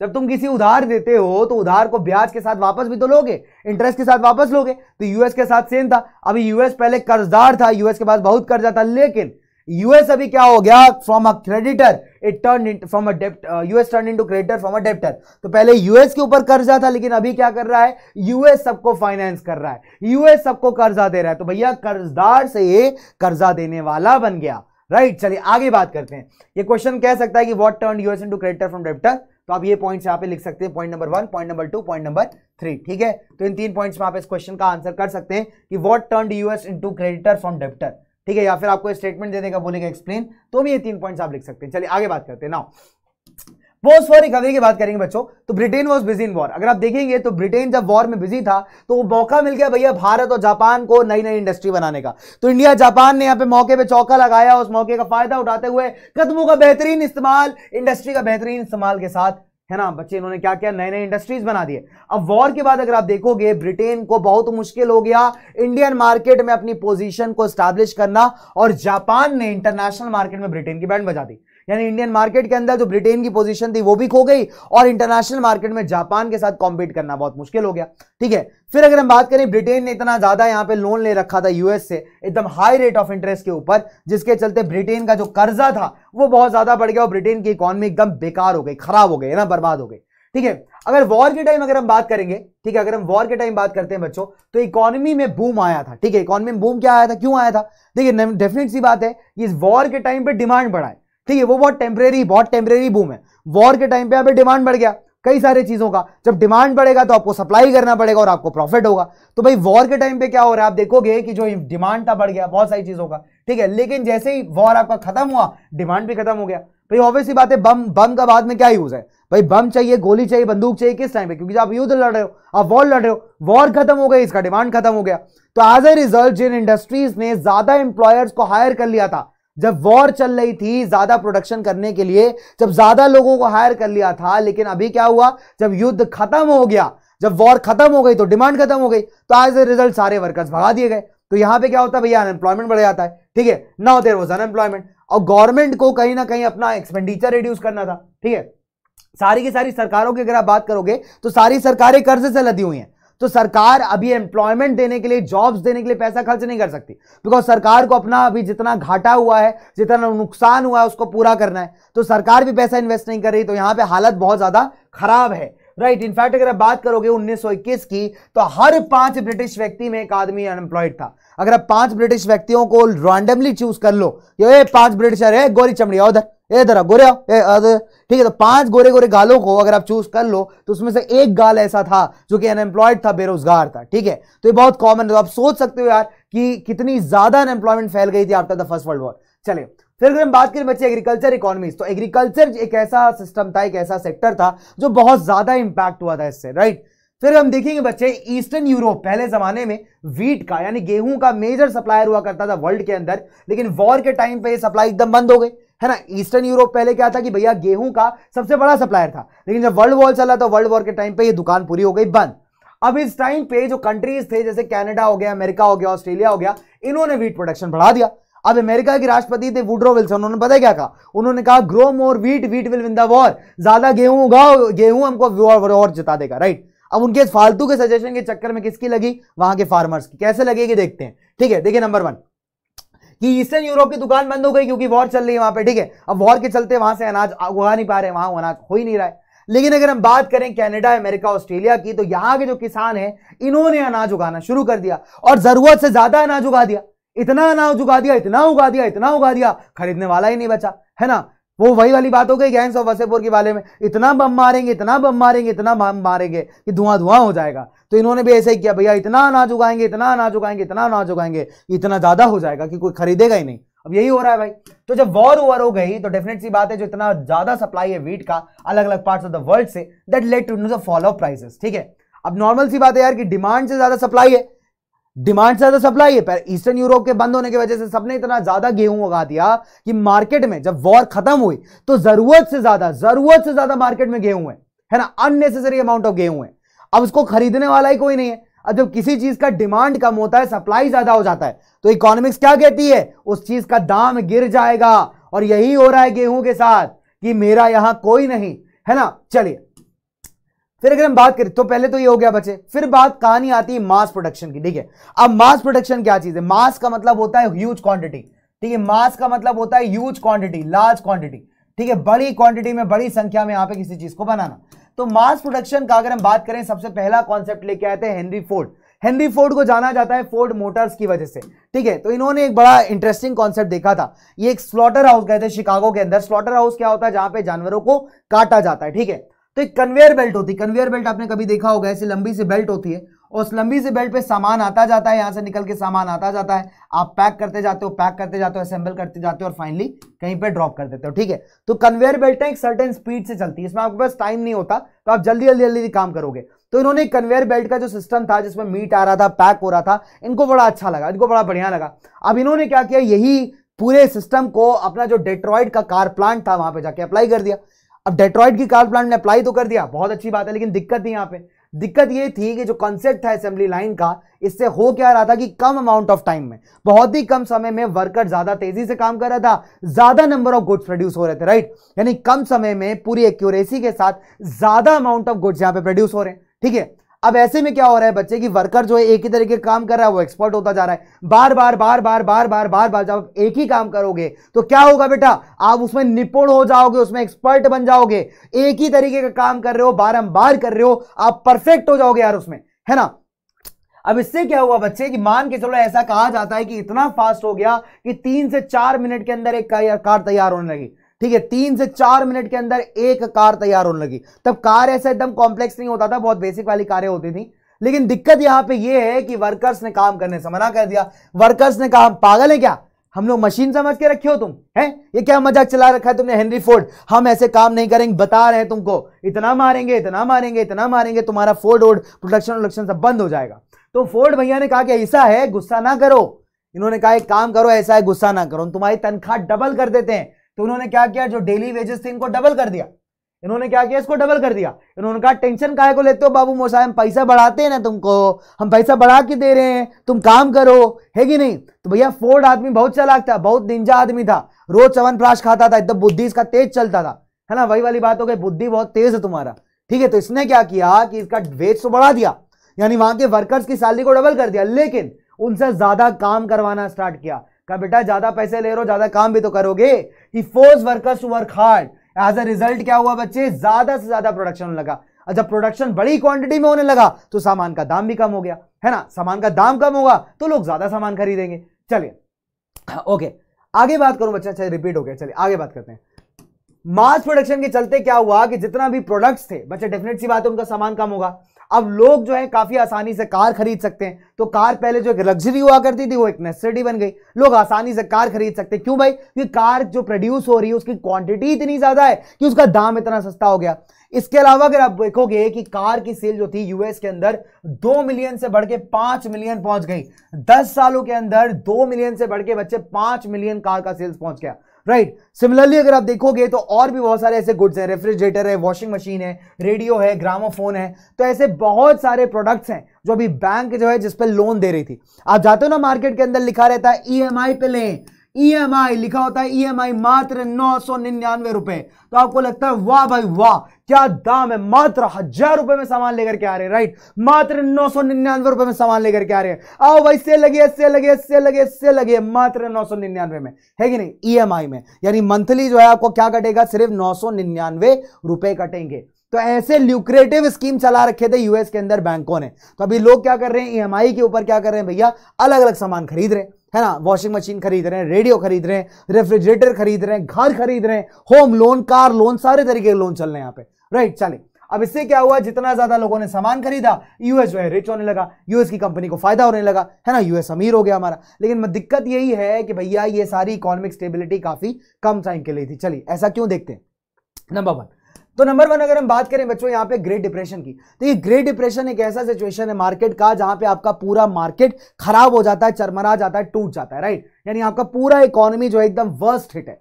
अगर हम बात करेंगे बच्चे हमारे ग्रेट डिप्रेशन की तो स्टार्ट होता है आपका 1929 में करीब 1930 तक जो है आपका ग्रेट डिप्रेशन गया था। इसके बहुत सारे रीजंस हैं, इसके बहुत सारे फैक्टर्स हैं। ग्रेट डिप्रेशन के टाइम पर अगर आप देखोगे ग्रेट डिप्रेशन अच्छा क्वेश्चन है लॉन्ग आंसर्स में आपसे पूछ सकता है। ग्रेट डिप्रेशन के टाइम पर अगर आप देखोगे, सबसे वर्स्ट हिट कोई सेक्टर है तो वो आपका एग्रीकल्चर है। मैंने आपको बताया था कि एग्रीकल्चर के रीजन क्या है भाई? नंबर वन अगर हम देखें कि ईस्टर्न यूरोप जब बंद हुआ ईस्टर्न यूरोप में जब वॉर छिड़ गई तो कनाडा ऑस्ट्रेलिया के अंदर जो है बच्चे अमेरिका के अंदर, बहुत ज़्यादा लोगों ने अनाज उगा दिया। That is number one agriculture over production लोगों ने ज़रूरत से ज़्यादा यहाँ पे अनाज उगा दिया। एज अ रिज़ल्ट जब ज़रूरत से ज़्यादा मार्केट में सामान अवेलेबल होता है डिमांड से ज़्यादा आप सप्लाई कर दोगे, उसका दाम क्या होगा बच्चे? दाम गिर जाएगा राइट तो दाम क्या हो जाएगा भाई? गिर जाएगा। अब इस प्रॉब्लम को सॉल्व करने के लिए फार्मर्स ने क्या किया? और ज़्यादा उगाना शुरू कर दिया। जब और ज़्यादा उगाओगे अननेसेसरली डिमांड क्रिएट कर दोगे तो क्या होगा बच्चे? आपकी इकोनॉमी इफ़ेक्ट होगी, है ना? भाई मार्केट में उतना डिमांड ही नहीं जितना तुम सप्लाई कर रहे हो। ज़रूरत से ज़्यादा आप सप्लाई किए जा रहे हो। तो मार्केट में लगातार अनाज का दाम गिरता जा रहा है। But this is useless as a result agriculture product का दाम था, वो और मार्केट में गिर गया। फिर अगर हम बात करें, दूसरा रीजन दूसरा रीजन था, बच्चे, आपका लोन्स ठीक है?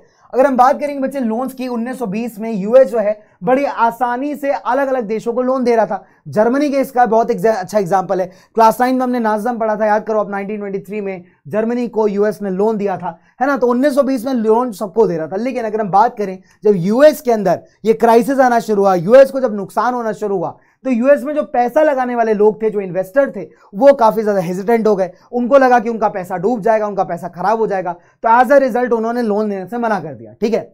तो जब यूएस ने एकदम से पैसा खींच लिया तो वो सारे देश, जो कि यूएस के लोन के ऊपर डिपेंडेंट थे यूएस के कर्जे पे डिपेंडेंट थे, वो सारे के सारे देश की इकोनॉमी की बैंड बच गई राइट तो पहले क्या है? पहले यूएस आसानी से लोन दे रहा है तो लोग लेके मज़े कर रहे हैं, लेकिन अभी दिक्कत क्या है कि जब यूएस ने लोन देना बंद कर दिया तो लोगों के पास कोई ऑप्शन बचा नहीं, देशों के पास जो यूएस पर डिपेंडेंट थे, उनका जो थोड़ा बहुत इकोनॉमी स्टेबल हो रही थी, वो इकोनॉमी एकदम धड़ाम से जाके नीचे गिर गई राइट यूरोप में बच्चे बहुत सारे ऐसे बैंक्स थे जिन्होंने कंट्रीज़ को लोन दे रखा था, लेकिन उन कंट्रीज़ ने लोन को वापस नहीं किया था। तो बैंक ने पैसा दे दिया, लेकिन बैंक के पास पैसा वापस आया ही नहीं है। तो ऐसे केस में क्या होगा भैया? जितनी भी करेंसी है ब्रिटेन वगैरह की, उसका वैल्यू कम होने लगा। मार्केट में उसका कॉन्फिडेंस कम हो गया। ठीक है? फिर यूएस ने क्या किया कि अपनी धोती बचाने के लिए इसने इंपोर्ट टैक्सेस बढ़ा दिए राइट यूएस ने क्या किया? इंपोर्ट ड्यूटी बढ़ा दी। यानी जो सामान इंपोर्ट किया जा रहा है, उस पर टैक्सेस बढ़ा दिए। तो एज ए रिज़ल्ट ऐसे कंट्रीज़ जहाँ पे यूएस अपना सामान बेचता था, उन्होंने भी सेम काम किया। तो इससे भी भैया यूएस को भारी नुकसान हुआ।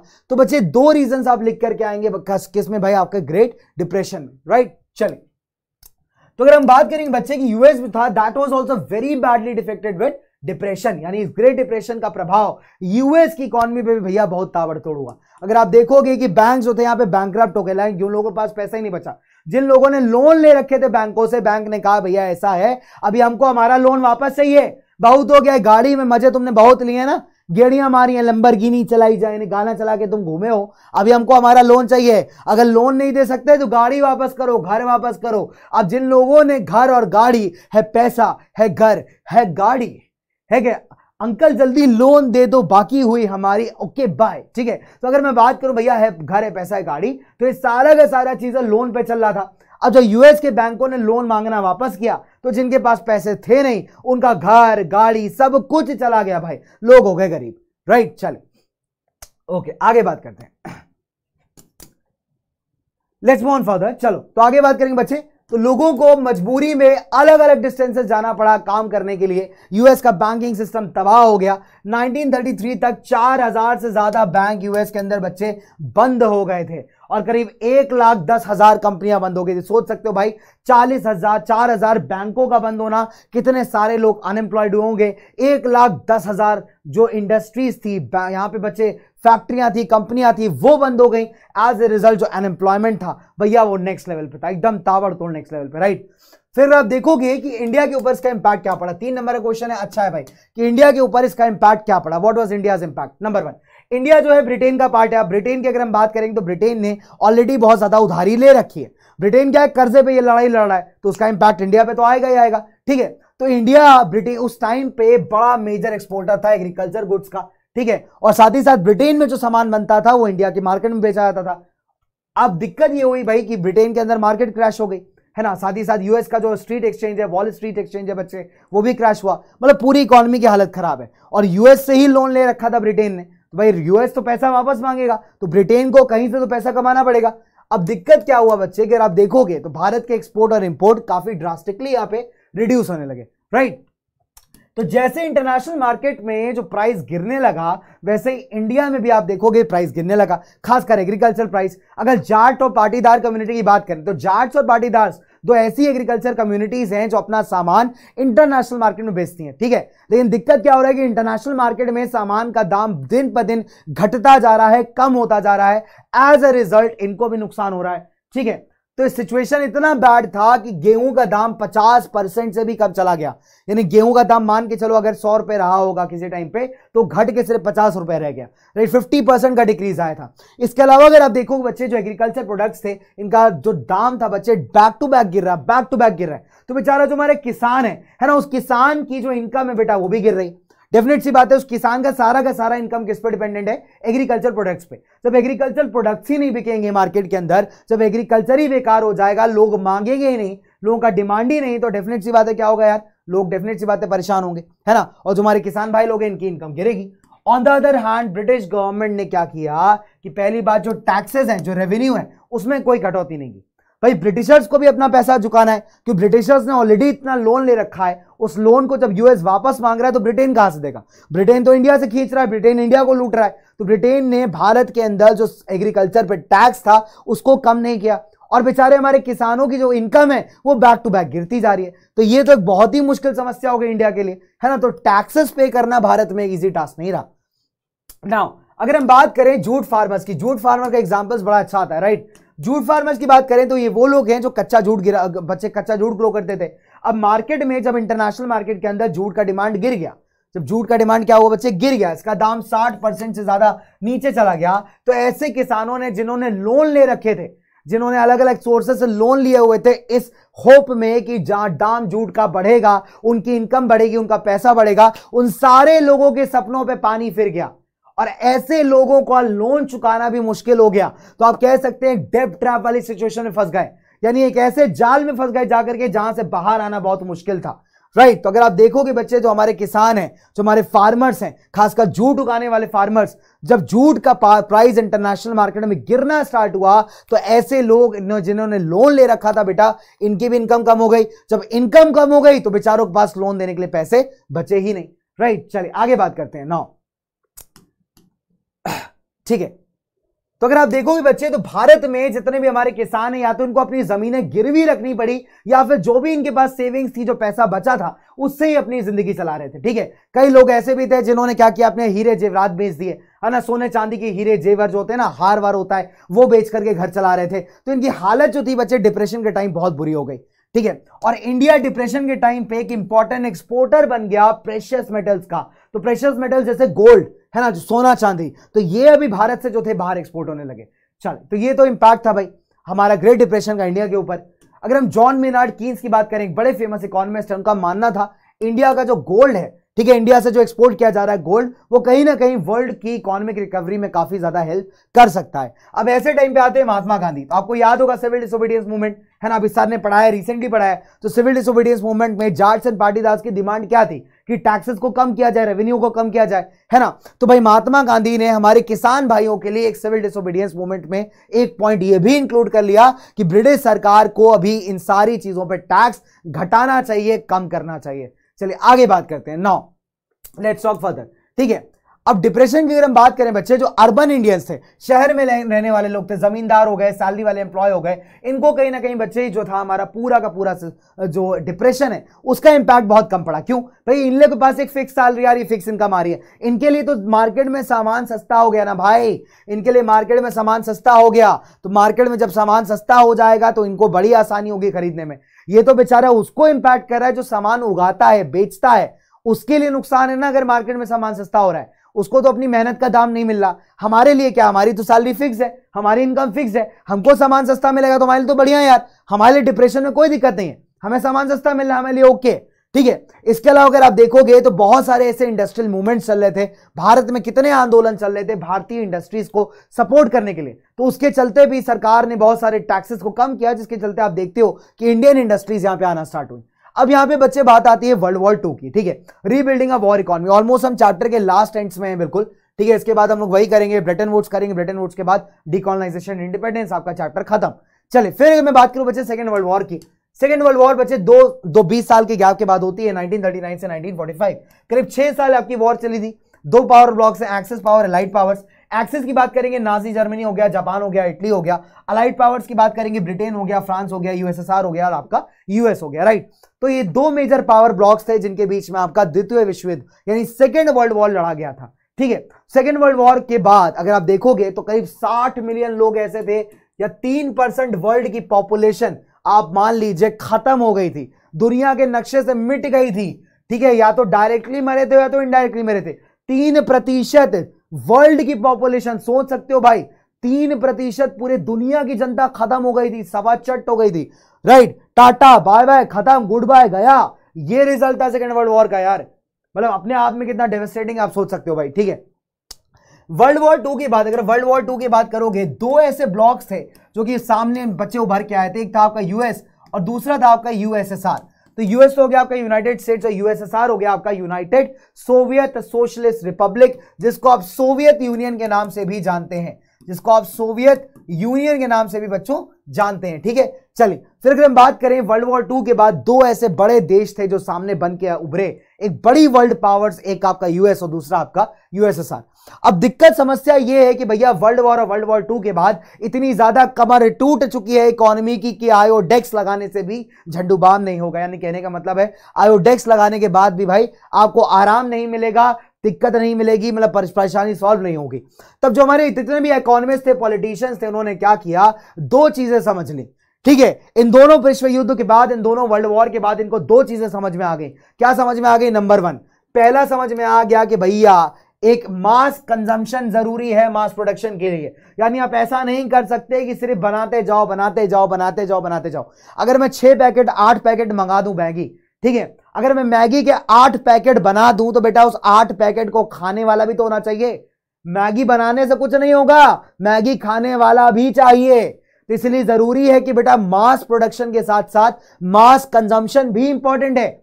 यानी आप बना तो दोगे प्रोडक्ट्स बना दोगे बड़ी क्वांटिटी में, लेकिन अगर कोई यूज़ ही नहीं करेगा तो प्रॉफिट क्या बेकार है। पहला रीजन ठीक है? बट दिक्कत ये थी कि मास कंजम्पशन के लिए लोगों के पास क्या होना चाहिए? स्टेबल इनकम होनी चाहिए स्टेबल एम्प्लॉयमेंट होनी चाहिए। है ना? डेफिनेट सी बात है यार।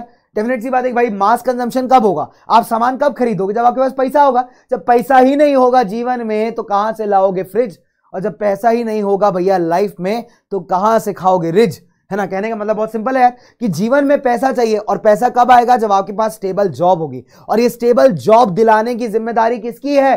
सरकारों की है। यानी सरकार को यहाँ पे एक ऐसा सिस्टम बनाना पड़ेगा, जिससे आपको स्टेबल इनकम आए, आपको जॉब मिले, और आप पैसा कमा पाओ। तभी भैया कुछ काम बनेगा।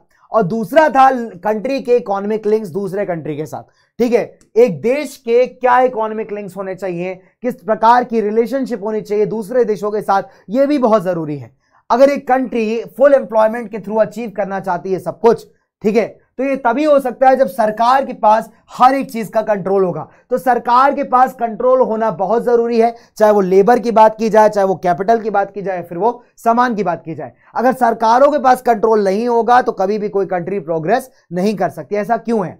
सरकार के पास कंट्रोल होगा, सरकार एक यूनिफॉर्म पॉलिसी बनाएगी। एक जैसी पॉलिसी जो सब जगह अप्लाई होगी। सरकार जो है दूसरे देशों के साथ अच्छे रिलेशन डेवलप करेगी, उनके साथ व्यापार करेगी। जब व्यापार करेगी तो डेफिनेट सी बात है यार, बहुत सारी अपॉर्चुनिटीज़ आएँगी। पैसे कमाने की एम्प्लॉयमेंट की, व्यापार की। तो ये बहुत सारे फैक्टर्स है जो हमने पोस्ट वॉर सेटलमेंट में यहाँ पे सीखे। अब आती बात बच्चे यहाँ पे ब्रिटेन वुड्स की, ठीक है?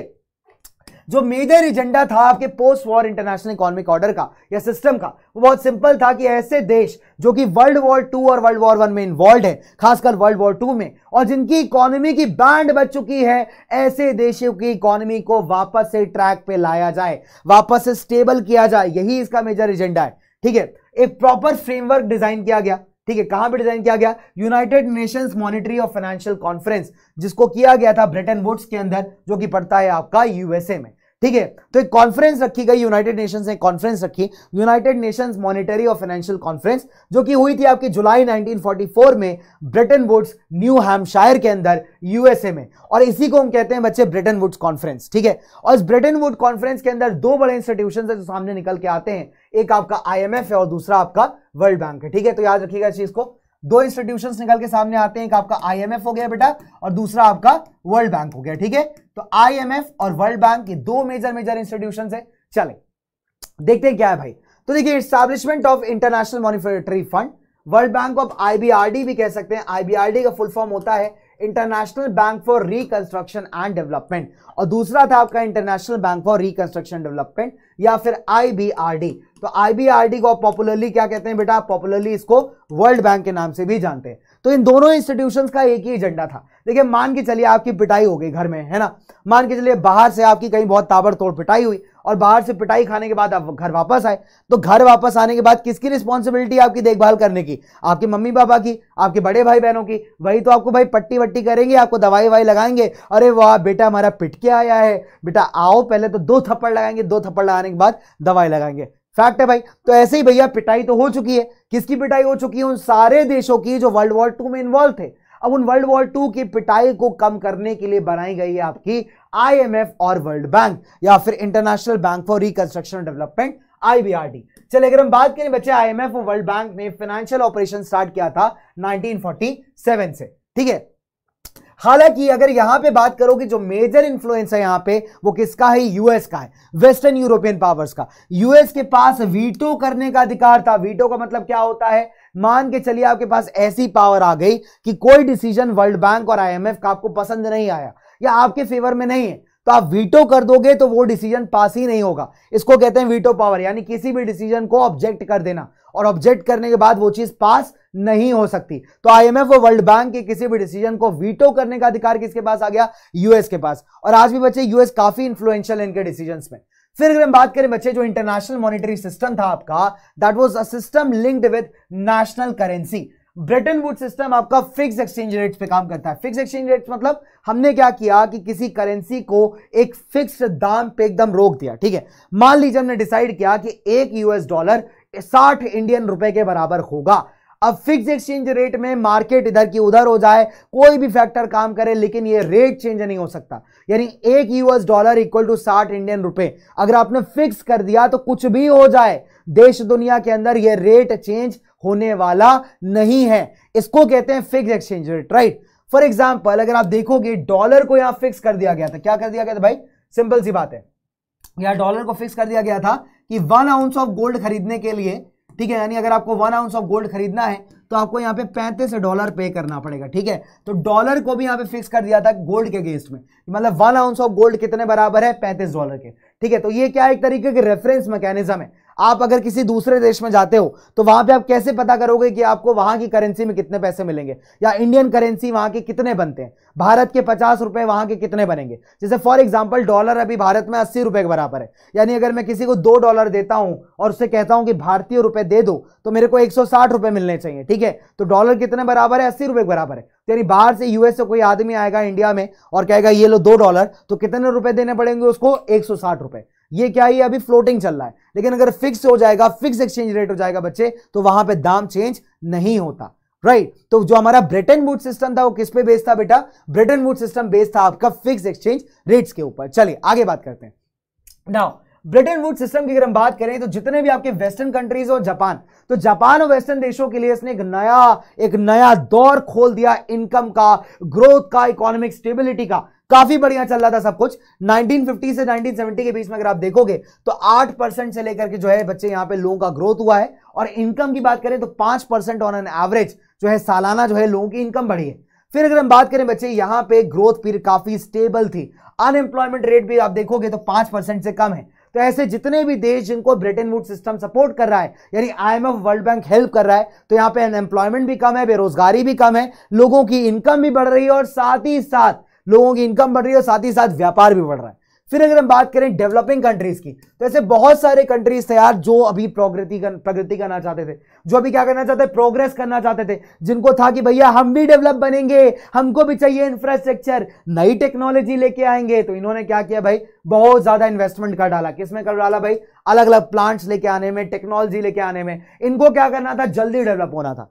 तो ये इनकी सबसे बड़ी गलती थी। डेवलपिंग कंट्रीज़ की सबसे बड़ी गलती यही थी कि इन्होंने जल्दबाजी में, फालतू के कॉम्पिटिशन में यू डेवलप्ड कंट्रीज़ के साथ इतना ज़्यादा इन्वेस्टमेंट कर दिया मशीनरी के ऊपर टेक्नोलॉजी के ऊपर कि ये इतनी ज़्यादा गरीबी में चले गए जिससे कभी बाहर ही नहीं आ पाए। ठीक है, क्योंकि ये सारी चीज़ें लोन पे चल रही थी। लोन ले लेकर के ये सारी चीज़ें कर रहे थे। तो ज़रूरत से ज़्यादा इन्वेस्टमेंट करने का यही नतीजा होता है। ठीक है फिर अगर आप देखोगे सेकंड वर्ल्ड वॉर के बाद, जब सेकंड वर्ल्ड वॉर खत्म हो गया still there are many countries जो कि अभी यूरोपियन कॉलोनियल रूल के अंदर थे। ठीक है वर्ल्ड वॉर खत्म होने के बाद भी बहुत सारे ऐसे देश थे जिन पे अभी यूरोपियन देशों ने कब्जा जमाया हुआ था। ये धीरे धीरे करके इंडिपेंडेंट हो रहे थे, स्वतंत्र हो रहे थे। आप कह सकते हो कि अगले बीस सालों में, यानी नाइनटीन के आसपास बहुत सारे अफ्रीकन और एशियन कंट्रीज़ थे जिन्होंने अपने आप को फ्री करा लिया था इंडिपेंडेंट हो गए थे। है ना? लेकिन दिक्कत ये थी कि भैया इनके पास रिसोर्सेज नहीं थे, इनके पास गरीबी थी और ऐसा क्यों था? क्योंकि इनके ऊपर इतने सालों तक यूरोपियन देशों ने राज किया है और सारे रिसोर्सेज तो वो छीन के ले गए डकैत, नलायक यूरोपियन कंट्रीज़ सारे के सारे रिसोर्सेज वो छीन के ले गए।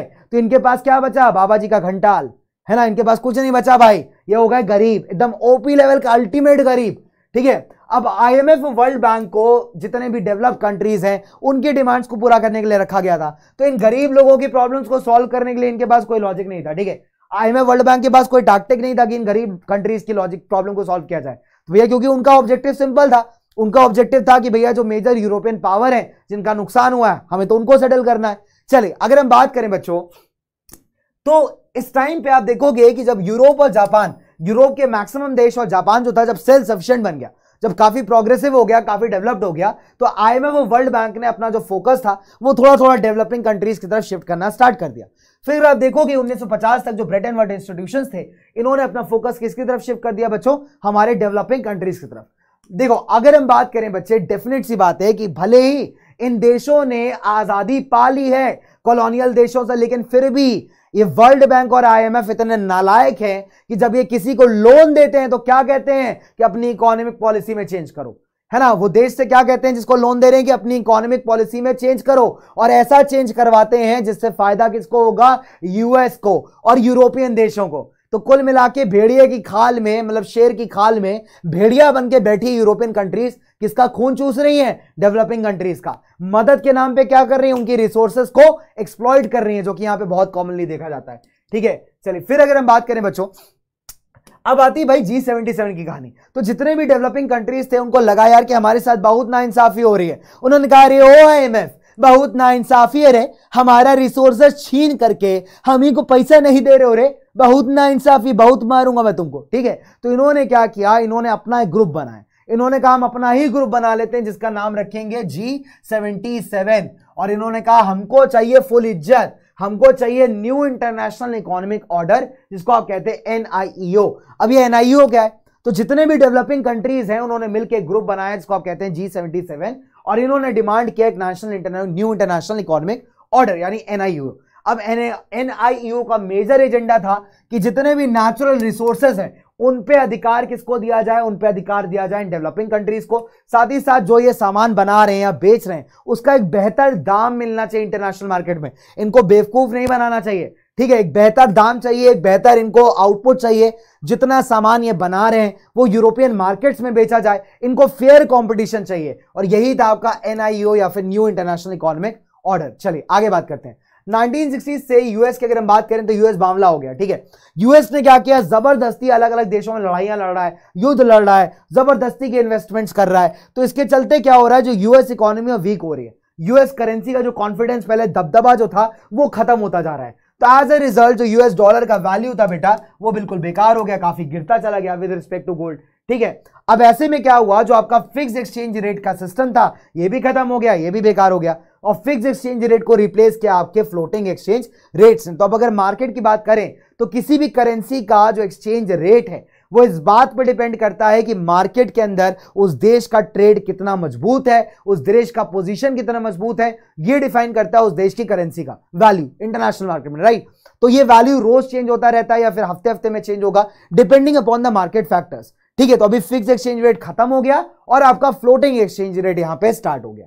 चलिए, फिर अगर मैं बात करूँ बच्चों, जो इंटरनेशनल फाइनेंशियल सिस्टम है, ये भी कहीं ना कहीं काफ़ी ज़्यादा चेंज हुआ है। पहले क्या था कि जो डेवलपिंग कंट्रीज़ थे, वो आईएमएफ वगैरह से लोन ले सकते थे, लेकिन अभी दिक्कत है। इन्होंने क्या किया भैया, हम आपको लोन नहीं देंगे, आप एक काम करिए, जो यूरोप के कमर्शियल बैंक है, वहाँ से लोन लीजिए। अब ये कमर्शियल बैंक बहुत लालची है। ये कमर्शियल बैंक क्या कर रहे हैं? हाई रेट ऑफ़ इंटरेस्ट को चार्ज कर रहे हैं। अब हाई रेट ऑफ़ इंटरेस्ट की वजह से क्या हो रहा है कि भैया जितने भी हमारे गरीब देश हैं, वो और ज़्यादा गरीबी में गिरते जा रहे हैं। खासकर अगर आप देखोगे लैटिन अमेरिका या फिर अफ्रीका वाले जो देश हैं, उन्होंने इन वेस्टर्न यूरोपियन बैंक से जब लोन लिया और इस लोन का रेट जो है बेटा इतना ज़्यादा हाई रेट ऑफ़ इंटरेस्ट है कि बेचारे उसको वापस कर ही नहीं पा रहे। तो एज ए रिज़ल्ट इनकी गरीबी बढ़ती जा रही, बढ़ती जा रही, बढ़ती जा रही।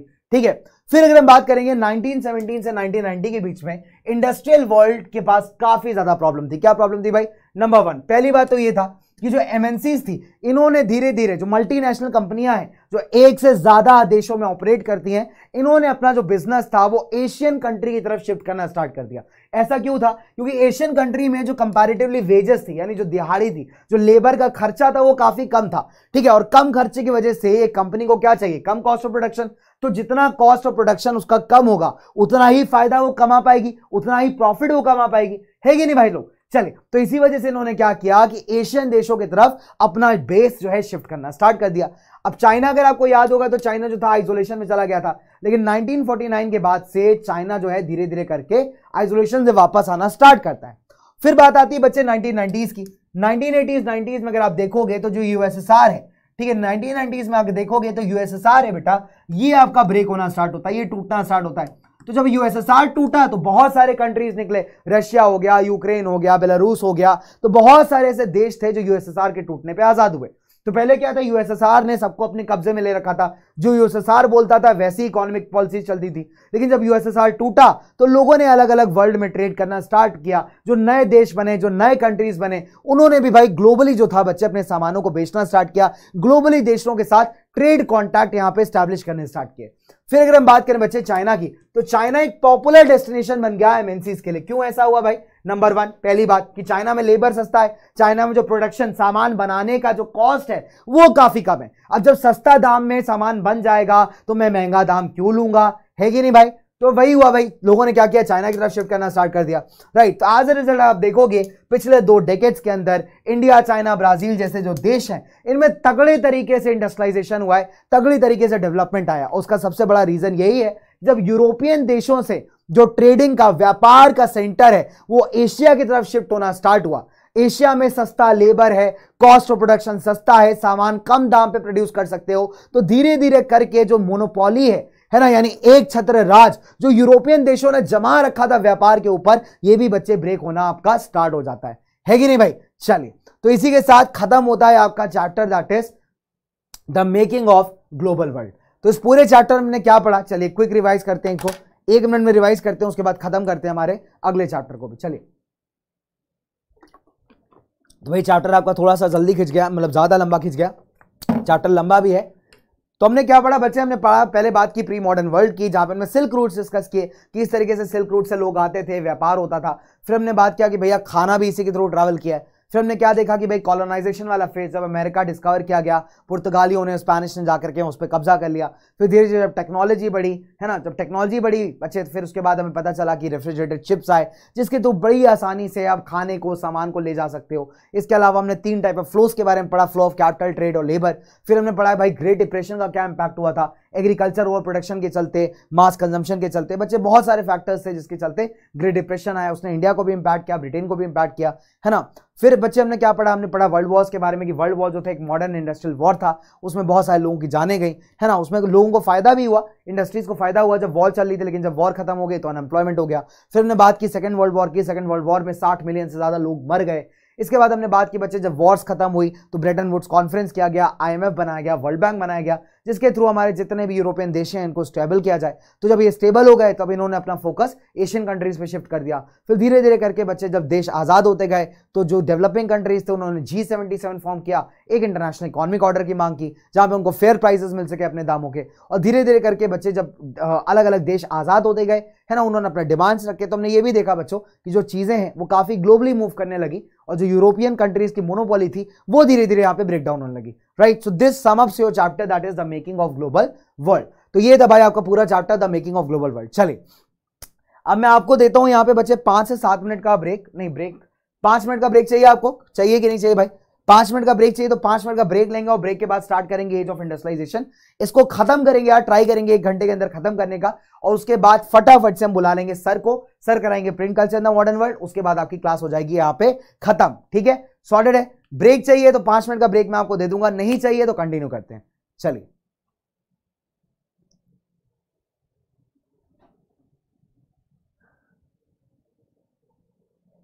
बोलो हर्षित, क्या डाउट है बेटा? बताओ बताओ बताओ।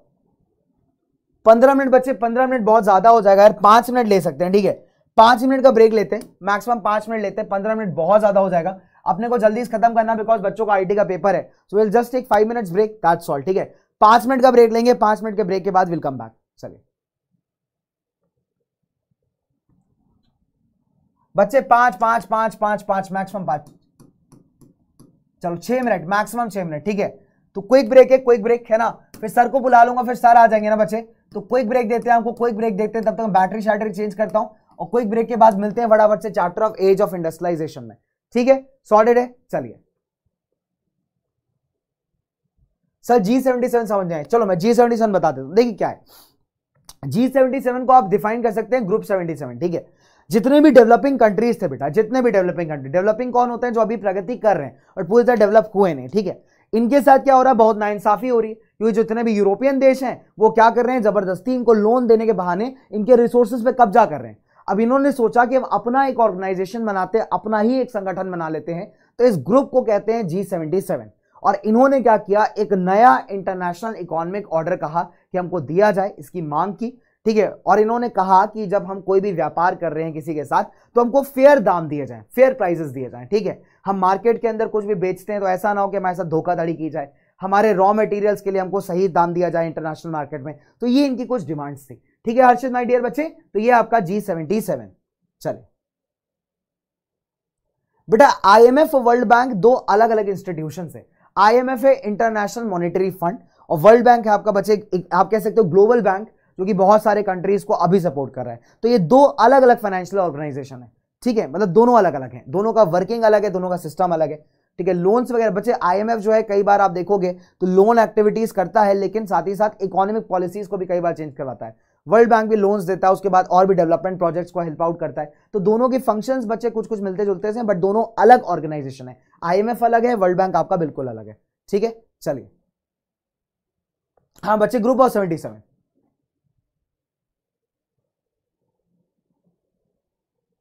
बेटा ब्रिटेन वुड्स ब्रिटेन वुड्स में ऑलरेडी एक्सप्लेन कर चुका हूँ। देखिए ब्रिटेन वुड्स कुछ नहीं, समझिए। देखिए, क्या है? देखो, हुआ क्या कि जब वर्ल्ड वॉर टू खत्म हुआ, है ना, जब वर्ल्ड वॉर टू खत्म हो गया तो जितने भी देश वर्ल्ड वॉर लड़ेंगे, युद्ध लड़ेंगे, उनके साथ क्या होगा? उनकी इकोनॉमी की हालत खराब हो जाएगी। उनकी इकोनॉमी की हालत क्या होगी? खराब हो जाएगी राइट तो उनकी इकोनॉमी की हालत को सुधारने के लिए एक कॉन्फ्रेंस रखी गई, एक मीटिंग रखी गई। ये मीटिंग रखी गई थी ब्रिटेन वुड्स जो कि जगह है न्यू हैम्पशायर यूएसए के अंदर।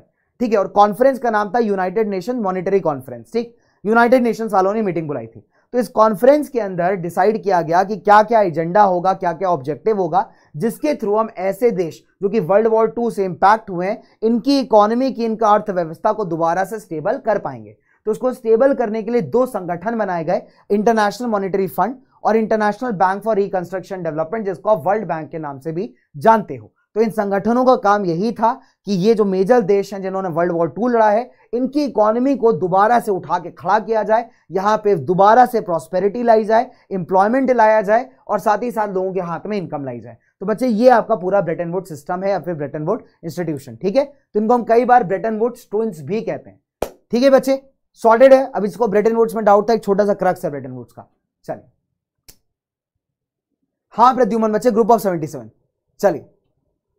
नहीं बच्चे प्रिंट मीडिया भी होगा, सर आएँगे, आसिम सर आएँगे चैप्टर के बाद तो उसके बाद प्रिंट मीडिया करेंगे।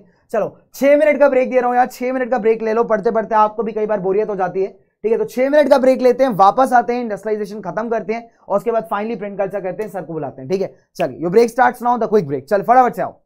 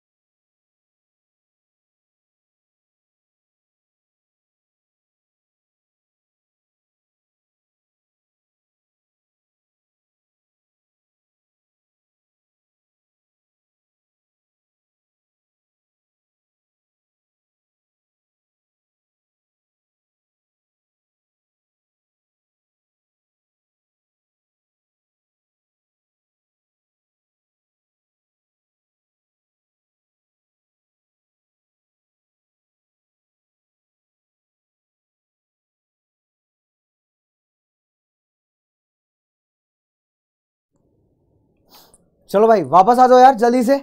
चलो बच्चा बाड़ी फटाफट से वेलकम बैक ओके तो जब तक हमारे प्यारे प्यारे बच्चे वापस आ रहे हैं ब्रेक पे जाने से पहले एक बच्चे का मासूम सा डाउट था कि सर ग्रेट डिप्रेशन और mass consumption mass production right Bretton Woods मैंने आपको बता दिया, दोबारा से रिवाइज करा दिया जी सेवेंटी सेवन बता दिया।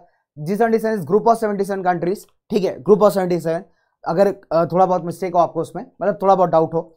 इसके अलावा एक बच्चे का बड़ा प्यारा सा, मासूम सा सवाल था कि सर ग्रेट डिप्रेशन तो ग्रेट डिप्रेशन ऑलरेडी मैंने इन डिटेल पढ़ाया आपको। ठीक है तो आप वीडियो में भी देख सकते हैं, लेकिन एक स्मॉल क्रक्स एक स्मॉल जिस्ट मैं आपको दे दूँगा। मास प्रोडक्शन तो ये दो ऐसे टॉपिक्स थे जिसका बच्चों को लेकर थोड़ा सा डाउट था।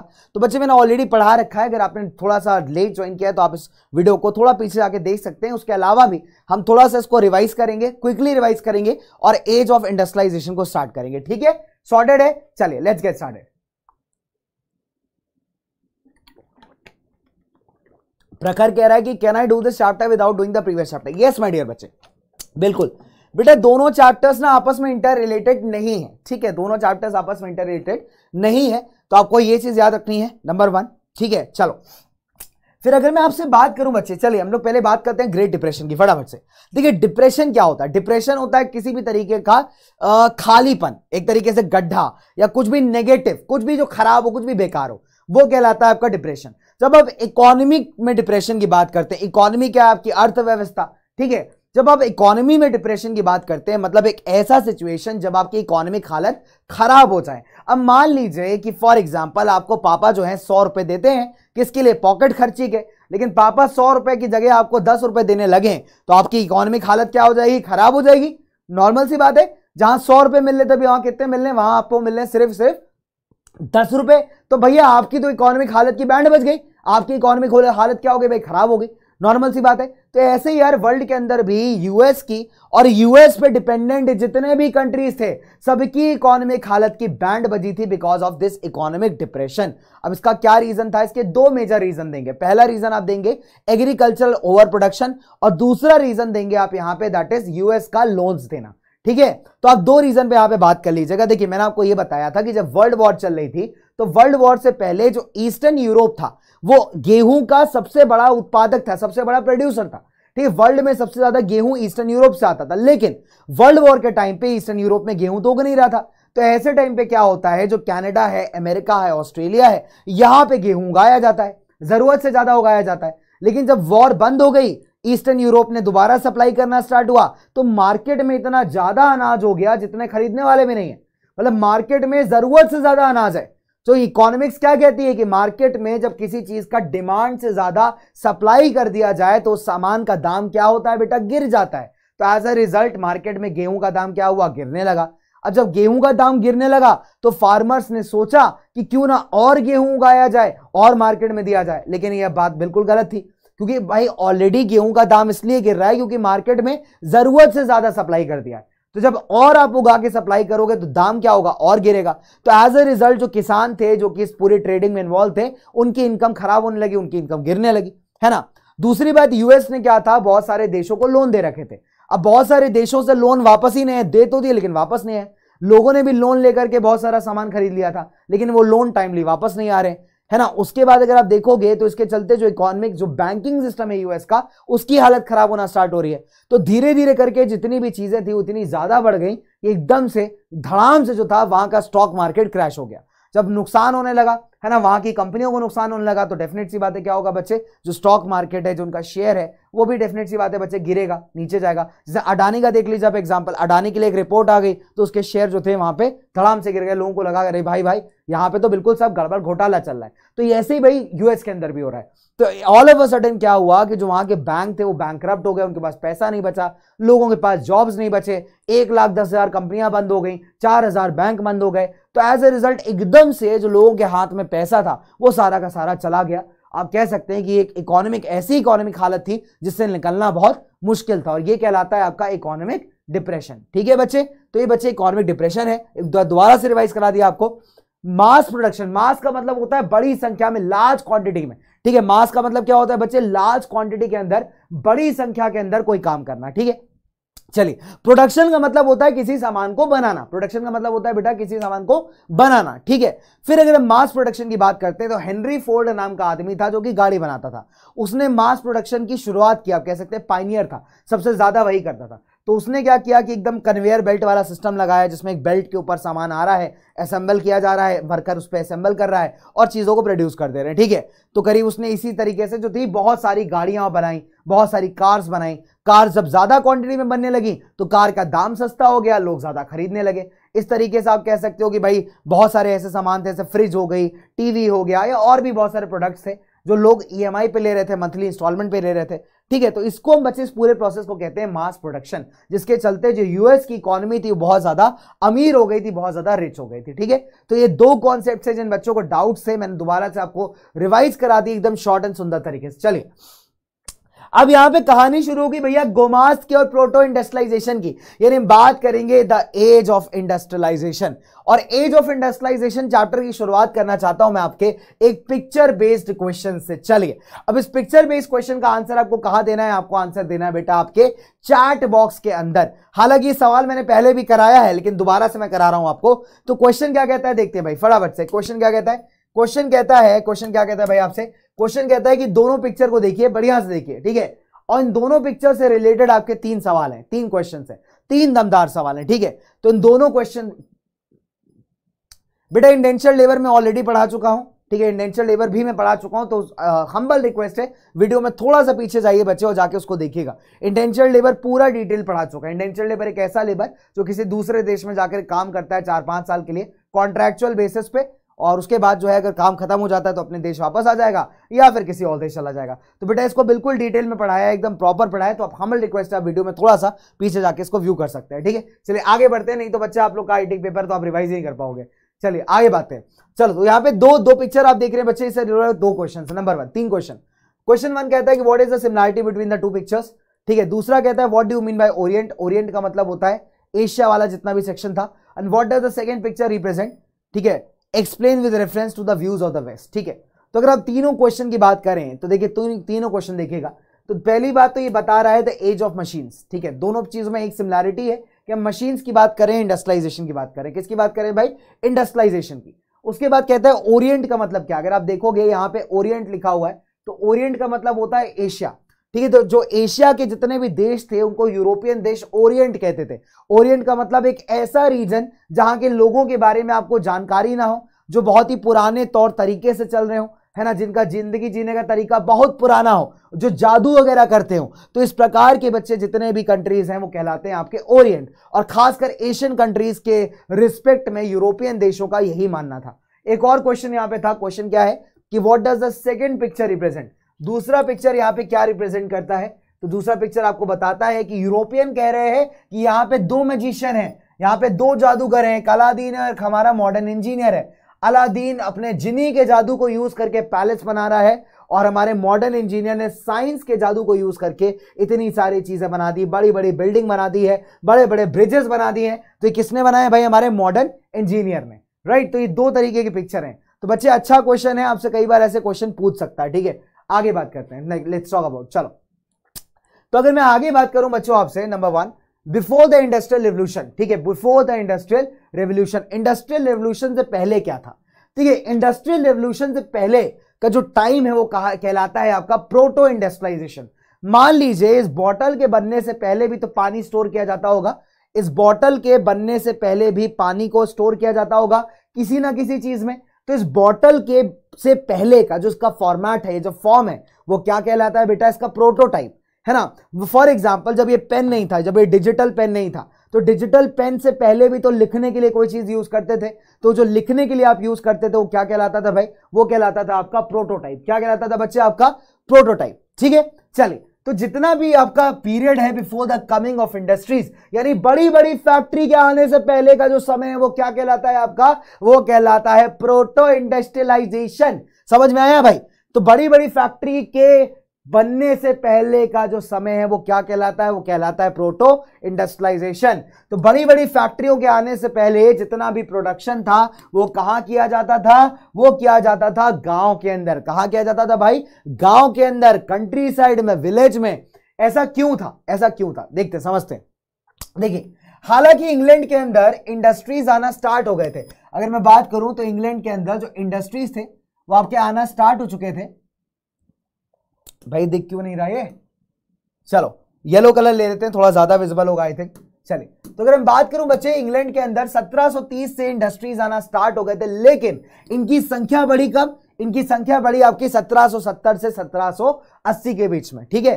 चलिए, आगे बात करते हैं। अब क्वेश्चन कहता है कि भैया, शहरों के अंदर, शहरों के अंदर प्रोडक्शन क्यों नहीं होता था? देखिए, होता क्या था उस जमाने में कि जितने भी आपके व्यापारी थे, यानी मर्चेंट्स थे, ये क्या करते थे? गाँव जाते थे और गाँव वाले किसान को बोलते थे, वहाँ पे फार्मर को वीवर को बोलते थे, भैया, सुनो, हमारे लिए कपड़ा बनाओगे क्या?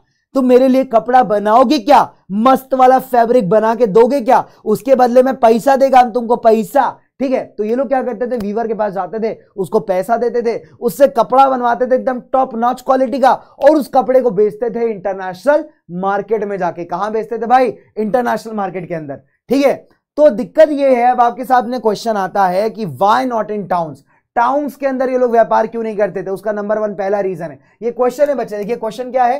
दो नंबर का क्वेश्चन है कि why the merchants could not operate in towns इसका रीजन है कि यहाँ पे गिल्ड्स थे। अब ये गिल्ड कौन है? देखिए नंबर वन गिल्ड क्या होती है बच्चे? ऑर्गेनाइजेशन है मर्चेंट्स एंड ट्रेडर्स की। अब मान लीजिए फॉर एग्जांपल एक शहर के अंदर ये पाँच लोग हैं। A B C D E अब इन पाँच लोगों ने मिलकर क्या किया कि अपना एक संगठन बना लिया, अपना एक ऑर्गेनाइजेशन बना लिया। ठीक है? और वहाँ का जो लोकल रूलर है, जो लोकल सरकार है, उससे परमिशन लेके आ गए कि यहाँ पे सिर्फ़ हम ही सामान बेचेंगे और कोई बाहर वाला आके नहीं बेच सकता। ठीक है?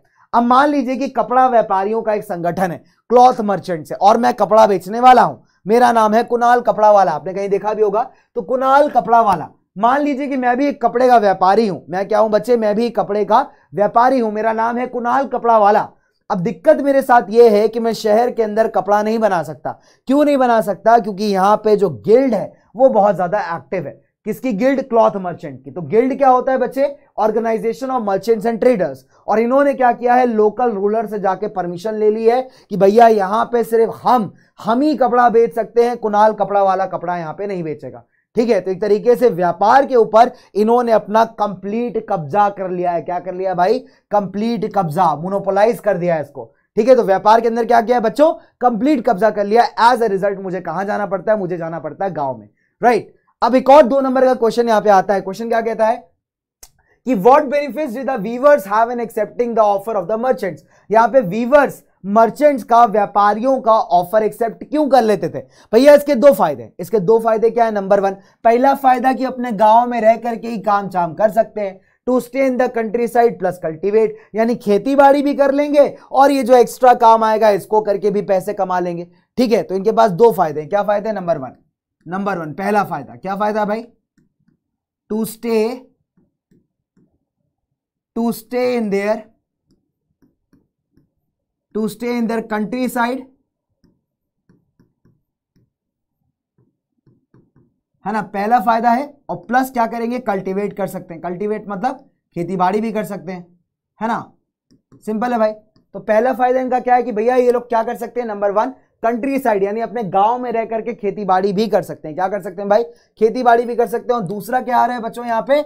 इनके पास एक्स्ट्रा इनकम आ रही है। दूसरा क्या आ रहा है भाई इनके पास? एक्स्ट्रा इनकम आ रही है। तो इनके पास दो दो फ़ायदे हैं। क्या फ़ायदे हैं? पहला फ़ायदा है, पहला फ़ायदा क्या है भाई? कि पहला फ़ायदा ये है कि अपने घर में रह के, अपने गाँव में रह करके साथ ही साथ खेती बाड़ी भी कर सकते हैं। और दूसरा फ़ायदा ये है कि भाई इनके पास क्या आ रही है? एक्स्ट्रा इनकम आ रही है। तो इसी वजह से ये लोग व्यापारियों का मर्चेंट्स का जो ऑफ़र है, उसको बड़ी आसानी से मान लिया करते थे। अगले बात पे आते हैं। अगला क्वेश्चन अब क्वेश्चन ये कहता है, देखो अच्छा क्वेश्चन मैं आपको क्वेश्चन भी बताते जा रहा हूँ साथ ही साथ।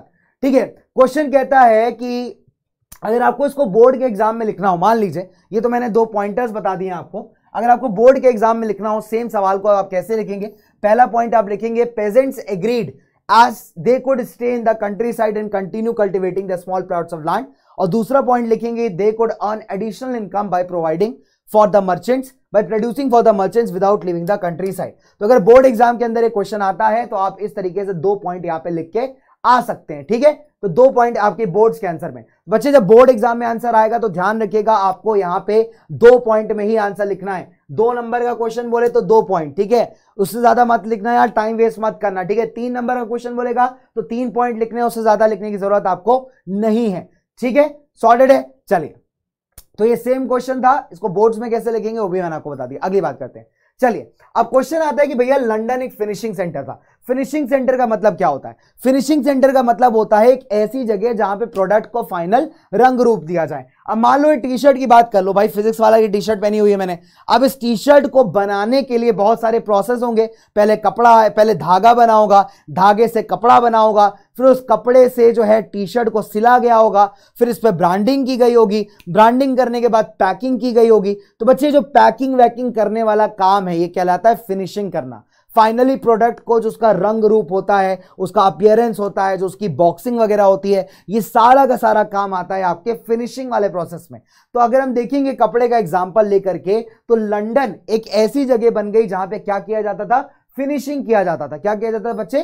कपड़े को फिनिश यानी फाइनल रंग रूप दिया जाता था। अब देखिए क्या प्रोसेस था नंबर वन एक कपड़ा व्यापारी क्या करेगा? एक कपड़ा व्यापारी पहले नंबर वन एक कपड़ा खरीदेगा, एक वूल बेचने वाले से, ठीक है? वूल समझते हो? मतलब सिंपल सी बात है, जो ऊन बेचता, ऊन, जो हमारी भेड़ भेड़ों के ऊपर से निकलता है ना भाई? भेड़ होती है ना शीप ए नहीं, भेड़ कैसे बोलती है? ए ऐसे करके कुछ बोलती है, ठीक है? तो भेड़ों का जो बाल होता है ना, उसको हम क्या कहते हैं? ऊल कहते हैं, वून, ठीक है? तो ये क्या करेगा? पहले कपड़ा व्यापारी जाएगा, एक स्टेपलर से जाके वूल खरीदेगा। स्टेपलर का काम क्या है कि भैया जो ऊन होता है आपका भेड़ का ठीक है, बकरी का भी ऊन होता है, अंगोरा ऊट होता है, उसका भी ऊन होता है, ठीक है? तो भैया, जो भेड़ों से आपको ऊन मिलता है, उसका क्वालिटी अलग अलग तरीके का होता है।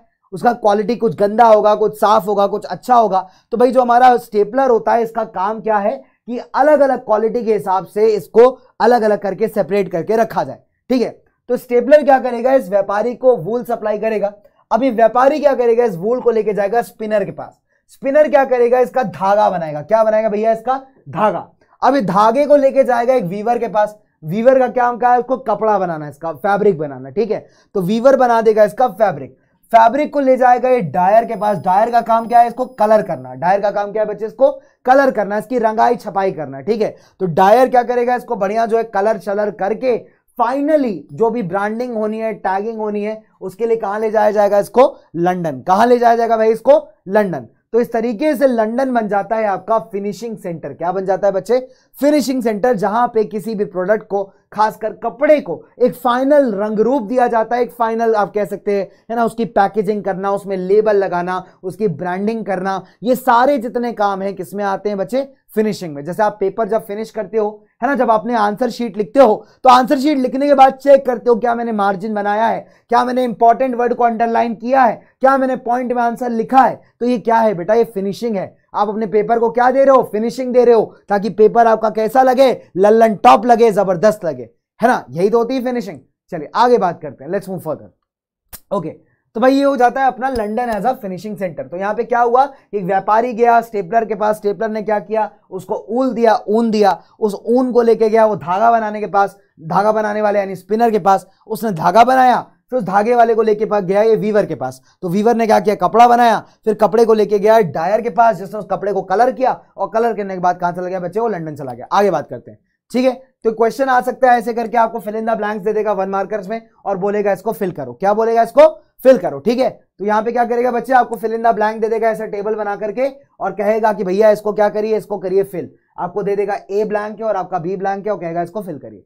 ठीक है? चलिए।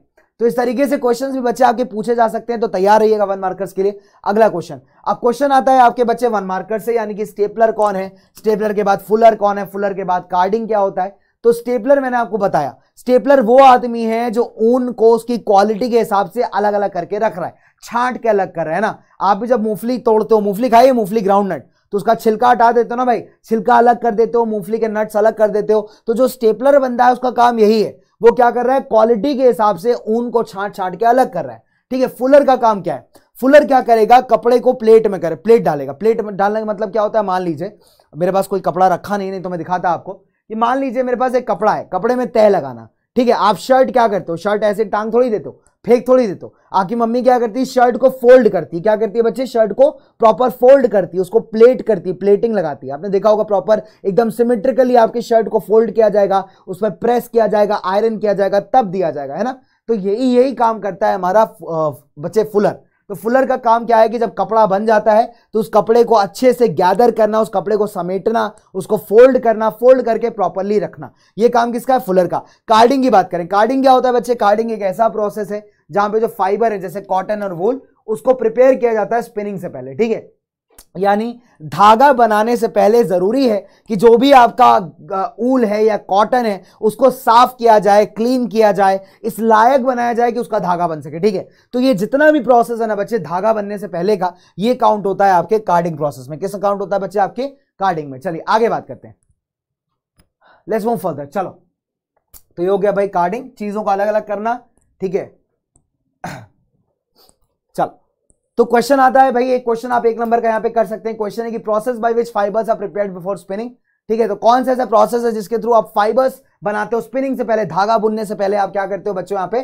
फाइबर्स को, यानी ऑटन हो गया, आपका वूल हो गया, उसको प्रिपेयर करते हैं। तो बच्चे, ये क्या कहलाता है आपका? ये कहलाता है कार्डिंग प्रोसेस ये क्विक ब्रेक नहीं यहाँ पे, ठीक है? ये मत समझ लेना कि भाई क्विक ब्रेक है। चलो तो क्विक ब्रेक विक ब्रेक नहीं है। प्लीज़ इसको समझ मत लीजिएगा। ये सब मोह माया चलो अच्छा अब क्वेश्चन बड़ा अच्छा है बच्चे, यहाँ पे क्वेश्चन बहुत अच्छा है, बहुत ही बढ़िया। ये बोर्ड सैंपल का आंसर है। बोर्ड में आप आंसर ऐसे लिखेंगे, ठीक है? तो एक क्वेश्चन आता है यहाँ पे क्वेश्चन क्या है? कि proto industrialisation system was a network of commercial exchanges explain दो नंबर का क्वेश्चन या तीन नंबर का क्वेश्चन आपसे आ सकता है, दो या तीन पॉइंट्स अपने को लिखने हैं, ठीक है? तो क्वेश्चन क्या कहता है? जो प्रोटो इंडस्ट्रियलाइजेशन सिस्टम यानी कि ऐसा सिस्टम जब इंडस्ट्रीज़ नहीं थी बड़े बड़े फैक्ट्री नहीं थे, उससे पहले भी व्यापार होता था तो ऐसे टाइम का जो सिस्टम है वो एक ऐसा नेटवर्क था जिसमें बहुत सारा आदान प्रदान था एक्सचेंज होता था। तो एक्सचेंज क्या था? नंबर वन पहली बात आप यही स्टेटमेंट को एज इट इज़ लिखोगे। क्या लिखोगे भाई? जो स्टेटमेंट दिया हुआ है उसको उठा के एज इट इज़ आप लिख दोगे। ठीक है? नंबर वन पॉइंट पहला पॉइंट दूसरा पॉइंट फिर आप लिखोगे कि it was controlled by merchants और जो सामान प्रोड्यूस किया जाता था बच्चे, वो बहुत सारे प्रोड्यूसर मिलकर प्रोड्यूस करते थे। ठीक है, जो कि प्रोड्यूस किया जा रहा है घरों के अंदर फैक्ट्रियों के अंदर नहीं। नंबर वन आप क्या लिखेंगे? पहला पॉइंट तो सेम चिपका देंगे स्टेटमेंट जो क्वेश्चन में दिया हुआ है। दूसरा पॉइंट दिखोगे कि जितना भी सामान प्रोड्यूस किया जा रहा है, बनाया जा रहा है, वो घरों के अंदर बनाया जा रहा है, यहाँ पे फैक्ट्री के अंदर बनाया नहीं जा रहा है। तीसरा आप लिखोगे कि मान के चलिए कि 20 से 25 वर्कर जो है, एक व्यापारी, एक मर्चेंट के लिए काम करते थे। ठीक है, हर एक स्टेज पे। तो रफली रफली अगर आप बोलोगे तो एक कपड़ा प्रोड्यूस करने के लिए ठीक है, करीब सौ वर्कर लगते थे फॉर वन व्यापारी। यानी आप सोच सकते हो कि एक मर्चेंट का काम करने के लिए एक टाइम पे सौ वर्कर लगते थे भाई, सौ वर्कर सौ कारीगर। तब जाकर के कहीं कपड़ा बना पाते थे, है ना? तो सौ कारीगर मिलकर के एक मर्चेंट का काम कर रहे हैं। तो इससे एक फ़ायदा ये भी है यार कि एम्प्लॉयमेंट काफ़ी ज़्यादा जनरेट हो रहा है, लोगों को काफ़ी ज़्यादा जॉब मिल रही है। चलिए, अब कहानी आती है बच्चे यहाँ पे फैक्ट्रीज की। किसकी कहानी आती है भाई? फैक्ट्रीज की, ठीक है? चलिए। फैक्ट्रीज की अगर हम बात करेंगे बच्चे तो इंग्लैंड के अंदर 1730 में फैक्ट्री आना स्टार्ट हो गई थी, लेकिन सत्रहवीं, अठारहवीं शताब्दी तक ही जाके इनका नंबर बढ़ाए खासकर अगर आप देखोगे 1780s के आसपास जो है इनका नंबर इंक्रीज होना स्टार्ट हुआ। फिर अगर मैं बात करूँ कॉटन की तो कॉटन को हम सिंबल ऑफ़ न्यू एरा कहते हैं। कॉटन को हम सिंबल ऑफ़ न्यू एरा कहते हैं, ऐसा क्यों कहते हैं? नंबर वन उसका रीजन है। 1760 में अगर आप कॉटन की बात करेंगे 1760 में ढाई मिलियन रॉ कॉटन यहाँ पे इंपोर्ट किया जा रहा था, ठीक है? ढाई मिलियन पाउंड जो है, कच्चा कॉटन यहाँ पे ब्रिटेन इंपोर्ट कर रहा था 1760 के अंदर। लेकिन अगर यही क्वांटिटी की बात करो 1787 में तो बढ़ के कितना हो गया? 22 मिलियन पाउंड कितना हो गया बच्चों?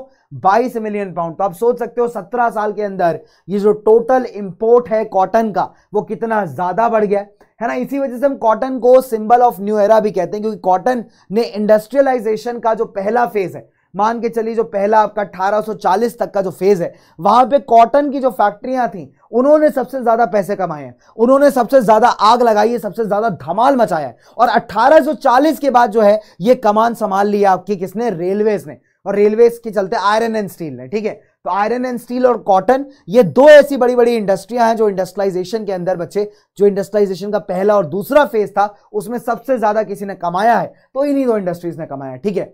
अब सवाल उठता है कि कॉटन टेक्सटाइल इंडस्ट्री को किस कौन सी ऐसी चीज़ें थी जिसने इंपॉर्टेंट बूस्ट प्रोवाइड किया? नंबर वन पहली बात, अगर आप देखोगे तो कई सारे नए इन्वेंशन हुए। अब जब नई नई तकनीक आई नई नई टेक्नोलॉजी आई, नई इन्वेंशन आए तो उसके चलते क्या हुआ? जो प्रोडक्शन था वो बढ़ गया भाई। है ना? प्रोडक्शन क्या हुआ बच्चे? प्रोडक्शन आपका बढ़ गया। अब जो काम पहले दस घंटे में हो रहा है, वो काम अभी दो घंटे में हो जा रहा है। है कि नहीं? तो ये कैसे पॉसिबल है ताकि नए नए इन्वेंशन के थ्रू फिर अगर आप देखोगे बच्चे, जो पर वर्कर का आउटपुट है, पहले वर्कर बहुत आलसी है कह राम खिलावन खैनी दो जरा। हाँ भैया, खा के खैनी काम करेंगे। ठीक है तो वर्कर का पहले ऐसे चल रहा है राम खिलावन, खिलाओ जरा खैनी, खिलाओ। ए खाई नहीं खाए बढ़िया। अब खा ली खाई नहीं अरे भैया, नींद आ रही है भैया। बहुत नींद आ रही काम करने का मन नहीं कर रहा। है यार, कौन करे काम? मालिक को ही देख पाएगा। मालिक को थोड़ी पता है कि हम काम नहीं कर रहे लेकिन अभी ऐसा नहीं हुआ। भैया, अब इसी को कहते हैं ना वर्कर की प्रोडक्टिविटी वर्कर का आउटपुट कि कुछ एक सर्टन टाइम पीरियड में वर्कर कितना बना पा रहा है, कितना काम कर पा रहा है, वही उसका आउटपुट है, वही उसकी प्रोडक्टिविटी है। है ना? तो यहाँ पे अगर आप देखोगे कि जो नए नए इन्वेंशन हुए, जब नई नई मशीनरी आई तो उसके चलते जो है वर्कर को अभी जल्दी जल्दी काम करना पड़ रहा है। तो वर्कर का आउटपुट बढ़ गया। इसके साथ ही साथ जो क्वालिटी ऑफ़ थ्रेड है बेटा, वो भी बढ़ गया। अगर आप देखोगे जो क्वालिटी ऑफ़ थ्रेड है ना? क्वालिटी ऑफ़ थ्रेड मतलब धागे का जो क्वालिटी है, पहले बेकार था, अभी वो भी बढ़ गया। यानी मज़बूत धागा प्रोड्यूस हो रहा है अभी। यहाँ पे क्या हो रहा है बच्चे? काफ़ी मज़बूत धागा यहाँ पे प्रोड्यूस किया जा रहा है। चलिए, फिर क्वेश्चन आता है कि which of the following are correct cotton was a symbol of new era new invention increase the efficiency of production process poor quality threads were produce तो देखिए पुअर क्वालिटी थ्रेड्स तो प्रोड्यूस हो नहीं रहा था तो करेक्ट आंसर होना चाहिए बोथ ए एंड बी तो ये क्वेश्चन भी आपको नोट्स में मिल जाएँगे। हालाँकि मैंने 200 क्वेश्चन ऑलरेडी करा रखे चलिए, अब कहानी आती है बच्चे यहाँ पे कॉटन मिल की, ठीक है? पहला कॉटन मिल क्रिएट किया था यहाँ पे रिचर्ड आर्कराइट ने, ठीक है? कॉटन मिल क्या होता है? एक बड़ा सा फैक्ट्री है, बहुत बड़ा सा फैक्ट्री है। उस फैक्ट्री के अंदर सारा का सारा प्रोसेस एक ही जगह पे किया जा रहा है। जितनी भी मशीनरी है आपकी, ठीक है? तो जितनी भी आपकी मशीन है, जितना भी आपका मशीनरी है, जितना भी मैनेजमेंट है है ना? प्रोडक्शन प्रोसेस है लेबर है, ये सारी की सारी चीज़ें एक ही छत के अंदर आ गई, ठीक है? ये सारी की सारी चीज़ें बेटा एक ही छत के अंदर आ गई हैं, एक ही जगह पे आ गई हैं तो ऐसे एरिया को हम कहते हैं कॉटन मिल जहाँ पे प्रोडक्शन भी हो रहा है, कच्चा सामान भी वहीं प्रोसेस किया जा रहा है लेबर भी वहीं काम कर रही है, और साथ ही साथ जो उनको मैनेज करने वाला आदमी है, वो भी वहीं बैठा है। तो इससे क्या होगा बच्चे? कि इससे जो आपका पहली बात तो टाइम बचेगा। पहले क्या हो रहा है, आप एक जगह से दूसरे जगह जा रहे हो, है ना? उसमें आपका बहुत ज़्यादा टाइम वेस्ट हो रहा है है ना? तो इससे क्या होगा? आपको तीन फ़ायदे होंगे। नंबर वन पहला फ़ायदा careful supervision over the production process यानी जितना सामान बनाया जा रहा है, उसके ऊपर आप निगरानी रख पाओगे, उसको पूरा टाइम देख पाओगे। पहले क्या होता था कि मर्चेंट जो है ना अलग अलग लोगों के पास जाके काम करवाता था। उसमें एक तो टाइम भी बहुत ज़्यादा लगता था और टाइम के साथ साथ भैया जो क्वालिटी होती थी, वो भी अच्छी नहीं होती थी। अभी क्या है, जब एक ही रूफ के अंदर, एक ही छत के नीचे सारा काम किया जा रहा है तो पहली बात तो टाइम कम लगेगा और टाइम के साथ साथ जो है, आपका क्वालिटी बढ़ेगी और क्वालिटी के साथ साथ जो लेबर पहले काम नहीं करती, नालायकियत कर रही है निकम्मी लेबर है, वो काम करनी स्टार्ट करेगी, है ना? पहले क्या लेबर मनमानी चला रही खैनी नहीं खा रही, एकदम बैठी हुई है है ना? अल्लाह भैया, चैनी खैनी, मस्त खाते हैं। तो खैनी नहीं खा के भैया लेबर बैठी है। अभी लेकिन उस लेबर को क्या करना पड़ेगा? काम करना पड़ेगा। तो रिचर्ड आक्राइड की कॉटन मिल ने क्या किया? इन तीन प्रॉब्लम्स को सॉल्व कर दिया, ठीक है? तो अगर आपसे क्वेश्चन पूछता है कि बेनिफिट क्या था कॉटन मिल का तो आप तीन बेनिफिट लिखेगा। Careful supervision of production process watch और क्वालिटी रेगुलेशन ऑफ़ लेबर तो ये तीन बेनिफिट आप लिख सकते हैं कॉटन मिल के। चलिए, आगे बात करते हैं लेट्स मूव फर्दर ओके अब बात आती है यार पेस ऑफ़ इंडस्ट्रियल चेंज जो आपका पूरा इंडस्ट्रियलाइजेशन था, उसमें धीरे धीरे आप देखोगे बदलाव आना शुरू होते हैं, ठीक है? और इन बदलाव के पीछे जो है ना, बच्चे, बहुत सारे रीजन हैं, बहुत सारे कारण हैं, जो इन बदलाव को इफ़ेक्ट करते हैं चेंजेस को इंपैक्ट करते हैं. हम एक एक करके सारे पढ़ेंगे. चलिए नंबर वन पहला है डोमिनेंस ऑफ़ कॉटन और मेटल इंडस्ट्री अगर आप बात करेंगे पहले और सेकंड फ़ेज़ की, किसके इंडस्ट्रियलाइजेशन की तो कॉटन और मेटल इंडस्ट्री दो ऐसी इंडस्ट्री हैं जिन्होंने सबसे ज़्यादा डोमिनेट किया है. कॉटन ने पहले फ़ेज़ में आयरन एंड स्टील ने दूसरे फ़ेज़ में, ठीक है? फिर अगर मैं बात करूँगा, दूसरा है सीजनल डिमांड ऑफ़ लेबर कि बहुत सारी ऐसी इंडस्ट्रीज़ थी जहाँ पे मॉडर्न मशीनरी का यूज़ नहीं किया जा रहा था, क्योंकि वहाँ पे जो लेबर का डिमांड है, वो बहुत ज़्यादा सीजनल है. ठीक है? चलिए. ओके बहुत बढ़िया। अनुजी भैया, अनुजी एक काम करिए, ऐसे लोगों से बिल्कुल सावधान, सतर्क रहिए। बेटा, जो इश्क तुम अपने सब्जेक्ट से ना कर पाए तो किसी के दिल से क्या करोगे? ठीक है? तो लड़कियाँ देखती हैं सेंस ऑफ़ रिस्पॉन्सिबिलिटी अगर तुमने यही दिखा दिया कि तुम पेपर से ज़्यादा आई लव यू बोलने में इंटरेस्टेड हो तो बेटा तुम्हारे अंदर सेंस ऑफ़ रिस्पॉन्सिबिलिटी तो ज़ीरो छोड़ो माइनस में है। लड़कियों को चाहिए होता है सेंसिबल लोग। सेंसिबल मतलब समझ रहे हो? मतलब सेंसिबल और रिस्पॉन्सिबल लोग। तो भैया रिस्पॉन्सिबिलिटी में तो तुम फेल हो गए यहाँ पे। फैक्ट सी बात है, भाई, पहले एग्ज़ाम में ही फेल हो गए। है ना? तो भैया सिंपल सी बात है, भैया, जब पहले एग्ज़ाम में ही फेल हो गए तो इंप्रेस क्या करोगे यार? जो सब्जेक्ट से इश्क ना कर पाया, जिसका पेपर कल है, वो इंसान से इश्क क्या करेगा? है कि नहीं भाई? चलिए छोटे छोटे इनोवेशन फिर अगर मैं बात करूँ hesitation in using the modern machinery तो भैया, ऐसे लोगों पे देखिए, लड़कियों खासकर बता रहा हूँ, बेटा, ऐसे लोगों बिल्कुल भरोसा मत करना। सेंस ऑफ़ रिस्पॉन्सिबिलिटी जिसका नेगेटिव है, बेटा, वो लाइफ में कभी रिस्पॉन्सिबिलिटी नहीं उठा सकता, ठीक है? और लड़कियाँ ढूंढती रिस्पॉन्सिबल लड़कियाँ स्मार्ट होती, तुम्हारे थोड़े थोड़े डेस्परेट ठीक है, अलग ही चल रहा है चैट पे रिश्ते बनाएँगे, है ना? ये रिश्ता क्या कहलाता है? चैट पे चल रहा है इधर। चलिए, आगे बात करते हैं फ़िलहाल। ओके तो दूसरा भी है मॉडर्न मशीनरी को यूज़ करने में काफ़ी ज़्यादा हेजिटेशन अच्छा इस पैराग्राफ को मत देखिएगा, जो भी लिखा हुआ बोर्ड पे उसको देखिए, ठीक है? बिल्कुल सिंप्लीफाइड पैराग्राफ है, मैंने आपको एनसीआरटी के लिए इसलिए रखा था, ताकि कोई रेफरेंस मिलता रहे, ठीक है? चलिए तो इस पैराग्राफ को भूल जाइए, क्या लिखा है? बिल्कुल भूल जाइए, जो सर ने यहाँ लिखा हुआ है, इस पर ध्यान दीजिए स्लो चार्ट पर ध्यान दीजिए, चलिए।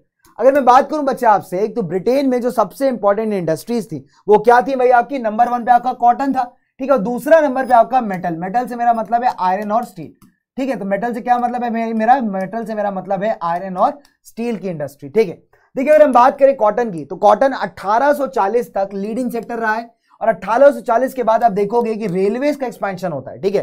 खासकर 1860 से जितनी भी कॉलोनीज थी। भारत की अगर हम बात करेंगे तो भारत में 1853 1853 में पहली ट्रेन चलाई गई थी। कहाँ से कहाँ के बीच में? मुंबई से थाने के बीच में। तो भैया, मुंबई से थाने हम जा रहे खाने मखाने। तो मुंबई से थाने के बीच में पहली ट्रेन चलाई गई, है ना? उसके बाद ट्रेन चलती गई चलती गई चलती गई चलती गई। छुक छुक गाड़ी, छुक छुक गाड़ी, छुक छुक गाड़ी, छुक छुक छुक छुक छुक छुक छुक है ना? तो ऐसे ट्रेन चलती गई।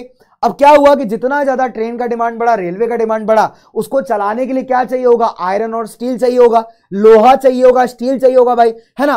तो ये जो लोहा था, ये जो स्टील था, अभी ब्रिटेन ने क्या किया? एक्सपोर्ट करना स्टार्ट कर दिया। तो आप कह सकते हो कि भैया, कॉटन जो था, वो पहले फ़ेज़ तक लीडिंग इंडस्ट्री था, लेकिन सेकेंड फ़ेज़ में खासकर जब से आपका रेलवेज एक्सपेंशन होना स्टार्ट हुआ, जो आपका बच्चे आयरन एंड स्टील है, वो बन गया हमारा लीडिंग सेक्टर चले आगे बात करते हैं।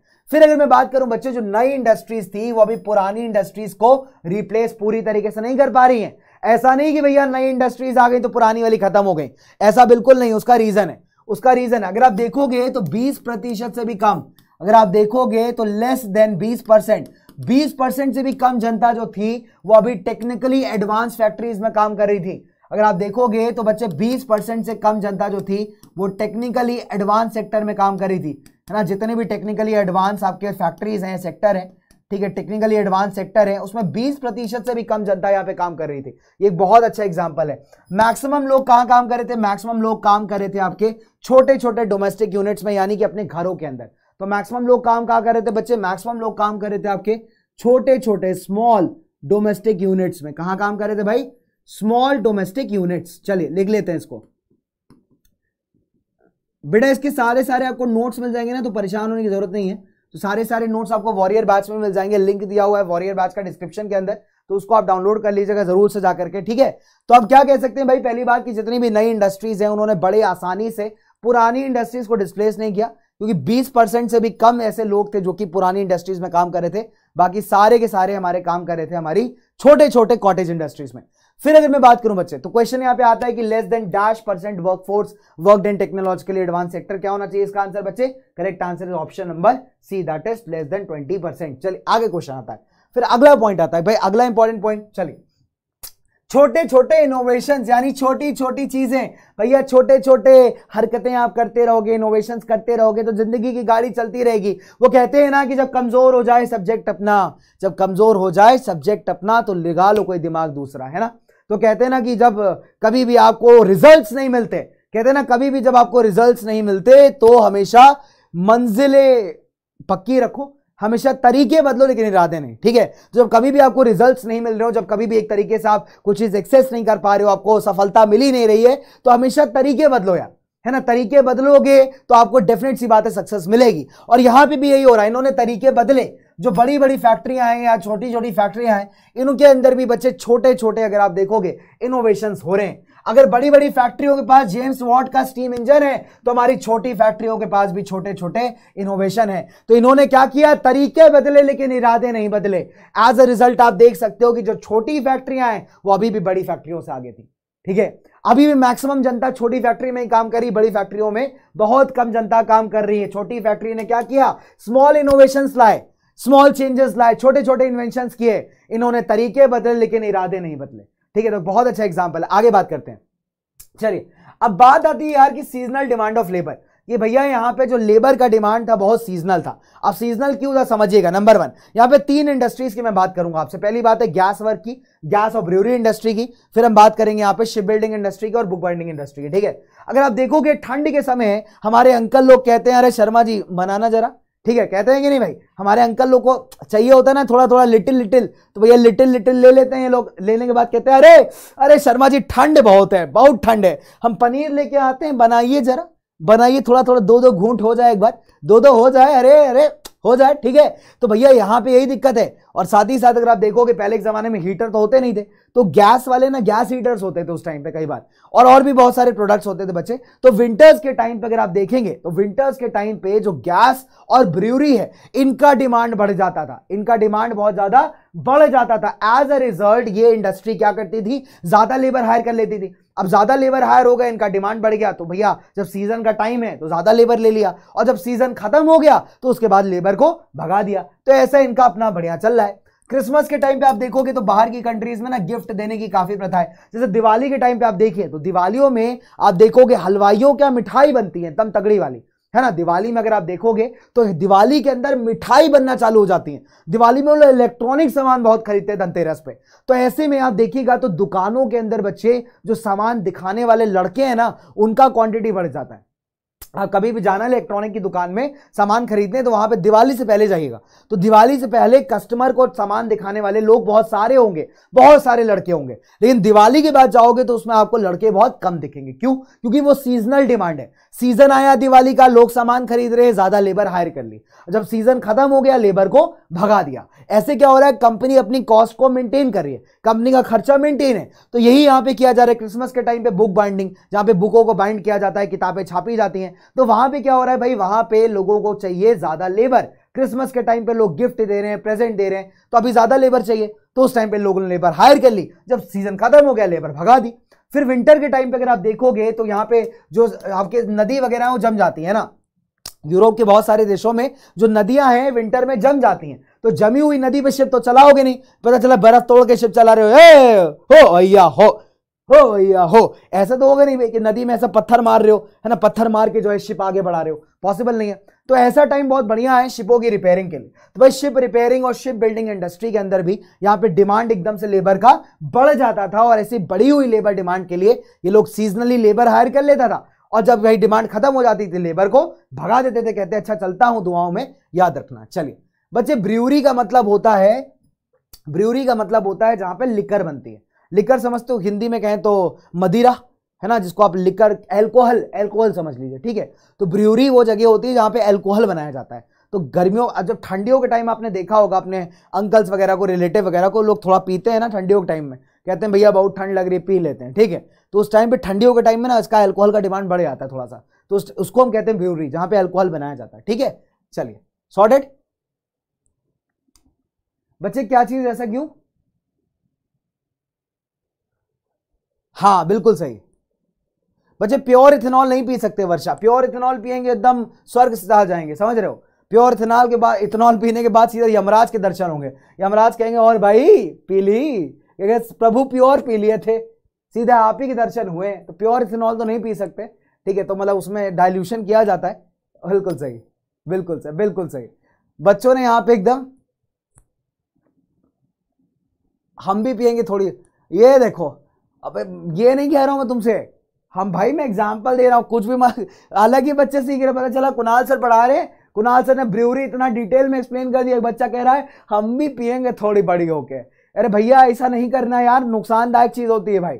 ऐसा नहीं लड़के अलग ही मज़े में चल रहे हैं हमारे, अलग ही मज़े में चल रहे हैं। मैं इधर पढ़ा रहा हूँ, बच्चों को एग्ज़ाम्पल दे रहा हूँ। बच्चे कहेंगे, अरे, हम भी ट्राई कर लेंगे, ठंड बहुत है मिश्रा जी। है? ऐसा है? ओए, ऐसा मत करना भाई, नुकसानदायक है नहीं, गंदी चीज़ है वेरी बैड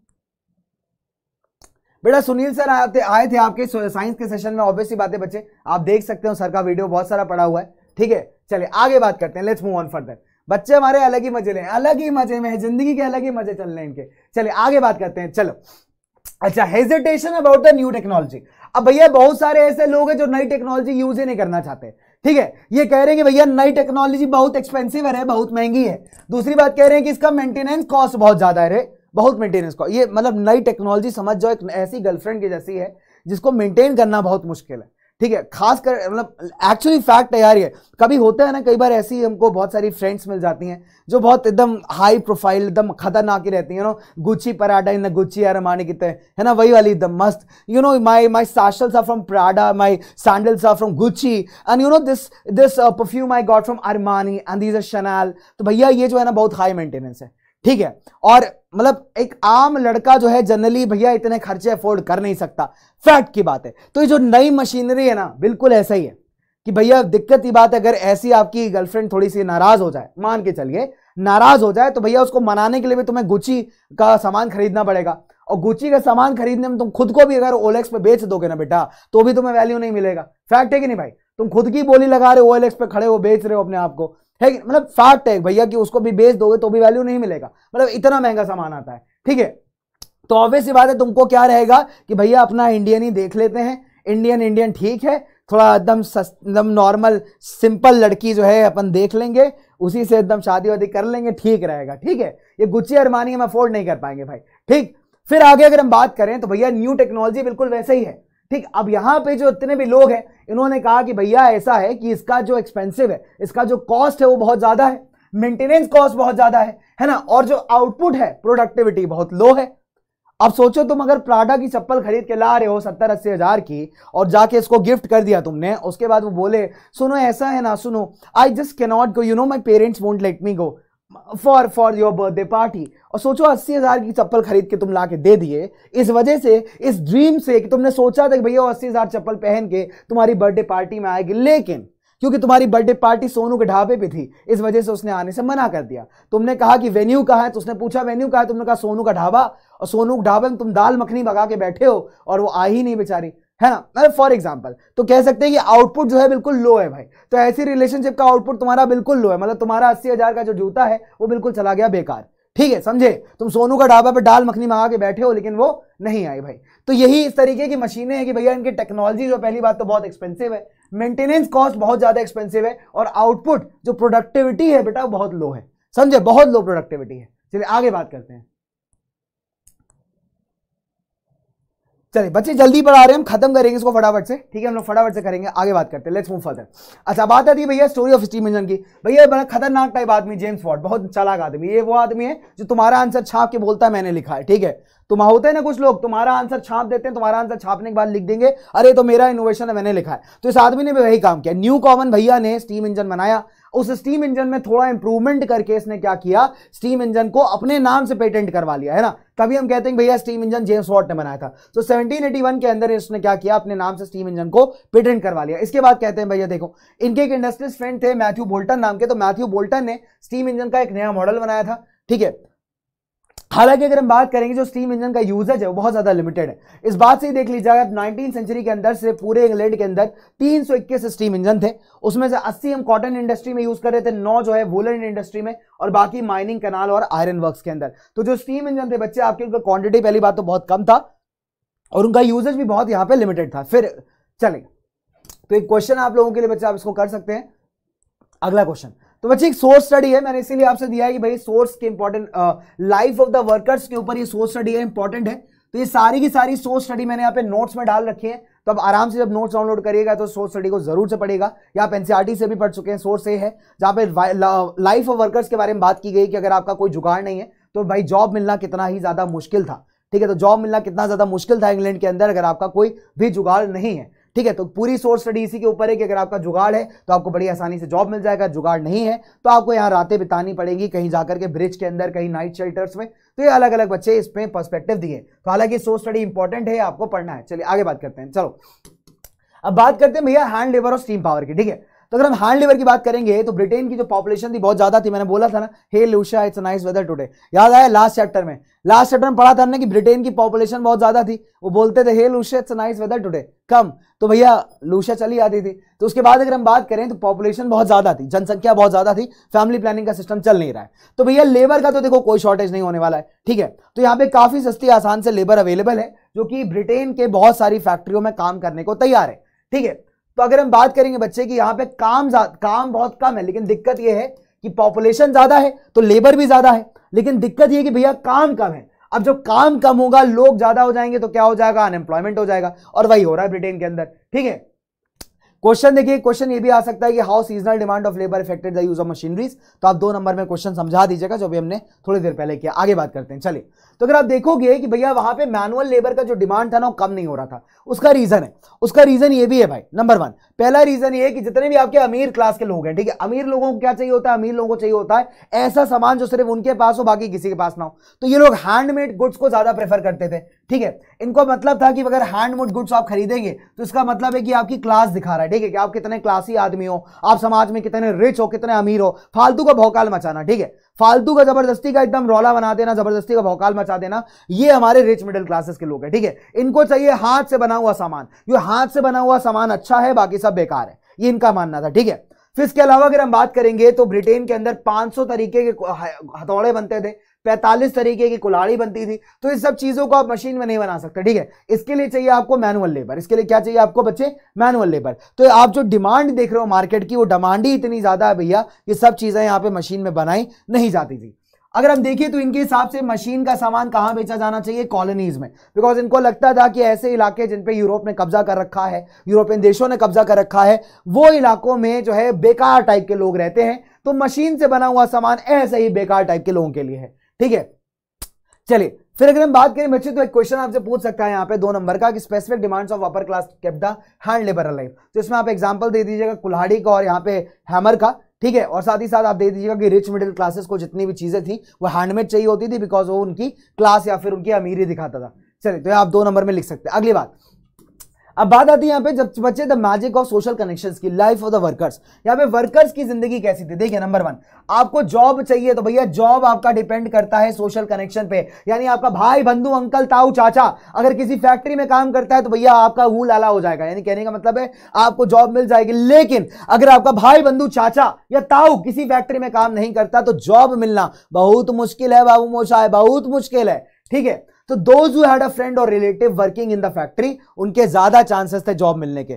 ठीक है? अब दिक्कत ये कि जिनको जॉब नहीं मिलता था, जो अनएम्प्लॉयड बेरोजगार टाइप के आदमी, वो लोग कहाँ जाते थे? भैया वो जाते थे पहाड़ों के ऊपर, नदियों के पास। देखो कौन पुल के नीचे सो गया। हालाँकि बहुत ही वाहियात गाना है तो प्लीज़ इसको इग्नोर मारिएगा।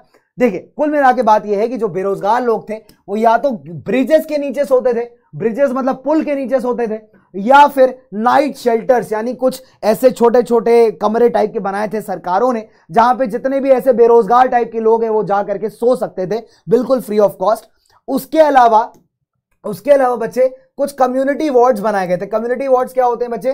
सरकार द्वारा बनाए गए एकदम कुछ बड़े बड़े एरियाज़ तो भैया जो नाइट शेल्टर है या जो कम्युनिटी वार्ड है, ये ऐसे पब्लिक एरियाज़ हैं जहाँ पे जितने भी बेरोजगार लोग हैं, जितने जितने लोग ऐसे हैं जिनके पास घर नहीं है, रहने के लिए जगह नहीं है, ये सारे के सारे लोग जो हैं बच्चे जाके यहाँ पे सो सकते हैं, रात गुजार सकते हैं। ठीक है? तो भैया, रात कल ही एक खाब में आई और नया जॉब दे गई। ठीक है? तो कुल मिला के इनके सपनों में रात कली आती थी, उनको लगता था कि भैया, रोज जॉब मिलने वाला है जॉब मिलने वाला लेकिन जॉब मिलना इतना आसान नहीं था। क्योंकि जॉब थी कम और मांगने वाले थे ज़्यादा। ठीक है? चलिए तो ऐसे बेरोजगार लोग क्या करते थे? इसी तरीके से अपनी रातों को गुजारते थे और जो खाना जो है, सरकारें वगैरह इनको दे देती थी लोकल म्यूनसिपालिटी जो खाना वगैरह दे जाती थी, वही खाना पीना खा के इनकी ज़िंदगी चल रही थी। फिर अगर मैं बात करूँ, बच्चे did the wage increase help अब क्वेश्चन कहता है कि क्या, जब वर्कर्स की सैलरी बढ़ी, जब इनकी दिहाड़ी बढ़ी तो क्या इससे बेनिफिट हुआ? तो देखिए, अगर हम देखेंगे अर्ली नाइनटीन सेंचुरी के अंदर जो वर्कर्स हैं, उनकी दिहाड़ी बढ़ जाती है, लेकिन इससे ज़्यादा किसी को बेनिफिट नहीं होता। ठीक है, ज़्यादा इसलिए बेनिफिट नहीं होता क्योंकि इनकी दिहाड़ी बढ़ी, इनकी वेजेस बढ़ी, लेकिन वेजेस बढ़ने के साथ साथ जो सामान का दाम था, बेटा, वो भी बढ़ गया। ठीक है? बच्चे, मैं ऑलरेडी ऑलरेडी पढ़ा रहा हूँ आपको। बच्चे हैंडमेड होता है, बच्चे मैनमेड तो कोई भी ऐसा सामान है जो ह्यूमन बना रहा है। आपका क्वेश्चन होना चाहिए हैंडमेड और मशीन मेड में फ़र्क क्या है? ठीक है? हैंडमेड सामान भी मैनमेड ही है। मतलब वो इंसानों ने बनाया ठीक है? जिसने जो भी चीज़ इंसान ने बनाई है बेटा, वो हैंडमेड कहलाती है। हैंडमेड और मशीन मेड में फ़र्क होना चाहिए। हैंडमेड का मतलब होता है जो हाथ से बनाया गया हो मशीन मेड का मतलब होता है जो मशीनों से बनाया गया हो, ठीक है? तो ये बीच का डिफरेंस है। चलिए, आगे बात करते हैं।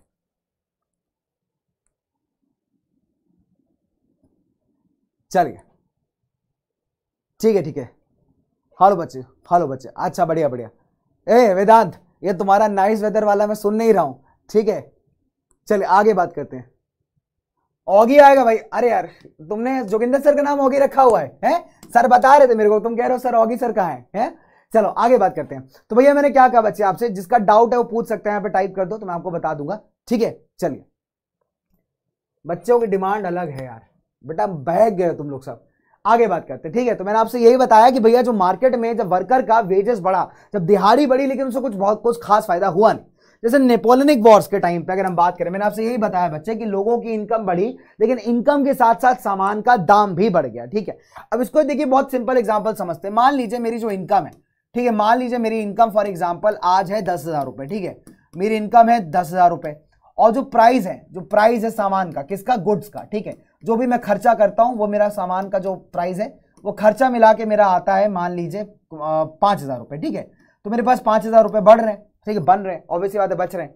तो मान लीजिए मेरी इनकम बढ़ के हो गई पंद्रह हज़ार रुपए, ठीक है, मेरी इनकम बढ़ के हो गई पंद्रह हज़ार रुपए, लेकिन ये जो सामान का दाम था, ये बढ़ के हो गया अभी बीस हज़ार रुपए।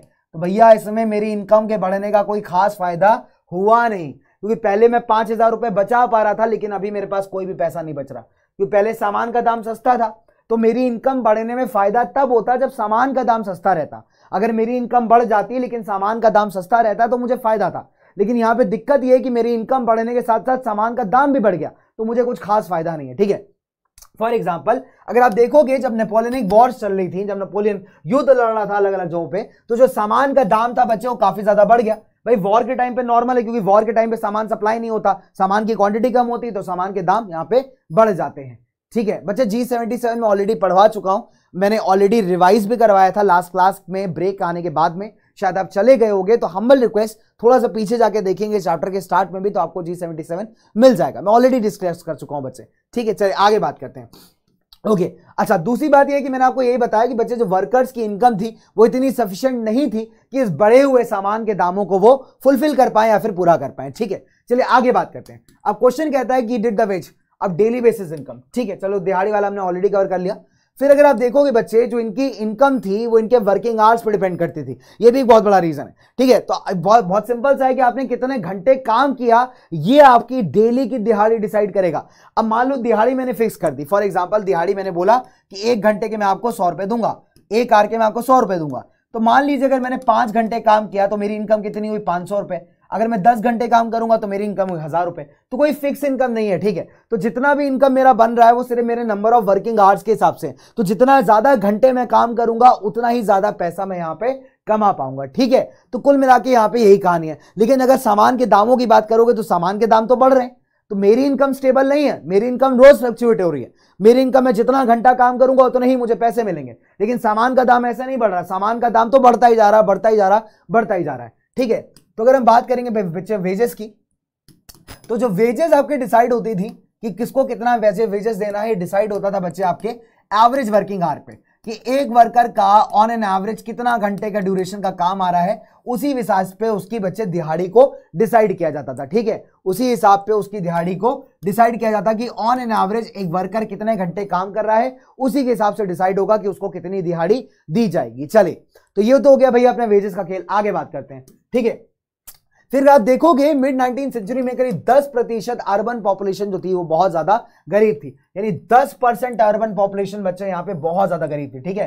तो मिड नाइनटीन सेंचुरी में 10 परसेंट अर्बन पॉपुलेशन की अगर हम बात करेंगे तो अर्बन पॉपुलेशन यहाँ पे बच्चों ओपी लेवल की गरीब थी, बहुत गरीब थी अल्टीमेट गरीब, ठीक है? चलिए, आगे बढ़ते हैं लेट्स मूव फर्दर तो एक क्वेश्चन है बच्चा, आप इस क्वेश्चन को सॉल्व कर सकते हैं, आगे बात करते हैं, ठीक है? अगर आप देखोगे इकोनॉमिक डिप्रेशन के टाइम पे जो आपका अनएम्प्लॉयमेंट था बच्चे, वो पिछहत्तर परसेंट तक पहुँच गया। आप सोच सकते हो इकोनॉमिक डिप्रेशन से पहले जो अनएम्प्लॉयमेंट बेरोजगारी 35 परसेंट पे थी, वो इकोनॉमिक डिप्रेशन के टाइम पे 75 परसेंट तक पहुँच गई। यानी मान के चलिए, अगर 100 लोग हैं एक शहर में तो 100 में से 75 ऐसे जिनके पास काम ही नहीं है। एक हाई रेट ऑफ़ अनएम्प्लॉयमेंट है, ठीक है?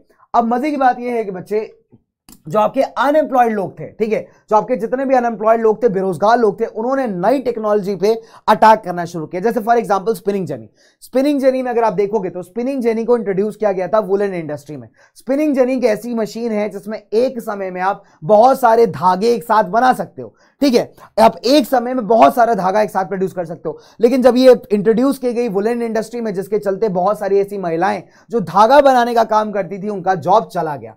जब इनका जॉब गया तो डेफिनेट सी बात है, इनको गुस्सा आया, है ना? तो इन्होंने क्या किया? स्पिनिंग जेनी को तोड़ना, फोड़ना स्टार्ट कर दिया राइट तो जब तो that is the reason behind attacking the spinning jenny ये क्वेश्चन कई बार आपसे पूछ सकता है, ठीक है? और ये इसीलिए पूछा तो ये होती है स्पिनिंग जर्नी कुछ इस तरीके से होती है बच्चे। आप देख सकते हो जो गोले गोले दिख रहे हैं ना आपको इमेज में, बेटा ये धागा है। तो एक बार अभी चरखा चला दोगे तो सारे घूमने लगेंगे और ये जो यहाँ पे फाइबर लगा हुआ है धागे के फॉर्म में लपेटता जाएगा, ठीक है? तो ये कहलाती है आपकी स्पिनिंग जर्नी तो इसके आने के बाद से वोलन इंडस्ट्री के अंदर जितनी भी महिलाएँ थी, बहुत सारी महिलाओं का जॉब चला गया, जिसके चलते ये इनसिक्योर हो गई और इन्होंने स्पिनिंग जर्नी को तोड़ना जो है बच्चे यहाँ पे स्टार्ट कर दिया। ठीक है, इसको बनाया किसने था? इसको बनाया था जेम्स हार्ग्रीव्स ने 1764 के अंदर। चलिए, आगे बात करते हैं लेट्स मूव फर्दर अगला टॉपिक ओके तो एक सोर्स स्टडी है, बच्चे, आपको सोर्स भी है, या टाक ऑन टेक्नोलॉजी से रिलेटेड क्वेश्चन आ सकता है इंपॉर्टेंट है। स्पिनिंग जर्नी के ऊपर ही पूरा सोर्स है। तो जितने इंपॉर्टेंट सोर्सेज हैं चैप्टर के, मैंने डाल दिए हैं, जिससे क्वेश्चन बनने का प्रोबेबिलिटी है, वो भी डाल दिया तो आपका काम है कि आप इन सोर्सेज को थरली रीड करेंगे फ्रॉम दी एनसीआरटी तो this is attack on the technology अगला क्वेश्चन ठीक है? अगर 1840 की बात करेंगे तो आप देखते हैं कि बच्चे इंफ्रास्ट्रक्चर काफ़ी ज़्यादा बूस्ट होता है। इंफ्रास्ट्रक्चर का मतलब यहाँ पे रेलवेज एक्सपैंड हो रहा है है ना? कोल प्रोडक्शन बढ़ रहा है माइनिंग बढ़ रही है। माइनिंग समझते हो जो मिनरल्स खोद के निकालते हैं अंदर से, उससे निकाल करके अलग अलग इंडस्ट्रीज़ में यूज़ किया जाता है, बेचा जाता है। है कि नहीं बच्चों? तो अगर आप देखोगे तो भैया इंफ्रास्ट्रक्चर 1840 में एक्सपैंड होना स्टार्ट हुआ। अब इंफ्रास्ट्रक्चर जब एक्सपैंड होगा तो डेफिनेट सी बात है यहाँ पे, जो जॉब्स हैं, वो भी ज़्यादा क्रिएट होगी। बिकॉज़ आपको लेबर चाहिए रेलवे में काम करने के लिए कोल सेक्टर में काम करने के लिए माइनिंग करने के लिए, सारी चीज़ों के लिए आपको क्या चाहिए भैया? आपको चाहिए लेबर आपको चाहिए मजदूर। और ये मजदूर को जब काम मिलेगा, जब उसको एम्प्लॉयमेंट मिलेगी तो डेफिनेट सी बात है, उसको पैसे भी मिलेंगे और उसकी इनकम सिचुएशन थोड़ी बेहतर होगी। अब आगे मैं अगर बात करूँ industrialisation in the colonies water break नहीं है यहाँ पे, ठीक है? चल नो ब्रेक आगे बात करते हैं। इंडस्ट्रियलाइजेशन इन द कॉलोनीज अगर आप भारत की बात करोगे तो आपने थोड़ी देर पहले अभी सिल्क रूट्स के बारे में पढ़ा है। अगर आप भारत की बात करेंगे तो भारत से जो सिल्क है और कॉटन टेक्सटाइल है, बहुत सालों से सिल्क रूट के रास्ते जो है यूरोप में जाता था।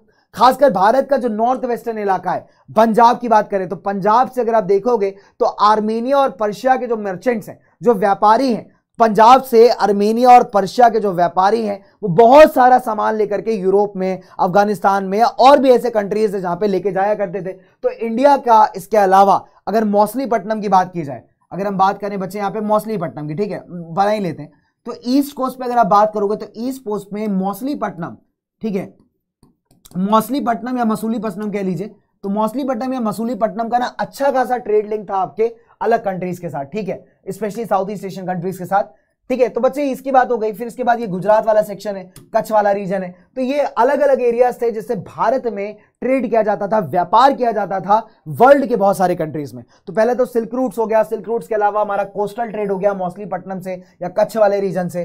ठीक है north western north western part Bharat का पंजाब वाला रीजन तो पंजाब वाले रीजन से कैमल्स पे लाद करके, यानी ऊँट के ऊपर लाद करके जो है बड़े बड़े कपड़े की थान जो है आर्मेनिया और पर्शिया के व्यापारी ले जाया करते थे अलग अलग देशों में। राइट चलिए। तो finest quality of cotton produce in India Armenian Persian merchants क्या करते थे? पंजाब से अफ़गानिस्तान ले जाते थे सामान को, ठीक है? एंड वहाँ से ले जाते थे पर्शिया सेंट्रल एशिया फिर मैंने आपको बताया कि कैमल की पीठ पे लाद करके कपड़े के बड़े बड़े थान यहाँ पे ट्रांसपोर्ट किए जाते थे। है ना? साथ ही साथ सी रूट्स की बात करें, सूरत और गुजरात की तो वहाँ से भी व्यापार किया जाता था। मसूलीपट्टनम हो गया, बंगाल हो गया, कच्छ का जो पोर्ट हो गया तो ये अलग अलग एरियाज़ है जहाँ पे भारत कोस्टल ट्रेड करता था। कोस्टल ट्रेड मतलब समुद्र के द्वारा व्यापार। तो समुद्र के थ्रू भी बच्चे भारत व्यापार क्या करता था? अलग अलग देशों से। ठीक है? अब यहाँ कहानी आती है बच्चे हमारे नेटवर्क और सप्लाई मर्चेंट्स की। बहुत ही इंपॉर्टेंट है। बहुत ही इंपॉर्टेंट और बहुत ही अमेजिंग है। तो इस पूरे फ्लो चार्ट के थ्रू आप पूरा चैप्टर समझ सकते हैं। ठीक है? बहुत ही बेसिक तो पहले मेरी बात पे ध्यान दीजिएगा। ठीक है? देखिए भारत के अंदर जब तक यूरोपियन पावर्स ने कब्जा नहीं जमाया था, भारत में व्यापार बहुत अलग तरीके से होता था, ठीक है? भारत में कुछ इंपॉर्टेंट टर्म्स को आप याद रखिएगा। पहला है आपका सप्लाई मर्चेंट्स, दूसरे आपके ब्रोकर और तीसरा है आपका एक्सपोर्ट मर्चेंट, ठीक है? सप्लाई मर्चेंट वो आदमी है जिसका काम है गाँव में जाना। ये गाँव के लोगों को जानता था, उनसे अच्छी बातचीत थी इसकी। तो गाँव में जो वीवर्स होते हैं वीवर मतलब हिंदी में कहिए तो जुलाहे, ये वो लोग हैं जो कपड़ा बनाते हैं। तो ये क्या करता था, उन वीवर्स के पास जाता था, उनको पैसे एडवांस देता था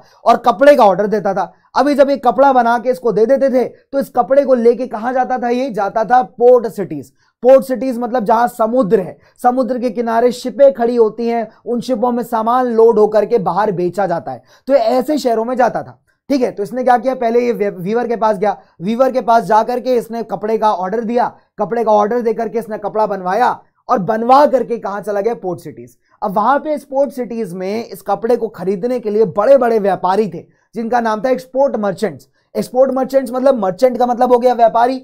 है ना? और ऐसा व्यापारी जो सामान को बाहर बेचता हो। तो इन व्यापारियों ने अपने दलाल पाल रखे थे ब्रोकर। ठीक है? दलाल पाल रखे थे। ब्रोकर समझते हो बच्चे? तो जो दलाल होते हैं, उनको हम क्या कहते हैं? ब्रोकर कहते हैं। तो उन्होंने क्या किया था? अपने दलाल पाल रखे थे। और ये दलाल क्या करते थे? इन सप्लाई मर्चेंट के साथ नेगोशिएशन करते थे। ठीक है? इनसे बातचीत करते थे। इनसे अपना सौदा जो है, एकदम सेटल करते थे। और इनसे खरीद करके ये फाइनली एक्सपोर्ट मर्चेंट को दे देते थे। तो ये पूरा नेटवर्क था ऑफ़ द इंडियन ट्रेड ठीक है तो इस नेटवर्क में कौन है बच्चे? वीवर है सप्लाई मर्चेंट है ब्रोकर है और आपका एक्सपोर्ट मर्चेंट है, ठीक है? तो सप्लाई मर्चेंट क्या करेगा? वीवर के पास जाएगा, उसको ऑर्डर देगा, पैसा देगा, उससे कपड़ा बनवा के लेके आएगा पोर्ट सिटीज़ में। पोर्ट सिटीज़ में इनको दलाल मिलेंगे, दलाल को कपड़ा बेचेगा, ये दलाल फाइनली कपड़ा देगा एक्सपोर्ट मर्चेंट को और यहाँ से बाहर भेज दिया जाएगा, ठीक है? चलिए तो भाई इसमें ना एक फ़ायदा है, फ़ायदा क्या है वीवर को? फ़ायदा ये है वीवर्स के पास कि नंबर वन उनके पास फ्रीडम है अपने कपड़े को बेचने की। बिकॉज़ कपड़े का जो डिमांड है, उसको खरीदने वाले बहुत सारे खरीदार हैं। ये सप्लाई मर्चेंट भी है लोकल राजा भी है फ्रेंच लोग हैं, पुर्तगाली लोग हैं, साथ ही साथ ब्रिटिशर्स हैं। तो कपड़ा खरीदने वाले लोग यहाँ बहुत ज़्यादा हैं।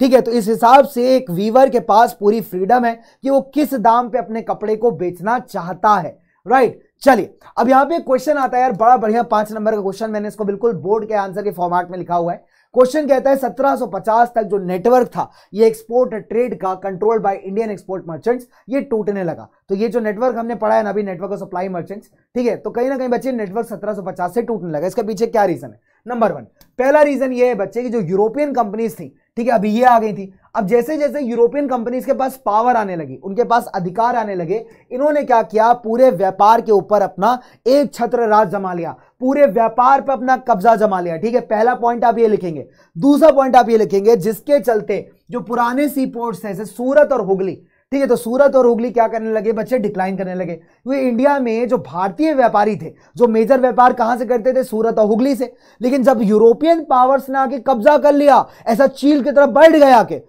छपटा मार के, ए, हमारा है, लो इधर ठीक है, और बहुत चालाक लोग थे। इन्होंने क्या किया? जो लोकल राजा थे, उनको लालच दे करके, उनको पैसे वैसे दे करके, उनके साथ बातचीत करके जो थे, अधिकार अपने पास ले लिए। ठीक है, और जब ये अधिकार आए तो सूरत और हुगली के जो पोर्ट्स थे पहले अर्लियर पोर्ट्स वो धीरे धीरे बेकार होने लगे। है ना? और इसकी जगह जो आपका बॉम्बे, कलकत्ता पोर्ट है, बॉम्बे और कलकत्ता का जो पोर्ट है, वो ग्रो करने लगा। तो बॉम्बे और कलकत्ता का जो पोर्ट है, जो ग्रो कर रहा था, उस बात को भी बता रहा था भैया कि कॉलोनाइज्ड पावर बढ़ रही है देश के अंदर। कि भैया यूरोपियन पावर कब्जा जमा रही है, अभी भी समय है समझ जाओ। लेकिन हम संभले नहीं, हम लोग बेखबर टाइप के लोग हैं, ठीक है? अब धीरे धीरे क्या हुआ, जो एक्सपोर्ट था वो डिक्लाइन होने स्टार्ट हुआ आप कह सकते हो लोकल बैंकर्स की हालत बिल्कुल बेकार हो गई। पहले जो लोकल व्यापारी लोकल मनी लेंडर जो ब्याज पे पैसा देने वाले लोग थे, बढ़िया पैसा कमा रहे थे जब तक इंडियन ट्रेड चल रही थी। लेकिन इसके बाद से जब से यूरोपियन पावर्स आए, इनकी हालत बिल्कुल खराब हो गई। फिर अगर मैं बात करूँ बच्चे in the last year of the seventeen century जो सूरत का ट्रेड था, वो तीन मिलियन हो गया। मतलब पहले सूरत के पोर्ट से ही अकेले सोलह मिलियन का व्यापार होता था, सोलह मिलियन के वैल्यू का व्यापार होता था, लेकिन वो गिर करके सिर्फ़ तीन मिलियन ही रह गया। ठीक है? फिर अगर मैं आगे बात करूँ, चौथा पॉइंट क्या लिखोगे इसमें? चौथा पॉइंट लिखोगे कि सूरत एंड हुगली जैसे जो पुराने पोर्ट्स थे, वो डिक्लाइन करने लगे, लेकिन बंबई और कलकत्ता जैसे पोर्ट्स यहाँ पे ग्रो करने लगे, जो कि इस बात का भी सबूत है कि देश के अंदर कॉलोनियल पावर यहाँ पे बढ़ रही है। फिर अगर मैं बात करूँ जितनी भी ट्रेड एक्टिविटीज़ थी, अभी इसको कौन कंट्रोल कर रहा था? यूरोपियन पावर्स तो धीरे धीरे करके जो इंडियन ट्रेडर्स थे, जिनको भी सर्वाइव करना था, इस कंपटीशन को झेलना था, उनको या तो बात माननी पड़ेगी यूरोपियन पावर्स की, नहीं तो अपनी दुकानें वो बंद कर सकते हैं। उनके पास कोई दूसरा ऑप्शन बचा ही नहीं। ठीक है? चलिए तो भैया ये मेजर मेजर पॉइंट्स आप लिखेंगे जब ये क्वेश्चन आता है, और ये बहुत अच्छा क्वेश्चन है बच्चे, जो कभी भी आपसे क्वेश्चन पूछ सकता है एग्ज़ाम में। एग्जैक्टली पाँच पॉइंट्स लिखिएगा, इसलिए बच्चा आपको आंसर भी दिया हुआ है।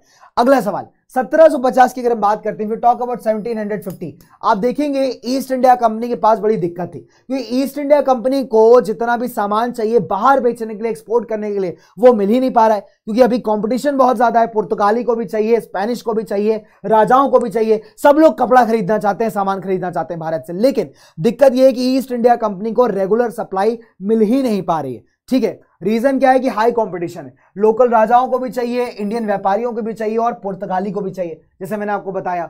ठीक है? साथ ही साथ अगर हम देखेंगे, जब पॉलिटिकल चेंजेस हुए, खासकर दो बड़ी बैटल्स की मैंने बात की है, ठीक है? दो बड़ी बैटल्स बैटल ऑफ़ प्लासी और बैटल ऑफ़ बक्सर अगर आपको बैटल ऑफ़ प्लासी और बक्सर याद हो तो बैटल ऑफ़ प्लासी जब लड़ी गई, ठीक है? प्लासी आपका बंगाल वाला रीजन बच्चे ठीक है? तो बैटल ऑफ़ प्लासी लड़ी गई तो जब वहाँ नवाबों को हराया तो ब्रिटिश ईस्ट इंडिया कंपनी के पास बंगाल, बिहार, उड़ीसा इधर वाले जितने भी ट्रेडिंग के अधिकार थे, वो सारे के सारे ईस्ट इंडिया कंपनी के पास आ गए। फिर बक्सर की जब बैटल थी, बक्सर की बैटल जब ब्रिटिशर जीते तो बचे कुछ अधिकार भी इनके पास आ गए। तो एक तरीके से इन एरियाज़ में ब्रिटिशर ने अपना मोनोपोली यानी पूरा कब्जा जमाना स्टार्ट कर दिया था। तो ये कुछ ऐसे पॉलिटिकल चेंजेस है, जिसने ईस्ट इंडिया कंपनी को बहुत हद तक बेनिफिट किया अपना कंट्रोल यहाँ पे जमाने में। फिर अगर आप देखोगे 1760 के बाद जो ईस्ट इंडिया कंपनी थी, ठीक है बच्चे, उसने क्या किया, जब उसका पावर बढ़ता गया, जितना ज़्यादा उसका पावर बढ़ा, उससे भारतीय व्यापार को बहुत ज़्यादा नुकसान हुआ, ठीक है? जितना ज़्यादा ईस्ट इंडिया कंपनी का पावर बढ़ा, भारतीय को उतना ही ज़्यादा बच्चे नुकसान हुआ। फिर अगर हम देखेंगे बिफोर स्टैब्लिशिंग पावर ठीक है, बंगाल और कर्नाटक के क्षेत्र में जब ईस्ट इंडिया कंपनी के पास पावर नहीं थी, जब ये नॉर्मल व्यापारियों की तरह ईस्ट इंडिया कंपनी भी थी तो इसके लिए बड़ा मुश्किल था सामान की रेगुलर सप्लाई को मेंटेन करना। ठीक है, सामान की रेगुलर सप्लाई को मेंटेन करना। लेकिन जब पॉलिटिकल पावर यहाँ पे ईस्ट इंडिया कंपनी के हाथ में आ जाती है, इसीलिए मैंने दो इंपॉर्टेंट वॉर्स की यहाँ पे मेंशन की है बैटल ऑफ़ बक्सर और बैटल ऑफ़ प्लासी कि भैया, जब यहाँ पे यूरोपियंस के हाथ में पावर आ जाती है, खासकर ब्रिटिश ईस्ट इंडिया कंपनी के हाथ में पॉलिटिकल पावर आ जाती है बंगाल बिहार उड़ीसा वाले क्षेत्रों में तो बेटा ये अपना पूरा कब्जा जमा लेती है व्यापार के ऊपर। अब इन्होंने एक दिमाग लगाया, इनको लगा कि अगर मुझे जितना भी सामान बेचने के लिए चाहिए उसकी सप्लाई को रेगुलर करना है तो कुछ कदम उठाने पड़ेंगे, ठीक है? इन्होंने क्या किया? तीन कदम उठाए। नंबर वन कंपटीशन को एलिमिनेट कर दीजिए कॉस्ट को कंट्रोल कर दीजिए और रेगुलर सप्लाई को इंश्योर करिए। कॉटन और सिल्क का रेगुलर सप्लाई आना चाहिए। क्योंकि रेगुलर सप्लाई आएगा, तभी ये जाकर के बाहर कहीं इसको बेच पाएँगे। तो पहला काम है कंपटीशन खत्म कर दो। कंपटीशन कौन है? लोकल ट्रेडर्स ठीक है? लोकल व्यापारी लोकल राजा पुर्तगाली कंपटीशन खत्म करना पड़ेगा, इनको ही हटाना पड़ेगा मार्केट से। कॉस्ट कंट्रोल करनी पड़ेगी, जितना कॉस्ट ऑफ़ प्रोडक्शन लग रहा है उसको कम करिए, तभी प्रॉफिट बढ़ेगा। और तीसरा रेगुलर कॉटन और सिल्क का सप्लाई आना चाहिए, तभी मार्केट खेल पाएँगे। ठीक है, चलिए, अब इन्होंने क्या किया? देखिए नंबर वन अब आते हैं एलिमिनेट करने वाले लोग। ठीक कॉम्पिटिशन को एलिमिनेट करना है। अगर कंपटीशन को आपको खत्म करना है कंपटीशन आपको खत्म करना है यहाँ पे तो कंपटीशन खत्म करने के लिए आपको जड़ को पकड़ना पड़ेगा, यानी कि वीवर्स ठीक है? तो अगर आपने वीवर्स को अपने कब्जे में ले लिया तो उसके बाद कॉम्पिटिशन खत्म हो गया। वीवर्स को अपने कब्जे में ले लो, चंगुल में ले लो, है ना? और उसके बाद जो है, इसके बाद कंपटीशन तो वैसे ही खत्म हो गया। अब देखिए, इन्होंने वीवर्स को अपने चंगुल में कैसे लिया? इसको देखते हैं, समझते हैं थोड़ा। ठीक है, इसको थोड़ा सा समझते हैं। चलिए तो वीवर्स को इन्होंने अपने चंगुल में कैसे फंसाया? नंबर वन इन्होंने कुछ पेड सर्वेंट हायर किए ना? भाड़े के लोग, ठीक है? जिनको आप कहते हैं गोमास तो गोमास क्या है भाई? एक पेड सर्वेंट है ईस्ट इंडिया कंपनी का। इस गोमास का एक ही काम है, ये क्या करेगा? ये वीवर्स के पास जाएगा, उनको ना एडवांस पेमेंट देगा। क्या करेगा बच्चे उनको? उनको एडवांस पेमेंट देगा। सप्लाई द एडवांस ठीक है? ये क्या करेगा? इनको एडवांस पेमेंट देगा। और एडवांस पेमेंट के साथ साथ इनको कई बार रॉ मटेरियल भी देगा, कच्चा सामान भी देता है। ठीक, कई बार नहीं देगा, कई बार दे देगा, कई बार खरीदने के पैसे दे देगा। तो कुल मिला के इस गोमास का काम क्या है? गोमास कहाँ जाएगा? गोमास जाएगा वीवर्स के पास और वीवर्स के पास जाकर के क्या करेगा? उनको कच्चा सामान देगा, कच्चा रॉ मटेरियल देगा और पैसे देगा। ठीक है? एडवांस पेमेंट देगा। या तो ऐसा कहेगा कि भैया हम तुमको पैसे दे रहे हो, तुम जाओ इससे जाकर के रॉ मटेरियल खरीद के ले आओ। ठीक है? अब ये वीवर क्या करेगा? इस रॉ मटेरियल को खरीद के ले आएगा और खरीदने के बाद क्या करेगा? फाइनली जो कपड़ा चाहिए, वो बना के वीवर इनको दे देगा। अब मज़े की बात यह है कि जो गोमास थे आपका, इसका क्या काम है? इसका काम है कपड़े की क्वालिटी को चेक करना। कपड़े की क्वालिटी जो उसको बताई गई, उसी क्वालिटी पे कपड़ा बनाया है कि नहीं बनाया है, ये देखना और साथ ही साथ टाइमली टाइम से, बिल्कुल प्रॉपर टाइम से कपड़े की डिलीवरी ले लेना। ठीक है? तो ये काम था आपके गोमास्त का राइट चलिए। तो गोमास्त अब दिक्कत यहाँ पे ये है कि जितने भी कंपनी के व्यूवर्स हैं, यानी ऐसे लोग जिन्होंने कंपनी से पैसा उधार लिया है, जिन्होंने ईस्ट इंडिया कंपनी से यहाँ पे पैसा उधार लिया है, उनको स्ट्रिक्ट परमिशन थी उनको स्ट्रिक्ट रेगुलेशन था कि वो किसी और के साथ व्यापार नहीं कर सकते।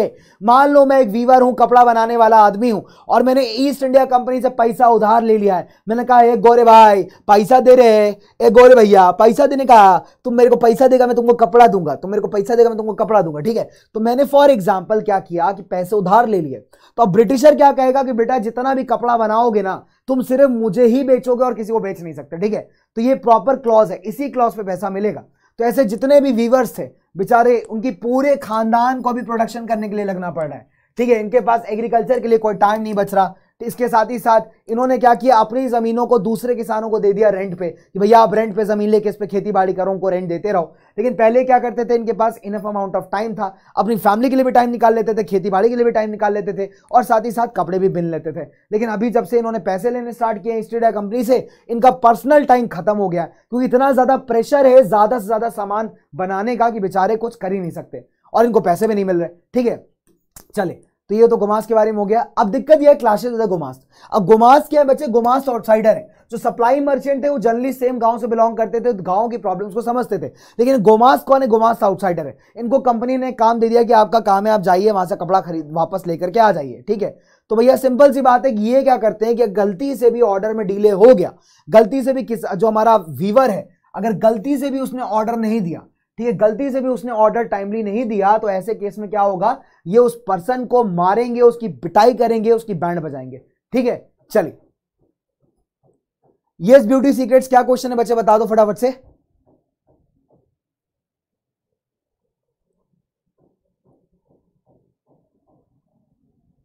बताओ बेटा, क्या क्वेश्चन ब्यूटी सीक्रेट्स बताइए क्वेश्चन क्या है बच्चे? क्या क्वेश्चन है? बच्चे, मैं ऑलरेडी जल्दी करवा रहा हूँ माई डियर ऑलमोस्ट खत्म कर रहे हैं हम इसको. मैं ऑलरेडी जल्दी ही करवा रहा हूँ इसको, ठीक है? आप टेंशन मत लो we are already doing it जल्दी. मतलब इंडियन वाले पे चल रहे हैं, इसके बाद बहुत कम ही बचेगा यार. इंडिया वाले पे ऑलरेडी चल रहे हैं अर्ली ऑन्टरप्रेन्योर्स आ जाएगा, उसके बाद बहुत ही कम बचेगा. चलिए.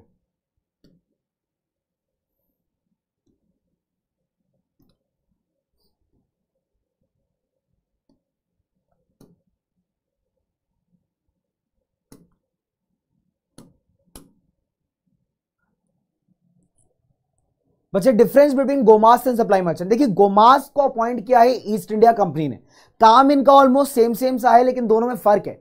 फ़र्क ये जो सप्लाई मर्चेंट्स थे, वो भारतीय थे इंडियंस थे, ठीक है? और इंडियन ट्रेड में हेल्प आउट करते थे। गोमास को अपॉइंट करने वाली आपकी ईस्ट इंडिया कंपनी है। वो ईस्ट इंडिया कंपनी के लिए काम कर रहे हैं। Supply merchant East India company के लिए काम नहीं कर रहा है। सप्लाई मर्चेंट इंडिविजुअल है यार। वो ट्रेड नेटवर्क में बस उसका काम यही है कि भाई सामान लेकर के वो किसी और को बेच रहा है। बट गोमास्त एक प्रॉपर एम्प्लॉय है, एक प्रॉपर कर्मचारी है ईस्ट इंडिया कंपनी का, जिसको ये काम दिया गया है। ठीक है? चलिए। चलिए, आगे बात करते हैं। बच्चे पाँच नंबर के आंसर में पाँच points that's all five points ठीक है? पाँच नंबर के क्वेश्चन में पाँच पॉइंट्स लिखने हैं, पाँच से छह पॉइंट ज़्यादा मत लिखना, दस दस पॉइंट्स मत लिखना, कोई ज़रूरत नहीं है। चलिए आगे बात करते हैं। तो भाई, जब कभी भी ऑर्डर डिले वगैरह होता था ना तो गुमास क्या करते थे? ये लोग लड़ाई कर लेते थे, ये लोग मारपिटाई करते थे किसकी? वीवर्स की। चलिए। बच्चे गिल्ड में ऑलरेडी स्टार्टिंग बता चुका हूँ, सिपाही।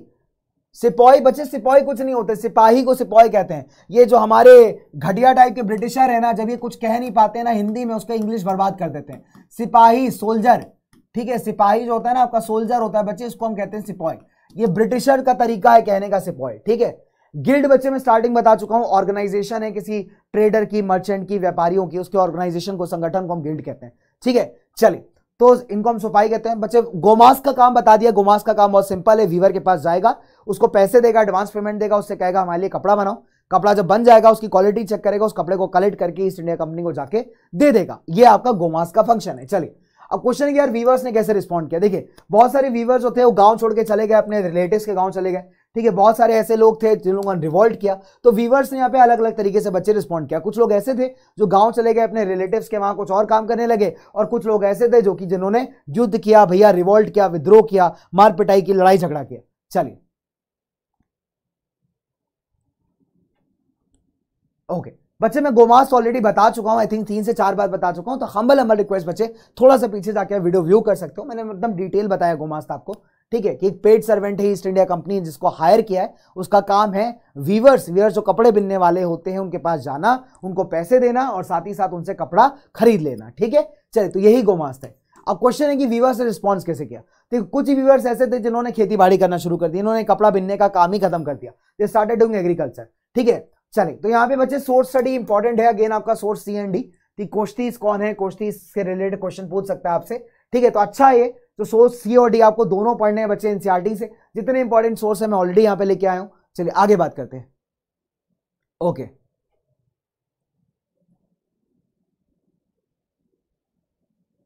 वेरी सफिशिएंट बच्चों वेरी वेरी सफिशिएंट चलिए लेट्स मूव ऑन फर्दर आगे बात करेंगे बच्चे, थोड़ा सा आगे बात करेंगे, थोड़ा जल्दी बात करेंगे, ठीक है? चलिए, उसके बाद करते हैं बच्चे मैनचेस्टर कम्स टू इंडिया 1772 के अंदर हेनरी पेटुलो ने कहा कि डिमांड फॉर इंडियन टेक्सटाइल्स कभी भी कम नहीं हो सकता, क्योंकि जिस क्वालिटी का इंडियन टेक्सटाइल प्रोड्यूस करता है, उस क्वालिटी का कोई और प्रोड्यूस कर ही नहीं सकता, ठीक है? फिर अगर हम बात करें अनफॉर्चुनेटली अगर आप देखोगे, नाइनटीन सेंचुरी की स्टार्टिंग में इंडिया का जो टेक्सटाइल एक्सपोर्ट है, उसमें बड़ा ड्रास्टिक रिडक्शन आया, ठीक है? खास करके हम देखेंगे 1811 से जो 12 का टाइम है पीस गुड्स क्या होते हैं? पीस गुड्स क्या होता है? मतलब जो कपड़े जो क्लॉथ होता है ना कपड़ा बच्चे, ठीक? क्लॉथ का आप कह सकते हो, पूरा लाइक थान ठीक है? लाइक क्लॉथ का आप कह सकते हो बंडल ठीक है? बंडल कह लो आप, समझ लो? बंडल कह सकते हो या स्टॉक कह सकते हो, उसको हम पीस गुड्स कहते हैं। कभी आप देखना, कभी शर्ट सिलाने गए होंगे, बच्चा कभी भी शर्ट सिलवाने गए होंगे, उसका एक कपड़ा होता है, कपड़ा खरीदते हो, कपड़ा। कभी भी आप गए होंगे, बच्चे, कपड़े का थान होता है, बड़ा सा थान तो उसमें से ना कपड़ा वाला निकाल के कपड़ा काट के दो मीटर, ढाई मीटर कपड़ा नाप के जो है आपको देता है, ठीक है? फिर वो टेलर के पास लेके जाता हो तो टेलर आपको उसकी शर्ट बना के देता है राइट चलिए तो टेलर आपको क्या करता है, बच्चे उसकी शर्ट बना के देता है ना? चलो तो वही होते हैं आपके पीस गुड्स तो आप देखेंगे भारत से पहले ऐसा जो फैब्रिक है, कपड़ा है, वो बाहर एक्सपोर्ट किया जाता था। लेकिन अभी वो एक्सपोर्ट जो है, यहाँ पे काफ़ी ज़्यादा बच्चे कम हो जाता है, ठीक है? अठारह सौ ग्यारह सौ अठारह सौ ग्यारह से बारह के बीच में अगर आप देखोगे तो तैंतीस परसेंट जो है भारत की ट्रेड जो थी बच्चे, भारत का एक्सपोर्ट था, वो इसी कपड़े के थान का होता था, लेकिन 1850 में रिड्यूस होकर सिर्फ़ तीन परसेंट रह गया। फिर अगर हम बात करें बच्चे अर्ली नाइनटीन सेंचुरी के अंदर तो ब्रिटेन में कॉटन इंडस्ट्री ग्रो कर रही थी, ठीक है? कॉटन इंडस्ट्री तगड़े तरीके से ग्रो कर रही है राइट एज ए रिज़ल्ट जो हमारी ब्रिटेन की कॉटन इंडस्ट्री है, उसको भारत के टेक्सटाइल से, यानी भारत की कॉटन इंडस्ट्री से कॉम्पिटिशन है। कि भारत का जो कपड़ा है, वो इतने अच्छे क्वालिटी का है कि ब्रिटेन वाले उससे कंपटीशन कर ही नहीं पा रहे हैं। तो एज ए रिज़ल्ट इन्होंने क्या कहा? इन्होंने बोला कि भारतीय कपड़े पे रोक लगाई जाए। भारतीय कपड़ा जो इंग्लैंड के अंदर इंपोर्ट कर रहे हो, उस पर रोक लगाई जाए और जो हमने बनाया है कपड़ा, उसको इंडियन मार्केट्स में आप बेचो। ठीक है तो इन्होंने अपनी सरकारों पे जो था दबाव बनाया ईस्ट इंडिया कंपनी प्रेशराइज किया। इसको बोला कि इंडिया से हमको जो आप कपड़ा बेच रहे हो, उसको बेचना बंद करो। इनफैक्ट हमारा कपड़ा जो हम फाइनली बना रहे हैं यहाँ पे, उसको इंडियन मार्केट्स में बेचो। ठीक है तो ये भाई हमारे ब्रिटिशर्स की डिमांड थी। सो अब एज ए रिज़ल्ट आप देखोगे कि भारत से जितना भी फैब्रिक यानी जो कपड़ा है, उसका एक्सपोर्ट डिक्लाइन हुआ और जो रॉ कॉटन है, उसका एक्सपोर्ट बढ़ गया, ठीक है? तो इन्होंने कहा कि पहली बात तो ये कि पहले, पहली बात तो ये कि भैया भारत से जो आप कपड़ा है, उसको एक्सपोर्ट करना बंद करिए। बना, बनाया कपड़ा एक्सपोर्ट करना बंद करिए। हमारा नुकसान हो रहा है, ठीक है? हम बेच नहीं पा रहे, हम कॉम्पीट नहीं कर पा रहे। इनफैक्ट अब भारत से कच्चा कॉटन एक्सपोर्ट करो और हम जो पक्का कपड़ा बना के दे रहे हैं, हम जो गारमेंट बना के दे रहे हैं, उसको भारतीय मार्केट में जाके बेचो। ठीक है तो इनका यही डिमांड था। तो आप देख सकते हो कि भारत से रॉ कॉटन का एक्सपोर्ट बढ़ गया और जो भारत का जो आप कह सकते हो ना, पहले हम कपड़ा बेचते थे तो वो कपड़े का एक्सपोर्ट कम हो गया। फिर अगर हम बात करेंगे बच्चों 1850 के बीच अगर हम बात करेंगे 1830 तक जो कॉटन पीस थे अपने इंडिया के, वो 30 percent thirty percent of value of Indian imports के बराबर हो गया यानी कहने का मतलब बहुत सिंपल है, अगर 1850 में इंपोर्ट्स की बात करें अगर हम भारत 150 में इंपोर्ट्स की बात करें तो भारत का जो टोटल इंपोर्ट किया जा रहा था, यानी भारत में बाहर से जो सामान मंगाया जा रहा था, उसका 31 परसेंट सिर्फ़ कॉटन का कपड़ा ही था। तो पहले जो भारत बेचता था, भारत उसी चीज़ को खरीद रहा है। बाय कर रहा है। क्यों बाय कर रहा है? क्योंकि ब्रिटिशर प्रेशराइज कर रहे हैं। ब्रिटिशर कह रहे हैं कि भैया, हम भारत का कपड़ा मत बेचो, हमारा कपड़ा बेचो। ठीक है? और 1870 तक बच्चे फिगर जो है 50 परसेंट ज़्यादा हो गया। तो पहले भारत एक्सपोर्टर था कॉटन पीस गुड्स का कपड़े के थान का, लेकिन अभी भारत क्या बन गया? इंपोर्टर बन गया। और इंपोर्टर बनने के पीछे रीजन क्या है? ब्रिटिशर्स कि ब्रिटिशर्स ने क्या कहा कि हमको भारतीय कपड़े से कंपटीशन करना बहुत मुश्किल है, इसलिए भारतीय कपड़े को हमारे यहाँ बेचना बंद करो। इनफैक्ट हमारा कपड़ा भारत में बेचो। और भारत से जो कच्चा कॉटन है, वो भाई वहाँ जाके आप सेल आउट करिए। चले, आगे बात करते हैं। अब हमारे कॉटन व्यूअर्स के सामने बड़ी बड़ी प्रॉब्लम्स है। क्या प्रॉब्लम्स नंबर वन इनका एक्सपोर्ट मार्केट कोलैप्स हो गया। एक्सपोर्ट मार्केट कोलैप्स क्यों हो गया? क्योंकि ब्रिटिशर्स ने यहाँ पे सामान लेने से मना कर दिया। ब्रिटिशर ने कहा कि हमको भारत का कपड़ा चाहिए ही नहीं। तो इनका एक्सपोर्ट जो होता था, पहले भारत का कपड़ा, वो कोलैप्स हो गया। दूसरा लोकल मार्केट जो लोकल मार्केट था बच्चे, वो भी श्रांक हो गया। अब दिक्कत यह है कि मैनचेस्टर से बहुत सारा सामान भारतीय मार्केट में बेचा जा रहा है। है ना? मैनचेस्टर से बहुत सारा सामान भारतीय मार्केट के अंदर बेचा जा रहा है। एज अ रिज़ल्ट क्या हो रहा है कि बेचारे हमारे प्रोड्यूसर्स जो हमारे वीवर हैं, ये लोकल मार्केट में भी अपना सामान नहीं बेच पा रहे तो इनके लिए बड़ी समस्या है। फिर अगर आप देखोगे 1860 की अगर हम बात करते हैं फिर टॉक अबाउट 1860 तो 1860 में वेवर्स के पास एक और दिक्कत थी। इनको जो सप्लाई रॉ कॉटन का सप्लाई था, वो भी नहीं मिल पा रहा था। क्योंकि मैक्सिमम जो कच्चा कॉटन है, वो तो भारत से बाहर एक्सपोर्ट किया जा रहा है, बाहर बेचा जा रहा है। तो बेचारे वीवर्स के पास अच्छे क्वालिटी का कॉटन ही नहीं है। खासकर जब अमेरिका में सिविल वॉर हुई है ना, जब अमेरिका के अंदर जब सिविल वॉर ब्रेकआउट हुई तो ब्रिटेन ने क्या किया? अपनी कॉटन की सप्लाई के लिए किसका रोक किया? भारत का। पहले ब्रिटेन के पास जो कच्चा कॉटन आ रहा था, वो अमेरिका से आ रहा था। लेकिन जब अमेरिका में युद्ध होने लगा, जब अमेरिका में सिविल वॉर होने लगा तो अमेरिका से सप्लाई बंद हो गया। तो ब्रिटेन ने कहा, कोई दिक्कत नहीं हमारे पास क्या है? हमारे पास भारत तो है ही, है ना? भारत तो बैठा ही है फालतू। भारत के पास क्या काम धाम है? हमारी सप्लाई पूरी करेगा। तो भाई इसने क्या किया? भारत से रॉ कॉटन मंगाना शुरू कर दिया। चलिए। आगे अगर मैं बात करूँ तो रॉ कॉटन भारत से बच्चे काफ़ी ज़्यादा इंक्रीज कर गया।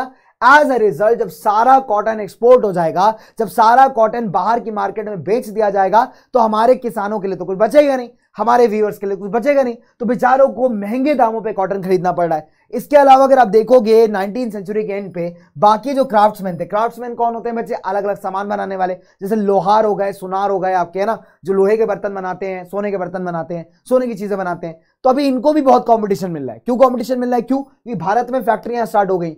ठीक है? तो पहले तो कॉटन वीवर्स को कंपटीशन मिला। अभी ऐसे लोगों को भी जो बाकी सामान बना रहे हैं इंडिया के अंदर, भारत की मार्केट के लिए, उनको भी कंपटीशन मिल रहा है। क्यों कंपटीशन मिल रहा है? क्योंकि भारत में फैक्ट्रियाँ शुरू हो गई हैं। और इन फैक्ट्रियों की वजह से क्या हो रहा है बच्चे? इन फैक्ट्रियों की वजह से बहुत सारा ऐसा सामान है मार्केट के अंदर, जो मशीन मेड आ रहा है और मशीन मेड गुड्स को कॉम्पीट करना बहुत मुश्किल है। चलिए फिर अगर हम बात करें बच्चे 1854 के अंदर कॉटन मिल स्टार्ट हुआ था बॉम्बे में। फिर अगर हम बात करेंगे 1862 के अंदर बंगाल के अंदर 1855 में बंगाल में दो मिल से स्टार्ट हुए ठीक है? कानपुर में अगर हम बात करें तो कानपुर में एल्गन मिल की शुरुआत हुई थी 1860 में। तो ऐसी बहुत सारी कॉटन मिल्स हैं बच्चे जो आप देखोगे भारत के अंदर स्टार्ट होती है राइट 1862 में चार मिल स्टार्ट की गई थी, ठीक है? फिर उसके बाद अगर हम बात करें जूट मिल्स आना स्टार्ट हो गई थी, बंगाल में सबसे पहली जूट मिल स्टार्ट हुई थी 1855 के अंदर। है ना? बंगाल की अगर बात करोगे तो बंगाल में सबसे पहली जूट मिल स्टार्ट की गई थी 1855 में 1855 में। दूसरी स्टार्ट हुई थी आपके अठारह के अंदर। फिर हम बात करेंगे एल्गन मिल को शुरुआत की गई थी कानपुर में 1860 के अंदर। पहली कॉटन मिल अहमदाबाद की, ठीक है? 1861 में अगर हम देखेंगे बच्चे तो पहली कॉटन मिल आई थी अहमदाबाद में। तो ये बेसिक बेसिक डेटा है, ठीक है? बेसिक डेटा है। तो इस डेटा बेस में ना क्वेश्चन एक ही से आता है दैट इज़ कानपुर का Elgin mill that's all question बाकी कहीं से नहीं आता, आपसे वन मार्क में आता है तो एलगन मिल ऑफ़ कानपुर आता है। तो बेसिक बेसिक डेटा है बच्चे, आपको यही डेटा याद रखना है कि कब कौन सी शुरुआत हुई थी। ठीक है, इसमें बहुत ज़्यादा समझने वाला कुछ है नहीं, बस आपको इतना याद रखना है कि कौन सा कॉटन मिल कौन सा जूट मिल कौन से साल में स्टार्ट हुआ था। इसमें सबसे मेजर है आपका एलगन मिल ऑफ़ कानपुर ठीक है, जिसकी शुरुआत हुई थी अट्ठारह में। आगे बढ़ते हैं। चलिए, फिर अगर हम बात करें अर्ली ऑन्टोप्रेन्योर्स की तो भारत के अंदर अगर हम बात करें लेट अठारहवीं शताब्दी की लेट एटीन सेंचुरी यानी सत्रह सौ अस्सी नब्बे के बीच में तो बहुत सारे ऐसे भारतीय थे जिन्होंने ओपीएम ट्रेड, याद करो लास्ट क्लास में ओपीएम के बारे में पढ़ा था, अफीम के बारे में, कि ब्रिटेन जो था, चाइना में ओपीएम बेच रहा था। सो बहुत सारे ऐसे भारतीय थे जो ओपीएम ट्रेड में इन्वॉल्व थे और इन भारतीयों ने काफ़ी सारा अच्छा खासा पैसा कमा लिया था।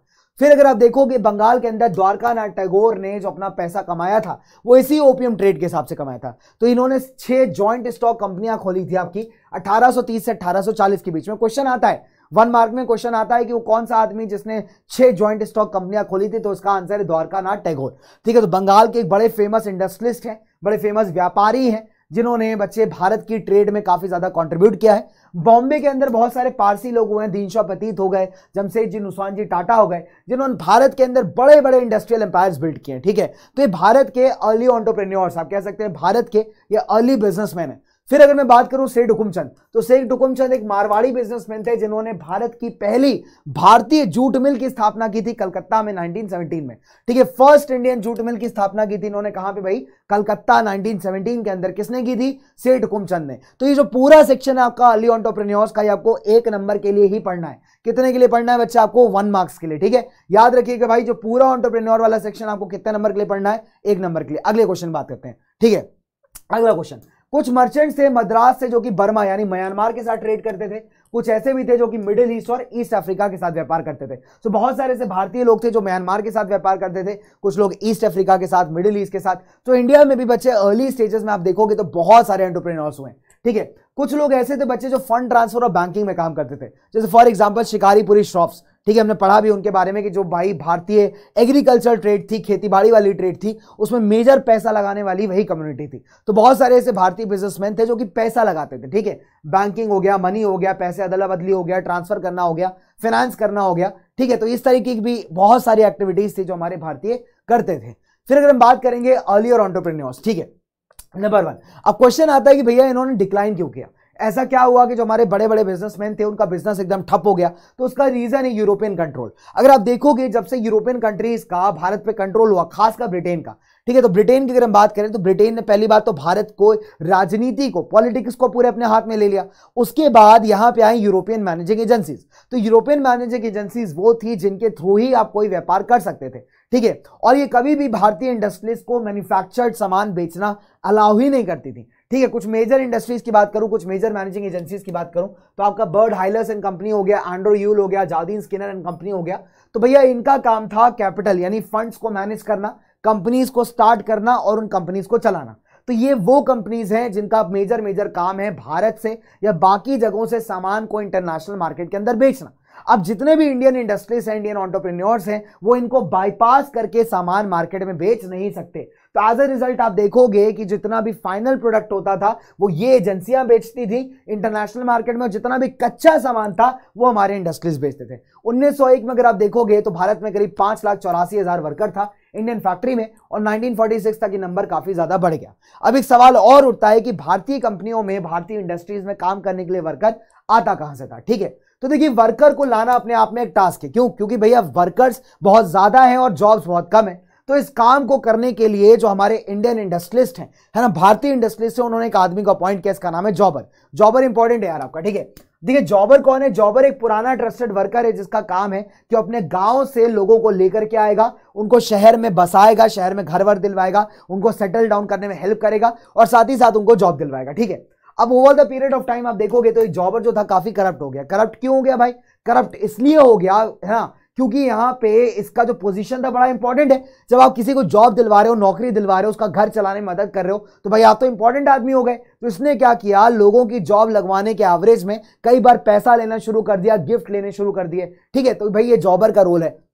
जॉबर से क्वेश्चन आता है जॉबर कौन है भाई? एक पुराना ट्रस्टेड वर्कर है, जिसको एक काम दिया गया, अपने गाँव से आप लोग लेके आइए और लोगों की जॉब लगवाइए, उनको सेटल करिए सिटीज़ के अंदर और साथ ही साथ उनको काम धंधा दिलवाइए। ठीक है तो ये हो गया जॉगर इसने क्या किया भैया? काफ़ी बार अब काफ़ी बार जो है इसने अपने फेवर्स के चलते, अपने जॉब लगवाने का जो उसका ड्यूटी था, उसकी वजह से इसने लोगों से गिफ्ट लिए, काफ़ी सारे पैसे वैसे लिए। तुम पैसा दोगे गिफ्ट दोगे, तभी मैं तुम्हारी जॉब लगाऊँगा ठीक है, अभी यहाँ पे क्वेश्चन आ सकता है कि what were the peculiarities of industrial growth पाँच नंबर का क्वेश्चन है बच्चे, बहुत अच्छा क्वेश्चन है।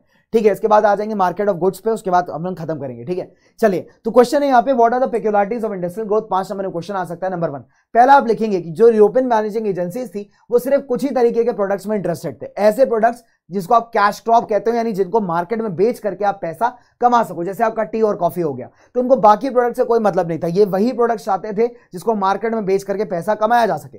दूसरा, इन्होंने क्या किया? बहुत सारे टी और कॉफ़ी प्लांटेशन स्टैब्लिश किए। माइनिंग हो गया इंडिगो माइनिंग हो गया जूट प्रोडक्शन हो गया। ठीक है तो ऐसे बहुत सारे बिज़नेस जिसको बेच करके मार्केट में मैक्सिमम पैसा कमाया जा सके, वहाँ पे इन्होंने पैसा अपना इन्वेस्ट किया। फिर अगर हम बात करें बच्चों जैसे टी और कॉफ़ी प्लांटेशन की बात करो तो भैया टी और कॉफ़ी क्या होता है? इसीलिए उगाई जाती है ताकि मार्केट में बेची जा सके। इसका लॉजिक बहुत सिंपल है मार्केट में सेल करना। राइट इसी इलाज से हम इंडिगो की बात करें। इंडिगो कौन सा है? कैसा क्रॉप है जिससे ब्लू कलर का डाई बनता है। उस डाई से कपड़ों को रंगा जाता है। तो अल्टीमेट बच्चे अल्टीमेट ऑब्जेक्टिव क्या है? मार्केट में बेचना। तो ऐसे जितने भी क्रॉप जिनको मार्केट में बेच करके पैसा कमाया जा सकता है, वही ये लोग जो थे ग्रो करते थे, ठीक है? अब सवाल एक ये भी था कि पहले पेक्युलरिटीज ऑफ़ इंडियन ग्रोथ को कवर करेंगे, उसके बाद इस वर्कर वाले टॉपिक पे आएँगे, ठीक है? चलिए फिर उसके बाद सवाल एक ये भी था बच्चे, सवाल एक ये भी था कि लेट नाइनटीन सेंचुरी में जो भारतीय बिजनेसमैन थे, इन्होंने भी अपनी इंडस्ट्री सेटअप करना स्टार्ट कर दिया, ठीक है? बहुत सारे ऐसे इंडस्ट्रीज़ थे, बहुत सारे ऐसे बच्चे मतलब लाइक बड़े बड़े फैक्ट्री थे जो हमारे इंडियन बिजनेसमैन भी सेटअप कर रहे थे। फिर अब खासकर अब देखोगे जो यान, यानी जो धागा इंडियन स्पिनिंग मिल्स में प्रोड्यूस किया जाता था, उसको ये लोग एक्सपोर्ट कर देते थे चाइना मतलब बहुत सारे ऐसे इंडियन इंडस्ट्रीज़ थे जो भी धागा बना रहे हैं। और ये जो धागा बनाया जा रहा है, कहाँ एक्सपोर्ट किया जा रहा है? चाइना एक्सपोर्ट किया जा रहा है। या फिर भारत के अंदर ही बहुत सारी फैक्ट्रीज जहाँ पे इसका यूटिलाइजेशन किया जा रहा है। इसके अलावा अगर आप देखोगे, जो पैटर्न ऑफ़ इंडस्ट्रियलाइजेशन है, ये बहुत सारे चेंजेस से इंपैक्टेड है। खासकर जैसे मूवमेंट्स हो गए आपके, है ना? स्वदेशी मूवमेंट के टाइम पे अगर आप देखोगे, स्वदेशी मूवमेंट के टाइम पे जितने भी हमारे इंडिजिनस इंडस्ट्रीज़ थे लोकल इंडस्ट्रीज़ थे, इनका प्रोडक्शन बहुत ज़्यादा बढ़ गया। क्यों बढ़ गया भाई? क्यों हमारे जितने भी नेता थे बड़े बड़े उन्होंने कहा कि स्वदेशी यूज़ करिए, स्वदेशी यूज़ करिए बॉयकॉट करिए ब्रिटिश गुड्स का बॉयकॉट करिए। तो ऐसे टाइम पे ब्रिटिश गुड्स का जो सेल था वो डाउन हो गया और इंडियन गुड्स का जो सेल था हमारा बढ़ गया। तो बच्चे, जब आप ओके फिर अगर आप देखोगे 1906 में जो भारतीय यान है, यानी इंडिया का जो थ्रेड पहले हम चाइना बेच रहे थे अभी उसका जो एक्सपोर्ट था वो काफ़ी डिक्लाइन हो गया। क्यों डिक्लाइन हो गया? क्योंकि जापान और चाइना के अंदर मिले चालू हो गई। ऐसी मिलें जो धागा बना रही है, कपड़ा बना रही है। अभी जापानीज और चाइनीज़ मिलों ने चाइनीज़ मार्केट को बिल्कुल फ्लड कर दिया, जिसके चलते इंडियन मार्केट खत्म हो गई। पहले इंडिया में बना हुआ धागा चाइना एक्सपोर्ट किया जा रहा था, लेकिन 1906 से 1906 से ये जो धागा था, इसका ट्रेड था, इसका व्यापार था काफ़ी कम हो गया। क्यों कम हो गया? क्योंकि जापानीज मिल्स और चाइनीज़ मिल्स ने मार्केट को फ्लड कर दिया। तो फ़र्स्ट वर्ल्ड वॉर के एंड तक जो इंडस्ट्रियल ग्रोथ था भारत के अंदर, वो काफ़ी ज़्यादा स्लो था, ठीक है? चलिए तो आपको ये ध्यान रखना है कि फ़र्स्ट वर्ल्ड वॉर तक इंडस्ट्रियल ग्रोथ काफ़ी ज़्यादा स्लो था, लेकिन फ़र्स्ट वर्ल्ड वॉर के बाद जो था इंडस्ट्रियल ग्रोथ काफ़ी ज़्यादा बढ़ गया। क्यों बढ़ गया? क्योंकि ब्रिटेन के अंदर जितनी भी इंडस्ट्रीज़ थी ऑलरेडी बिज़ी थी, लेकिन ब्रिटेन का डिमांड पूरा नहीं हो रहा था। तो ब्रिटेन ने इंडियन इंडस्ट्रीज़ को बोला कि आप हमारे युद्ध के लिए वॉर के लिए जितनी भी चीज़ें चाहिए, उसको बनाने में हमारी मदद करें। तो एज ए रिज़ल्ट हमारी इंडस्ट्रीज़ ने जूट का कपड़ा हो गया क्लॉथ हो गया आर्मी यूनिफॉर्म के लिए लेदर बूट्स हो गए, घोड़े का सामान हो गया, ऐसी बहुत सारी चीज़ें बच्चे यहाँ पे बनाना ऑलरेडी स्टार्ट कर दिया। तो अब जब पेक्युलरिटीज ऑफ़ इंडियन ग्रोथ आएगा तो बच्चे सारे सारे पॉइंट्स आप लिखेंगे, ठीक है? तो इंडस्ट्रियल प्रोडक्शन धीरे धीरे बढ़ने लगा, लेकिन वॉर के बाद आप कह सकते हैं, जो मैनचेस्टर था, उसने अपना पोजीशन पूरी तरीके से खो दिया था, यानी उसके पास कुछ बचा ही नहीं था। ठीक है? वॉर से पहले भारत के अंदर मैनचेस्टर और ब्रिटेन दोनों बहुत स्ट्रांग थे, लेकिन फ़र्स्ट वर्ल्ड वॉर के बाद जो था ब्रिटेन पे इतने ज़्यादा कर्जे हो गए, इतने ज़्यादा कर्जे से लग गया कि उसकी इंडस्ट्रीज़ बिल्कुल बेकार हो गई। और वॉर के बाद बहुत सारी इंडियन इंडस्ट्रीज़ भी डेवलप हो गई थी। एज अ रिज़ल्ट जो मैनचेस्टर का पुराना पोजिशन था, भारतीय मार्केट के अंदर, वो बिल्कुल बच्चे यहाँ पे खत्म हो गया, ठीक है? चल। अब ये होती है आपके इंडस्ट्रियल ग्रोथ की पेक्युलरिटी पेक्युलरिटी मतलब हाईलाइट द इंपॉर्टेंट पॉइंट्स ठीक है? तो इंपॉर्टेंट पॉइंट्स में आपको क्या क्या बताना है बच्चे?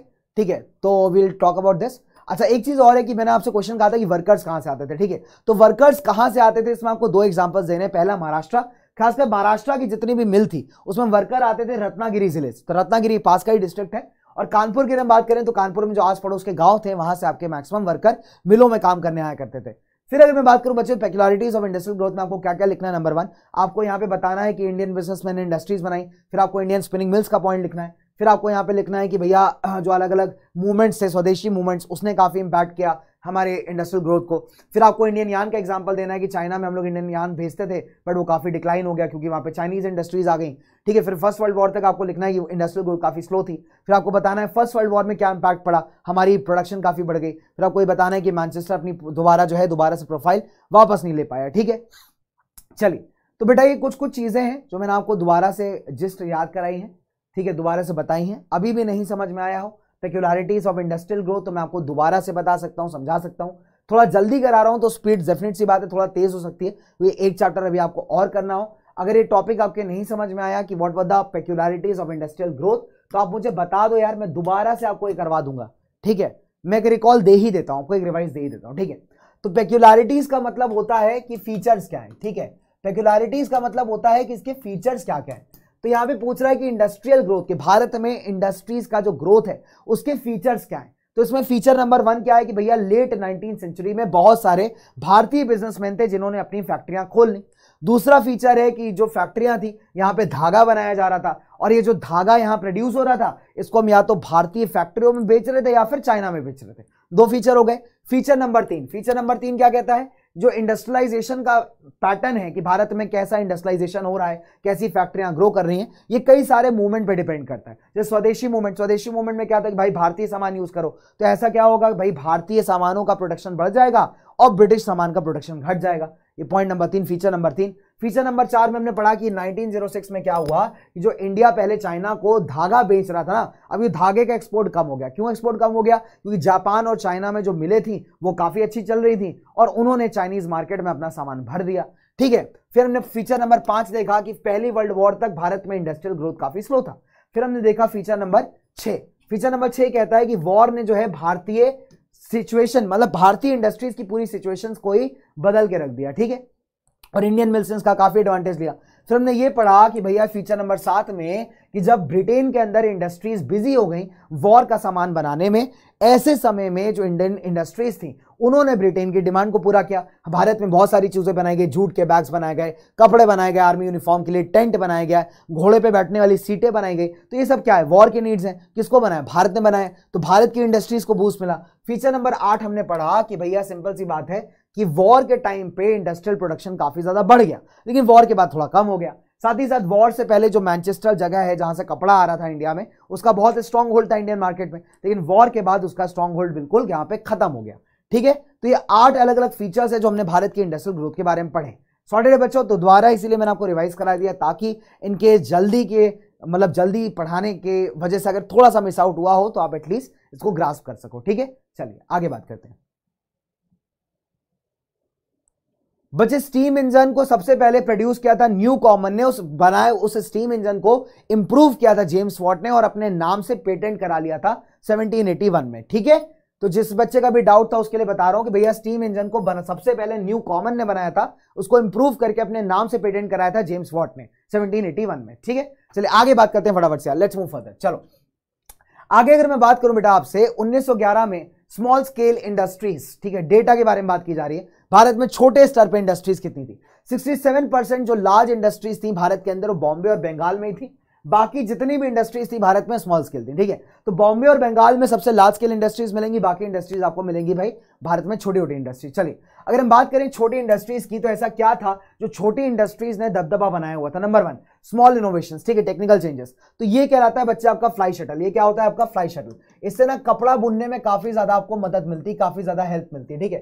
तो उसको हम कहते हैं फ्लाई शटल अगर आप देखेंगे 1941 तक करीब 35 परसेंट 1945 तक करीब 35 परसेंट, पैंतीस परसेंट आपकी इंडस्ट्रीज़ ऐसी थी, खासकर मद्रास वगैरह के रीजन में जो ऑलरेडी इस मशीन को यूज़ कर रही थी, ठीक है? मैसूर कोचिन बंगाल के अंदर अगर आप देखोगे, या आप बात करेंगे त्रवंकोन मद्रास की रीजन में तो भाई 35 परसेंट इंडस्ट्री ऐसी है जो इस मशीन का यूज़ कर रही है। ये क्या है बेटा? फ्लाई शटल है। इसमें क्या करते हैं हम लोग? कपड़ा से कपड़ा प्रॉपर तरीके से बनाते हैं। आप देख रहे हो ऊपर पुली लगा हुआ, धागा लगा हुआ है। तो धागे को खींचोगे तो ऐसा कपड़ा जो है इससे प्रॉपर कपड़ा तैयार होगा। धागे से यहाँ पे कपड़ा बनेगा, ठीक है? चलिए तो ये हो गया आपका फ्लाई शटल अगली बात हम करते हैं बच्चे फ्लाइंग शटल से क्या हुआ? जो आपका प्रोडक्शन रेट था वो बढ़ गया, ठीक है? पहली बात तो ये हो गई, ये टेक्निकल चेंजेस है। फिर अगर हम बात करें स्किल्स ऑफ़ द वर्कर्स भाई, बहुत सारे ऐसा सामान है जो सिर्फ़ हाथ से बनाया जा सकता है। जैसे बनारसी साड़ी की बात करो या मद्रासी लुंगी की बात करो, भाई, मद्रास में लोग लुंगी पहनते हैं, बहुत सुंदर सुंदर लुंगी बनती है, उसका बॉर्डर बनता है, उसके सुंदर, उसमें एम्ब्रॉयडरी की जाती है। बनारस की साड़ी बात करी, बनारसी सिल्क साड़ी तो बनारसी सिल्क साड़ी का जो किनारा होता है बॉर्डर होता है, उसमें सिल्क से काम किया जाता है, ठीक है?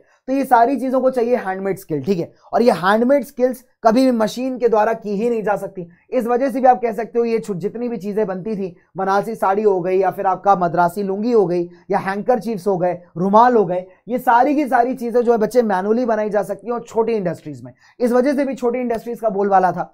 फिर अगर मैं बात करूँ बच्चों, सबके साथ ऐसा फाइनली नहीं था। ठीक है? अब अगर ये सोचें कि भाई सबकी ज़िंदगी अच्छी थी तो सबकी ज़िंदगी अच्छी बिल्कुल नहीं थी। उसका रीजन है। ठीक है? अगर हम बात करें, ऐसे वीवर्स जो फाइन फैब्रिक बनाते थे फाइन फैब्रिक मतलब जो अच्छा फैब्रिक बनाते थे, उनका पोजीशन काफ़ी ज़्यादा सही था। अब फाइन फैब्रिक वही खरीदेगा जिसके पास पैसा है। तो ऐसे लोगों को कोई फ़र्क नहीं पड़ रहा, अगर सूखा पड़ रहा है, कोई भुखमरी का सिचुएशन पड़ रहा है है ना? तो ऐसे लोगों के पास पैसा अच्छा खासा है तो डेफिनेट सी बात है, यार वो फाइन फैब्रिक खरीदेंगे। पैसे वाला आदमी खरीदेगा। क्योंकि गरीब आदमी क्या करता है? गरीब आदमी तो मोटा कपड़ा खरीदेगा। उसके पास पैसा नहीं है अच्छी क्वालिटी कॉटन खरीदने का। तो मोटी क्वालिटी का कॉटन खरीद रहा है। है कि नहीं भाई? तो भाई, जितने भी फाइन फैब्रिक बनाने वाले लोग थे, उनका पोजीशन ठीक था। लेकिन अगर हम बात करें ऐसे वीवर जो कि काफ़ी मोटा कपड़ा प्रोड्यूस करते थे, उनके हालात काफ़ी ज़्यादा खराब थे। ठीक है? बिकॉज़ इनके जो मेजर खरीदार थे, वो कौन थे? इनके मेजर खरीदार गरीब लोग थे। जब कभी भी कोई खराब सिचुएशन आता था, भुखमरी ऐसा सिचुएशन आता था तो वो कपड़ा नहीं खरीदते थे। है ना, वो कपड़ा नहीं खरीदते थे, उनका मेजर प्रायोरिटी बन जाता था खाने पीने का सामान खरीदना। ठीक है तो इन बेचारों की सेल्स हो जाती थी ज़ीरो लेकिन फाइन फैब्रिक जितना भी फाइन क्वालिटी का स्मूथ क्वालिटी का जो लोग कपड़ा बनाते थे, ठीक है, ऐसे लोगों को कोई फ़र्क नहीं पड़ता था। क्यों फ़र्क नहीं पड़ता था? क्योंकि इनका सामान खरीदने वाले लोग काफ़ी ज़्यादा अमीर थे, ठीक है। चलिए, अगर हम बात करें बच्चों यहाँ पे let's talk about the last topic that is market for goods और आपका चैप्टर है खत्म, ठीक है। Okay so market for goods की बात करते हैं। देखिए डेफिनेट सी बात है कभी भी कभी भी जब आप, अगर हम बात करेंगे बेटा, कभी मार्केट में जब कोई नया सामान लॉन्च होता है तो उसका एडवर्टीजमेंट किया जाता है। उसका एडवर्टीजमेंट क्यों किया जाता है? ताकि लोगों के दिमाग में वो सामान बैठ जाओ और नेक्स्ट टाइम जब आप वो सामान लेने जाओ तो आपको पता हो कि भैया यही वाला सामान लेना है। जैसे आप कभी कोल्ड ड्रिंक खरीदने जाओ तो छूटते आपके मुँह से निकलता है, भैया पेप्सी देना कोक देना या फिर ड्यू देना। क्यों देना? क्योंकि आपने इतना ज़्यादा उसके बारे में सुन रखा, आपके माइंड में फ़ीड हो गया। इस तरीके से जब हमारे ब्रिटिशर सामान बेचते थे भारत में तो उसके ऊपर लेबलिंग करते थे सुंदर सुंदर इमेज बनाते थे, ठीक है? जैसे यहाँ पे लेबल लगा देते थे मेड इन मैनचेस्टर तो जब मेड इन मैनचेस्टर बड़ा बड़ा लिखा होता था तो एक कस्टमर के दिमाग में एक सेंस ऑफ़ ऑथेंटिसिटी आता था कि भैया, अच्छे क्वालिटी का सामान खरीद रहे हैं, बढ़िया क्वालिटी का सामान खरीदा जा रहा है, दो क्वालिटी सामान नहीं बिक रहा है यहाँ पे। कई बार राजाओं की इमेज बना देते थे राजाओं की इमेज बनाने से क्या होता था? लोगों को लगता था कि जब राजा ये सामान यूज़ कर रहा है तो कितने अच्छी क्वालिटी का होगा। अरे वाह, सौंदर्य साबुन निर्मा। है ना? तो राजा जी ने निर्मा यूज़ किया है। वाह तो निर्मा भैया ओपी है, बाकी साबुन टोपी है। तो इस तरीके के जो एडवर्टीजमेंट टैक्टिक्स हैं, लोग बहुत ज़्यादा यूज़ करते थे। अब मज़े की बात यह है कि इन्होंने कैलेंडर छापने शुरू कर दिया। अब कैलेंडर एक बहुत बढ़िया मीडियम है यहाँ पे एडवर्टीजमेंट का। कैलेंडर एक ऐसी चीज़ है जो कि गरीब आदमी में ले जाके अपनी दीवार पर टांग देगा। क्योंकि भैया उसकी दीवार सुंदर बन जाएगी उससे। कैलेंडर सस्ता भी है, और उस कैलेंडर में लोग क्या करते थे, अपने प्रोडक्ट का एडवर्टीजमेंट करते थे, है ना? वो लोग लिख देते थे कि भैया, कैलेंडर में ये वाला प्रोडक्ट है, और खासकर कई बार तो आप ये भी देखोगे, जो हमारे हिंदू देवी देवता हैं, उनकी भी कई बार इमेजेस बना दी जाती है, जैसे कृष्ण कन्हैया लाल की इमेज बनी हुई है वुडवर्ड्स ग्राइव वाटर के ऊपर। तो ग्राइव वाटर बच्चों को दिया जाता है, लेकिन कन्हैया की इमेज बनाने से क्या हो गया, एक ऑथेंटिसिटी आ गई कि भैया बाल गोपाल हमारे कन्हैया जी खुद बने हुए हैं इस प्रोडक्ट के ऊपर, यानी कितना ही प्योर होगा, कितना ही अच्छा होगा। तो कहीं ना कहीं हम अपने भगवानों की बहुत रिस्पेक्ट करते हैं। तो जो एडवर्टाइजर्स थे, इस हिसाब से, ऐसे इमेजेस से, इस बात को पहुंचाना चाहते थे कि अगर आप अपनी भगवान की रिस्पेक्ट करते हैं तो आप इस प्रोडक्ट की भी रिस्पेक्ट करेंगे। आप इस प्रोडक्ट को यूज़ ज़रूर करेंगे, इस प्रोडक्ट की क्वालिटी भी शक नहीं करेंगे। फिर खासी कर अगर हम बात करें, बहुत सारे हमारे इंडियन इंडस्ट्रीज़ थे, ठीक है? हमारे इंडियन इंडस्ट्रीज़ भी इन एडवर्टीजमेंट के थ्रू हमको बहुत सारे मैसेज देते थे। वो कहते थे कि अगर आप देश का अच्छा चाहते हो, अगर आप देश से प्यार करते हो तो आप इस प्रोडक्ट से प्यार करोगे। तो इस तरीके के स्लोगन इस तरीके के लेबल्स आपको बहुत ज़्यादा दिख जाएँगे बच्चे हमारे अलग अलग प्रोडक्ट्स के अंदर राइट तो भाई यही है हमारा age of industrialisation and this ends up your chapter ठीक है?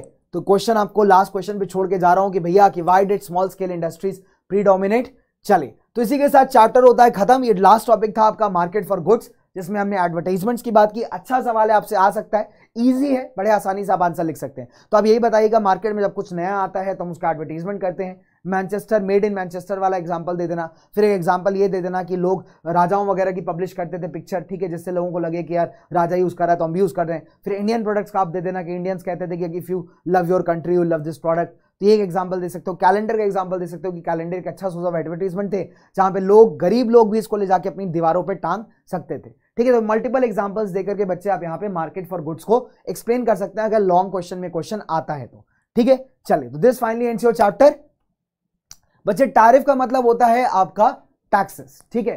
टैरिफ का मतलब होता है टैक्सेस श्योर मैं ब्रेक देता हूँ, बुलाता हूँ सर को, ठीक है? तो आप अब यहाँ से आसन सर कंटिन्यू करेंगे बच्चे। तो सर आ रहे हैं सर करवाएँगे आपको print culture in the modern world तो मैं तब तक के लिए आपको दे देता हूँ यहाँ पे ब्रेक ठीक है? तो तब तक के लिए मैं आपको यहाँ पे दे देता हूँ break so let me give you the break बच्चों. तो ब्रेक दिया जाए यहाँ पे, आपको 10 मिनट का ब्रेक दे दे रहा हूँ यहाँ पे, ठीक है? अब सर आ रहे हैं आपके सर कंप्लीट करेंगे आपका last topic that is print culture and the modern world चलिए। तो भाई 10 मिनट का ब्रेक है and let's call Asim sir चलो।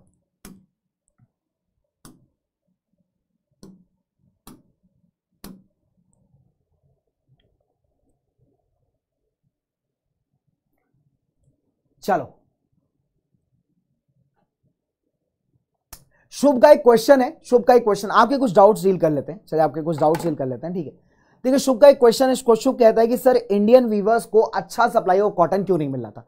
देखो बेटा नंबर वन अगर आप देखोगे कि जब अमेरिका में सिविल वॉर हुआ, ठीक है, पहले ब्रिटेन के अंदर जितना भी रॉ कॉटन है, कच्चा कॉटन वो कहाँ से आ रहा है? अमेरिका से आ रहा है।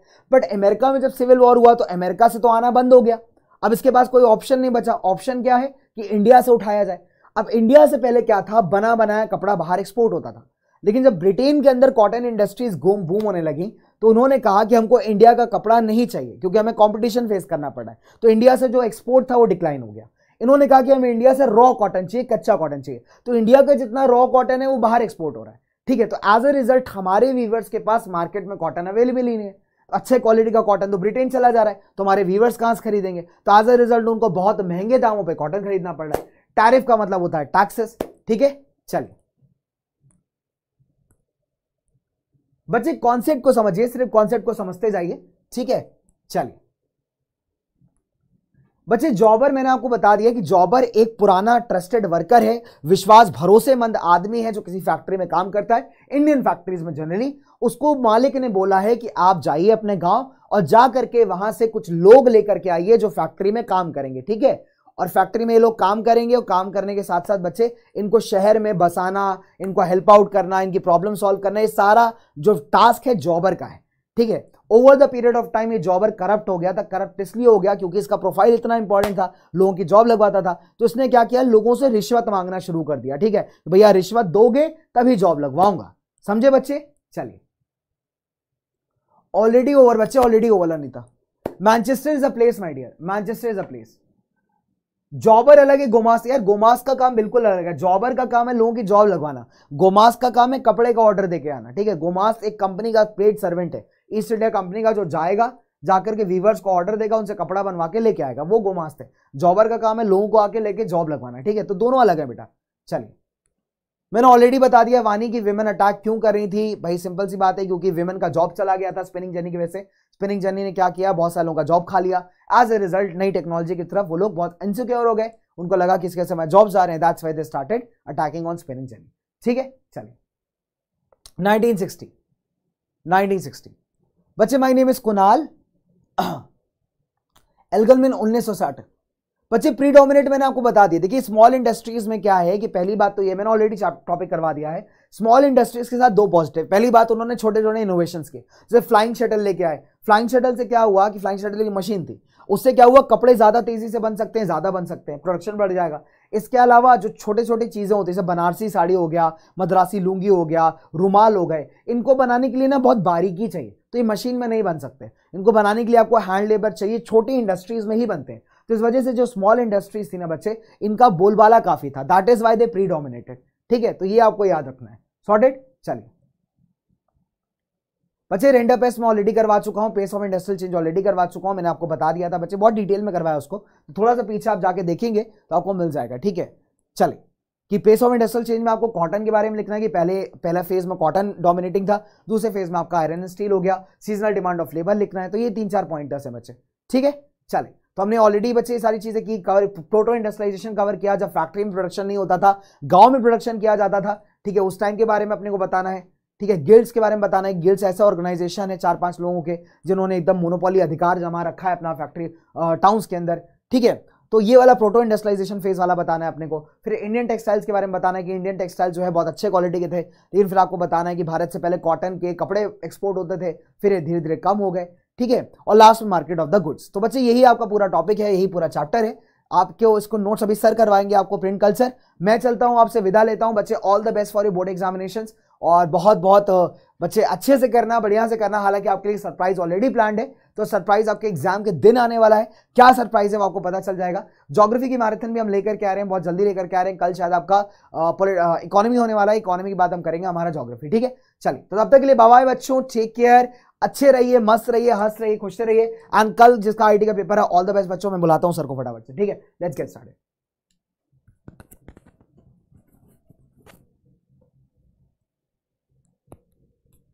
बच्चे लॉन्ग आंसर पॉइंटर्स में जस्ट इन द पॉइंटर्स ठीक है बच्चे इन द पॉइंटर्स पॉइंटर्स में लिखे लॉन्ग आंसर सारे.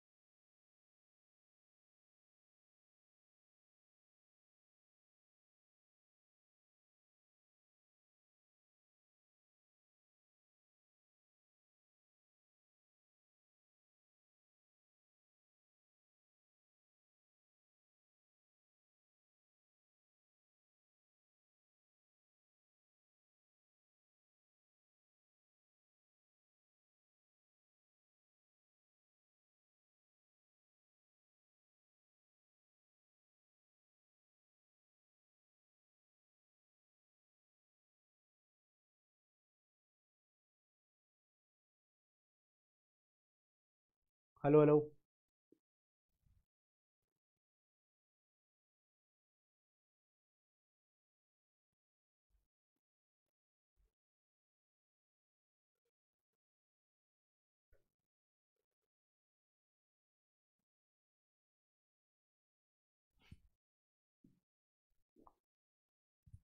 हाँ भाई, आवाज़ आ रही है मेरी। एक बार और आखिरी बार हम लोग मिल रहे हैं। हिस्ट्री का अब लास्ट चैप्टर होने जा रहा है। और वो है print culture and the modern world काफ़ी टाइम से आपकी डिमांड थी कि इस चैप्टर को आप पढ़ा दीजिए। तो यार ये बहुत ही आसान चैप्टर है और बहुत ही कॉमेडी का चैप्टर है। बहुत ही कॉमेडी आपको इस चैप्टर में देखने को मिलेगी। कुछ ऐसी चीज़ें हैं जो मैं आपसे पूछूँगा और आपके जवाब भी जो है यहाँ पर चाहूँगा। ठीक है तो कुछ यहाँ पर इस चैप्टर को आ, मान लो ख़त्म होते डेढ़ घंटे के आसपास लग जाएगा। ठीक है वन पॉइंट फाइव आवर्स के आसपास एंड आई होप दो घंटे में चैप्टर खत्म हो जाएगा। लेकिन बड़ा ही कॉमेडी चैप्टर है। हिस्ट्री का सबसे कॉमिक चैप्टर अगर मैं बोलूँगा तो वो यही वाला है। बहुत ही कॉमिक है भाई। इतनी ज़्यादा कॉमिक है, इसमें इतनी ज़्यादा हँसी आएगी आपको कि मज़ा आ जाएगा भाई। ठीक है? और बहुत ही ऊपर से कॉमिक प्लस सिंपल दूसरी बात है सिंपल बहुत है।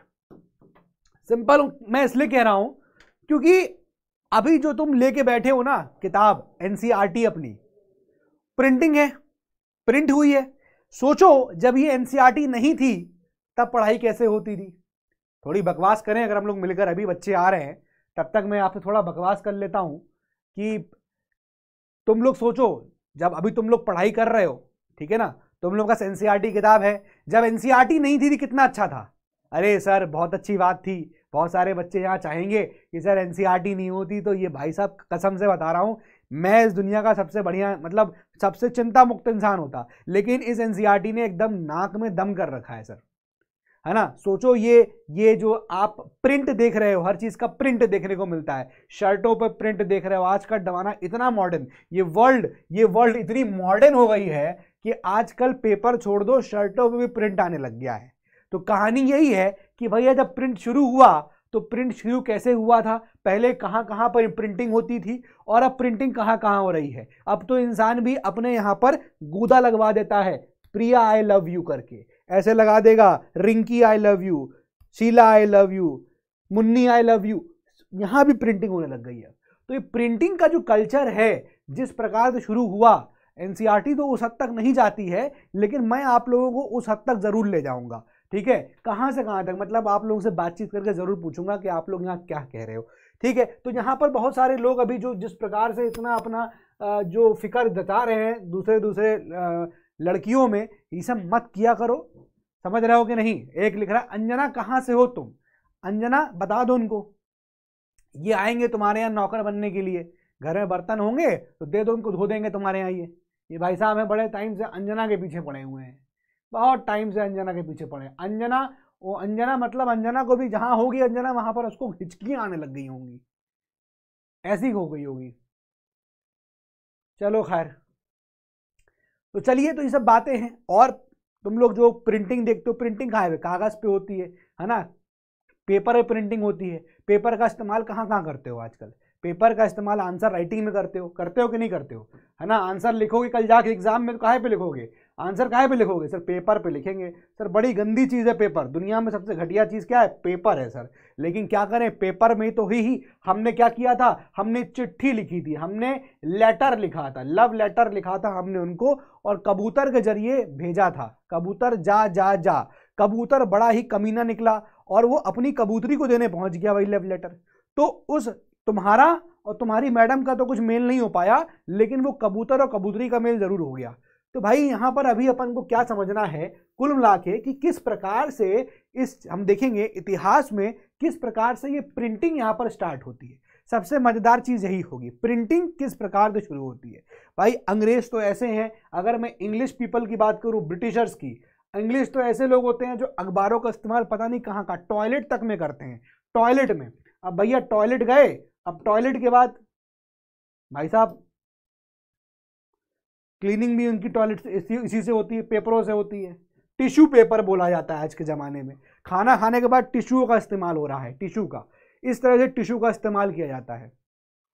तो भाई, कैसे ये प्रिंटिंग का कल्चर डेवलप हुआ? धीरे धीरे कैसे यहाँ पर चीज़ें स्टार्ट हुई, ये हम लोग इस चैप्टर में आज यहाँ समझने वाले हैं। बात समझ में आ रही है कि नहीं आ रही है?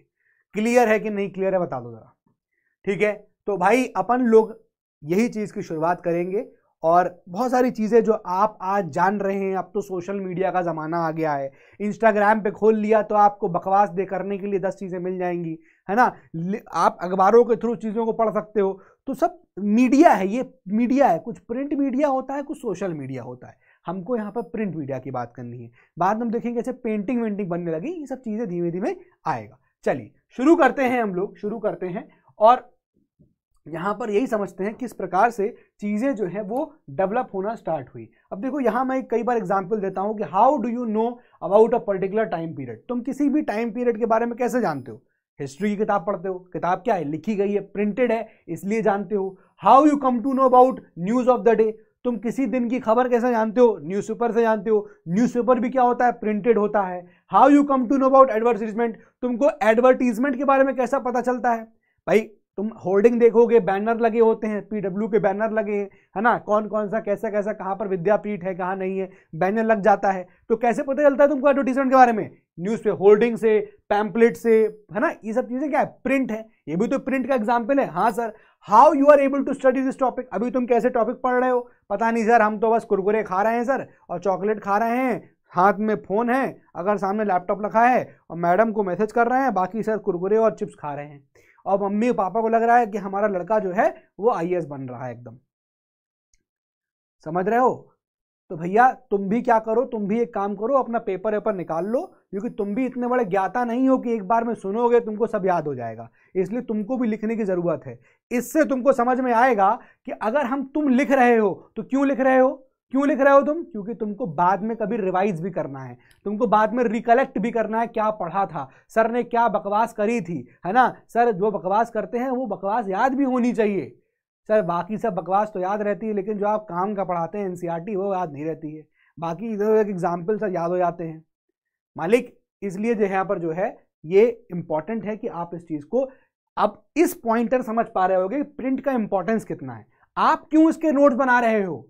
आप नोट्स बना रहे हो अखबार पे तो क्या कर रहे हो? हैंड हैंड से लिख रहे हो ना हैंड राइटिंग क्यों लिख रहे हो? ताकि आपको आने वाले टाइम में लिखी हुई चीज़ें मिल जाएँ। किसने क्या बोला, वो आप एक जगह लिख पाओ डेटा कलेक्ट कर पाओ, बाद में उसका यूसेज करेंगे। तो प्रिंट का यहाँ पर बहुत ज़्यादा इस्तेमाल इस तरह से किया जाता है। तो ये सब चीज़ें पॉसिबल इसलिए हैं, क्योंकि हम लोग देख रहे हैं प्रिंट का यहाँ पर हम लोग यूज़ कर रहे हैं। है कि नहीं? ठीक है। तो इस चैप्टर के अंदर दोस्तों, हम लोग तीन चीज़ों से पढ़ेंगे। इस चैप्टर को हम लोग तीन कॉन्सेप्ट में पढ़ने वाले हैं। ठीक है, क्या what is the history of print पहला जो क्वेश्चन हम लोग डील करने वाले हैं इस चैप्टर में, वो ये कि प्रिंट की हिस्ट्री क्या है, कैसा ये प्रिंट शुरू हुआ वेन डिड इट सर्कुलेट ये प्रिंट सर्कुलेट कब होना स्टार्ट हुआ and how print has help the help create the modern world और कैसे इस प्रिंट ने हमको मॉडर्न वर्ल्ड आज क्रिएट करने की हमको मौका दिया। क्लियर है? क्लियर है भाई? चलिए। अब चलिए, यहाँ पर हम लोग पहले समझ लेते हैं। कि चीज़ें शुरू कैसे हुई। अब थोड़ी सी एग्ज़ाम ओरिएंटेड बात कर लेते हैं, ठीक है? और एग्ज़ाम ओरिएंटेड बात यह है कि सबसे पहले अगर प्रिंटेड बुक्स की शुरुआत कहीं होती है दोस्तों तो ध्यान रखना वो कहाँ होती है? चाइना में होती है। चाइना वाले सबसे ज़्यादा बढ़िया आगे थे और सबसे पहले कहीं प्रिंटिंग यानी कोई चीज़ प्रिंट होना शुरू हुई अर्लीस्ट जो प्रिंट टेक्नोलॉजी है, वो कहाँ से शुरू होती है? वो चाइना, कोरिया और जापान। इन तीन कंट्रियों में शुरू होती है। तीन कंट्री बहुत आगे थे। चीन वाले हो गए, कोरिया वाले हो गए, जापान वाले हो गए। यहाँ पर दोस्तों हैंड प्रिंटिंग का सिस्टम चलता था। ठीक है ना? हैंड प्रिंटिंग यानी कि हाथ से प्रिंटिंग की जाती थी। राइटिंग की बात नहीं हो रही है। एक एक वर्ड को बड़ा ध्यान से सुनना। बड़ा ध्यान सुनना। यहाँ पर हैंड प्रिंटिंग की बात हो रही है। हाथ से प्रिंटिंग हो रही है, ठीक है? तुम अपने हाथ पे रंग लगाए होली पे। लगाया कि नहीं लगाए हाथ से लगाया। और हाथ पर रंग लगाने के बाद जब तुम जाके दीवालों पर ऐसे लगा देते हो, ऐसे कर देते हो तो दीवालों पर छप जाता है कि नहीं छपता है? समझ रहे हो? हैंड प्रिंटिंग की बात हो रही है। तो यहाँ पर हैंड राइटिंग की बात नहीं हो रही हैंड प्रिंटिंग की बात हो रही है। तो सबसे पहले फ़र्स्ट प्रिंटेड बुक्स जो आई थी, वो इस प्रकार से हैंड प्रिंटेड थी दोस्तों, ठीक है ना? हैंड प्रिंटेड दोस्तों किताबें थी। चाइना में सबसे पहले 5594 एडी में बुक जो है चाइना में यहाँ पर प्रिंट होना शुरू हुई। उस वक्त जो तरीका था, वो क्या था? उस वक्त तरीका ये था कि पेपर को जो है ना, वो क्या करते थे? एक लकड़ी के ऊपर ऐसे रगड़ देते थे। लकड़ी पे लगी होती थी क्या? इंक लकड़ी पे क्या लगी थी? इंक लगी थी। और उस इंक पे क्या करते थे? ऐसे पेपर लाके रगड़ दिया जाता था, रब कर देते थे। उससे क्या होता था? जो भी डिज़ाइन लकड़ियों पे बना होगा, वो क्या होगा? वो पेपर पे आ जाएगा। वो क्या होगा? पेपर पे आ जाएगा। दोस्तों, इसी को हम लोग क्या कहते हैं? इसी को हम लोग कैलीग्राफी कहते हैं। जब इस चीज़ को डबलिंग या आप लोग काफ़ी स्पीड से इसको बनाओगे अलग अलग कॉपी बनाओगे तो calligraphy. Skilled craftsman duplicated the books with accuracy, इसी को कैलीग्राफी कहते हैं। एक बार प्रिंटेड हो गया, अब कैलीग्राफी। बट यहाँ पर प्रॉब्लम क्या थी चाइना में? जब ये प्रिंटिंग कर रहे थे कौन सी? Wood block printing wood block था और पेपर रख दिया इंक पे और रगड़ दिया तो डिज़ाइन जो है वो आ गया। अभी स्कूल में तुम लोग क्या करते हो एक बदतमीजी तुम लोगों को एक, एक तुम लोगों की कलाकारी होती होगी। कभी देखा होगा एक एक का सिक्का लिया कभी स्कूल में किया कि नहीं किया? बताओ। कभी स्कूल में काम किया है, एक का सिक्का लिया, एक के सिक्के के ऊपर पेपर रखा और पीछे से पेंसिल पेंसिलवा जैसे रगड़ने लगते होगे, है ना? आओ तुम्हें एक चीज़ दिखाएँ कट कट कट करते होगे और देखोगे कि पेपर के ऊपर वही डिज़ाइन जो एक के सिक्के बना हुआ है, वो बन जाता है। वही चीज़ यहाँ पर होती थी कि लकड़ी के ऊपर पेपर रख दिया और रगड़ दिया तो जो डिज़ाइन लकड़ी के ऊपर होता है, वो एज इट इज़ जो है पेपर पे आ जाएगा। लेकिन इसमें दिक्कत क्या थी कि जो भी पेपर यहाँ चाइना में इस्तेमाल होता था, बड़ा ही पतला पेपर था। इतना पतला पेपर था कि भाई साहब, अगर आप यहाँ लिख रहे हो, प्रिया आई लव यू अगर ऐसे लिखा तुमने वुड ब्लॉक प्रिंटिंग पे तो पेपरवा के पीछे साइड भी छप जाएगा और कुछ इस तरह से आपको देखने को मिलने लग जाएगा। ठीक है ना? आपको लगेगा, अरे, ये तो ऐसे यहाँ पर लिख के आ गया। इस तरह का छप जाएगा। तो पेपर के पीछे भी छप जाएगा। इसीलिए चाइना में जब प्रिंटिंग होनी, इस तरह की हैंड प्रिंटिंग होती थी तो वन साइड ही हो पाती थी। ठीक है ना? वन साइड हो पाती थी। और क्योंकि पीछे साइड तो ऑलरेडी छप के आ जाता था। ठीक है ना? पीछे साइड क्या है? छप के आ गया। भाई, यहाँ लिखा, पीछे साइड ऐसी छप के आ गया। अब पीछे कैसे लिख पाओगे? नहीं लिख पाओगे। तो भाई, चाइना में वन साइडेड प्रिंटिंग होती थी, ठीक है? चाइना में जिस प्रकार से किताबों को बनाया जाता था, दोस्तों, उसको अकॉर्डियन बुक कहते थे। क्या कहते थे? अकॉर्डियन बुक अब किसी को ना समझ में आए कि अकॉर्डियन बुक क्या होती है तो दोस्तों, मैं इसको दिखवा देता हूँ। एक बार आप लोग उसको बहुत गौर से देख लीजिए, किस प्रकार से ही होती थी। एक बार आप ये समझ पा रहे होंगे। दोस्तों, ये है आपकी हैंड प्रिंटिंग वाली। बात समझ में आ रहा है? कैसे देखो यहाँ पर लकड़ी पे ये डिज़ाइन बना हुआ है। अब इस पे कागज़ रख दोगे और रगड़ दोगे दोस्तों तो दोस्तों इस प्रकार का आपको देखने को मिलेगा। देखो, ये देख रहे हो यहाँ पर किस प्रकार से देखो, ये लकड़ी पे डिज़ाइन बना हुआ है है ना? ये लकड़ी पे डिज़ाइन बना है और जब इस पर कागज़ रख दिया तो कुछ इस प्रकार से डिज़ाइन कॉपी हो गया इस पर अब चाइना ने, भाई, इसके पीछे भी छप गया होगा। अब चाइना ने कैसे सोल्यूशन निकाला? अकॉर्डियन बुक है ना? क्या करने लगे? मैंने बताया आपको पेपर जो है बड़ा थिन था, बड़ा पोरस था, है ना? अगर लिख दिया रिंकी तो रिंकी ऐसे लिख जाएगा। लिख दिया प्रिया तो प्रिया वैसे लिख जाएगा, है ना? तो वन साइडेड प्रिंटिंग जो है चाइना में चलती थी। और ये था आपका अकॉर्डियन स्टाइल देख रहे हो किस से? एक, ये एक साइड जो है, खाली एक साइड को टाई अप कर देते थे। एक साइड को, ठीक है ना? एक साइड को। और उसको स्पाइरल से बाइंड कर देते थे, इस प्रकार से। उसको स्पाइरल से बाइंड कर देते थे, ठीक है ना? बात समझ में आ गई कि नहीं आ गई? ऐसे यहाँ पर जो है अकॉर्डियन स्टाइल में चाइना के अंदर किताबें जो है, वो बनाई जाती थी। आई होप ये बातें यहाँ पर आपको अच्छे से समझ में आ गई होंगी। यहाँ तक क्लियर हुआ कि नहीं हुआ, बता दो पहले। चाइना में कैसे चलता समझ में आ गया? हाँ से समझ में आ गया। अब क्या हुआ कि चाइना में बहुत एक्सपेंशन होना शुरू हो गया। चाइना में प्रिंट बहुत फैलने लग गया। क्यों फैलने लग गया? दोस्तों, इसका सवाल क्वेश्चन में एग्ज़ाम में आता है कि चाइना में एक्सपेंशन क्यों हुआ प्रिंट का? ये प्रिंटिंग किताबें कहाँ बढ़ने लग गई? इसका बहुत ही इंपॉर्टेंट रीजन है, इसको याद कर लेना। नंबर वन रीजन ये है, दोस्तों सिविल सर्विसेज़ एग्जामिनेशन आपको पता हो क्या होता है? है ना? आप लोग क्या जानते हो ना? Civil services exam. हाँ सर, जानते हैं। आईएएस का एग्ज़ाम होता है। हाँ सर, जानते हैं। हम सब आईएएस बनना चाहते हैं। ठीक है? टेंथ क्लास हो नहीं रहा है, पास हो नहीं रहे हैं सर आईएएस बनना चाहते हैं। तो भैया आईएएस एग्ज़ाम के रिक्रूटमेंट के लिए, यानी कि आईएएस एग्ज़ाम आईएएस कैसे सेलेक्ट करोगे? उसके लिए एग्जामिनेशन लागू कर दिया गया कि भैया, हमें अब ब्यूरोक्रेट को अगर सेलेक्ट करना है, हमें आईएएस अफसर को सेलेक्ट करना है। आईएएस आईपीएस आईआरएस आईएफएस है ना? Indian revenue services Indian forest services IPS IAS हमको इनको सेलेक्ट करना है तो हमको क्या करना पड़ेगा? हमें एग्ज़ाम कंडक्ट कराना पड़ेगा। और इस एग्ज़ाम के लिए बहुत सारे लोग तैयारी करने लग गए। जब बहुत सारे लोग तैयारी करने लग गए तो ज़्यादा से ज़्यादा टेक्स्ट बुक्स को छापना पड़ गया, है ना? ठीक है? बात समझ में आ गया कि नहीं आ गया? तो ज़्यादा से ज़्यादा टेक्स्ट बुक टेक्स्ट बुक्स को क्या करना पड़ गया? छापना पड़ गया। जब ज़्यादा टेक्स्ट बुक छपने लग गई तो फ्रॉम सिक्सटीन सेंचुरी क्या हुआ? नंबर ऑफ़ एग्जामिनेशन कैंडिडेट्स भी और बढ़ गए। भाई, ज़्यादा ज़्यादा लोग तैयारी करना चाह रहे थे। Therefore volume of print also increase तो ज़्यादा प्रिंटिंग चाइना में बढ़ने लग गई। सेवनटीन सेंचुरी आते आते print no longer use just by scholars but also by और लोग भी प्रिंट को इस्तेमाल करने लग गए। बताता हूँ कौन कौन। अब बताओ यहाँ तक, अभी तक बात समझ में आई कि नहीं आई। फिर से एक बार मैं आप लोगों को यहाँ पर समझा दे रहा हूँ, दो मिनट के अंदर, दो मिनट के अंदर कि अभी तक आप लोग ने क्या क्या पढ़ा। देखो यार, अभी तक आपने ये पढ़ा कि भाई सबसे पहले प्रिंटेड बुक्स कहाँ शुरू हुई? चाइना में, कोरिया में, जापान में। ठीक है ना? चाइना में शुरुआत कैसे होती है? अकॉर्डियन स्टाइल से, है ना? वहाँ पर हैंड प्रिंटिंग का सिस्टम चलता है। तो चाइना में क्या होता है? चाइना में 1595-94 में बुक्स जो है चाइना में प्रिंट होना शुरू हुई और वो प्रिंट कैसे होती थी? वुड ब्लॉक्स पे, है ना? वुड ब्लॉक्स की मैंने फ़ोटो आपको दिखा दिया, किस प्रकार से यहाँ पर होती थी। ठीक है ना? अब लेकिन वुड ब्लॉक्स पे एक लिमिटेशन थी कि पेपर बड़ा पतला होता था और अगर एक जगह लिख दिया आपने प्रिया तो पीछे की साइड भी ऐसी प्रिया लिख गया पता चला प्रिया के बाद रिया आ गया। कभी प्रिया ने पढ़ लिया कि पीछे रिया कौन है? तो रिया तो मारे प्रिया तो मारेगी मारेगी और रिया को पता चल गया तो रिया का बॉयफ्रेंड ही मारेगा कि तुम मेरी लड़की मेरी आ, मैडम का कहा है तुम आ, नाम लिख रहे हो। समझ रहे हो? तो ये दिक्कतें थी उस पे उस चाइना के वाले पेपरों में। चाइना वाले पेपर बड़े ऐसे खराब किस्म के थे कि अगर आगे लिख दिया तो पीछे छप जाएगा।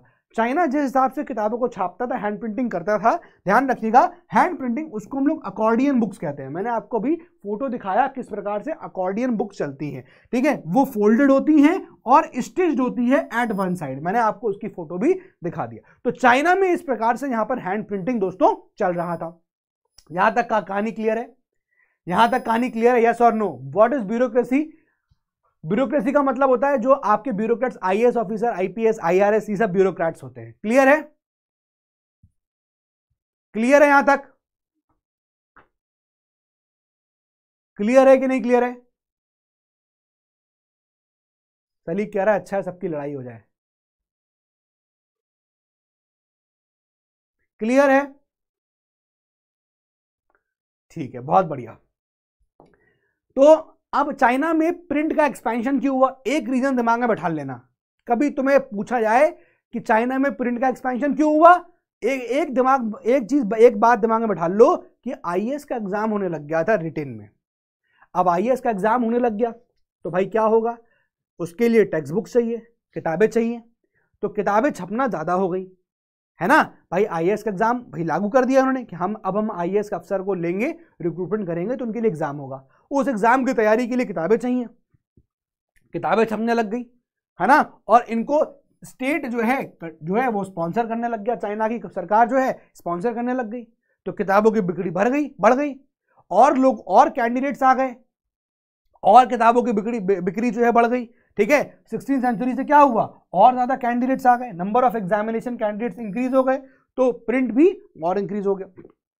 अब चाइना में सिर्फ़ और सिर्फ़ यही लोग नहीं थे जो प्रिंट का इस्तेमाल कर रहे थे। सोचो, इसके अलावा कौन कौन इस्तेमाल करेगा? नंबर वन मर्चेंट्स का भी इस्तेमाल कर रहे थे। मर्चेंट्स खाए के लिए। जो चीज़ें वो बेच रहे थे या खरीद रहे थे तो वो अपनी एक बुक बनाते थे जिसमें वो सारा डिटेल लगते थे। कितना खरीदा, कितना बेचा, कितना प्रॉफिट कितना घाटा। इस तरह की चीज़ें यहाँ पर थी, समझ में आ रही, ठीक है ना? तो मर्चेंट्स ने क्या किया? मर्चेंट ने इस्तेमाल किया ट्रेड इंफॉर्मेशन रखने के लिए कि भैया, इतना माल जो है हमने बेच दिया, इतना माल हमने खरीद लिया, इतने का खरीदा, इतने का बेचा, इतना प्रॉफिट इतना नुकसान, ये सब चीज़ें सीख लिया, ये सब चीज़ें लिख लिया। तो मर्चेंट्स ने भी क्या किया?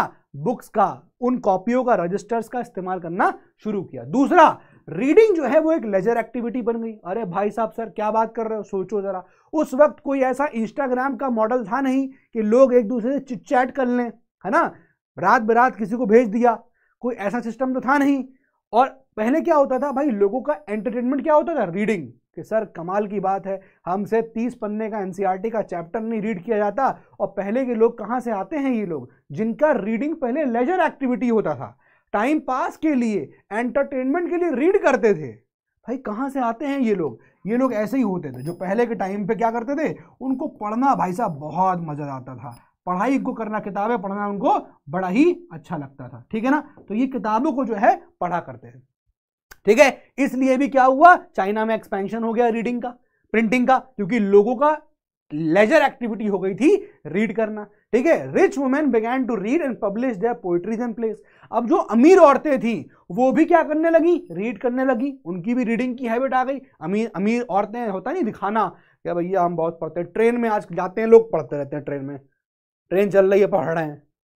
बस चल रही है, पढ़ रहे हैं। टांगा चल रहा है, पढ़ रहे हैं। रिक्शा चल रहा है, पढ़ रहे हैं। तो रीडिंग जो, उस जो जो रिच वुमेन थी, वो रीड करने लगी। आजकल लोग कॉफ़ी पीने जाएँगे सीसीडी में। तो उधर ऐसे सीसीडी में एक टेबल होगी। ठीक है ना? ये टेबल पे एक एक तरफ़ तो एक मैडम बैठी होंगी, एक तरफ़ एक लड़का बैठा होगा दोनों आपस में अलग ही गुटरगु कर रहे हैं। इनके पास एक और मैडम बैठी होंगी, कुर्सी पे से लगाए, ठीक है? वो कुछ नहीं कर रही होंगी, वो अकेले बैठी होंगी और एक कॉफ़ी रखी होगी और कॉफ़ी के बगल में किताब रखी होगी। ये भाई साहब सीसीटी में जाके लोग पढ़ाई कर, रीडिंग करते हैं। स्टार बक्स में जाके लोग पढ़ते हैं, समझ में आ रहा है, समझ आ रहा है? स्टार बक्स में लोग जाकर पढ़ाई कर रहे होते हैं। बात समझ में आ रही है कि नहीं आ रही है? ठीक है तो बेसिकली क्या हुआ कि भाई चाइना में एक्सपेंशन क्यों हुआ प्रिंट का? क्योंकि एक तो ये कि भैया सिविल सर्विसेज़ एग्जामिनेशन आ गया था, उसकी टेक्स्ट बुक चाहिए थी कैंडिडेट्स इंक्रीज हो गए और टेक्स्ट बुक्स की डिमांड बढ़ गई और प्रिंटिंग होने लगी। तो प्रिंटिंग एक्सपेंशन हो गया। इसके अलावा मर्चेंट्स ने भी इस्तेमाल किया ट्रेड इंफॉर्मेशन रखने के लिए। इसके अलावा रीडिंग एक लेजर एक्टिविटी हो गई थी लोगों की। लोग बढ़िया एकदम चिल आउट कर रहे हैं। बीच के सामने गाने सुनने की जगह क्या कर रहे हैं? उस वक्त वो किताब पढ़ रहे हैं। बात समझ में आ रहा है कि नहीं आ रहा है? क्लियर हो रहा है कि नहीं? और जो रिच वुमेन थी, वो क्या करने लगी? वो भी सब पढ़ाई करने लगी। बात समझ आ गई नहीं आ गई। क्लियर हो गया कि नहीं मिलेगा ठीक है ना? हाँ पहली बुक जो छपी थी वो डायमंड सूत्रा थी, ठीक है ना? डायमंड सूत्रा कोई और सूत्रा नहीं, पता चला तुम लोग, कोई और सूत्रा समझ जाओ। बात समझ में आ रहा है कि नहीं आ रहा है? ठीक है, अब क्या हुआ कि चाइना में इतना ज़्यादा एक्सपेंशन हो गया था कि अब डिमांड बहुत बढ़ने लगी थी तो वहाँ पर टेक्नोलॉजी आ गई। Print culture accompanied by technology western countries में आप देखोगे, वहाँ पर मैकेनिकल प्रिंटिंग चल रही थी। मैकेनिकल मशीन से प्रिंटिंग हो रही थी। ठीक है ना?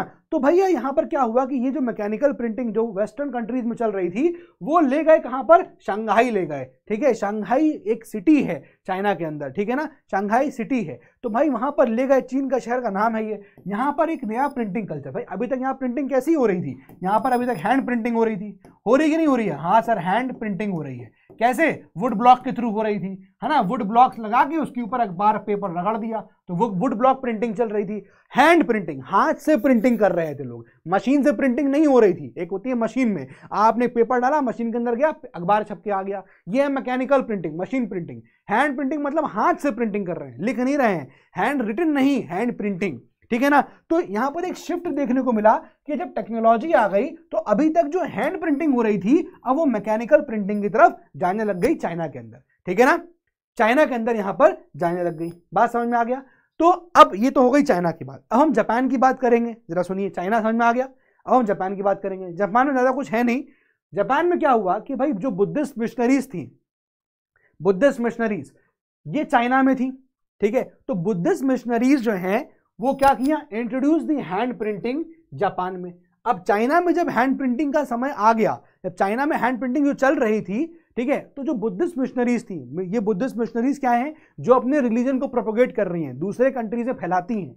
तो बुद्धिस्ट मिशनरी पहुँची कहाँ पर? जापान में 1768 और 1770 एडी में। और वहाँ पर ये लोग क्या करने लगे? हैंड प्रिंटिंग को यहाँ पर और बढ़ावा देने लग गए, और बढ़ावा देने लग गए। अगर हम बात करेंगे जापान की ओल्डेस्ट जापानीज बुक के बारे में, जो कि 1868 में दोस्तों क्या हुई थी? ठीक है ना? 1868 में क्या प्रिंट करी गई थी? क्या नाम था उसका? डायमंड सूत्रा नाम था। क्या नाम था? डायमंड सूत्रा इसमें छह शीट्स ऑफ़ टेक्स्ट थे एंड वुडकट इलस्ट्रेशन यहाँ पर आपको देखने को मिल देंगे बात समझ में आ गया? क्लियर है? क्लियर है यहाँ पर? तो इस तरह से जापान में यहाँ पर प्रिंटिंग चली। ठीक है? इसके अलावा देखेंगे अगर आप तो पिक्चर्स भी प्रिंट करने लग गए। किस पे? अब इतनी टेक्नोलॉजी एडवांस हो गई, जब मैकेनिकल प्रिंटिंग आ गई तो मैकेनिकल प्रिंटिंग में देखा गया कि भाई टेक्सटाइल्स कपड़े के ऊपर प्रिंटिंग होने लग गई कार्ड्स के ऊपर प्रिंटिंग होने लग गई, है ना? वो कार्ड्स खेलते हो ना ऊनो एक गेम आजकल बड़ा फ़ेमस चलता है ऊनो करके। बड़ा ही फ़ेमस है, बहुत लोग खेलते हैं, बड़े अमीर लोग का गेम है ये, अमीर लोग का। गरीब लोगों के समझ में नहीं आया। गरीब लोग खेलते हैं पत्ते। गरीब लोग खेलते हैं पत्ते इसको बोलते हैं ताश। गरीब लोग खेलते हैं हाँ भाई, चिड़ी, हुकुम हुकुम का पत्ता, चुड़ी का पत्ता, बेगम, समझ रहे हो? ये सब खेलते हैं। ये ये अमीरों का गेम है बेटा, ठीक है? तो भाई क्या हुआ कि आपको आजकल ये वाले कार्ड्स भी देखने को मिलते हैं। है कि नहीं? ये वाले कार्ड्स भी देखने को मिलते हैं कि टेक्सटाइल्स के ऊपर प्रिंटिंग होने लग गया था, इसके अलावा प्लेइंग कार्ड्स के ऊपर प्रिंटिंग होने लग गया था पेपर मनी बनने लग गया, है ना? अब पेपर देखो आया तो पेपर छपने पेपर में छपाई तो प्रिंटिंग करते हो नहीं करेंसी की? हाँ सर प्रिंटिंग करेंसी की प्रिंटिंग भी तो ऐसी होती है है ना? करेंसी की प्रिंटिंग ऐसी होती है? जी हाँ। अब मेडिवल जापान में जब जापान में मेडिवल का टाइम है poets and prose writers regularly published books were cheap and abundant अब जापान में उस वक्त देखोगे तो मेडिवल टाइम में किताबें बड़ी अबंडेंट हो गई थी और बुक्स बड़ी चीप हो गई थी बिकॉज़ क्योंकि अब यहाँ पर प्रिंटिंग मशीन के थ्रू होने लग गई थी। ठीक है ना? बात समझ में आ गया? आगे देखिए। अब क्या हुआ? Printing of visual material started visual material यानी पेंटिंग्स की शुरुआत हो गई। किसकी? पेंटिंग्स की शुरुआत हो गई। बात समझ आ रहा है? पेंटिंग शुरुआत हो गई। इससे क्या हुआ? इससे क्या हुआ? देखो क्या हुआ। Led to interesting publishing practice in late eighteen century Japan city Tokyo जिसको हम लोग पहले ईडो के नाम से जानते थे, वो एक फ्लरिशिंग अर्बन सेंटर बन गया। तो जापान के अंदर क्या हुआ? जापान के अंदर पहले आपने देखा कि किस तरह से चाइना वाले जो थे वो क्या लेके आए? जिस तरह से जापान में क्या हुआ? चाइना वाले क्या लेके आए? सबसे पहले चाइना वाले लेके आए हैंड प्रिंटिंग ठीक है ना? क्या लेके आए? हैंड प्रिंटिंग उसके बाद ये प्रिंटिंग पहले क्या होती थी? खाली पेपर ये पहले पेपर पे हो रही थी। उसके बाद यही प्रिंटिंग कहाँ होने लगी? फिर देखा आपने टेक्सटाइल्स पे होने लग गई। है ना? फिर देखा क्या होने लगी? फिर और भी आगे आया तो आपको पेंटिंग देखने को मिल गई। अब पेंटिंग भी होने लग गई। तो not only text but painting भी यहाँ पर बढ़ने लग गई थी। किस तरह से यहाँ पर आपको समझ में आ रहा है? किस तरह से यहाँ पर ये चेंज होने लग गया था? ठीक है? तो कलेक्शन ऑफ़ पेंटिंग्स में आप बात करोगे तो देखिए अर्बन कल्चर ये डिपेक्ट करने लगे पेंटिंग्स में। पेंटिंग्स में क्या दिखाने लगे? अर्बन कल्चर आजकल आप अगर बनाते हो, अपनी आर्ट बनाते हो ड्राइंग तो आप क्या दिखाते हो? अब वो ड्राइंग नहीं बनते हैं। पहले लोग दिखाते थे ऐसी ड्राइंग है ना? ये बना दिया, ये कर दिया, एक पेड़ बना देते थे, बढ़िया एक नदी निकाल देते थे, फिर यहाँ पहाड़ बना देते थे, ठीक है? और यहाँ एक आध बकरी वकरी बना दिया, एक जानवर बना दिया, घूम रहा है। ये पहले रूरल पिक्चर दिखाई जाती थी पेंटिंग्स के अंदर, अब पेंटिंग मॉडर्न पेंटिंग हो गई है। तो अर्बन कल्चर जो है वो पेंटिंग्स के अंदर यहाँ पर दिखाने लगा। उसके अलावा आर्टिस्ट यहाँ पर अपनी बहुत सारी पेंटिंग्स बनाने लग गए। कोर्टिसंस कोर्टिसंस क्या है? कोर्टिसंस बेसिकली प्रोस्टिट्यूट्स की बात हो रही है, ठीक है? तो वो भी यहाँ पर इन इन पेंटिंग्स के थ्रू उनके बारे में भी बताया जाने लग गया। ठीक है? टी हाउस गैदरिंग्स अब टी हाउस गैदरिंग होने लगी। टी हाउस गैदरिंग्स होने लगी। Libraries and book stores packed with hand printed material और लाइब्रेरीज में आप देखोगे, आप बुक स्टोर्स में हैंड से प्रिंट हुआ मटेरियल भरा रहा। ठीक है? भरा रहता था। बात समझ में आ रही है? बात समझ में आ रही है? क्लियर है? मिस्टर टॉक्सिक भाई पूछा सर हम इतना क्यों पढ़ रहे हैं? मत पढ़ो भाई। क्लियर है यहाँ पर? बात समझ में आ गई? अब क्या हुआ कि यही प्रिंट जो है, वो यूरोप पहुँचा। ठीक है प्रिंट जो है, वो यूरोप में स्टार्ट हो गया। अभी तो हम चाइना की बात कर रहे थे। चाइना, कोरिया, जापान, इन सब की बात कर रहे थे। अब हम बता रहे हैं पार्ट टू स्टार्ट हो गया प्रिंट कम्स टू यूरोप अब यहाँ पर समझो पहले हुआ क्या एक व्यक्ति का नाम है मार्को पोलो। उसका नाम सामने आता है। मार्को पोलो इटली को बिलोंग करता है। मार्को पोलो गया कहाँ पर? चाइना, ठीक है? चाइना में क्या चल रहा था? Hand printing. अब यूरोप में क्या है? यूरोप में तो मैकेनिकल चीज़ें चल रही हैं, ठीक है? लेकिन चाइना में क्या है? चाइना में हैंड प्रिंटिंग चल रही है। तो चाइना जब ये मार्को पोलो गया तो वहाँ से क्या लेके आया? वहाँ से ये हैंड प्रिंटिंग का कॉन्सेप्ट लेके वापस ये यूरोप इटली पहुँच गया। तो चाइना में वुड ब्लॉक टेक्नोलॉजी चल रही थी, बताया मैंने आपको। तो मार्को पोलो जब ये गया चाइना तो ये वापस आया चाइना से कब? 1295 में। ध्यान रखना, जब ये रिटर्न हुआ, वो इंपॉर्टेंट ईयर है, कई बार एग्ज़ाम में पूछा गया है, Marco Polo return from China in dash year fill in the blanks में आया है। इन विच ईयर ऐसा भी पूछा गया है। ठीक है 1295 में मार्को पोलो, ये गया, ये एक ये एक ट्रैवलर था तो ये चाइना पहुँचा, चाइना में उसने उस उस उस टेक्नोलॉजी के बारे में उसने पढ़ा, जाना और वो टेक्नोलॉजी को वो लेके वापस आया। Therefore Italians also started printing producing books with wood block अभी तक यहाँ पर क्या हो रहा था? भाई, अभी तक यहाँ पर मैन्यूस्क्रिप्ट चलती थी। कहाँ पर? यूरोप में। ध्यान रखना, यूरोप में अभी तक क्या हो रहा था? ध्यान रखो, यूरोप में अभी तक मैन्यूस्क्रिप्ट चलती थी। मैन्यूस्क्रिप्ट का मतलब क्या है? मैन्यूस्क्रिप्ट का मतलब है कोई चीज़ मैनुअली लिखना। मैन्यूस्क्रिप्ट मैनुअली यानी कि अपने हाथ से कोई चीज़ लिखना ये मैन्यूस्क्रिप्ट होता था। लेकिन यूरोप में चाइना से क्या पहुँची? वुड ब्लॉक टेक्नोलॉजी तो अब क्या था? अब लिखना थोड़ा आसान हो गया। भाई एक एक किताब लिखोगे एक एक वर्ड लिखोगे, बहुत टाइम लगेगा। लकड़ी के ऊपर रख के रड़ा दिया, मसल दिया ऐसे, पूरा का पूरा छप जाता था अखबार के ऊपर पेज के ऊपर। ठीक है? तो ये चीज़ यहाँ पर होने लगी। क्लियर हो गया? अब जो लग्जरी लोग थे, बड़े लोग, लग्जरी एलिट, बड़े बड़े अमीर लोग थे जो, ठीक है, वो अभी भी हैंड रिटन किताबें पढ़ते थे। क्यों? क्योंकि हैंड रिटन किताबें लिखना बड़ी मुश्किल की बात होती थी ना। हाथ से कोई चीज़ लिखना बहुत टाइम टेकिंग प्रोसेस है, मेहनत वाला काम है। कोई चीज़ मशीन से लिखनी है तो आसान काम है। वुड ब्लॉक प्रिंटिंग करनी है, यहाँ से इंक लिया, यहाँ पर लगाया, इसका अखबार छाप दिया, बन गई, पेज छप गया।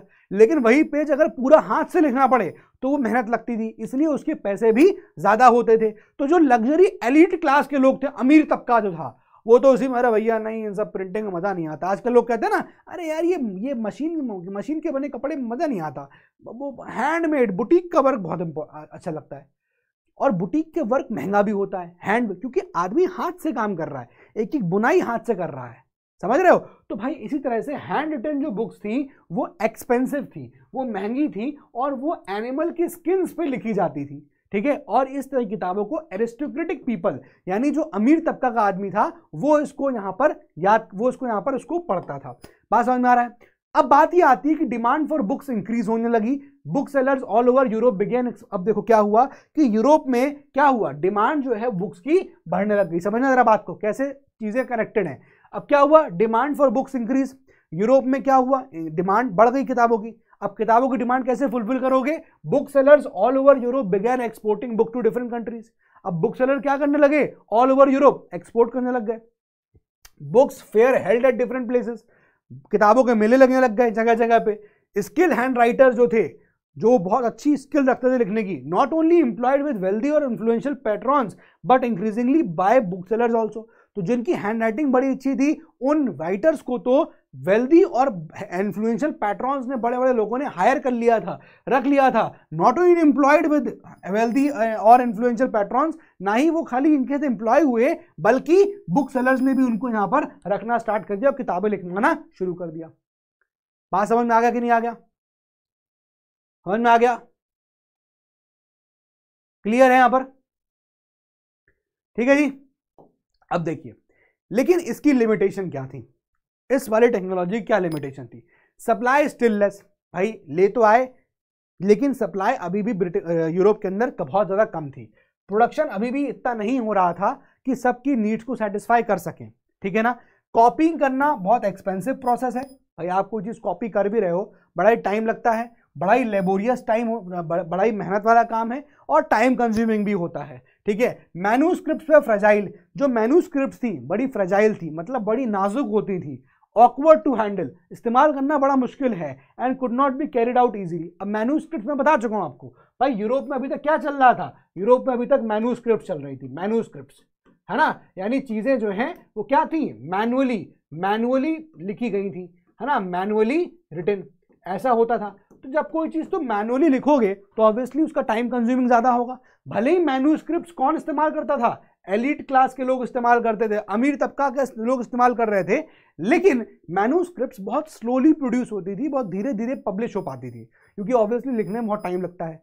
अब क्या करें? डिमांड तो बढ़ती जा रही है सप्लाई फिर भी कम है सप्लाई कम है। है ना? कॉपी करना इतना आसान नहीं है कि आपने एक मैन्यूस्क्रिप्ट लिया और उसे कॉपी करते जा रहे हैं विद एक्यूरेसी वो इतना आसान काम नहीं है। टाइम कंज्यूमिंग प्रोसेस भी है कॉपी करना ठीक है? मैन्यूस्क्रिप्ट बहुत फ्रेजाइल होती हैं अब अखबार में है पेपर पे लिखी है भाई पेपर फट सकता है पेपर मुड़ सकता है पानी बरस गया तो गीला हो जाएगा तो मैन्यूस्क्रिप्ट बड़ी फ्रेजाइल थी और उनको हैंडल करना बड़ा ही ऑकवर्ड टास्क था ठीक है? और उनको और कैरी करना भी उनको यहाँ पर आसान काम नहीं था उनको आसानी से कैरी भी नहीं कर सकते थे। ठीक है ना? बात समझ में आ गया? सो so, डिमांड जो है अब क्या थी कि भैया हमको कुछ ऐसा चाहिए need for quicker and cheaper production text किस प्रकार से? क्योंकि लोगों की डिमांड बढ़ रही थी। समझ रहे हो? लोग ज़्यादा अब किताबों को डिमांड कर रहे थे। भाई, ज़्यादा किताबें पढ़नी है हमको तो लोग ज़्यादा डिमांड कर रहे थे। तो भैया, जल्दी जल्दी किताबें छप पाएँ। ज़्यादा से ज़्यादा किताबें छप पाएँगी तो ज़्यादा से ज़्यादा लोगों तक पहुँचेंगी। ये डिमांड आ गई थी, है ना? कि भाई, ऐसी कुछ टेक्नोलॉजी आ जाए जिसके, जिससे हम लोग ज़्यादा से ज़्यादा चीज़ों तक, ज़्यादा से ज़्यादा प्रोडक्शन कर पाएँ। ऐसे में जब टेक्नोलॉजी आई तो भाई इन्वेंशन हुआ किसका? न्यू प्रिंटिंग टेक्नोलॉजी का। और ये इन्वेंशन किया था जोहानस गुटेनबर्ग ने। जोहान्स गुटेनबर्ग ने। और इसी ने बनाई थी क्या? गुटेनबर्ग प्रिंटिंग प्रेस है ना? और ये जर्मनी बनी थी। जर्मनी में जगह है स्ट्रेट्सबरी यहाँ पर फ़र्स्ट नॉन प्रिंटिंग प्रेस 1430 में आके स्टैब्लिश हो गया। कहानी कुल मिला के सिंपल सी थी अभी तक की। क्या कहानी थी दोस्तों? कहानी सर अभी तक की ये थी। देखिएगा कि भाई कोई चीज़ चाइना में स्टार्ट हुई। चाइना में क्या था? हैंड प्रिंटिंग था अभी तक। चाइना में क्या था? हैंड प्रिंटिंग चल रहा था। और कैसे हो रहा था ये? ये हो रहा था वुड ब्लॉक टेक्नोलॉजी के थ्रू, है ना? वुड ब्लॉक टेक्नोलॉजी के थ्रू ये चीज़ हो रही थी। है कि नहीं? हाँ सर। अब क्या हुआ? चाइना में चाइना में क्या हुआ? डिमांड बढ़ गई। चाइना चाइना में डिमांड बढ़ी। क्यों बढ़ी? बिकॉज़ ऑफ़ दी आईएएस का एग्ज़ाम। आईएएस एग्ज़ाम की वजह से। आईएएस एग्ज़ाम की वजह से टेक्स्ट बुक्स हमको ज़्यादा चाहिए थी। Text text book. Text book text books demand क्या हो गई? टेक्स्ट बुक्स की डिमांड क्या हो गई? इंक्रीज हो गई। ठीक है, इससे क्या हुआ? टेक्स्ट बुक्स प्रिंटिंग भी टेक्स्ट बुक्स प्रिंटिंग भी क्या हो गई? वो भी बढ़ गई। ठीक है, यहाँ तक समझ में आ गया? यहाँ तक समझ में आ गया कि नहीं समझ में आ गया? ठीक है ना? ये चाइना का स्टोरी था अभी तक। ये चाइना की स्टोरी थी। अब क्या हुआ? हम बात करेंगे अब मार्को यहाँ पर यूरोप की। यूरोप में क्या चल रहा था? दोस्तों, यूरोप में था मैन्यूस्क्रिप्ट क्या चल रहा था? मैन्यूस्क्रिप्ट चल रहा था। मैन्यूस्क्रिप्ट मतलब चीज़ें हाथ से लिखना। ठीक है? यहाँ पर डिमांड बढ़ गई। जब यहाँ पर डिमांड बढ़ी तो अब ऐसी टेक्नोलॉजी की ज़रूरत थी, जो हमारी ज़्यादा जल्दी जल्दी चीज़ों को वो कर पाए पब्लिश कर पाए। तो यहाँ पर क्या आता है? यहाँ पर आते हैं जोहान्स ग्यूटेनबर्ग जोहान्स ग्यूटेनबर्ग और ये क्या करते हैं? फ़र्स्ट प्रिंटिंग प्रेस टेक्नोलॉजी लेके आ गए। अब देखो प्रिंटिंग प्रेस आ गई। अब प्रेस आ गई, यानी कि अब मशीन से प्रिंटिंग होगी। अब मशीन से प्रिंटिंग होगी। यहाँ पर हाथ से हो रही है, यहाँ पर हैंड से हो रही है, ठीक है? और यहाँ पर अब मशीन से होगी। यहाँ तक बात समझ में आ गई? अभी तक मैंने आपको सिर्फ़ इतना ही पढ़ाया है। बताओ, क्या डाउट है, संभव? यहाँ तक क्लियर हो गया? यहाँ तक क्लियर हो गया? यहाँ तक क्लियर हो गया? यहाँ तक की बात समझ में आ गई? Simple, crystal, clear. और भी चीज़ें हमने देखी, चाइना की तो हो गई, हमने बीच में जापान भी देखा था। हमने जापान भी देखा था। मार्को पोलो की बात बताई थी मैंने आपको। कैसे मार्को पोलो ने किया? हमने जापान भी देख लिया था। यहाँ तक बात समझ में आ गई?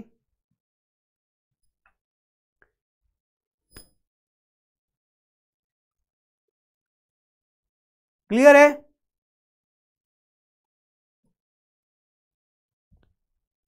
इज़ इज़ क्लियर नाउ बताइए, ये क्रिस्टल ये स्लाइड क्लियर हो गई? क्या एक बच्चे ने कुछ डाउट पूछा? पढ़ नहीं पाया, फिर से पूछो।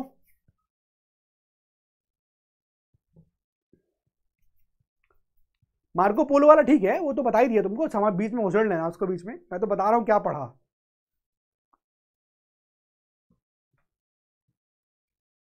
ठीक है?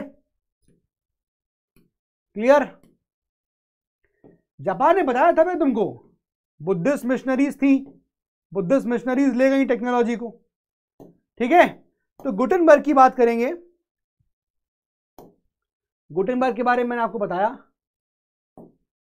कि भाई जब डिमांड बहुत बढ़ गई थी कि हमको क्विकली किताबों को प्रोड्यूस करना है तो भैया टेक्नोलॉजी आई और टेक्नोलॉजी का ऐसा कुछ था कि first non printing press fourteen thirties में स्टैब्लिश हो जाती है जोहान्स गुटनबर्ग के द्वारा जर्मनी में। और फिर किताबों की टेक्स्ट बुक्स की प्रिंटिंग बहुत ज़्यादा स्पीड से होने लग गई। ठीक है ना? बहुत ज़्यादा स्पीड से होने लग गई। क्लियर है? तो गुटनबर्ग की बात करेंगे। जोहान्स गुटनबर्ग स्टार्ट्सबर्ग जर्मनी में इनकी प्रिंटिंग प्रेस बनी। फ़र्स्ट बुक जो थी, जो प्रिंटिंग प्रेस के थ्रू बनी थी, वो थी बाइबल। इसकी 180 कॉपीज तीन साल में बिकी। आपको लगेगा, सर, तीन सालों में सिर्फ़ 180 कॉपी बन पाई इसकी? अरे, बहुत बड़ी बात थी उस वक्त के लिए, क्योंकि उस वक्त इतनी फास्ट मशीन्स भी नहीं थी, ठीक है ना? तो भाई देखो जोहान्स गुटनबर्ग ने जर्मनी में क्या था? जर्मनी में फ़र्स्ट बुक छपी थी बाइबल और उसकी 180 कॉपीज तीन सालों में बिक पाई थी, ठीक है? अब गुटनबर्ग जो है, ये एक्चुअली कोई राइटर या कोई कोई बहुत बड़ा ऐसा कोई राइटर नहीं था। ये एक सन था मर्चेंट का। एक व्यापारी का लड़का था एग्रीकल्चर खेती बाड़ी करता था, ठीक है? अब इसके पास दो प्रकार के खेत थे।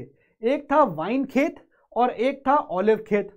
वाइन खेत में वाइन का प्रेस फॉर्म किया गया और ऑलिव प्रेस ऑलिव की जो ऑलिव की खेती होती थी, उस ऑलिव की खेत से जो ऑलिव निकलता है, उसकी इंक बनाई गई। तो ऑलिव प्रेस बन गया। ठीक है? और वाइन की खेती से वाइन जो है, वहाँ से वाइन की प्रेस इंक निकल गई तो वहाँ से वाइन प्रेस तो इस तरह से उसने ही learn polishing stones and he was the master goldsmith और बहुत बढ़िया गोल्ड स्मिथ था। तो बेसिकली जोहान्स गुटनबर्ग कहीं भी ऐसा नहीं था कि वो ये प्रिंटिंग प्रेस बनाना चाहता था। उसके बस माइंड में आइडिया आया, क्यों ना मैं इस ऑलिव से इंक का इस्तेमाल करूँ इंक लूँ और इससे, और इसको इंक की तरह इस्तेमाल करूँ। ठीक है ना? बात समझ में आ गया? क्लियर है? तो गुटनबर्ग प्रेस में आप देखोगे कि टेक्नोलॉजिकल डेवलपमेंट हुआ और अब किताबें जो हैं, वो थोड़ा तेज़ी से यहाँ पर छपने लग गई थी। 1450 से लेकर 1550 का वो दौर था जब प्रिंटिंग प्रेस जो है अब यूरोप में बढ़ने लग गई। जो आइडिया जोहान्स गुटनबर्ग को आया था, वो अब जगह जगह उस तरह से प्रिंटिंग प्रेस डेवलप होने लगी और अब ज़्यादा से ज़्यादा प्रिंटिंग प्रेस आने लग गई। इससे क्या हुआ? ज़्यादा ज़्यादा प्रिंटिंग होने लग गई। बुक्स का प्रोडक्शन बहुत बढ़ गया था। एग्ज़ाम्पल के लिए फिफ्टीन सेंचुरी में देखो 20 मिलियन बुक्स का प्रिंट हुआ था। लेकिन वहीं सिक्सटीन सेंचुरी की बात करेंगे तो 200 मिलियन बुक्स यहाँ पर प्रिंट हुआ। तो देखो किस प्रकार से यहाँ पर जो हैंड प्रिंटिंग अभी तक चाइना में चल रही थी वुड ब्लॉक टेक्नोलॉजी के थ्रू वो अब कन्वर्ट होके मैकेनिकल प्रिंटिंग यहाँ पर भी हो गई थी। ठीक है ना? तो पूरे यूरोप में भी चला और इस तरह से यहाँ पर ये चीज़ चाइना में भी आने लग गई थी। बात समझ में आ गया? समझ में आ गया? अब क्या हुआ? कि वॉट वॉज़ द प्रिंट अब प्रिंट में रिवोल्यूशन कैसे हुआ? जैसे आप देखोगे अलग सर ने रिवोल्यूशन किया। एजुकेशन के प्राइसेस बैचेस के प्राइसेस एकदम कम कर दिए। फ्री ऑफ़ कॉस्ट एजुकेशन कर दिया। Education the lowest and affordable cost पे ले आए। है ना? वैसे ही प्रिंट में क्या रिवॉल्यूशन हुआ? भाई, पहले सब लोग किताब नहीं पढ़ पाते थे। क्यों? क्योंकि किताबें महँगी होती थी। क्योंकि हाथ से लिखी जाती थी। तो जो एलिट इंसान होता था, बड़ा आदमी था, वही खाली किताब पढ़ पाता था। जैसे पहला बड़ा जो अमीर आदमी था, खाली उसका बच्चा जाके कोचिंगों में पढ़ पाता था। बड़ी बड़ी सामने वाली पार्टी क्या पढ़ पाता था। बड़ी बड़ी उसमें, बड़े ज़्यादा पैसे देके। लेकिन अब क्या हुआ? अब रिवॉल्यूशन हो गया। ऐसी रिवॉल्यूशन प्रिंट कल्चर में हुआ। पहले किताबें जो सिर्फ़ महँगी महँगी हुआ करती थी, अब वो सस्ती हो गई। पहले किताबें मैन्यू से लिखी गई तो महँगी थी। अब वही चीज़ें मशीन से लिखी जाएँगी तो सस्ती हो जाएँगी। जितना कॉपी एक इंसान लिखेगा एक साल में, पता चला एक दिन के अंदर उतनी कॉपी छपके निकल आए। बात समझ में आ रही कि नहीं आ रही है? बात समझ में आ रही है कि नहीं आ रही है? क्लियर है? ये पॉइंट क्लियर हुआ कि नहीं क्लियर हुआ? ठीक है? तो बेसिकली प्रिंट में रिवॉल्यूशन क्या हुआ? देखो new way of producing books books को प्रोड्यूस करने का नया तरीका आ गया प्रिंटिंग होने लग गई। दूसरा पीपल जो है, अब ज़्यादा किताबें आ गई तो लोग ज़्यादा इन्फॉर्मेटिव होने लग गए थे। लोगों को किताबों के थ्रू बहुत नॉलेज होने लग गई थी, ठीक है? और new new perception to people to look at things मतलब अब किताब की पढ़ने की वजह से लोगों को जानकारी मिली तो पहले लोग अनजान थे। जैसे फॉर एग्ज़ाम फॉर एग्ज़ाम्पल पहले लोगों को पता ही नहीं था कि अर्थ जो है वो रोटेट करती है सन के अराउंड पहले लोगों को पता ही नहीं था। पता भी था तो खाली मुँह से सुना हुआ था, लिखा कहीं नहीं था। लेकिन जब बुक्स आई और जब लोगों ने उसको पढ़ना शुरू किया तो लोगों का नज़रिया बदल गया चीज़ों को देखने का। अच्छा ऐसा होता है। अभी आप भी एनसीईआरटी पढ़ रहे हो तो आपका भी नज़रिया बहुत सारी चीज़ों को देखने से बदल गया होगा, देखने का बदल गया होगा। आपने rise of nationalism in Europe पढ़ा, आपने नेशनलिज्म इन इंडिया पढ़ा, आपको बहुत सारा नज़रिया बदल गया होगा चीज़ों को देखने का। है कि नहीं? है कि नहीं? तो बेसिकली प्रिंट का रिवॉल्यूशन क्या था? प्रिंट के रिवॉल्यूशन में बहुत सारी नई तरीके आ गए बुक्स को प्रिंट करने का। उसके अलावा नंबर टू पीपल काफ़ी ज़्यादा इन्फॉर्मेटिव और नॉलेजेबल होने लग गए। और नंबर थ्री लोगों का जो परसेप्शन था, लोगों का जो नज़रिया था, चीज़ों को देखने का, वो यहाँ पर बदल गया था। ठीक है? और साथ में क्या हुआ? रेवोल्यूशन में क्या होगा? प्रिंटिंग की बुक की कॉस्ट कम हो गई। जैसा कि यहाँ पर आपके बैचेस की कॉस्ट कम हो गई, है ना? एजुकेशन की कॉस्ट कम हो गई। टाइम जो रिक्वायर था किताब लिखने का वो कम हो गया क्योंकि अब चीज़ें मशीन से प्रिंट हो रही थी। लेबर जो रिक्वायर्ड था, मेहनत जो लगती थी एक आदमी की, वो भी कम हो गई क्योंकि चीज़ें मशीन से प्रिंट होती थी, है ना? मल्टीपल कॉपीज प्रिंटेड एक बार में बहुत सारी कॉपीज प्रिंट हो सकती थी और पूरे मार्केट में किताब से भर गया था, पूरा मार्केट किताब से फ्लरिश हो गया था। ठीक है ना? तो बेसिकली यार सिंपल चीज़ जो मैंने अभी तक आपको फिर से पढ़ाई, अब से लेकर जहाँ पर मैंने आपको चाइना एंड किया था यूरोप एंड किया था, वो ये कि प्रिंट में रिवॉल्यूशन होना स्टार्ट हो गया। प्रिंट में रिवॉल्यूशन हुआ तो मेन चीज़ क्या है कि जो गुटनबर्ग प्रेस बनी, इस गुटनबर्ग प्रेस ने हर चीज़ में एकदम क्या कर दिया, हर चीज़ को एकदम रापचिक कर दिया और ओपी कर दिया, एकदम रापचिक हो गई चीज़ें रापचिक ठीक है, अब रापचिक कैसे हो गई? चीज़ों का प्रोडक्शन जल्दी होने लग गया, किताबें जल्दी छपने लग गई, जो महँगी किताबें थी सस्ती हो गई, लोगों की इंफॉर्मेशन बढ़ने लगी लोग नॉलेज गैदरिंग होने लगे, लोगों का नज़रिया बदल गया। टाइम रिक्वायर्ड था, किताबों का छपने का कम हो गया लेबर कम हो गई मल्टीपल कॉपीज आ गई और पूरे मार्केट में बुक्स फ्लड हो गई। यहाँ तक बात समझ में आ गई? Is this point clear to every point clear हो गया? यस और नो कर दो एक बार जल्दी से। पॉइंट क्लियर हो गया?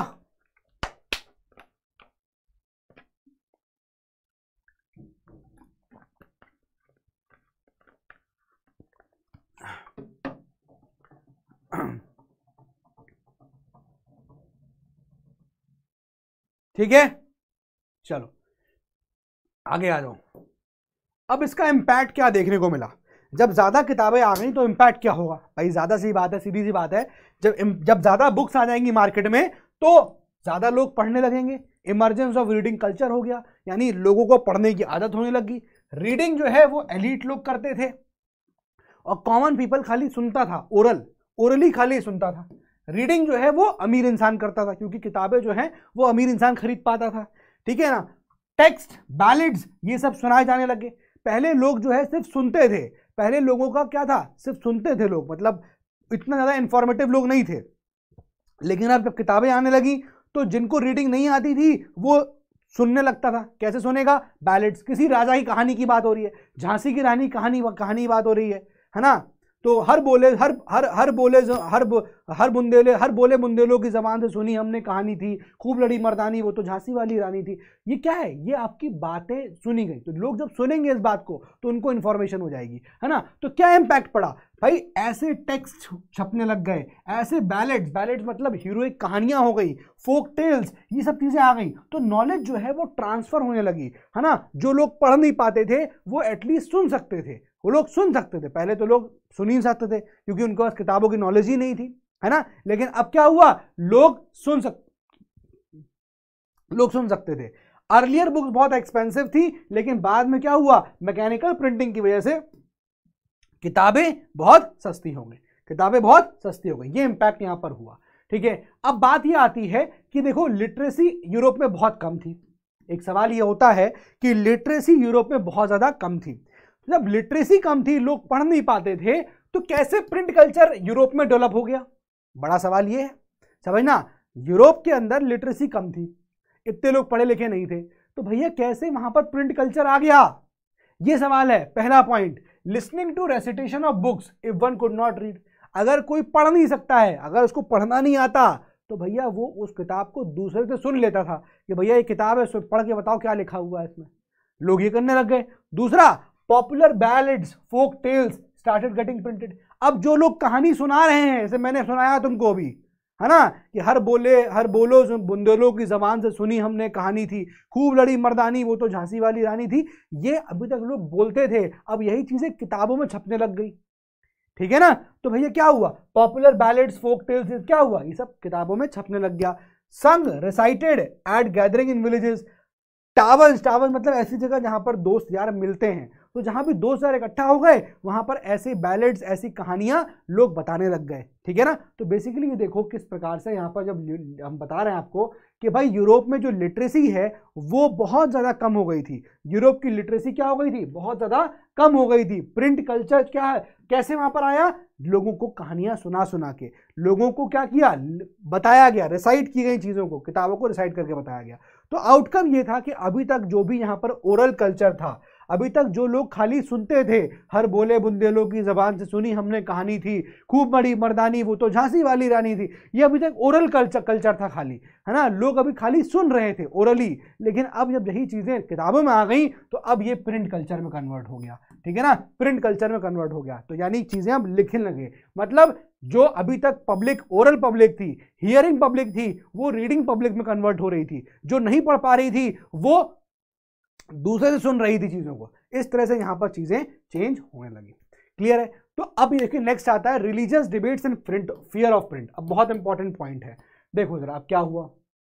जब प्रिंट कल्चर आ गया, यानी चीज़ें छपने लग गई। जब चीज़ें छपने लग गई तो नए नए आइडियाज़ आने लग गए लोगों को। सोचना जरा लॉजिक लगाओ। अगर तुम लॉजिक लगाओ इस चीज़ की, कि भैया जब नया प्रिंट कल्चर आ जाएगा, यानी हर चीज़ छप रही है तो ज़ाहिर सी बात है, क्या हुआ? तब क्या हुआ? न्यू आइडियाज़ आने लग गए लोगों को। डिबेट्स होने लग गए फिर, उन आइडियाज़ पे, है ना? डिस्कशन होने लग गया। Individuals got the opportunity to criticise the authorities and circulate the ideas अब इससे क्या हुआ? जब लोगों को ये ये फ्रीडम मिल गई, या जो लोगों का फ्रीडम थी प्रिंट कल्चर की वजह से जो आ गई, कि भैया, हम नए आइडियाज़ आने लग गए, नई चीज़ें आने लगी और कोई भी आदमी कुछ भी छपवा देता था।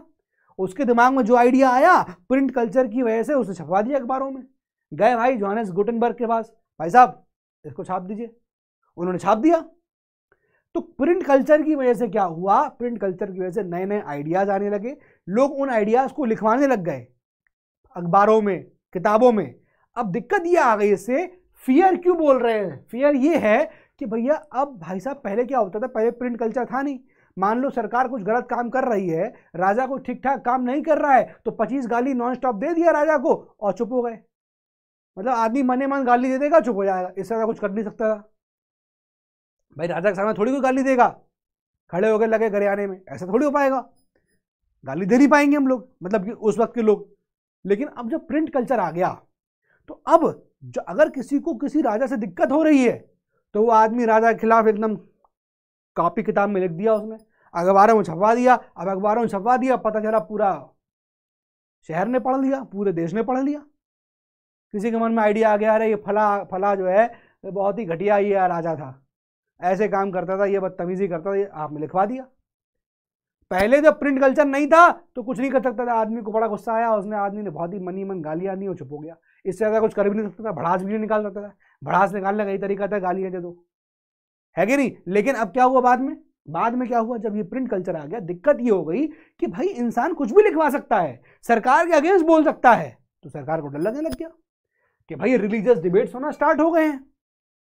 एक दूसरे के धर्म के खिलाफ लोग बोलने लग जाएँगे, छापने लग जाएँगे, और कुछ लोग अपने धर्म को प्रोपोगेट करने के लिए छापने लग जाएँगे।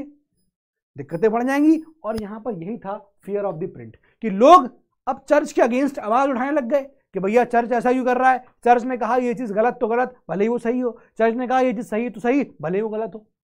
लेकिन अब जो है लोग, वो चर्च के खिलाफ भी यहाँ पर आवाज़ उठाने लग गए। ठीक है ना? आवाज़ उठाने लग गए। So printed messages people got persuaded to think differently अब जब इस तरह की बातें आई तो अब लोग सोचने लग गए यार, कि चर्च ऐसा क्यों कर रहा है? है ना, मान लो चर्च के अगेंस्ट कुछ बात आई। कि चर्च पहले था चर्च में कोई भी चर्च के not give any wrong decision ये पहले बात मानी जाती थी चर्च में चर्च कभी भी कोई गलत डिसीज़न नहीं दे सकता।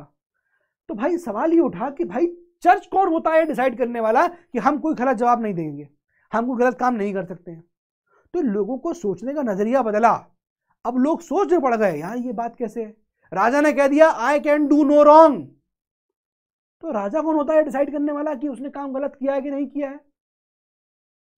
राजा कैसे डिसाइड करेगा ये चीज़? बात समझ आ रही है आपको? तो भाई, क्या हुआ कि फियर ऑफ़ प्रिंट जब प्रिंट कल्चर आ गया तो प्रिंट कल्चर से दोस्तों फियर ये हो गया कि कहीं ऐसा ना हो कि भाई, लोग के जो आइडियाज़ है या जो लोग अथॉरिटीज के अगेंस्ट सोच रहे हैं, उसको लिखेंगे, उससे क्या होगा? दूसरे लोगों के अंदर बात पहुंचेगी और दूसरे लोग भी फिर उससे परसुएड होने लग जाएँगे, दूसरे लोग भी उससे इन्फ्लुएंस होने लग जाएँगे। बात समझ में आ रही है? क्लियर है कि नहीं क्लियर है? बात समझ में आ रही है?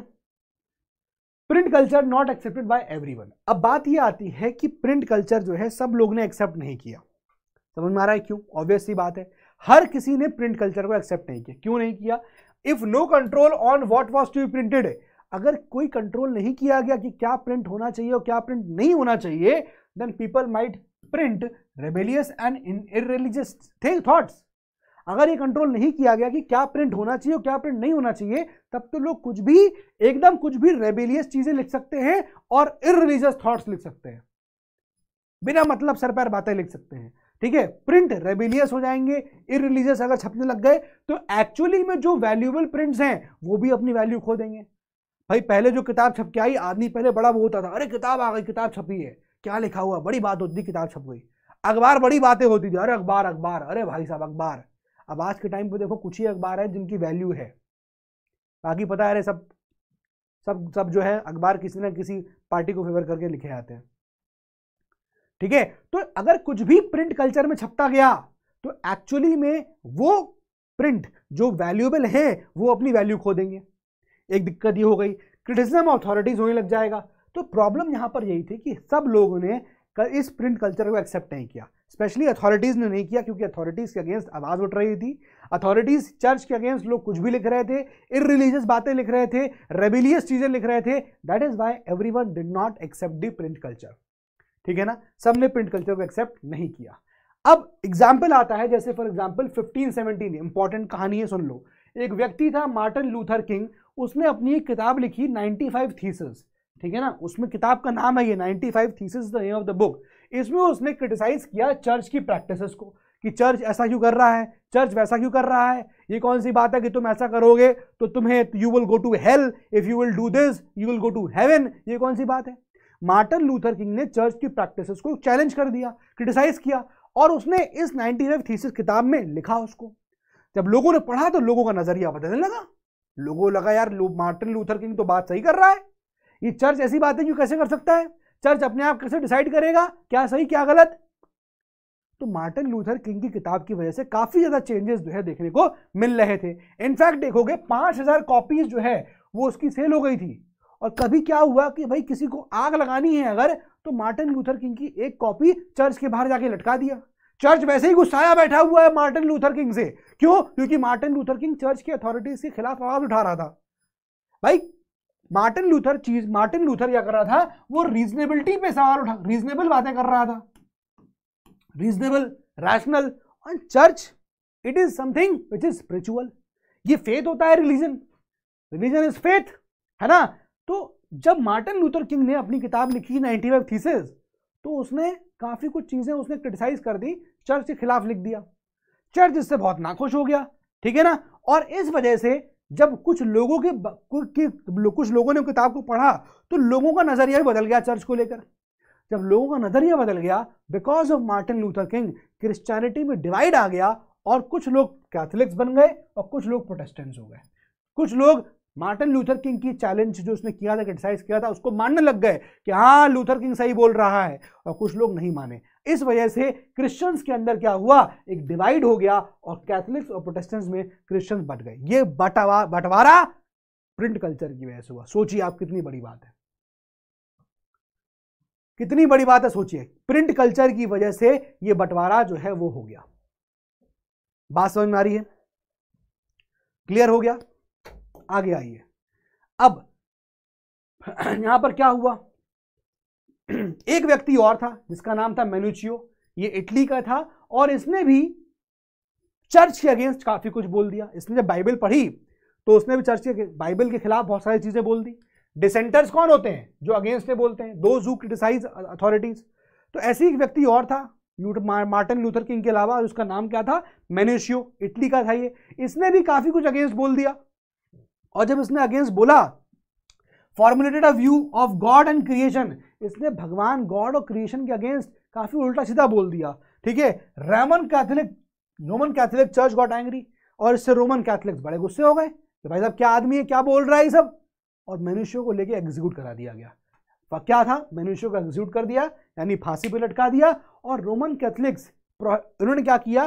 फिर इस, इसकी जो किताब थी, मनुष्यों ने किताब निकाली थी यह जो बातें कर रहा था तो अब रोमन कैथलिक्स ने ऐसी एक इंडेक्स बना दिया, जिसको बोलते हैं index of prohibited books note करिएगा, इसको बोलते हैं index of prohibited books from 1558 1558 से भाई, जो भी ऐसी किताब होगी, जो चर्च की अथॉरिटीज को चैलेंज कर रही है, जो चर्च के बारे में अगेंस्ट बोल रही है तो उस किताब को इस इंडेक्स के अंदर डाल दिया जाता था। कि भैया ये किताब प्रोहिबिटेड किताब है, इसे कोई नहीं पढ़ेगा। अब सोचो, चर्च को कितना डर बनने लगा। चर्च कैसे डरने लग गया? चर्च ने ऐसी किताबों को, जो उनकी अथॉरिटीज को चैलेंज कर रहा था, उन किताबों को ऐसे सूची में डाल दिया। क्लियर है? क्लियर है? बात समझ में आ गया? यहाँ तक बात समझ में आ गई? चलिए, आगे आ जाइए। नेक्स्ट अब सेवनटीन और एटीन सेंचुरी आते आते देखोगे कि लिटरेसी रेट काफ़ी बढ़ने लग गया था, है ना? और जगह जगह आपको देखने को मिलेगा कि चर्चेस थे, उन्होंने स्कूल्स खोल दिए थे। ठीक है? डिफरेंट डिनोमिनेशन ऑफ़ चर्च ने विलेजेस में स्कूल्स खोले। यानी ज़्यादा से ज़्यादा लोग पढ़ने लग गए, ज़्यादा से ज़्यादा लोग लिटरेट होने लग गए। लिटरेसी जो है वो अब पीजेड्स और आर्टिसंस तक पहुँच गई। यानी एकदम गरीब तबके के लोग भी अब पढ़ने लग गए थे। And you will see 60 to 80 percent लोग जो है अब लिटरेट हो गए थे। और एक तरह से अब रीडिंग मेनिया रीडिंग मनिया मतलब रीड करने की जो खुमारी है, वो बढ़ने लग गई थी। रीड करने की खुमारी जो है, वो बढ़ने लग गई थी। ठीक है ना? अब नए फॉर्म्स ऑफ़ पॉपुलर लिटरेचर आ गए। अब सारी खाली, ऐसा नहीं था कि इतनी ही चीज़ें आई। खाली अखबार छपने लगे, किताबें छपने लगी। डिफरेंट डिफरेंट टाइप्स की लिटरेचर छपने लग गई। प्रिंट कल्चर की बात कर रहे हैं ना? डिफरेंट डिफरेंट टाइप्स की लिटरेचर छपने लग गई। जैसे फॉर एग्ज़ाम्पल देखिए अल्मनाक ये एक रिचुअल कैलेंडर है। ठीक है ना? रिचुअल कैलेंडर है entertainment books reach out to ordinary books अब लोग जो है, एक तो ये हो गया एल्मनाक छपने लग गया रिचुअल कैलेंडर हो गया। इसके अलावा ऐसी बुक्स जो अभी तक ऑर्डनरी बुक्स थी, उनकी जगह एंटरटेनमेंट बुक्स जो है लोगों तक पहुँचने लग गई। इसके अलावा चैप बुक्स इसको चैपमैन कैरी करते थे, ठीक है? चैपमैन क्योंकि वो चीप होती थी, ठीक है? पेनी बुक्स कहते थे उनको। क्या बोलते थे? पेनी बुक्स कहते थे पेनी बुक्स ठीक है? इंग्लैंड में ये पेनी बुक्स बिका करती थी, ठीक है? इसको हम लोग चैप बुक्स भी कहते हैं। इनको चैपमैन कैरी करता था। क्यों? क्योंकि ये पेनी बुक क्यों बोलते थे? क्योंकि बहुत चीप होती थी ये किताब। ये किताब बहुत ही ज़्यादा चीप होती थी। कितनी चीप होती थी? कि एक पेनी में मिल सकती थी। वन पेनी में किताब खरीदी जा सकती थी। इसलिए इसको यहाँ पर पेनी बुक्स कहा जाता था। ये इतनी सस्ती थी। इससे सस्ते होने से क्या हुआ? सस्ते होने से ये हुआ कि हर आदमी, भले वो कितना भी गरीब क्यों ना हो, वो किताबों को पढ़ सकता था। वो बुक्स को रीड कर सकता था। तो चैप बुक्स इंग्लैंड में कैरी करी जाती थी चैपमैन के द्वारा। Sold cheap so that even poor could buy it ताकि पुअर भी जो है वो उसे खरीद सके। इसके अलावा नॉट ओनली दिस इसके अलावा ब्लियोथिक ब्ल्यूक, ये फ्रांस में छपी ये किताब है जिसका कवर पेज ब्लू कलर का था। इसलिए यहाँ पर आपको वर्ड ब्लू दिख रहा है यहाँ पर, ठीक है ना? ब्लू दिख रहा है। अब ये बहुत ही लो प्राइस्ड बुक्स थी लो क्वालिटी की पेपर लगे थे इसमें, और ये ब्लू कलर के उसका कवर था, ठीक है? तो बेसिकली यहाँ पर इस प्रकार के डिफरेंट डिफरेंट लिटरेचर छपने लग गए थे। सिर्फ़ इतना ही नहीं, इसके अलावा और भी तरह की चीज़ें थी जो छप रही थी। जैसे क्या पीरियोडिकल प्रेस यानी टाइम टाइम पे जो अखबार छपते हैं पीरियोडिकल प्रेस छपते हैं, वो छप रहे थे एटीन सेंचुरी में, जिसमें आप करंट अफेयर्स एंटरटेनमेंट ये सब चीज़ें आ रही थी, है ना? उसके अलावा बहुत सारे न्यूज़पेपर्स थे जर्नल्स थे, जो डेली मर्रे में जो वॉर चल रही है है ना? जो ट्रेड हो रहा है, उसके बारे में जानकारी दे रहे थे लोगों को। उसके अलावा बहुत सारे ऐसे साइंटिफिक और फिलोसफर्स के आइडियाज़ थे, वो भी अब छपने लग गए थे, ठीक है ना? वो भी छपने लग गए थे वो भी कॉमन पीपल तक पहुँच रहे थे, ठीक है? एंशियंट और मेडिवल में साइंटिफिक टेक्स्ट यहाँ पर कंपाइल करने लगे, जो उस वक्त के एंशियंट और मेडिवल हिस्ट्री में जो भी साइंटिफिक टेक्स्ट थे, उनको कंपाइल किया जाने लगा और फिर उनको किताब बना के लोगों तक पहुँचाया गया, ठीक है ना? मैप्स एंड साइंटिफिक डायग्राम्स ये सब चीज़ें जो है करी गई। सर आइसिक न्यूटन की भी पब्लिशिंग यहाँ पर देखिए, आप देखिए, लोगों तक आज पहुँच रही है। तो किस प्रकार से यहाँ पर कितने अलग अलग टाइप के लिटरेचर जो है वो छपने लग गए थे? है ना? कितने अलग अलग टाइप के लिटरेचर जो है, वो छपने लग गए थे। अब नॉट ओनली लिटरेचर छप रहे थे, बहुत सारे ऐसे थिंकर्स थे जो काफ़ी ज़्यादा डोमिनेट करने लग गए थे और काफ़ी किताबें वो छाप रहे थे। बहुत सारे थिंकर्स जैसे कि थॉमस पेन हो गया, है ना? वॉल्टायर हो गया, रूसो हो गया, इन सब की राइटिंग्स भी आने लगी थी मार्केट में और काफ़ी पॉपुलर हो गई थी उनकी राइटिंग्स और काफ़ी लोग खरीद रहे थे, उनके प्रिंट्स को पढ़ रहे थे। ठीक है? अब यहाँ पर यही बात बोली जाती है। किसके द्वारा? देखो, एक बात यहाँ पर लिखी है। Tremble there for tyrants of the world अब यहाँ पर क्या हुआ देखिए by mid of eighteen century एक कॉमन बिलीफ ये आ गया लोगों के अंदर कि जो प्रिंटिंग है, जो बुक्स हैं, ठीक है, जो बुक्स है, वो एक ऐसा ज़रिया है जिसके थ्रू हम प्रोग्रेस कर सकते हैं, ठीक है ना? हम एनलाइटनमेंट कर सकते हैं और हम प्रोग्रेस कर सकते हैं। हम ये दोनों चीज़ें किताबों के थ्रू कर सकते हैं, ठीक है? अब इन किताबों में ये जो बुक्स छप रही थी दोस्तों है ना? ये जो बुक्स छप रही थी, अब बुक्स को लेकर तीन बिलीफ्स आ गए। क्या क्या बिलीफ थे? Three possible belief of the book पहला बिलीफ क्या था? बुक को चेंज द वर्ल्ड किताबों के थ्रू दुनिया बदल सकती है। क्यों? क्योंकि आज भी आप देखो, आज आप पढ़ाई क्यों कर रहे हो? क्योंकि आप क्या हो जाओगे? आप नॉलेजेबल हो जाओगे, पढ़ाई करोगे तो। आपको चीज़ों की जानकारी मिलेगी। आपका नज़रिया बदलेगा दुनिया को देखने का। आप जानकार व्यक्ति हो जाओगे, है ना? फिर आप पढ़े लिखे होगे, आप सोसाइटी के अंदर कंट्रीब्यूट करोगे तो वही लगता था कि किताबें बहुत इंपॉर्टेंट इसलिए कहते हैं ना एजुकेशन इज़ वेरी इंपॉर्टेंट तो एजुकेशन क्या है? यही है कि लोगों को जानकारी देना। आप क्या कर रहे हो? मुझसे क्या ले रहे हो आप? भाई, आप इतना पढ़ाई को हवा क्यों मानते हो? पढ़ाई क्या है? कुछ नहीं। दुनिया में जो भी कुछ हुआ है, अभी तक का या हो रहा है, उसकी जानकारी मिलना। क्या है? कौन सी बड़ी बात है जानकारी रखना, है ना? तो बुक्स क्या है? बुक्स वो चेंज द वर्ल्ड किताबों से दुनिया बदल सकती है, लोगों को पढ़ा लिखा बना सकते हैं। Literate society from despotism despotism मतलब क्या हो गया? ऐसा राजा जो डिस्पोटिक रूल फॉलो करता है मतलब without any reason without any reasonability कुछ भी काम करता है। ठीक है? तो liberate the society from despotism society को हम डिस्पोटिज्म से बचा सकते हैं। इसके अलावा bring a time when reason and intellect would rule ऐसा हम किताबों के थ्रू कर सकते हैं कि भाई देखो, पहले क्या था? पहले एकदम अंधभक्ति होती थी। पहले तो हर चीज़ को पूछते थे, है ना? फिर साइंस बढ़ी रीज़न आया कि नहीं नहीं, ऐसा नहीं होता है है ना? पहले बिजली कड़कना भी बड़ा ऊँच माना जाता था, है ना? बट क्या हुआ? धीरे धीरे किताबों की वजह से जब लोग जानकार हुए, पढ़े लिखे हुए तो भाई लोगों ने रीजन करना स्टार्ट किया, इंटेलेक्ट का यूज़ करना स्टार्ट किया। तब वहाँ पर फिजिक्स की बात आई, है ना? फिजिक्स अपने आप थोड़ी बन गई। भाई लोगों ने एक्सपेरिमेंट किए, है ना? एक्सपेरिमेंट किए, जब आउटकम देखा चाहिए, आउटकम आया, उसको फिर लिख लिया। अच्छा ये ऐसा होता है। फिर उस चीज़ को हर सिचुएशन में देखा रख के, देखा कि हर जगह फॉलो हो रहा है। फिर वही चीज़ फिजिक्स के अंदर क्या हुआ? थ्योरम बन गई। वही चीज़ फिजिक्स के अंदर क्या हुआ? थ्योरम बन गई। अरे, ऐसे थोड़ी थ्योरम बन गई होगी। एक्सपेरिमेंट किए होंगे फेल हुए होंगे पास हुए होंगे, है ना? पर रीजन और इंटेलेक्ट का इस्तेमाल किया गया। तो देखो कितना किताबों की वजह से फिजिक्स की किताबों ने ही, भाई जो किताब मान लो किसी ने लिख दिया तो वही किताबों के बेसिस पे तो आज एक्सपेरिमेंट्स हो रहे हैं। आज साइंस और ग्रो कर रही है। आज इतनी सारी चीज़ें आज दूसरे दूसरे ग्रह पे चली गई हैं, है ना? प्लैनेट्स पे जा चुकी हैं। सोचो जरा। सोचिए, कैसे पॉसिबल हुआ? Just because of the books possible हुआ, है ना? Just because of the books possible यहाँ पर हुआ। क्लियर है? अब देखिए, यहाँ पर एक व्यक्ति का नाम और आता है लुइस सेबेस्टियन मेरियर ठीक है? Louis Sebastian Mercier eighteen century में थे, ये नॉवलिस्ट थे। अब इनका क्या मानना था किताबों को लेकर? देखो इनका कहना यह था, बहुत ही इंपॉर्टेंट लाइन उन्होंने बोली थी printing press is the most powerful engine of progress and public opinion is the force that will swipe away despotism society वही चीज़। इनका मानना यह था कि जो प्रिंटिंग प्रेस है, वो सबसे पावरफुल इंजन है किसका? प्रोग्रेस का। अगर हमको प्रोग्रेस करना है सोसाइटी को ग्रो करना है तो प्रिंटिंग से अच्छा कुछ भी नहीं हो सकता, किताबों से अच्छा कुछ भी नहीं हो सकता। और जो ओपिनियन है पब्लिक ओपिनियन वो सबसे इंपॉर्टेंट है डिस्पोटिज्म सोसाइटी से खत्म करने के लिए। दूसरा, अपनी नॉवल में सेबेस्टियन क्या बोल रहे हैं? सेबेस्टियन कह रहे हैं heroes are transform by reading heroes कैसे बनेंगे? रीडिंग करके। आप जब नॉलेजेबल हो जाओगे तो उनकी नॉवेल्स में, उनकी नॉवेल्स में ऐसे और किताबें पढ़ते हो हीरो कौन होता है? जो हीरोइन को बचाएगा। हीरो हो गया। उसी किताबों में जो आदमी रीडिंग कर रहा है, वो हीरो होता था। Heroes are transformed by acts of reading third convinced of the power of print in bringing enlightenment and destroying despotism Mercier ने क्या बोला? अब ये स्टेटमेंट मर्सियर ने दिया, जो मैंने आपको स्टार्टिंग में लिख रखा था। Tremble therefore tyrants of the world tremble before the virtual writer देखो, क्या बोला उसने? ट्रेम्बल यानी कांपो। किससे? टायरेंट्स ऑफ़ द वर्ल्ड से।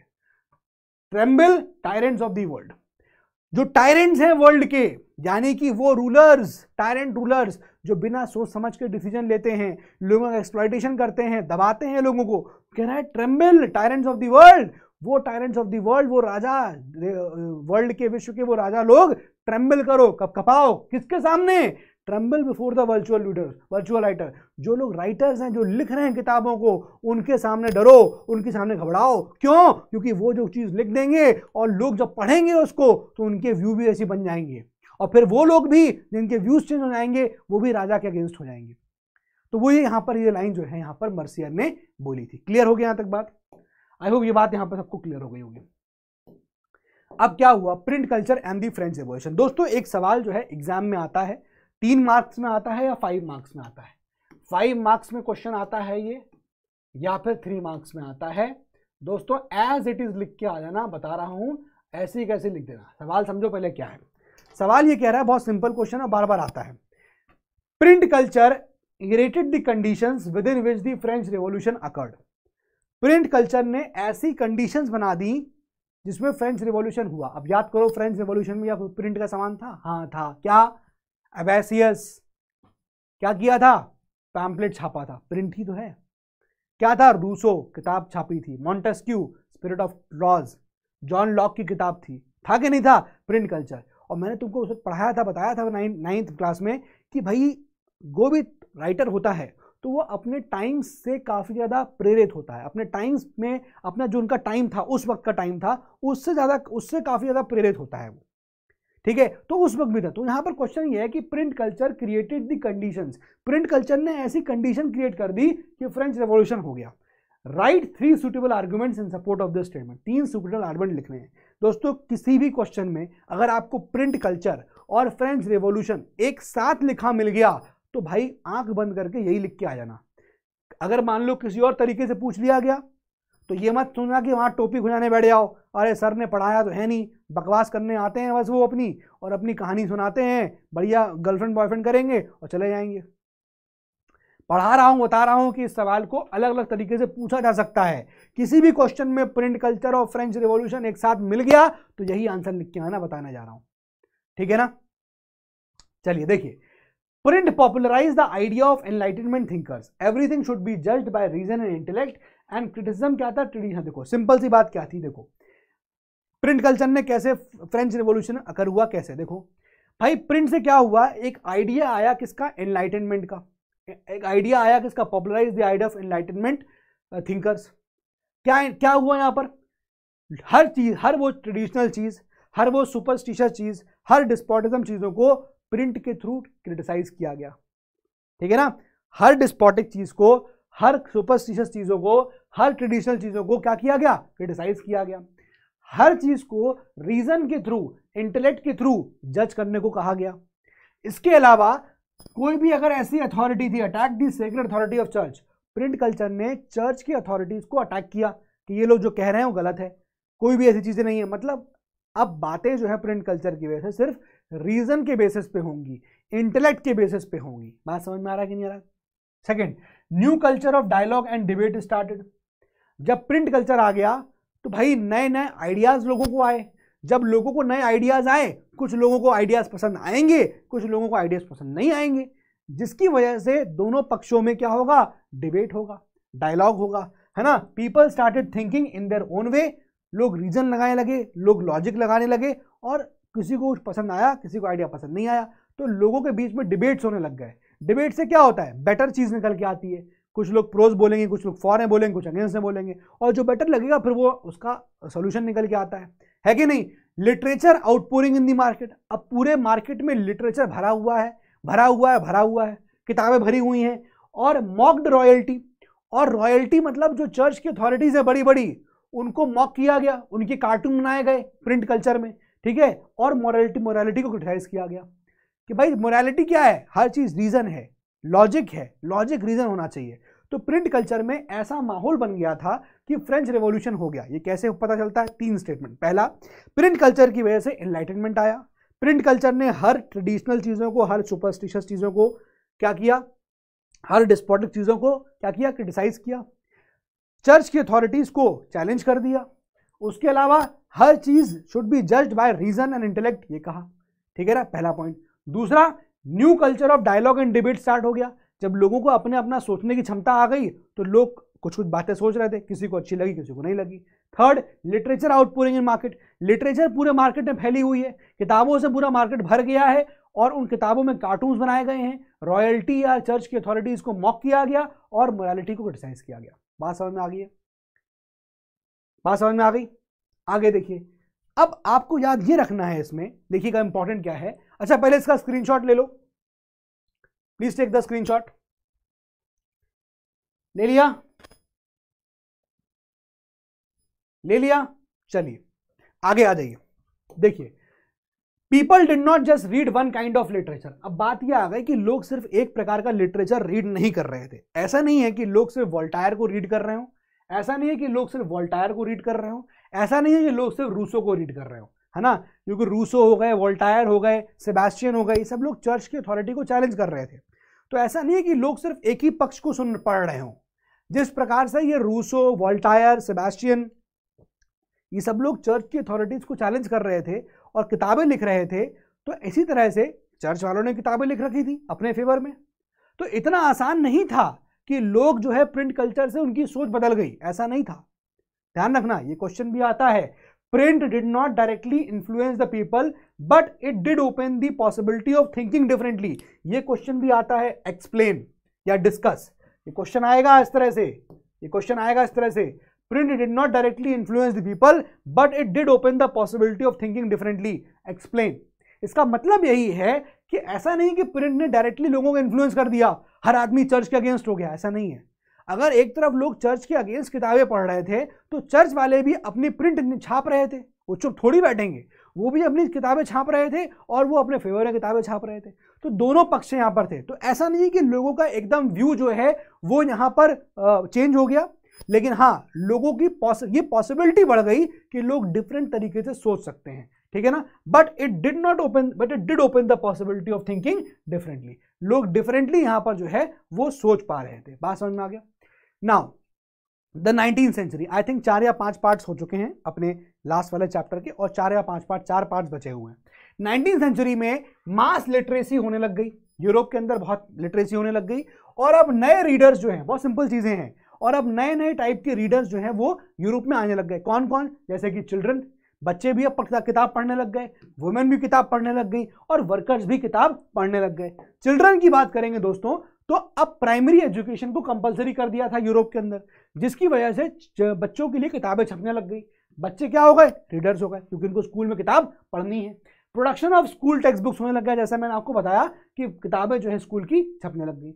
चिल्ड्रन के लिए प्रेस बनाई गई कहाँ पर? फ्रांस में इन 1857 और ये पूरी तरह चिल्ड्रन को डेडिकेट कर दी गई कि बच्चों की किताबें यहाँ छपेंगी। Old fairy tales plus new work इन सबको कंबाइन करके इस प्रिंटिंग प्रेस में चीज़ों को छापा जाता था।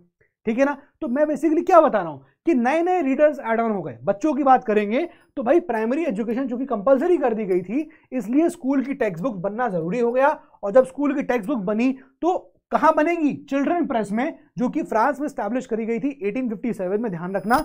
और यहाँ पर ओल्ड फेरी टेल्स और न्यू वर्क इन सबको ज्वाइन कर दिया गया। ठीक है? ग्रिम ब्रदर्स की बात करेंगे तो ग्रिम ब्रदर्स जर्मनी में उन्होंने क्या किया? इन्होंने ट्रेडिशनल स्टोरीज फोक स्टोरीज इन सबको कंपाइल किया। अगर कहीं किताब ऐसा नहीं कि सेम एज इट इज़ लिख देते होंगे, बहुत सारी चीज़ें चेंज भी करते हैं। क्यों? मान लो कोई ऐसी चीज़ है जो बच्चों के लिए सही नहीं है। गंदी बातें हैं नॉटी नॉटी थिंग्स हैं। है ना? तो वो चीज़ें किताबों में नहीं छाप सकते। तो क्या करते थे चिल्ड्रन के लिए? Anything which was unsuitable for children उनको उसको वहाँ से एडिट कर देते थे। ठीक है ना? और to the elite was not publish in the books उसको वहाँ पर छापते ही नहीं थे। तो इस तरह से चीज़ों, चीज़ें जो है बच्चों के लिए भी यहाँ पर चेंज होती रही। वुमेन की बात करेंगे वुमेन ही बहुत इंपॉर्टेंट रीडर्स हो गई। पेनी मैगजीन्स जो है वुमेन के लिए छपने लग गई, है ना? और वुमेन कौन कौन यहाँ पर वुमेन राइटर्स थे? जैसे कि Jane Austen the Bronte sisters and George Eliot ये देखिए, तीन वुमेन राइटर्स के नाम भी आपके एनसीईआरटी e में आता है। तीन एनसीआर राइटर्स भी आते हैं।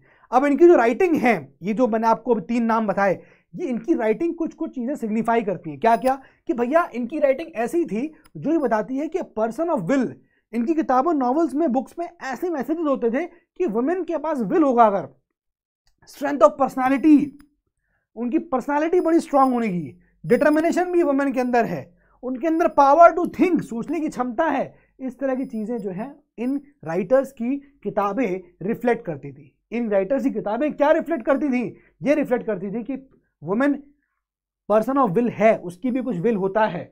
स्ट्रेंथ पर्स है उनके पास पर्सनालिटी में डिटर्मिनेशन है और टू पावर टू थिंक भी उनके पास है। बात समझ में आ गया? क्लियर है? अब लैंडिंग लाइब्रेरीज की बात आती है। अब देखिए हाँ लैंडिंग लाइब्रेरीज का क्या सिस्टम है?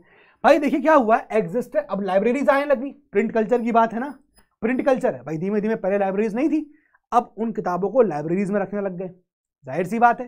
जरा देखिए यहाँ पर क्या हुआ। Lending libraries existence in the seventeen century onwards seventeen century से लैंडिंग लाइब्रेरीज स्टार्ट की गई। क्या कॉन्सेप्ट था? मतलब सेवनटीन सेंचुरी में लैंडिंग लाइब्रेरीज आई, नाइनटीन सेंचुरी में क्या हुआ, इंग्लैंड में लैंडिंग लाइब्रेरी शुरू करी गई और इन लाइब्रेरीज का इस्तेमाल करते थे काहे के लिए, व्हाइट कॉलर वर्कर्स को पढ़ाने के लिए। ठीक है ना? व्हाइट कॉलर वर्कर्स हो गए आर्टिसंस हो गए लोअर मिडिल क्लास इन सबको पढ़ाने के लिए ये लाइब्रेरीज का इस्तेमाल करते हैं। इसलिए इनका नाम है लैंडिंग लाइब्रेरीज लाइब्रेरीज को लैंड किया गया ताकि व्हाइट कॉलर व्हाइट कॉलर मतलब जो बढ़िया जो बढ़िया शोरूम्स में काम करते हैं वर्कर्स ठीक है? व्हाइट कॉलर वर्कर्स हो गए आर्ट भाई उनको पढ़ाओ लिखाओगे तब तो शोरूम में काम करने लायक बनेंगे। है ना? वरना पर ऐसे ही होंगे जो एकदम बीडी पी के बैठे होंगे। तो white collar workers artisans and middle class को low middle low lower middle class को पढ़ाने के पढ़ाने के काम आती थी ये लैंडिंग लाइब्रेरीज ये इंस्टीट्यूशंस ठीक है? मिड एटीन सेंचुरी में देखोगे वर्किंग आवर्स जब रिड्यूस कर दिए गए थे मिड एटीन सेंचुरी यूरोप में क्या हुआ? लोग अगर काम कर रहे हैं फॉर एग्ज़ाम्पल लोगों की नौकरी का टाइम है नाइन से नाइन नौ से नौ, सुबह नौ ए से लेकर रात को नौ पी तक लोग काम कर रहे हैं। वर्किंग आवर्स रिड्यूस कर दिए गए। क्या किया working hours working hours reduce कर दिया गया 9 एम से लेकर 6 पीएम तक। अब लोग, लोगों का क्या हुआ? वर्किंग आवर रिड्यूस हो गए। तो जो टाइम लोगों के पास बचा, उस टाइम में लोगों ने पढ़ाई करना स्टार्ट कर दी। मतलब किताबें पढ़ना शुरू कर दी। तो मिड एटीन सेंचुरी में जब वर्किंग आवर्स रिड्यूस कर दिए गए शॉर्टन कर दिए गए now these workers had time for self improvement and self expression अब यही वर्कर्स जो नौ से नौ काम कर रहे थे, अब नौ से छह काम करेंगे तो तीन घंटे इनके पास एक्स्ट्रा थे, वो अपने एक्सप्रेशन और अपने ऊपर सेल्फ इंप्रूवमेंट पे काम कर सकते थे और इसके लिए वो लाइब्रेरीज का इस्तेमाल करते जा जाके पढ़ते थे। यही काम होता था, देखो लैंडिंग लाइब्रेरीज में। व्हाइट कॉलर वर्कर्स को पढ़ना दिया जाता था। बात समझ में आ गया? क्लियर हो गया? आगे आ जाइए। अब देखो प्रेस का डेवलपमेंट यहाँ पर शुरू होता है। फर्दर इनोवेशन कैसे कैसे इनोवेशन हुए? अब अलग अलग प्रकार की प्रेस बनने लग गई। डिफरेंट डिफरेंट टाइप की प्रेस बनने लग गई। देखो जरा press development end of eighteen century press अब प्रेस जो है वो मेटल्स की बनने लग गई। अभी तक प्रेस डिफरेंट टाइप की थी। लेकिन एटीन सेंचुरी आते आते अब प्रेस जो है वो डिफरेंट तरीके से बनने लगी। कैसे? मेटल्स के थ्रू बनने लग गई। अगर हम बात करें देखो, तीन प्रकार की यहाँ पर हम प्रेस की बात कर रहे हैं। तीन प्रकार के प्रेस की बात। देखो, पहला है सिलेंड्रिकल प्रेस। सिलेंड्रिकल प्रेस जो है, रिचर्ड हो ने बनाई थी और दोस्तों, इसमें 8000 शीट्स पर घंटे छप सकती थी। 8000 शीट्स जो है, पर आवर छप सकती थी। ठीक है? एक प्रकार की प्रेस और बनी थी ऑफसेट प्रेस, इसमें six colours at a time इस्तेमाल हो सकते थे प्रेस में प्रिंटिंग प्रेस में, ठीक है? और फिर इलेक्ट्रिकली ऑपरेटेड प्रेस भी थी, ठीक है? इससे इससे ज़्यादा फास्ट प्रिंटिंग हो सकती थी। तो बेसिकली देखो प्रेस के डेवलपमेंट में और भी कई चेंजेस आए। क्या क्या चेंजेस आए? एटीन सेंचुरी एंड होते होते, अब प्रेस जो है मेटल्स के थ्रू बन रही थी। सिलेंड्रिकल प्रेस ऑफसेट प्रेस और इलेक्ट्रिकल ऑपरेटेड प्रेस क्लियर है? यहाँ तक बात समझ में आ गई? यहाँ तक क्लियर हो गया? आगे आ जाइए। इसका आउटकम क्या देखने को मिला? आउटकम क्या हुआ? इन तीन प्रिंटिंग प्रेस का। ये जो तीन प्रिंटिंग प्रेस आप देख रहे हो ना, जो हमने दिखाई आपको cylindrical press offset press electrically operated press ये भी तीन प्रेस आ गई तो उसका आउटकम क्या हुआ? पहला, जो प्रिंटर्स थे एंड पब्लिशर्स थे, अब उनके पास नई स्ट्रैटेजीज थी, किस प्रकार से वो अपने प्रोडक्ट्स को सेल करें मार्केट के अंदर। ठीक है? New way of writing novels emerge हो गया। नया तरीका आ गया नॉवेल्स को लिखने का। ठीक है? 1920s में आप देखोगे कि इंग्लैंड में चीप बुक्स बिकने पब्लिश होने लगी और उसमें शिलिंग सीरीज़ के बारे में बताया जाने लगा। ठीक है ना? डस्ट कवर और बुक जैकेट ट्वेंटी सेंचुरी में आएगी। और जब ग्रेट इकोनॉमिक डिप्रेशन आया 1930s में, बुक सेल काफ़ी ज़्यादा डिक्लाइन हो गई थी बट जो महँगी किताबें थी और बुक्स बहुत ज़्यादा सस्ती हो गई। जब बुक सस्ती हो गई तो अभी तक जो लोग नहीं खरीद पा रहे थे, वो भी अब किताबों को खरीद सकते थे। बात समझ में आ गया कि नहीं आ गया तक? ये बात क्लियर हो गई कि नहीं क्लियर हो गई? अब यहाँ पर दो मेरे ख्याल से पार्ट बचे दो बचा, एक बचा, जल्दी बताओ। जल्दी बताओ। आदित्य राजपूत कह रहा है आई लव यू जिया बहन के लिए अपना प्यार जो है, आदित्य दिखा रहा है। आदित्य राजपूत जो है, अपनी बहन को बहुत प्यार करता है। उसकी बहन है आदित्य राजपूत की, उसका नाम जिया है। अब आदित्य राजपूत को नहीं पता कि जिया एक लड़के का नाम है। वो रिया नहीं है जिया है। समझ रहे हो? एक्स के पहले आता है एक्स की जस्ट बाद ही आता है जेड तो कोई भी चीज़ अगर एक्स के आसपास होती है, बड़ी खतरनाक होती है, भले ही वो वाई हो या जेड हो। समझ रहे हो, आदित्य? दो पार्ट बचे हैं ना? अबे चार कहाँ से बचे होंगे अजीत कुमार?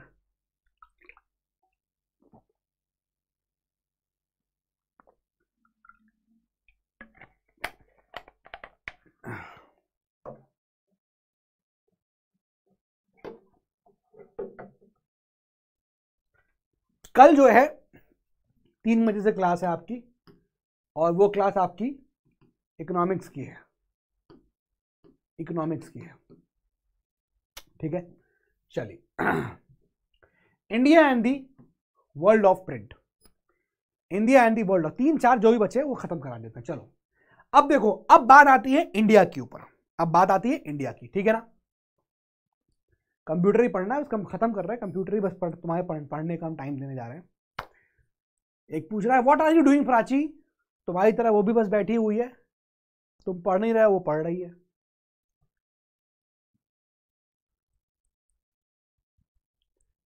समझ रहे हो? एक आता था पहले। एक गेम होता था पहले। ऐसे खेला जाता था। Tippy tippy, top top. होता था ना ऐसे कर खेलते थे। क्या यही बोलते थे ना उसको? भाई, इसमें क्या करते थे? अखबार से अखबार से बना लेते थे और पहले चार कलर होता था उसमें रेड ब्लू ग्रीन कर लो वॉट कलर यू वांट फिर आदमी एक कलर चूज़ करता था। फिर उसके बाद दूसरा फिर उसमें नंबर लिख देते थे। One two three four what colour you want फिर पता चलता था अब करना क्या है। तो वही तुम लोग हो बस, अभी उसी लेवल पे हो तुम लोग। टिपी टिपी टॉप टॉप खिलाओ बस। चलिए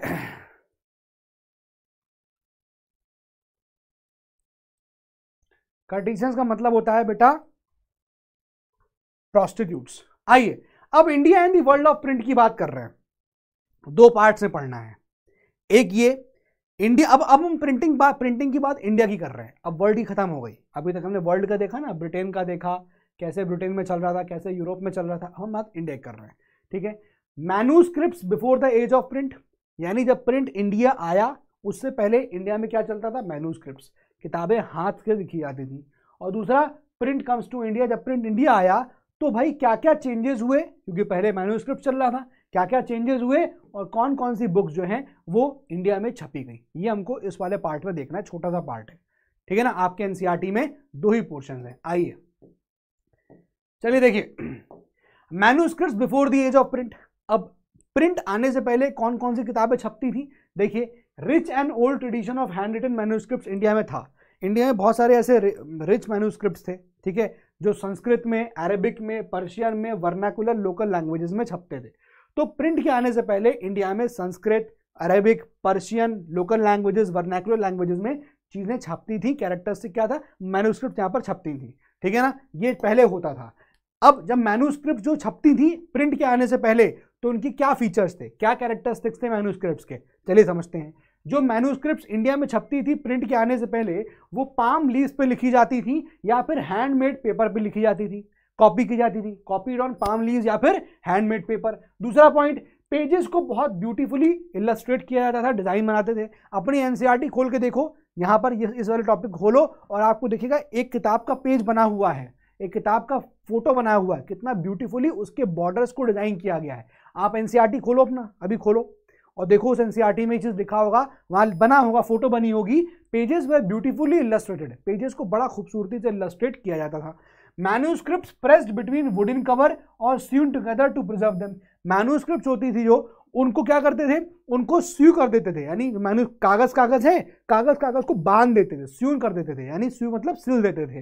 ठीक है? और उनको वुडन कवर के बीच में रखते थे, ताकि पेजेस मुड़े ना। भाई, आपके भी, आप देखो कवर पुट्ठे का होता है ना, पुट्ठा कवर कार्डबोर्ड कवर होता है। तो भैया पीछे, बीच में पेजेस हैं मैन्यूस्क्रिप्ट हैं, और उनको कवर किया जाता था किससे? वुडन कवर से, लकड़ियों की। कभी पुरानी ऐसे हॉलीवुड मूवीज़ देखोगे, है ना, जैसे कि लॉर्ड ऑफ़ द रिंग्स हो गया, ठीक है इसका किताबें। तो वहाँ देखते हो, पुरानी किताबें दिखाई जाती हैं। तो एक एक किताब लाते हैं, बहुत पुराने मैप मैप की किताबें होगी अगर नक्शा दिखाएगी तो उसमें या जंगल या फिर अगर किसी ने जुमैन जी देखी है तो बड़ी बड़ी ऐसे किताबें खोली जाती हैं, लकड़ियों कवर होता है उस पर ठीक है? या फिर उसको प्रिजर्व करने के लिए, इसलिए ताकि वो खराब ना हो, फटे ना, इसलिए उसको प्रिजर्व करने के लिए क्या किया जाता है? वुडन कवर में रखा जाता है, ठीक है ना? और उनको सिल दिया जाता है। फिर उसका fourth point production continued even after the introduction of print अब जब प्रिंट आ गया, उसके बाद भी इंडिया में इस तरह से मैन्यूस्क्रिप्ट का प्रोडक्शन चलता रहा even after coming of the print print के आने के बाद भी फिर भी हैंड मैन्यूस्क्रिप्ट जो है इंडिया में बिकते रहे। उसके अलावा ये जो किताबें थी मैन्यूस्क्रिप्ट जैसे बताया, क्योंकि हाथ से लिखी जा रही हैं, इसलिए हाईली एक्सपेंसिव थी और फ्रेजाइल थी, नाजुक थी। ठीक है ना? हाईली एक्सपेंसिव फ्रेजाइल थी। Could not be read easily क्योंकि डिफरेंट स्टाइल ऑफ़ राइटिंग यहाँ पर होता आसानी नहीं, आसानी से पढ़ी नहीं जा सकती हैं। क्यों? क्योंकि हर राइटर की अपनी अलग अलग राइटिंग होती है। इसलिए इसको रीड करना बड़ा ही यहाँ पर मुश्किल होता था। क्लियर है? अब जब प्रिंटिंग इंडिया में आ गई, तब क्या हुआ? पहली बार प्रिंटिंग कहाँ आई? फ़र्स्ट केम टू गोवा कौन लेके आया? पोर्चुगीज अपने मिशन मिशनरीज के थ्रू है ना? प्रिंटिंग प्रेस कहाँ? इंडिया में आई। कब? मिड सिक्सटीन सेंचुरी में। जब प्रिंटिंग प्रेस इंडिया में आई तो कौन कौन सी किताबें छपी? नंबर वन जी जेस्यूट परजिट जेस्यूट परजिट छपी किसमें कोनकणी में। बाय 1674 आप देखोगे कनारा लैंग्वेज में किताब छप गई थी। कॉनकड़ी में छप गई थी, है ना? ये सब चीज़ें जो है छप गई थी और आप देखो कम से कम 50 बुक्स यहाँ पर क्या हो गई थी? 50 लैंग्वेजेस में किताबें यहाँ पर छपी हुई थी। 50 लैंग्वेजेस में किताबें यहाँ पर छपी हुई थी। ठीक है? तो ध्यान रखिएगा कि जी अच्छा ये पूछ पूछ सकता है जी स्वीट पर प्रीस्ट क्या होते हैं? मेंबर होते हैं सोसाइटी ऑफ़ जीसस के। ठीक है? बहुत टेक्निकल चीज़ें आपको उसको नहीं जाना है। सिंपल समझना है कि भाई जब प्रिंट इंडिया आ गया, यानी प्रिंटिंग प्रेस जब इंडिया आ गई तो पहली मिड सिक्सटीन सेंचुरी में आई और कौन लेके आया? फ़र्स्ट केम टू गोवा कौन लेके आया? पोर्चुगीज अपने मिशनरीज के थ्रू तो जब किताब आई, जब प्रिंटिंग प्रेस आ गई तो कौन कौन सी किताबें छपी?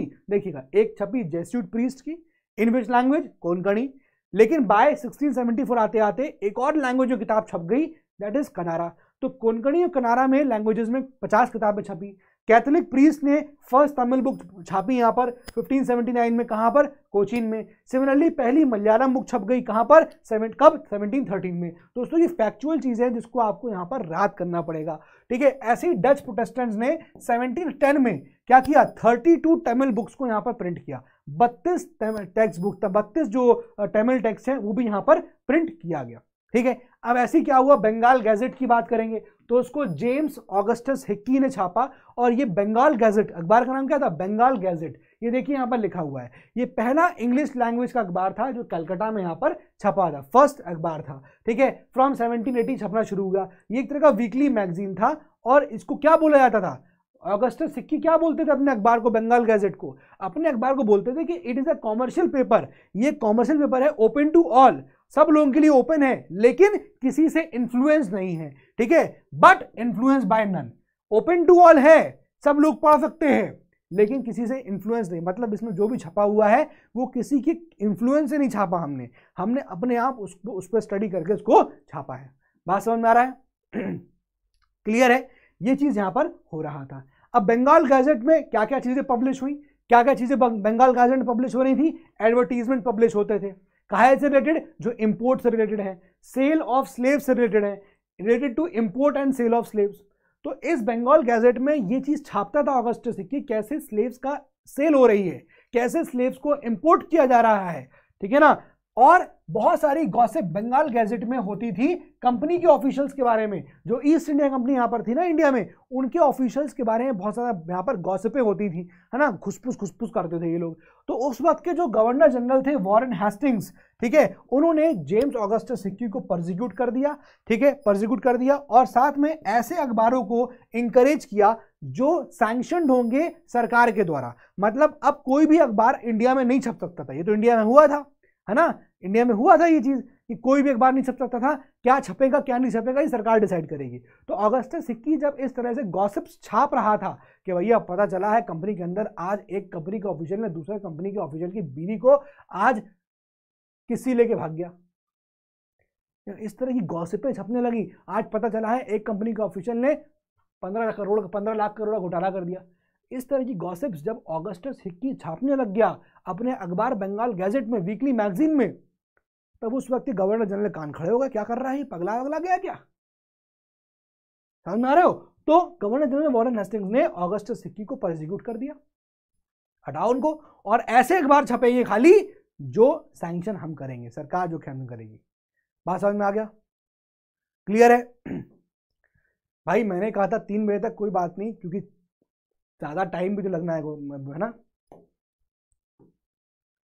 चलिए, अब आते हैं हम लोग religious reforms and public debates अब देखो सिंपल सिंपल सी चीज़ें हैं। अब ज़्यादा किताबें छपेंगी, ज़्यादा आइडियाज़ होंगे तो ज़ाहिर सी बात है रिलीजियस डिबेट्स भी होंगे, है ना? डिबेट शुरू होगा रिलीजियस प्रैक्टिसेस के अराउंड कुछ लोग कह रहे थे हमको रिलीजियस रीजन में चेंजेस चाहिए, कुछ लोग कह रहे थे चेंजेस नहीं चाहिए। सम क्रिटिसाइज एग्जिस्टिंग प्रैक्टिसेस कि ये गलत प्रैक्टिस है, ये प्रैक्टिस नहीं होनी चाहिए। कंपनी कैंपेन फॉर रिफॉर्म्स कुछ लोग रिफॉर्म चाह रहे थे कि भैया चेंज करो, ये प्रैक्टिस हमको नहीं चाहिए। कुछ लोग उसके अगेंस्ट में थे। Other counter the arguments of reformers कि नहीं, हमें रिफॉर्म नहीं चाहिए। तो बेसिकली क्या हुआ कि प्रिंट कल्चर की वजह से काफ़ी डिबेट्स बढ़ गए। Debates in the print and in public spread in ideas हुआ wider public could participate in debate तो बेसिकली प्रिंट कल्चर से क्या इंपैक्ट पड़ा? डिबेट्स बढ़ गए थे। डिबेट्स बहुत होने लग गए थे। है कि नहीं? डिबेट्स बहुत ज़्यादा होने लग गए थे, क्योंकि लोग अपने अपने व्यूज़ को यहाँ पर रख पा रहे थे। क्लियर है? तो ऐसे में क्या हुआ कि बहुत एक ऐसा टाइम आ गया इंडिया में, जब it was the time of intense controversies बहुत ज़्यादा कॉन्ट्रोवर्सी होने लग गई। क्यों कॉन्ट्रोवर्सी होने लग गई? क्योंकि एक तरफ़ सोशल रिलीजियस रिफॉर्मर्स थे, जो रिफॉर्म चाह रहे थे, और एक तरफ़ ऑर्थोडॉक्स लोग थे ऑर्थोडॉक्स हिंदू, जो चेंज नहीं चाह रहे थे। तो क्या क्या इश्यूज़ थे? What was the issue what was the debating issue क्या कॉन्ट्रोवर्सीज थी? Number one widow immolation widow को क्यों बलि देनी चाहिए, कुर्बानी देनी चाहिए? अगर उसका हस्बैंड मर जाता है तो। मोनोथीज्म एक भगवान में विश्वास क्यों रखें हम लोग? ठीक है? तीसरा ब्राह्मिकल प्रीस्टुड पुजारी के ऊपर इशू हो गया आइडोल्ट्री मूर्ति पूजा, ये सब इश्यूज़ थे, उस वक्त इंटेंस कॉन्फ्लिक्ट के इश्यूज़ रेज हो गए। जब अंग्रेज़ इंडिया में थे, है ना? कितनी बड़ी इश्यूज़ आ गए थे, सती प्रैक्टिस को खत्म करना, ये सब के इश्यूज़ जो है उस वक्त यहाँ पर आने लग गए थे। बात समझ में आ गया? अब बैटल ग्राउंड क्या था? बंगाल। ये सारा जो लड़ाई चल रही थी रिलीजन को लेकर या फिर प्रैक्टिसेस को ख़त्म करना, सती प्रैक्टिस ख़त्म करना फीमेल फिटिसाइड ख़त्म करना स्लेवरी ख़त्म करना, ये सारी बैटल कहाँ हो रही थी बंगाल में? And Bengal is the battle ground क्योंकि वहाँ पर बहुत इंटेलेक्चुअल पैदा हुए हैं। और बंगाल में इंटेलेक्ट्स के बीच में लड़ाई स्टार्ट हो गई।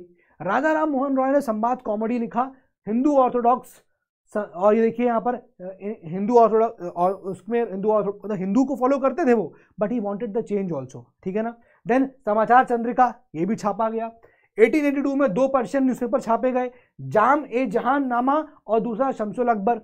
फिर देखिए, गुजराती न्यूज़पेपर था, बॉम्बे समाचार, ये भी छापा गया। तो बंगाल एक बैटल ग्राउंड था जहाँ पर सब चीज़ें छप रही थी, यानी मेनली वैसे तो पूरे इंडिया में छप रही थी but Bengal was mainly the main battle ground clear है? अब मुस्लिम्स क्या सोच रहे थे? मुस्लिम्स कह रहे थे कि भैया, ये प्रिंट कल्चर की वजह से क्या हो रहा है? हमारे रिलीजन को चेंज कर देंगे। हमारे रिलीजन को ये एडिट करना चाहते हैं कोडिफाई करना चाह रहे हैं। हमारे रिलीजन को लिखना चाह रहे हैं, जैसे हिंदू का, हिंदूज का रिलीजन वो है लॉ है, वैसे ही मुस्लिम्स का भी लॉ बनना चाहता है, बनाना चाहते हैं। तो हिंदूज में जो, मुस्लिम्स में जो उलेमास थे, है ना? जो उलेमास थे, वो बड़े एंशियस हो गए कि भैया, ऐसे तो मुस्लिम डायनेस्टीज का डाउनफॉल हो जाएगा। घबरा गए वो कि क्या करें? तो क्या हुआ? फियर ऑफ़ कन्वर्जन आ गया उनके अंदर। कि भैया, ऐसी किताबें छप रही हैं, लोग उसको पढ़ रहे हैं कन्वर्ट हो जाएँगे। Fear of conversion and change in Muslim personal law और मुस्लिम पर्सनल लॉ में चेंज हो जाएगा। जैसे हिंदू का मैरिज लॉ अलग है, हिंदू का डिवोर्स लॉ अलग है, वैसे ही मुस्लिम का पर्सनल लॉ अलग है। वो उसको चेंज करना मतलब चेंज करने का सोच रहे हैं। ऐसा उलिमा को लगने लगा। ठीक है ना? इसके लिए क्या किया गया? बहुत चीप लिथोग्राफिक प्रेस बहुत सस्ती चीप लिथोग्राफिक प्रेसेस में सस्ती सस्ती प्रेसेस में किताबें छपवाई गई। अपने फेवर में अपने रिलीजन की फेवर में अपने रिलीजन की बातें बताई गई लोगों तक तो, ठीक है ना? पर्शियन और उर्दू भाषा में अखबार छापे गए उनको ट्रांसलेशन किया गया ट्रांसलेशन ऑफ़ होली स्क्रिप्चर्स मतलब जो लोग होली स्क्रिप्चर्स नहीं पढ़ पा रहे थे तो उनको पर्शियन लैंग्वेज में उर्दू लैंग्वेज में ट्रांसलेट करके दिया गया कि पढ़ो अपने धर्म को जानो ठीक है? देवबंद ने क्या किया देखो देवबंदी ने क्या किया? उन्होंने एक founded in eighteen sixty seven में देवबंदी यहाँ बनी थी सेमिनारी इस्लामिक डॉक्ट्रीन्स को क्या किया उन्होंने? उसके लिए फतवा जारी किया इंस्ट्रक्शन जारी करने लगे। कि भाई क्या क्या हमें करना है। एवरीडे लाइफ जो मुस्लिम्स की होती है वो कैसे होगी, उसके लिए वो फतवा जारी करने लगे। क्या क्या करना चाहिए क्या नहीं। तो ये भी तो प्रिंट कल्चर का पार्ट है। फतवा भी तो लिख के जारी करोगे, ठीक है ना? तो ये भी यहाँ पर क्या हुआ? प्रिंट कल्चर का पार्ट होने लग गया। हिंदूज ने भी यही किया। भाई हिंदूज को भी डर लगने लगा कि जब मुस्लिम्स की इस तरह की चीज़ें आ रही हैं प्रिंट कल्चर में तो हिंदूज ने भी चीप लिथोग्राफिक टेक्स्ट में चीज़ें लिखना शुरू कर दी और अपनी होली स्क्रिप्चर्स के बारे में बताने लग गए स्पेशली इन वर्नाकुलर लैंग्वेजेस ठीक है ना? इंकरेज किया रीडिंग द रिलीजियस टेक्स्ट कि भैया आप भी तो पढ़ो। भगवत गीता अलग अलग जितनी भी धार्मिक किताबें पढ़िए, है ना? फ़र्स्ट प्रिंटेड फ़र्स्ट जो प्रिंटेड एडिशन है रामचरित मानस का, देखिए ऑफ़ तुलसीदास कलकत्ता में छपा 1810 में, है ना? रामचरित मानस यानी राम, भगवान राम के चरित्र के ऊपर है, वो प्रिंटेड में आया, ताकि लोग जाने भगवान राम के बारे में। By mid eighteen century cheap lithographic editions flooded in north Indian market cheap lithographic text पूरे भर गए थे इंडियन नॉर्थ इंडियन मार्केट में, ताकि लोगों को पता चले क्या चल रहा है हमारे रिलीजन के बारे में, लोगों, लोग रिलीजन के बारे में जाने, हिंदू हिंदू रिलीजन के बारे में। है ना? फ्रॉम एटीन एटीज देखिए यहाँ पर, नवल किशोर प्रेस लखनऊ में बनी, श्री श्री वेंकटेश्वर प्रेस बॉम्बे में बनी, इस तरह की चीज़ें जो है यहाँ पर भी डेवलप हो रही थी। बात समझ में आ गया? अब बहुत सारे न्यू फॉर्म्स ऑफ़ पब्लिकेशन सामने आते हैं, वो हमें यहाँ पर डिस्कस करने हैं। अभी बताओ मुझे कितना यहाँ पर बचा हुआ है? एक बचा है कि दो बचा है? बताओ। Yes please new forms of public एक बचा है कि दो बचा है? हाँ जी। जस्टिस फॉर आईटी बस होने वाला है। भाई, हमको भी हो गए हैं यार। दस बजे से हम लोग पढ़ा रहे हैं। साढ़े सात हो गया है। नौ घंटे हो चुके हैं। नौ घंटे से ऊपर हो चुका है यार। थक गए हैं हम लोग भी। तुम लोग तो बैठे हो। दो बचे हुए हैं। ठीक है। ब्रेक तो नहीं चाहिए। ब्रेक ब्रेक स्पैम तो नहीं कर रहे हो। कर दो स्पैम करो स्पैम ब्रेक ब्रेक स्पैम कर दो यार ब्रेक ब्रेक हाँ इंक्लूड करके टू हाँ जी। हाँ जी। ब्रेक तो नहीं चाहिए? पाँच मिनट का। बताओ। No break? अरे, ब्रेक ले लो यार।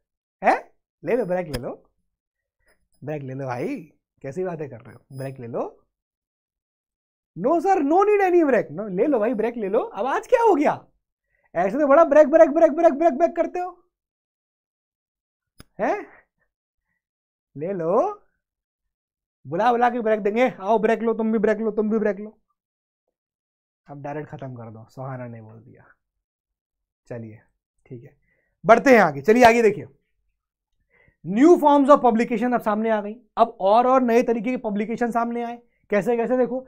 पीपल हु कुड रीड जो लोग पढ़ पा रहे थे printing new kind of publication बहुत सब चीज़ें आ गई। मतलब अब लोग ज़्यादा रीड कर पा रहे थे तो ज़्यादा डिफरेंट डिफरेंट टाइप के पब्लिकेशन सामने आते हैं। नॉवल डेवलप्ड इन यूरोप उसमें बहुत सारे इमोशंस और फीलिंग्स होती थी। देखो, ये नए टाइप के पब्लिकेशन आए। अभी तक पब्लिकेशन कैसे हो रहे थे? कि भैया करंट अफेयर्स में क्या चल रहा है? सरकार क्या कर रही है? रिलीजन में क्या हो रहा है? ये सब चीज़ें हो रही। अभी नॉवल वो वाली नहीं थी। यहाँ पर I love you I love you हो रहा है। नॉवल ऐसी नहीं थी कि एक लड़का था, एक लड़की थी। दोनों मिलते हैं, प्यार होता है, मोहब्बत होती है। ऐसी नॉवल्स नहीं थी। लेकिन अब नए पब्लिकेशन ऐसे आने लग गए, जहाँ पर इमोशंस फीलिंग्स ये सब चीज़ें उन नॉवल्स में आने लग गई। आदमी पढ़ के खुदे रोने लग गया। पता चला आज लड़का पढ़ रहा है, खुदे रोने आदमी उनको आँसू आने लग गए। ठीक है? लिरिक्स शॉर्ट स्टोरीज ऐसे सोशल पॉलिटिकल ये सब भी छपने लग गए। अभी तक ये नहीं छपते थे। ठीक है ना? अभी तक ये सब नहीं छपते थे। थर्ड विजुअल इमेजेस कैलेंडर पे देखो एग्ज़ाम्पल विजुअल इमेजेस कैलेंडर है, पहले खाली कैलेंडर छपता था, अब कैलेंडर के ऊपर फ़ोटो छप जाती है।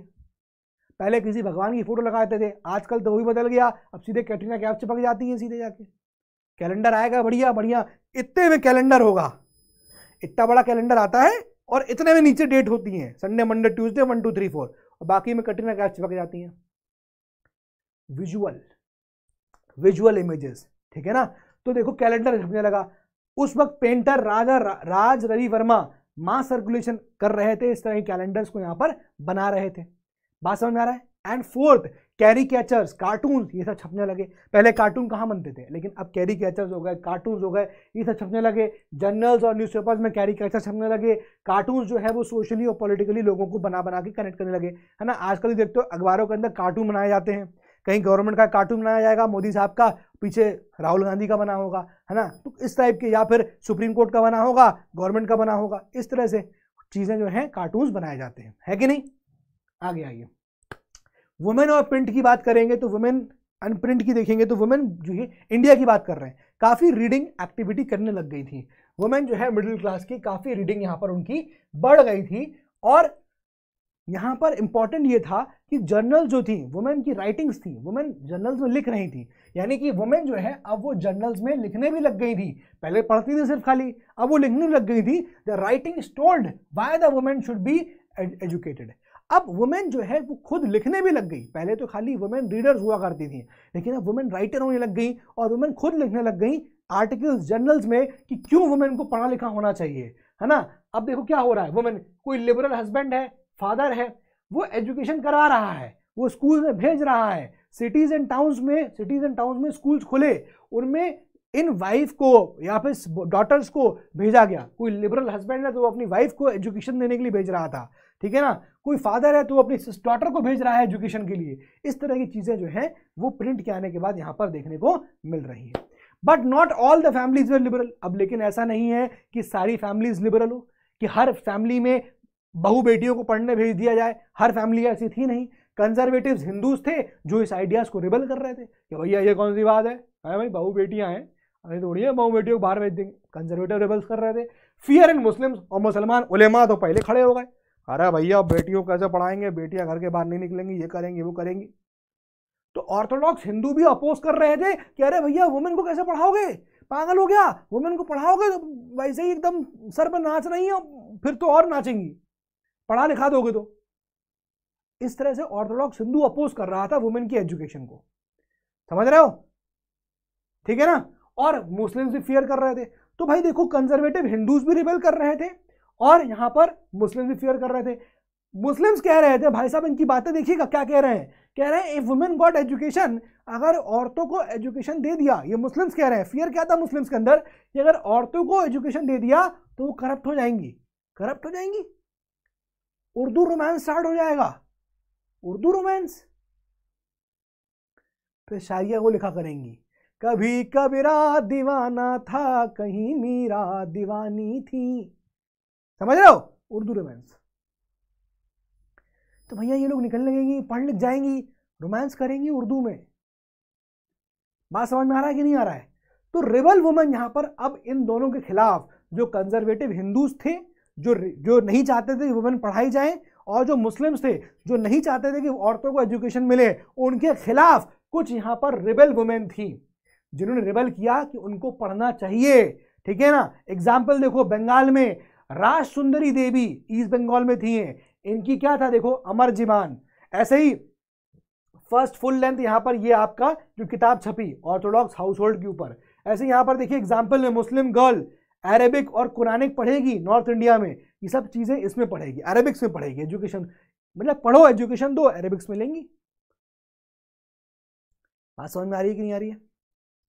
क्लियर है कि नहीं क्लियर है? सोशल रिफॉर्म्स एंड नॉवल्स ना women also now writing about their own life अब वुमेन जो है, वो अपने खुद के लाइफ के बारे में लिखने भी लग गई कि भैया मान लो किसी लोग ने रिबेल किया पढ़ने लिखने नहीं दिया, चाहे हिंदू हो, चाहे मुसलमान हो तो ऐसी लेडीज़ जो है वुमेन वो अपनी लाइफ के बारे में लिखने लग गई। जैसे कि देखिए, ये देखिए, कैलाश बासनी देवी बंगाल की हैं, ताराभाई Shinde and Pandita Ramabai eighteen eighties में लिख रही हैं, तमिल टेक्स्ट भी ऐसे लिखने को आए, जहाँ पर वुमेन अपनी लाइफ के बारे में यहाँ पर लिख रही थी। क्लियर है? अब देखिए, क्या हुआ? कल्चर डेवलप हो गया। उर्दू, तमिल, बंगाली, मराठी, इन सब में चीज़ें लिखाई जाने लगी। हिंदी प्रिंटिंग स्टार्ट हो गई और काफ़ी सीरियसली स्टार्ट हुई। मतलब अभी तक इतनी हिंदी प्रिंटिंग स्टार्ट नहीं थी, लेकिन हमें वुमेन की एजुकेशन के बारे में यहाँ से पता चलना शुरू होता है कि वुमेन को कैसे पढ़ाया गया। ठीक है, बहुत सारे ऐसे जर्नल्स थे जो कि आपके हिंदी प्रिंट में आए थे, वो डेवलप होने लगे। ठीक है, उर्दू में, तमिल में, बंगाली में, मराठी में, इन सब लैंग्वेज में वो वो जर्नल छपे और काफ़ी ज़्यादा हमको वुमेन के एजुकेशन के बारे में यहाँ से पता चलता है। अब इन जर्नल्स में वुमेन के ऊपर क्या क्या इश्यूज़ थे, वो यहाँ पर डिस्कस किए गए हैं, ठीक है ना? वो यहाँ पर डिस्कस किए। क्या क्या इश्यूज़ थे? वुमेन एजुकेशन एक इशू था। Widowhood widow remarriage national movement fashion entertainment ये सारे इशूज थे जो इन जर्नल्स में आते थे। नॉर्मली सी बात है। नॉर्मल सी बात है ना कि भाई वुमेन के क्या इशू हैं? वुमेन फ़ैशन कर सकती हैं कि नहीं कर सकती हैं? ये सारे इशूज जो है यहाँ पर डिस्कस हो रहे थे। क्लियर है? अब फोक लिटरेचर की बात करेंगे तो लोकल लिटरेचर कहाँ तक फैला?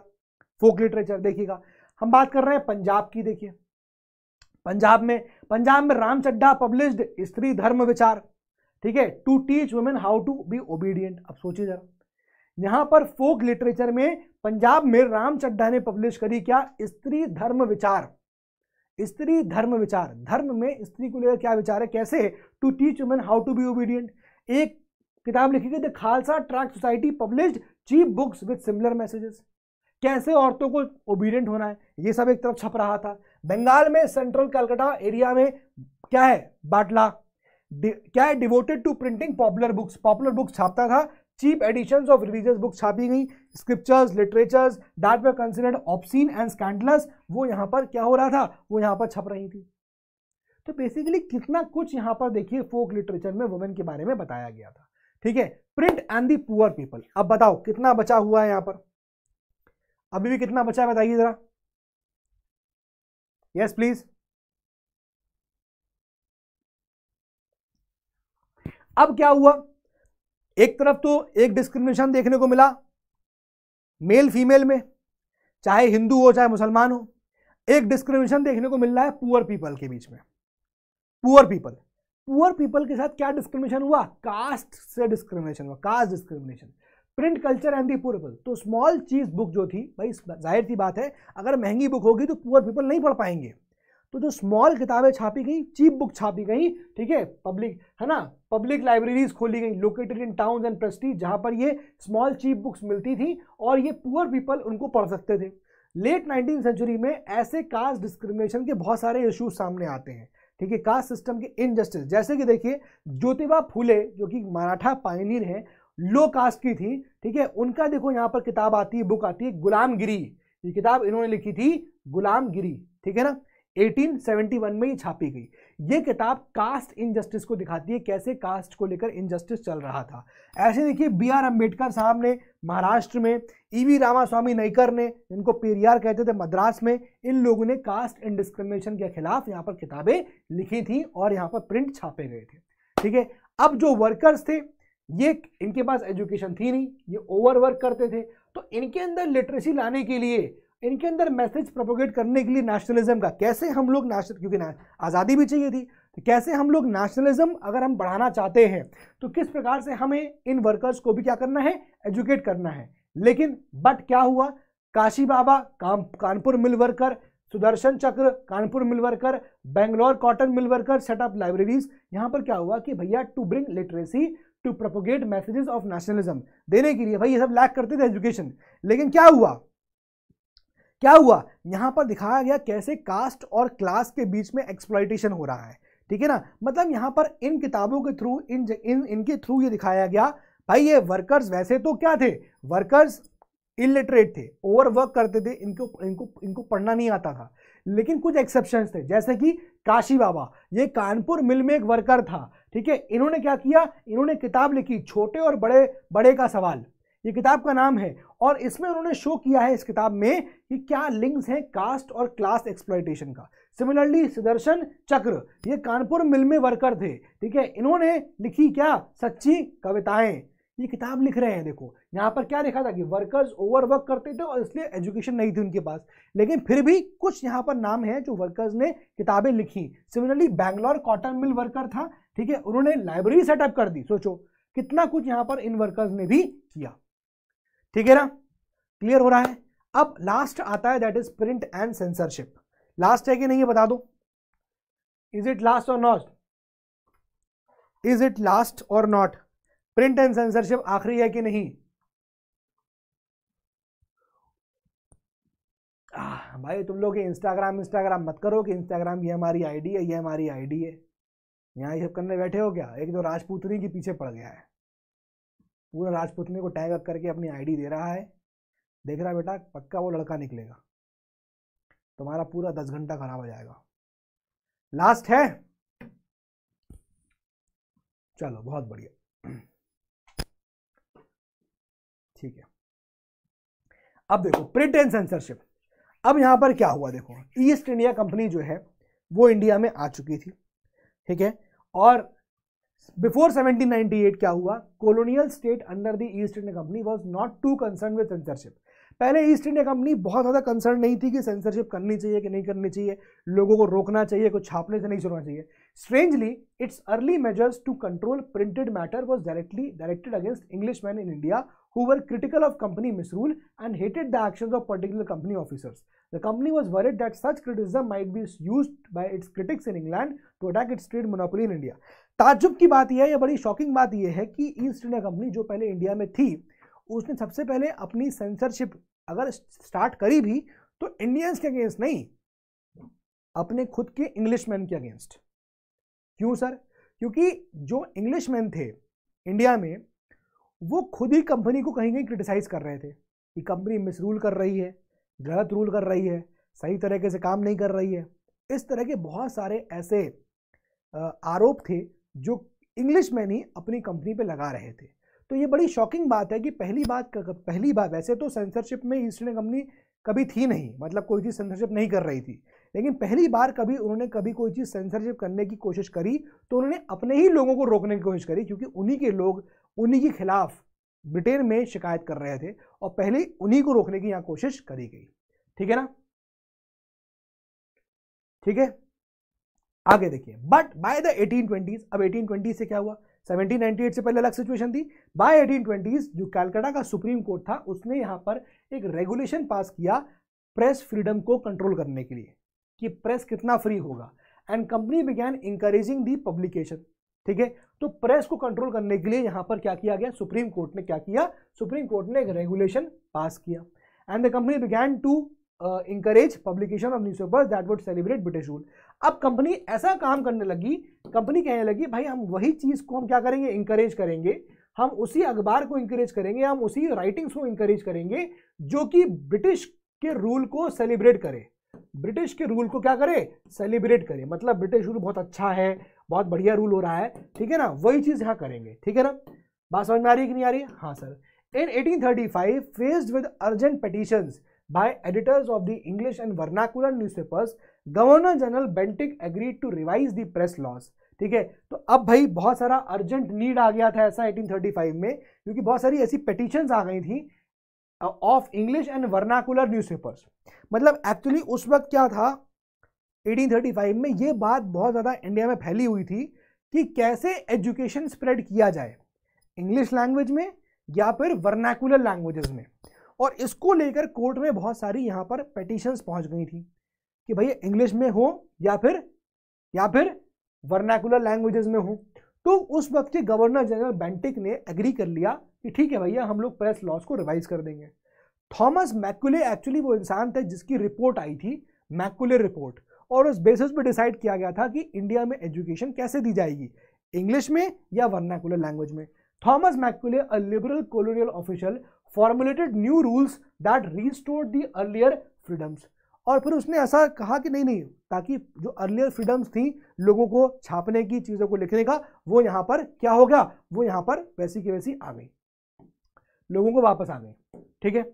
Next after the revolt of 1857 जब 1857 का रिवोल्ट हो गया attitude to freedom of the press change जो एटीट्यूड था फ्रीडम को प्रेस की फ्रीडम को लेकर, वो बदल गया। अभी तक तो बड़ा इजी रवैया था इजी अप्रोच थी या फिर इजी ये बहुत बहुत हल्के तरीके से प्रेस को देखा जा रहा था। लेकिन 1857 जब फ़र्स्ट वॉर ऑफ़ इंडिपेंडेंस हुई, उससे अंग्रेज़ों के कान खड़े हो गए और प्रेस की तरफ़ जो नज़रिया था वो बदल गया। एनरेज्ड इंग्लिश मैन क्योंकि एनरेज मतलब काफ़ी गुस्साए हुए इंग्लिश मैन थे demanded a clamp down on the native press उन्होंने कहा, जो नेटिव प्रेस है नेटिव मतलब जो इंडिया की प्रेस है नेटिव प्रेस मतलब इंडियन प्रेस ये जो नेटिव प्रेस है इंडियन प्रेस उसको खत्म कर दो एकदम। एकदम खत्म कर दो। As vernacular newspaper became assertively nationalist अब चूँकि वर्नाकुलर न्यूज़ पेपर मतलब वो न्यूज़ पेपर जो हमारे इंडिया में वर्नाकुलर लैंग्वेजेस में चल रहे थे चूँकि वो न्यूज़पेपर बहुत ज़्यादा एसर्टिव हो गए थे यानी वो इंडिया के नेशनलिस्ट या, या इंडिया की फ्रीडम के बारे में बात कर रहे थे तो ऑफकोर्स ये ब्रिटिशर्स के लिए गलत था। या उनके लिए बड़ी प्रॉब्लम थी, क्योंकि अखबारों में अगर ब्रिटिशर्स के खिलाफ लिखा जा रहा है और अखबारों में वर्नैकुलर लैंग्वेजेस में इंडिया की आज़ादी की लिखा जा रहा है तो अंग्रेज़ों को दिक्कत तो होगी इससे, ठीक है ना? The colonial government began debating measures of stringent control इसलिए जो कोलोनियल गवर्नमेंट थी या अंग्रेज़ जो थे, वो स्ट्रिंजेंट कंट्रोल रखने लग गए। इन 1878 एक वर्नाकुलर प्रेस एक्ट पास किया जाता है on the model on the Irish press law जैसा आयरिश का प्रेस लॉ था, उसी मॉडल पे एक वर्नाकुलर प्रेस एक्ट पास किया गया और उसमें यह लिखा गया था it provided the government with extensive rights government को बहुत एक्सटेंसिव राइट्स दे दिए गए कि वो कोई भी ऐसी रिपोर्ट्स का या एडिटोरियल को सेंसर कर सकती है अगर उसको लगता है कि वो उसके खिलाफ है। फ्रॉम नाउ ऑन गवर्नमेंट अब रेगुलर ट्रैक कर सकती है सारे वर्नाकुलर न्यूज़पेपर्स का जो पब्लिश हो रहा है डिफरेंट डिफरेंट प्रोविंसेस में। जब भी कोई रिपोर्ट जज की जाती थी कि सडिशियस है, यानी सरकार के खिलाफ है तो उसके न्यूज़पेपर को वार्न किया जाता था और फिर भी अगर वो उस वार्निंग को इग्नोर कर दे अखबार, नहीं सुने, फिर भी अगर उसको इग्नोर कर दे तो फिर उस अखबार को क्या करते थे? सीज कर लिया जाता था। ये चीज़ यहाँ पर चलती थी। क्लियर हो रहा है बात यहाँ पर? पाँच समझ में आ गया? लास्ट पॉइंट है कि भाई, बता दिया मैंने आपको। ये बता दिया। वर्नाकुलर प्रेस एक्ट 1878 का nothing against government can be published अगर पब्लिश हो रहा है पहली बार वार्निंग देंगे सेकंड बार में सीज कर लेंगे। ठीक है? इस वर्नाकुलर प्रेस एक्ट के बावजूद डिस्पाइट दिस एक्ट स्टिल बहुत सारे ऐसे नेशनल न्यूज़पेपर थे जो कंटिन्यू करते रहे ग्रो होते चले गए। ठीक है ना? बहुत सारे इस तरह के एक्ट मतलब इस, इस तरह का एक्ट बनाया गया कि कोई भी अगर छापेगा अखबार हमारे अगेंस्ट तो उसके अखबार को हम सीज कर देंगे। फिर भी लोग छाप रहे थे फिर भी लोग यहाँ पर उसको छापा जा छाप जा रहे थे। ठीक है? तो कॉलोनियल मिसरूल बहुत ज़्यादा रिपोर्ट होने लगे। कि कॉलोनियल मिसरूल हो रहा है, ठीक है? रिपोर्ट होने लगे नेशनलिस्ट न्यूज़ न्यूज़पेपर्स को क्रश कर दिया गया। नेशनलिस्ट नेशनलिस्ट न्यूज़पेपर्स जो उनके अगेंस्ट छाप रहे थे, उनको दबा दिया क्रश कर दिया गया। अटेम्प्ट किया गया मिलिटेंट प्रोटेस्ट यहाँ पर हुआ। एग्ज़ाम्पल देखिए 1907 में, देखिए क्या लिखा हुआ है? बलंगा गधन, ये यहाँ पर लिखा देखिए सॉरी यहाँ देखिए क्या लिखा हुआ है? Attempt to throttle nationalist criticism provoked militant protest militant protest यहाँ पर और, जब मिलिटेंट प्रोटेस्ट होने लग गया तो और यहाँ पर क्या किया उनको? थ्रॉटल कर दिया नेशनलिस्ट को। This in turn led to renewed cycle of prosecution and protest when Punjab revolutionaries were deported in 1907 Bal Gangadhar Tilak wrote the great sympathy about them in Kesari तो एग्जांपल देखिए 1907 में बाल गंगाधर तिलक ने क्या लिखा? केसरी लिखा। क्या लिखा? केसरी लिखा। वेरी वेरी इंपॉर्टेंट बाल गंगाधर तिलक ने क्या लिखा? केसरी लिखा। And this led to jail in 1907 उन्होंने इतने वार्निंग के बाद भी केसरी लिखा। है ना? और इस वजह से उनको क्या हो गया? जेल हो गई 1908 में पीपल प्रोटेस्ट इन रिटर्न और लोगों ने इसके बदले में यहाँ पर बहुत सारा प्रोटेस्ट किया और प्रोटेस्ट करते चले गए। ठीक है? सो दिस इज़ इट ये हमारा चैप्टर जो है वो खत्म होता है। और हमारा आज का हिस्ट्री का जो एंटायर जो चैप्टर है सब्जेक्ट्स का, वो यहाँ खत्म हो गया। कल आपका होगा सिविक्स सॉरी, कल होगा आपका इकोनॉमिक्स शिगरत मैम और जोगिंदर सर फिर आएँगे और दो सब्जेक्ट्स आपके करवाएँगे। परसों फोर्टीन को हम और कुणाल सर फिर आएँगे और आपकी जोग्राफी करवाएँगे। और फिफ्टींथ को भी आपके साथ आपके लिए कुछ होने वाला है। ठीक है? ठीक है जी? अब हम बुला लेते हैं सर को। सर यहाँ पर आएँगे।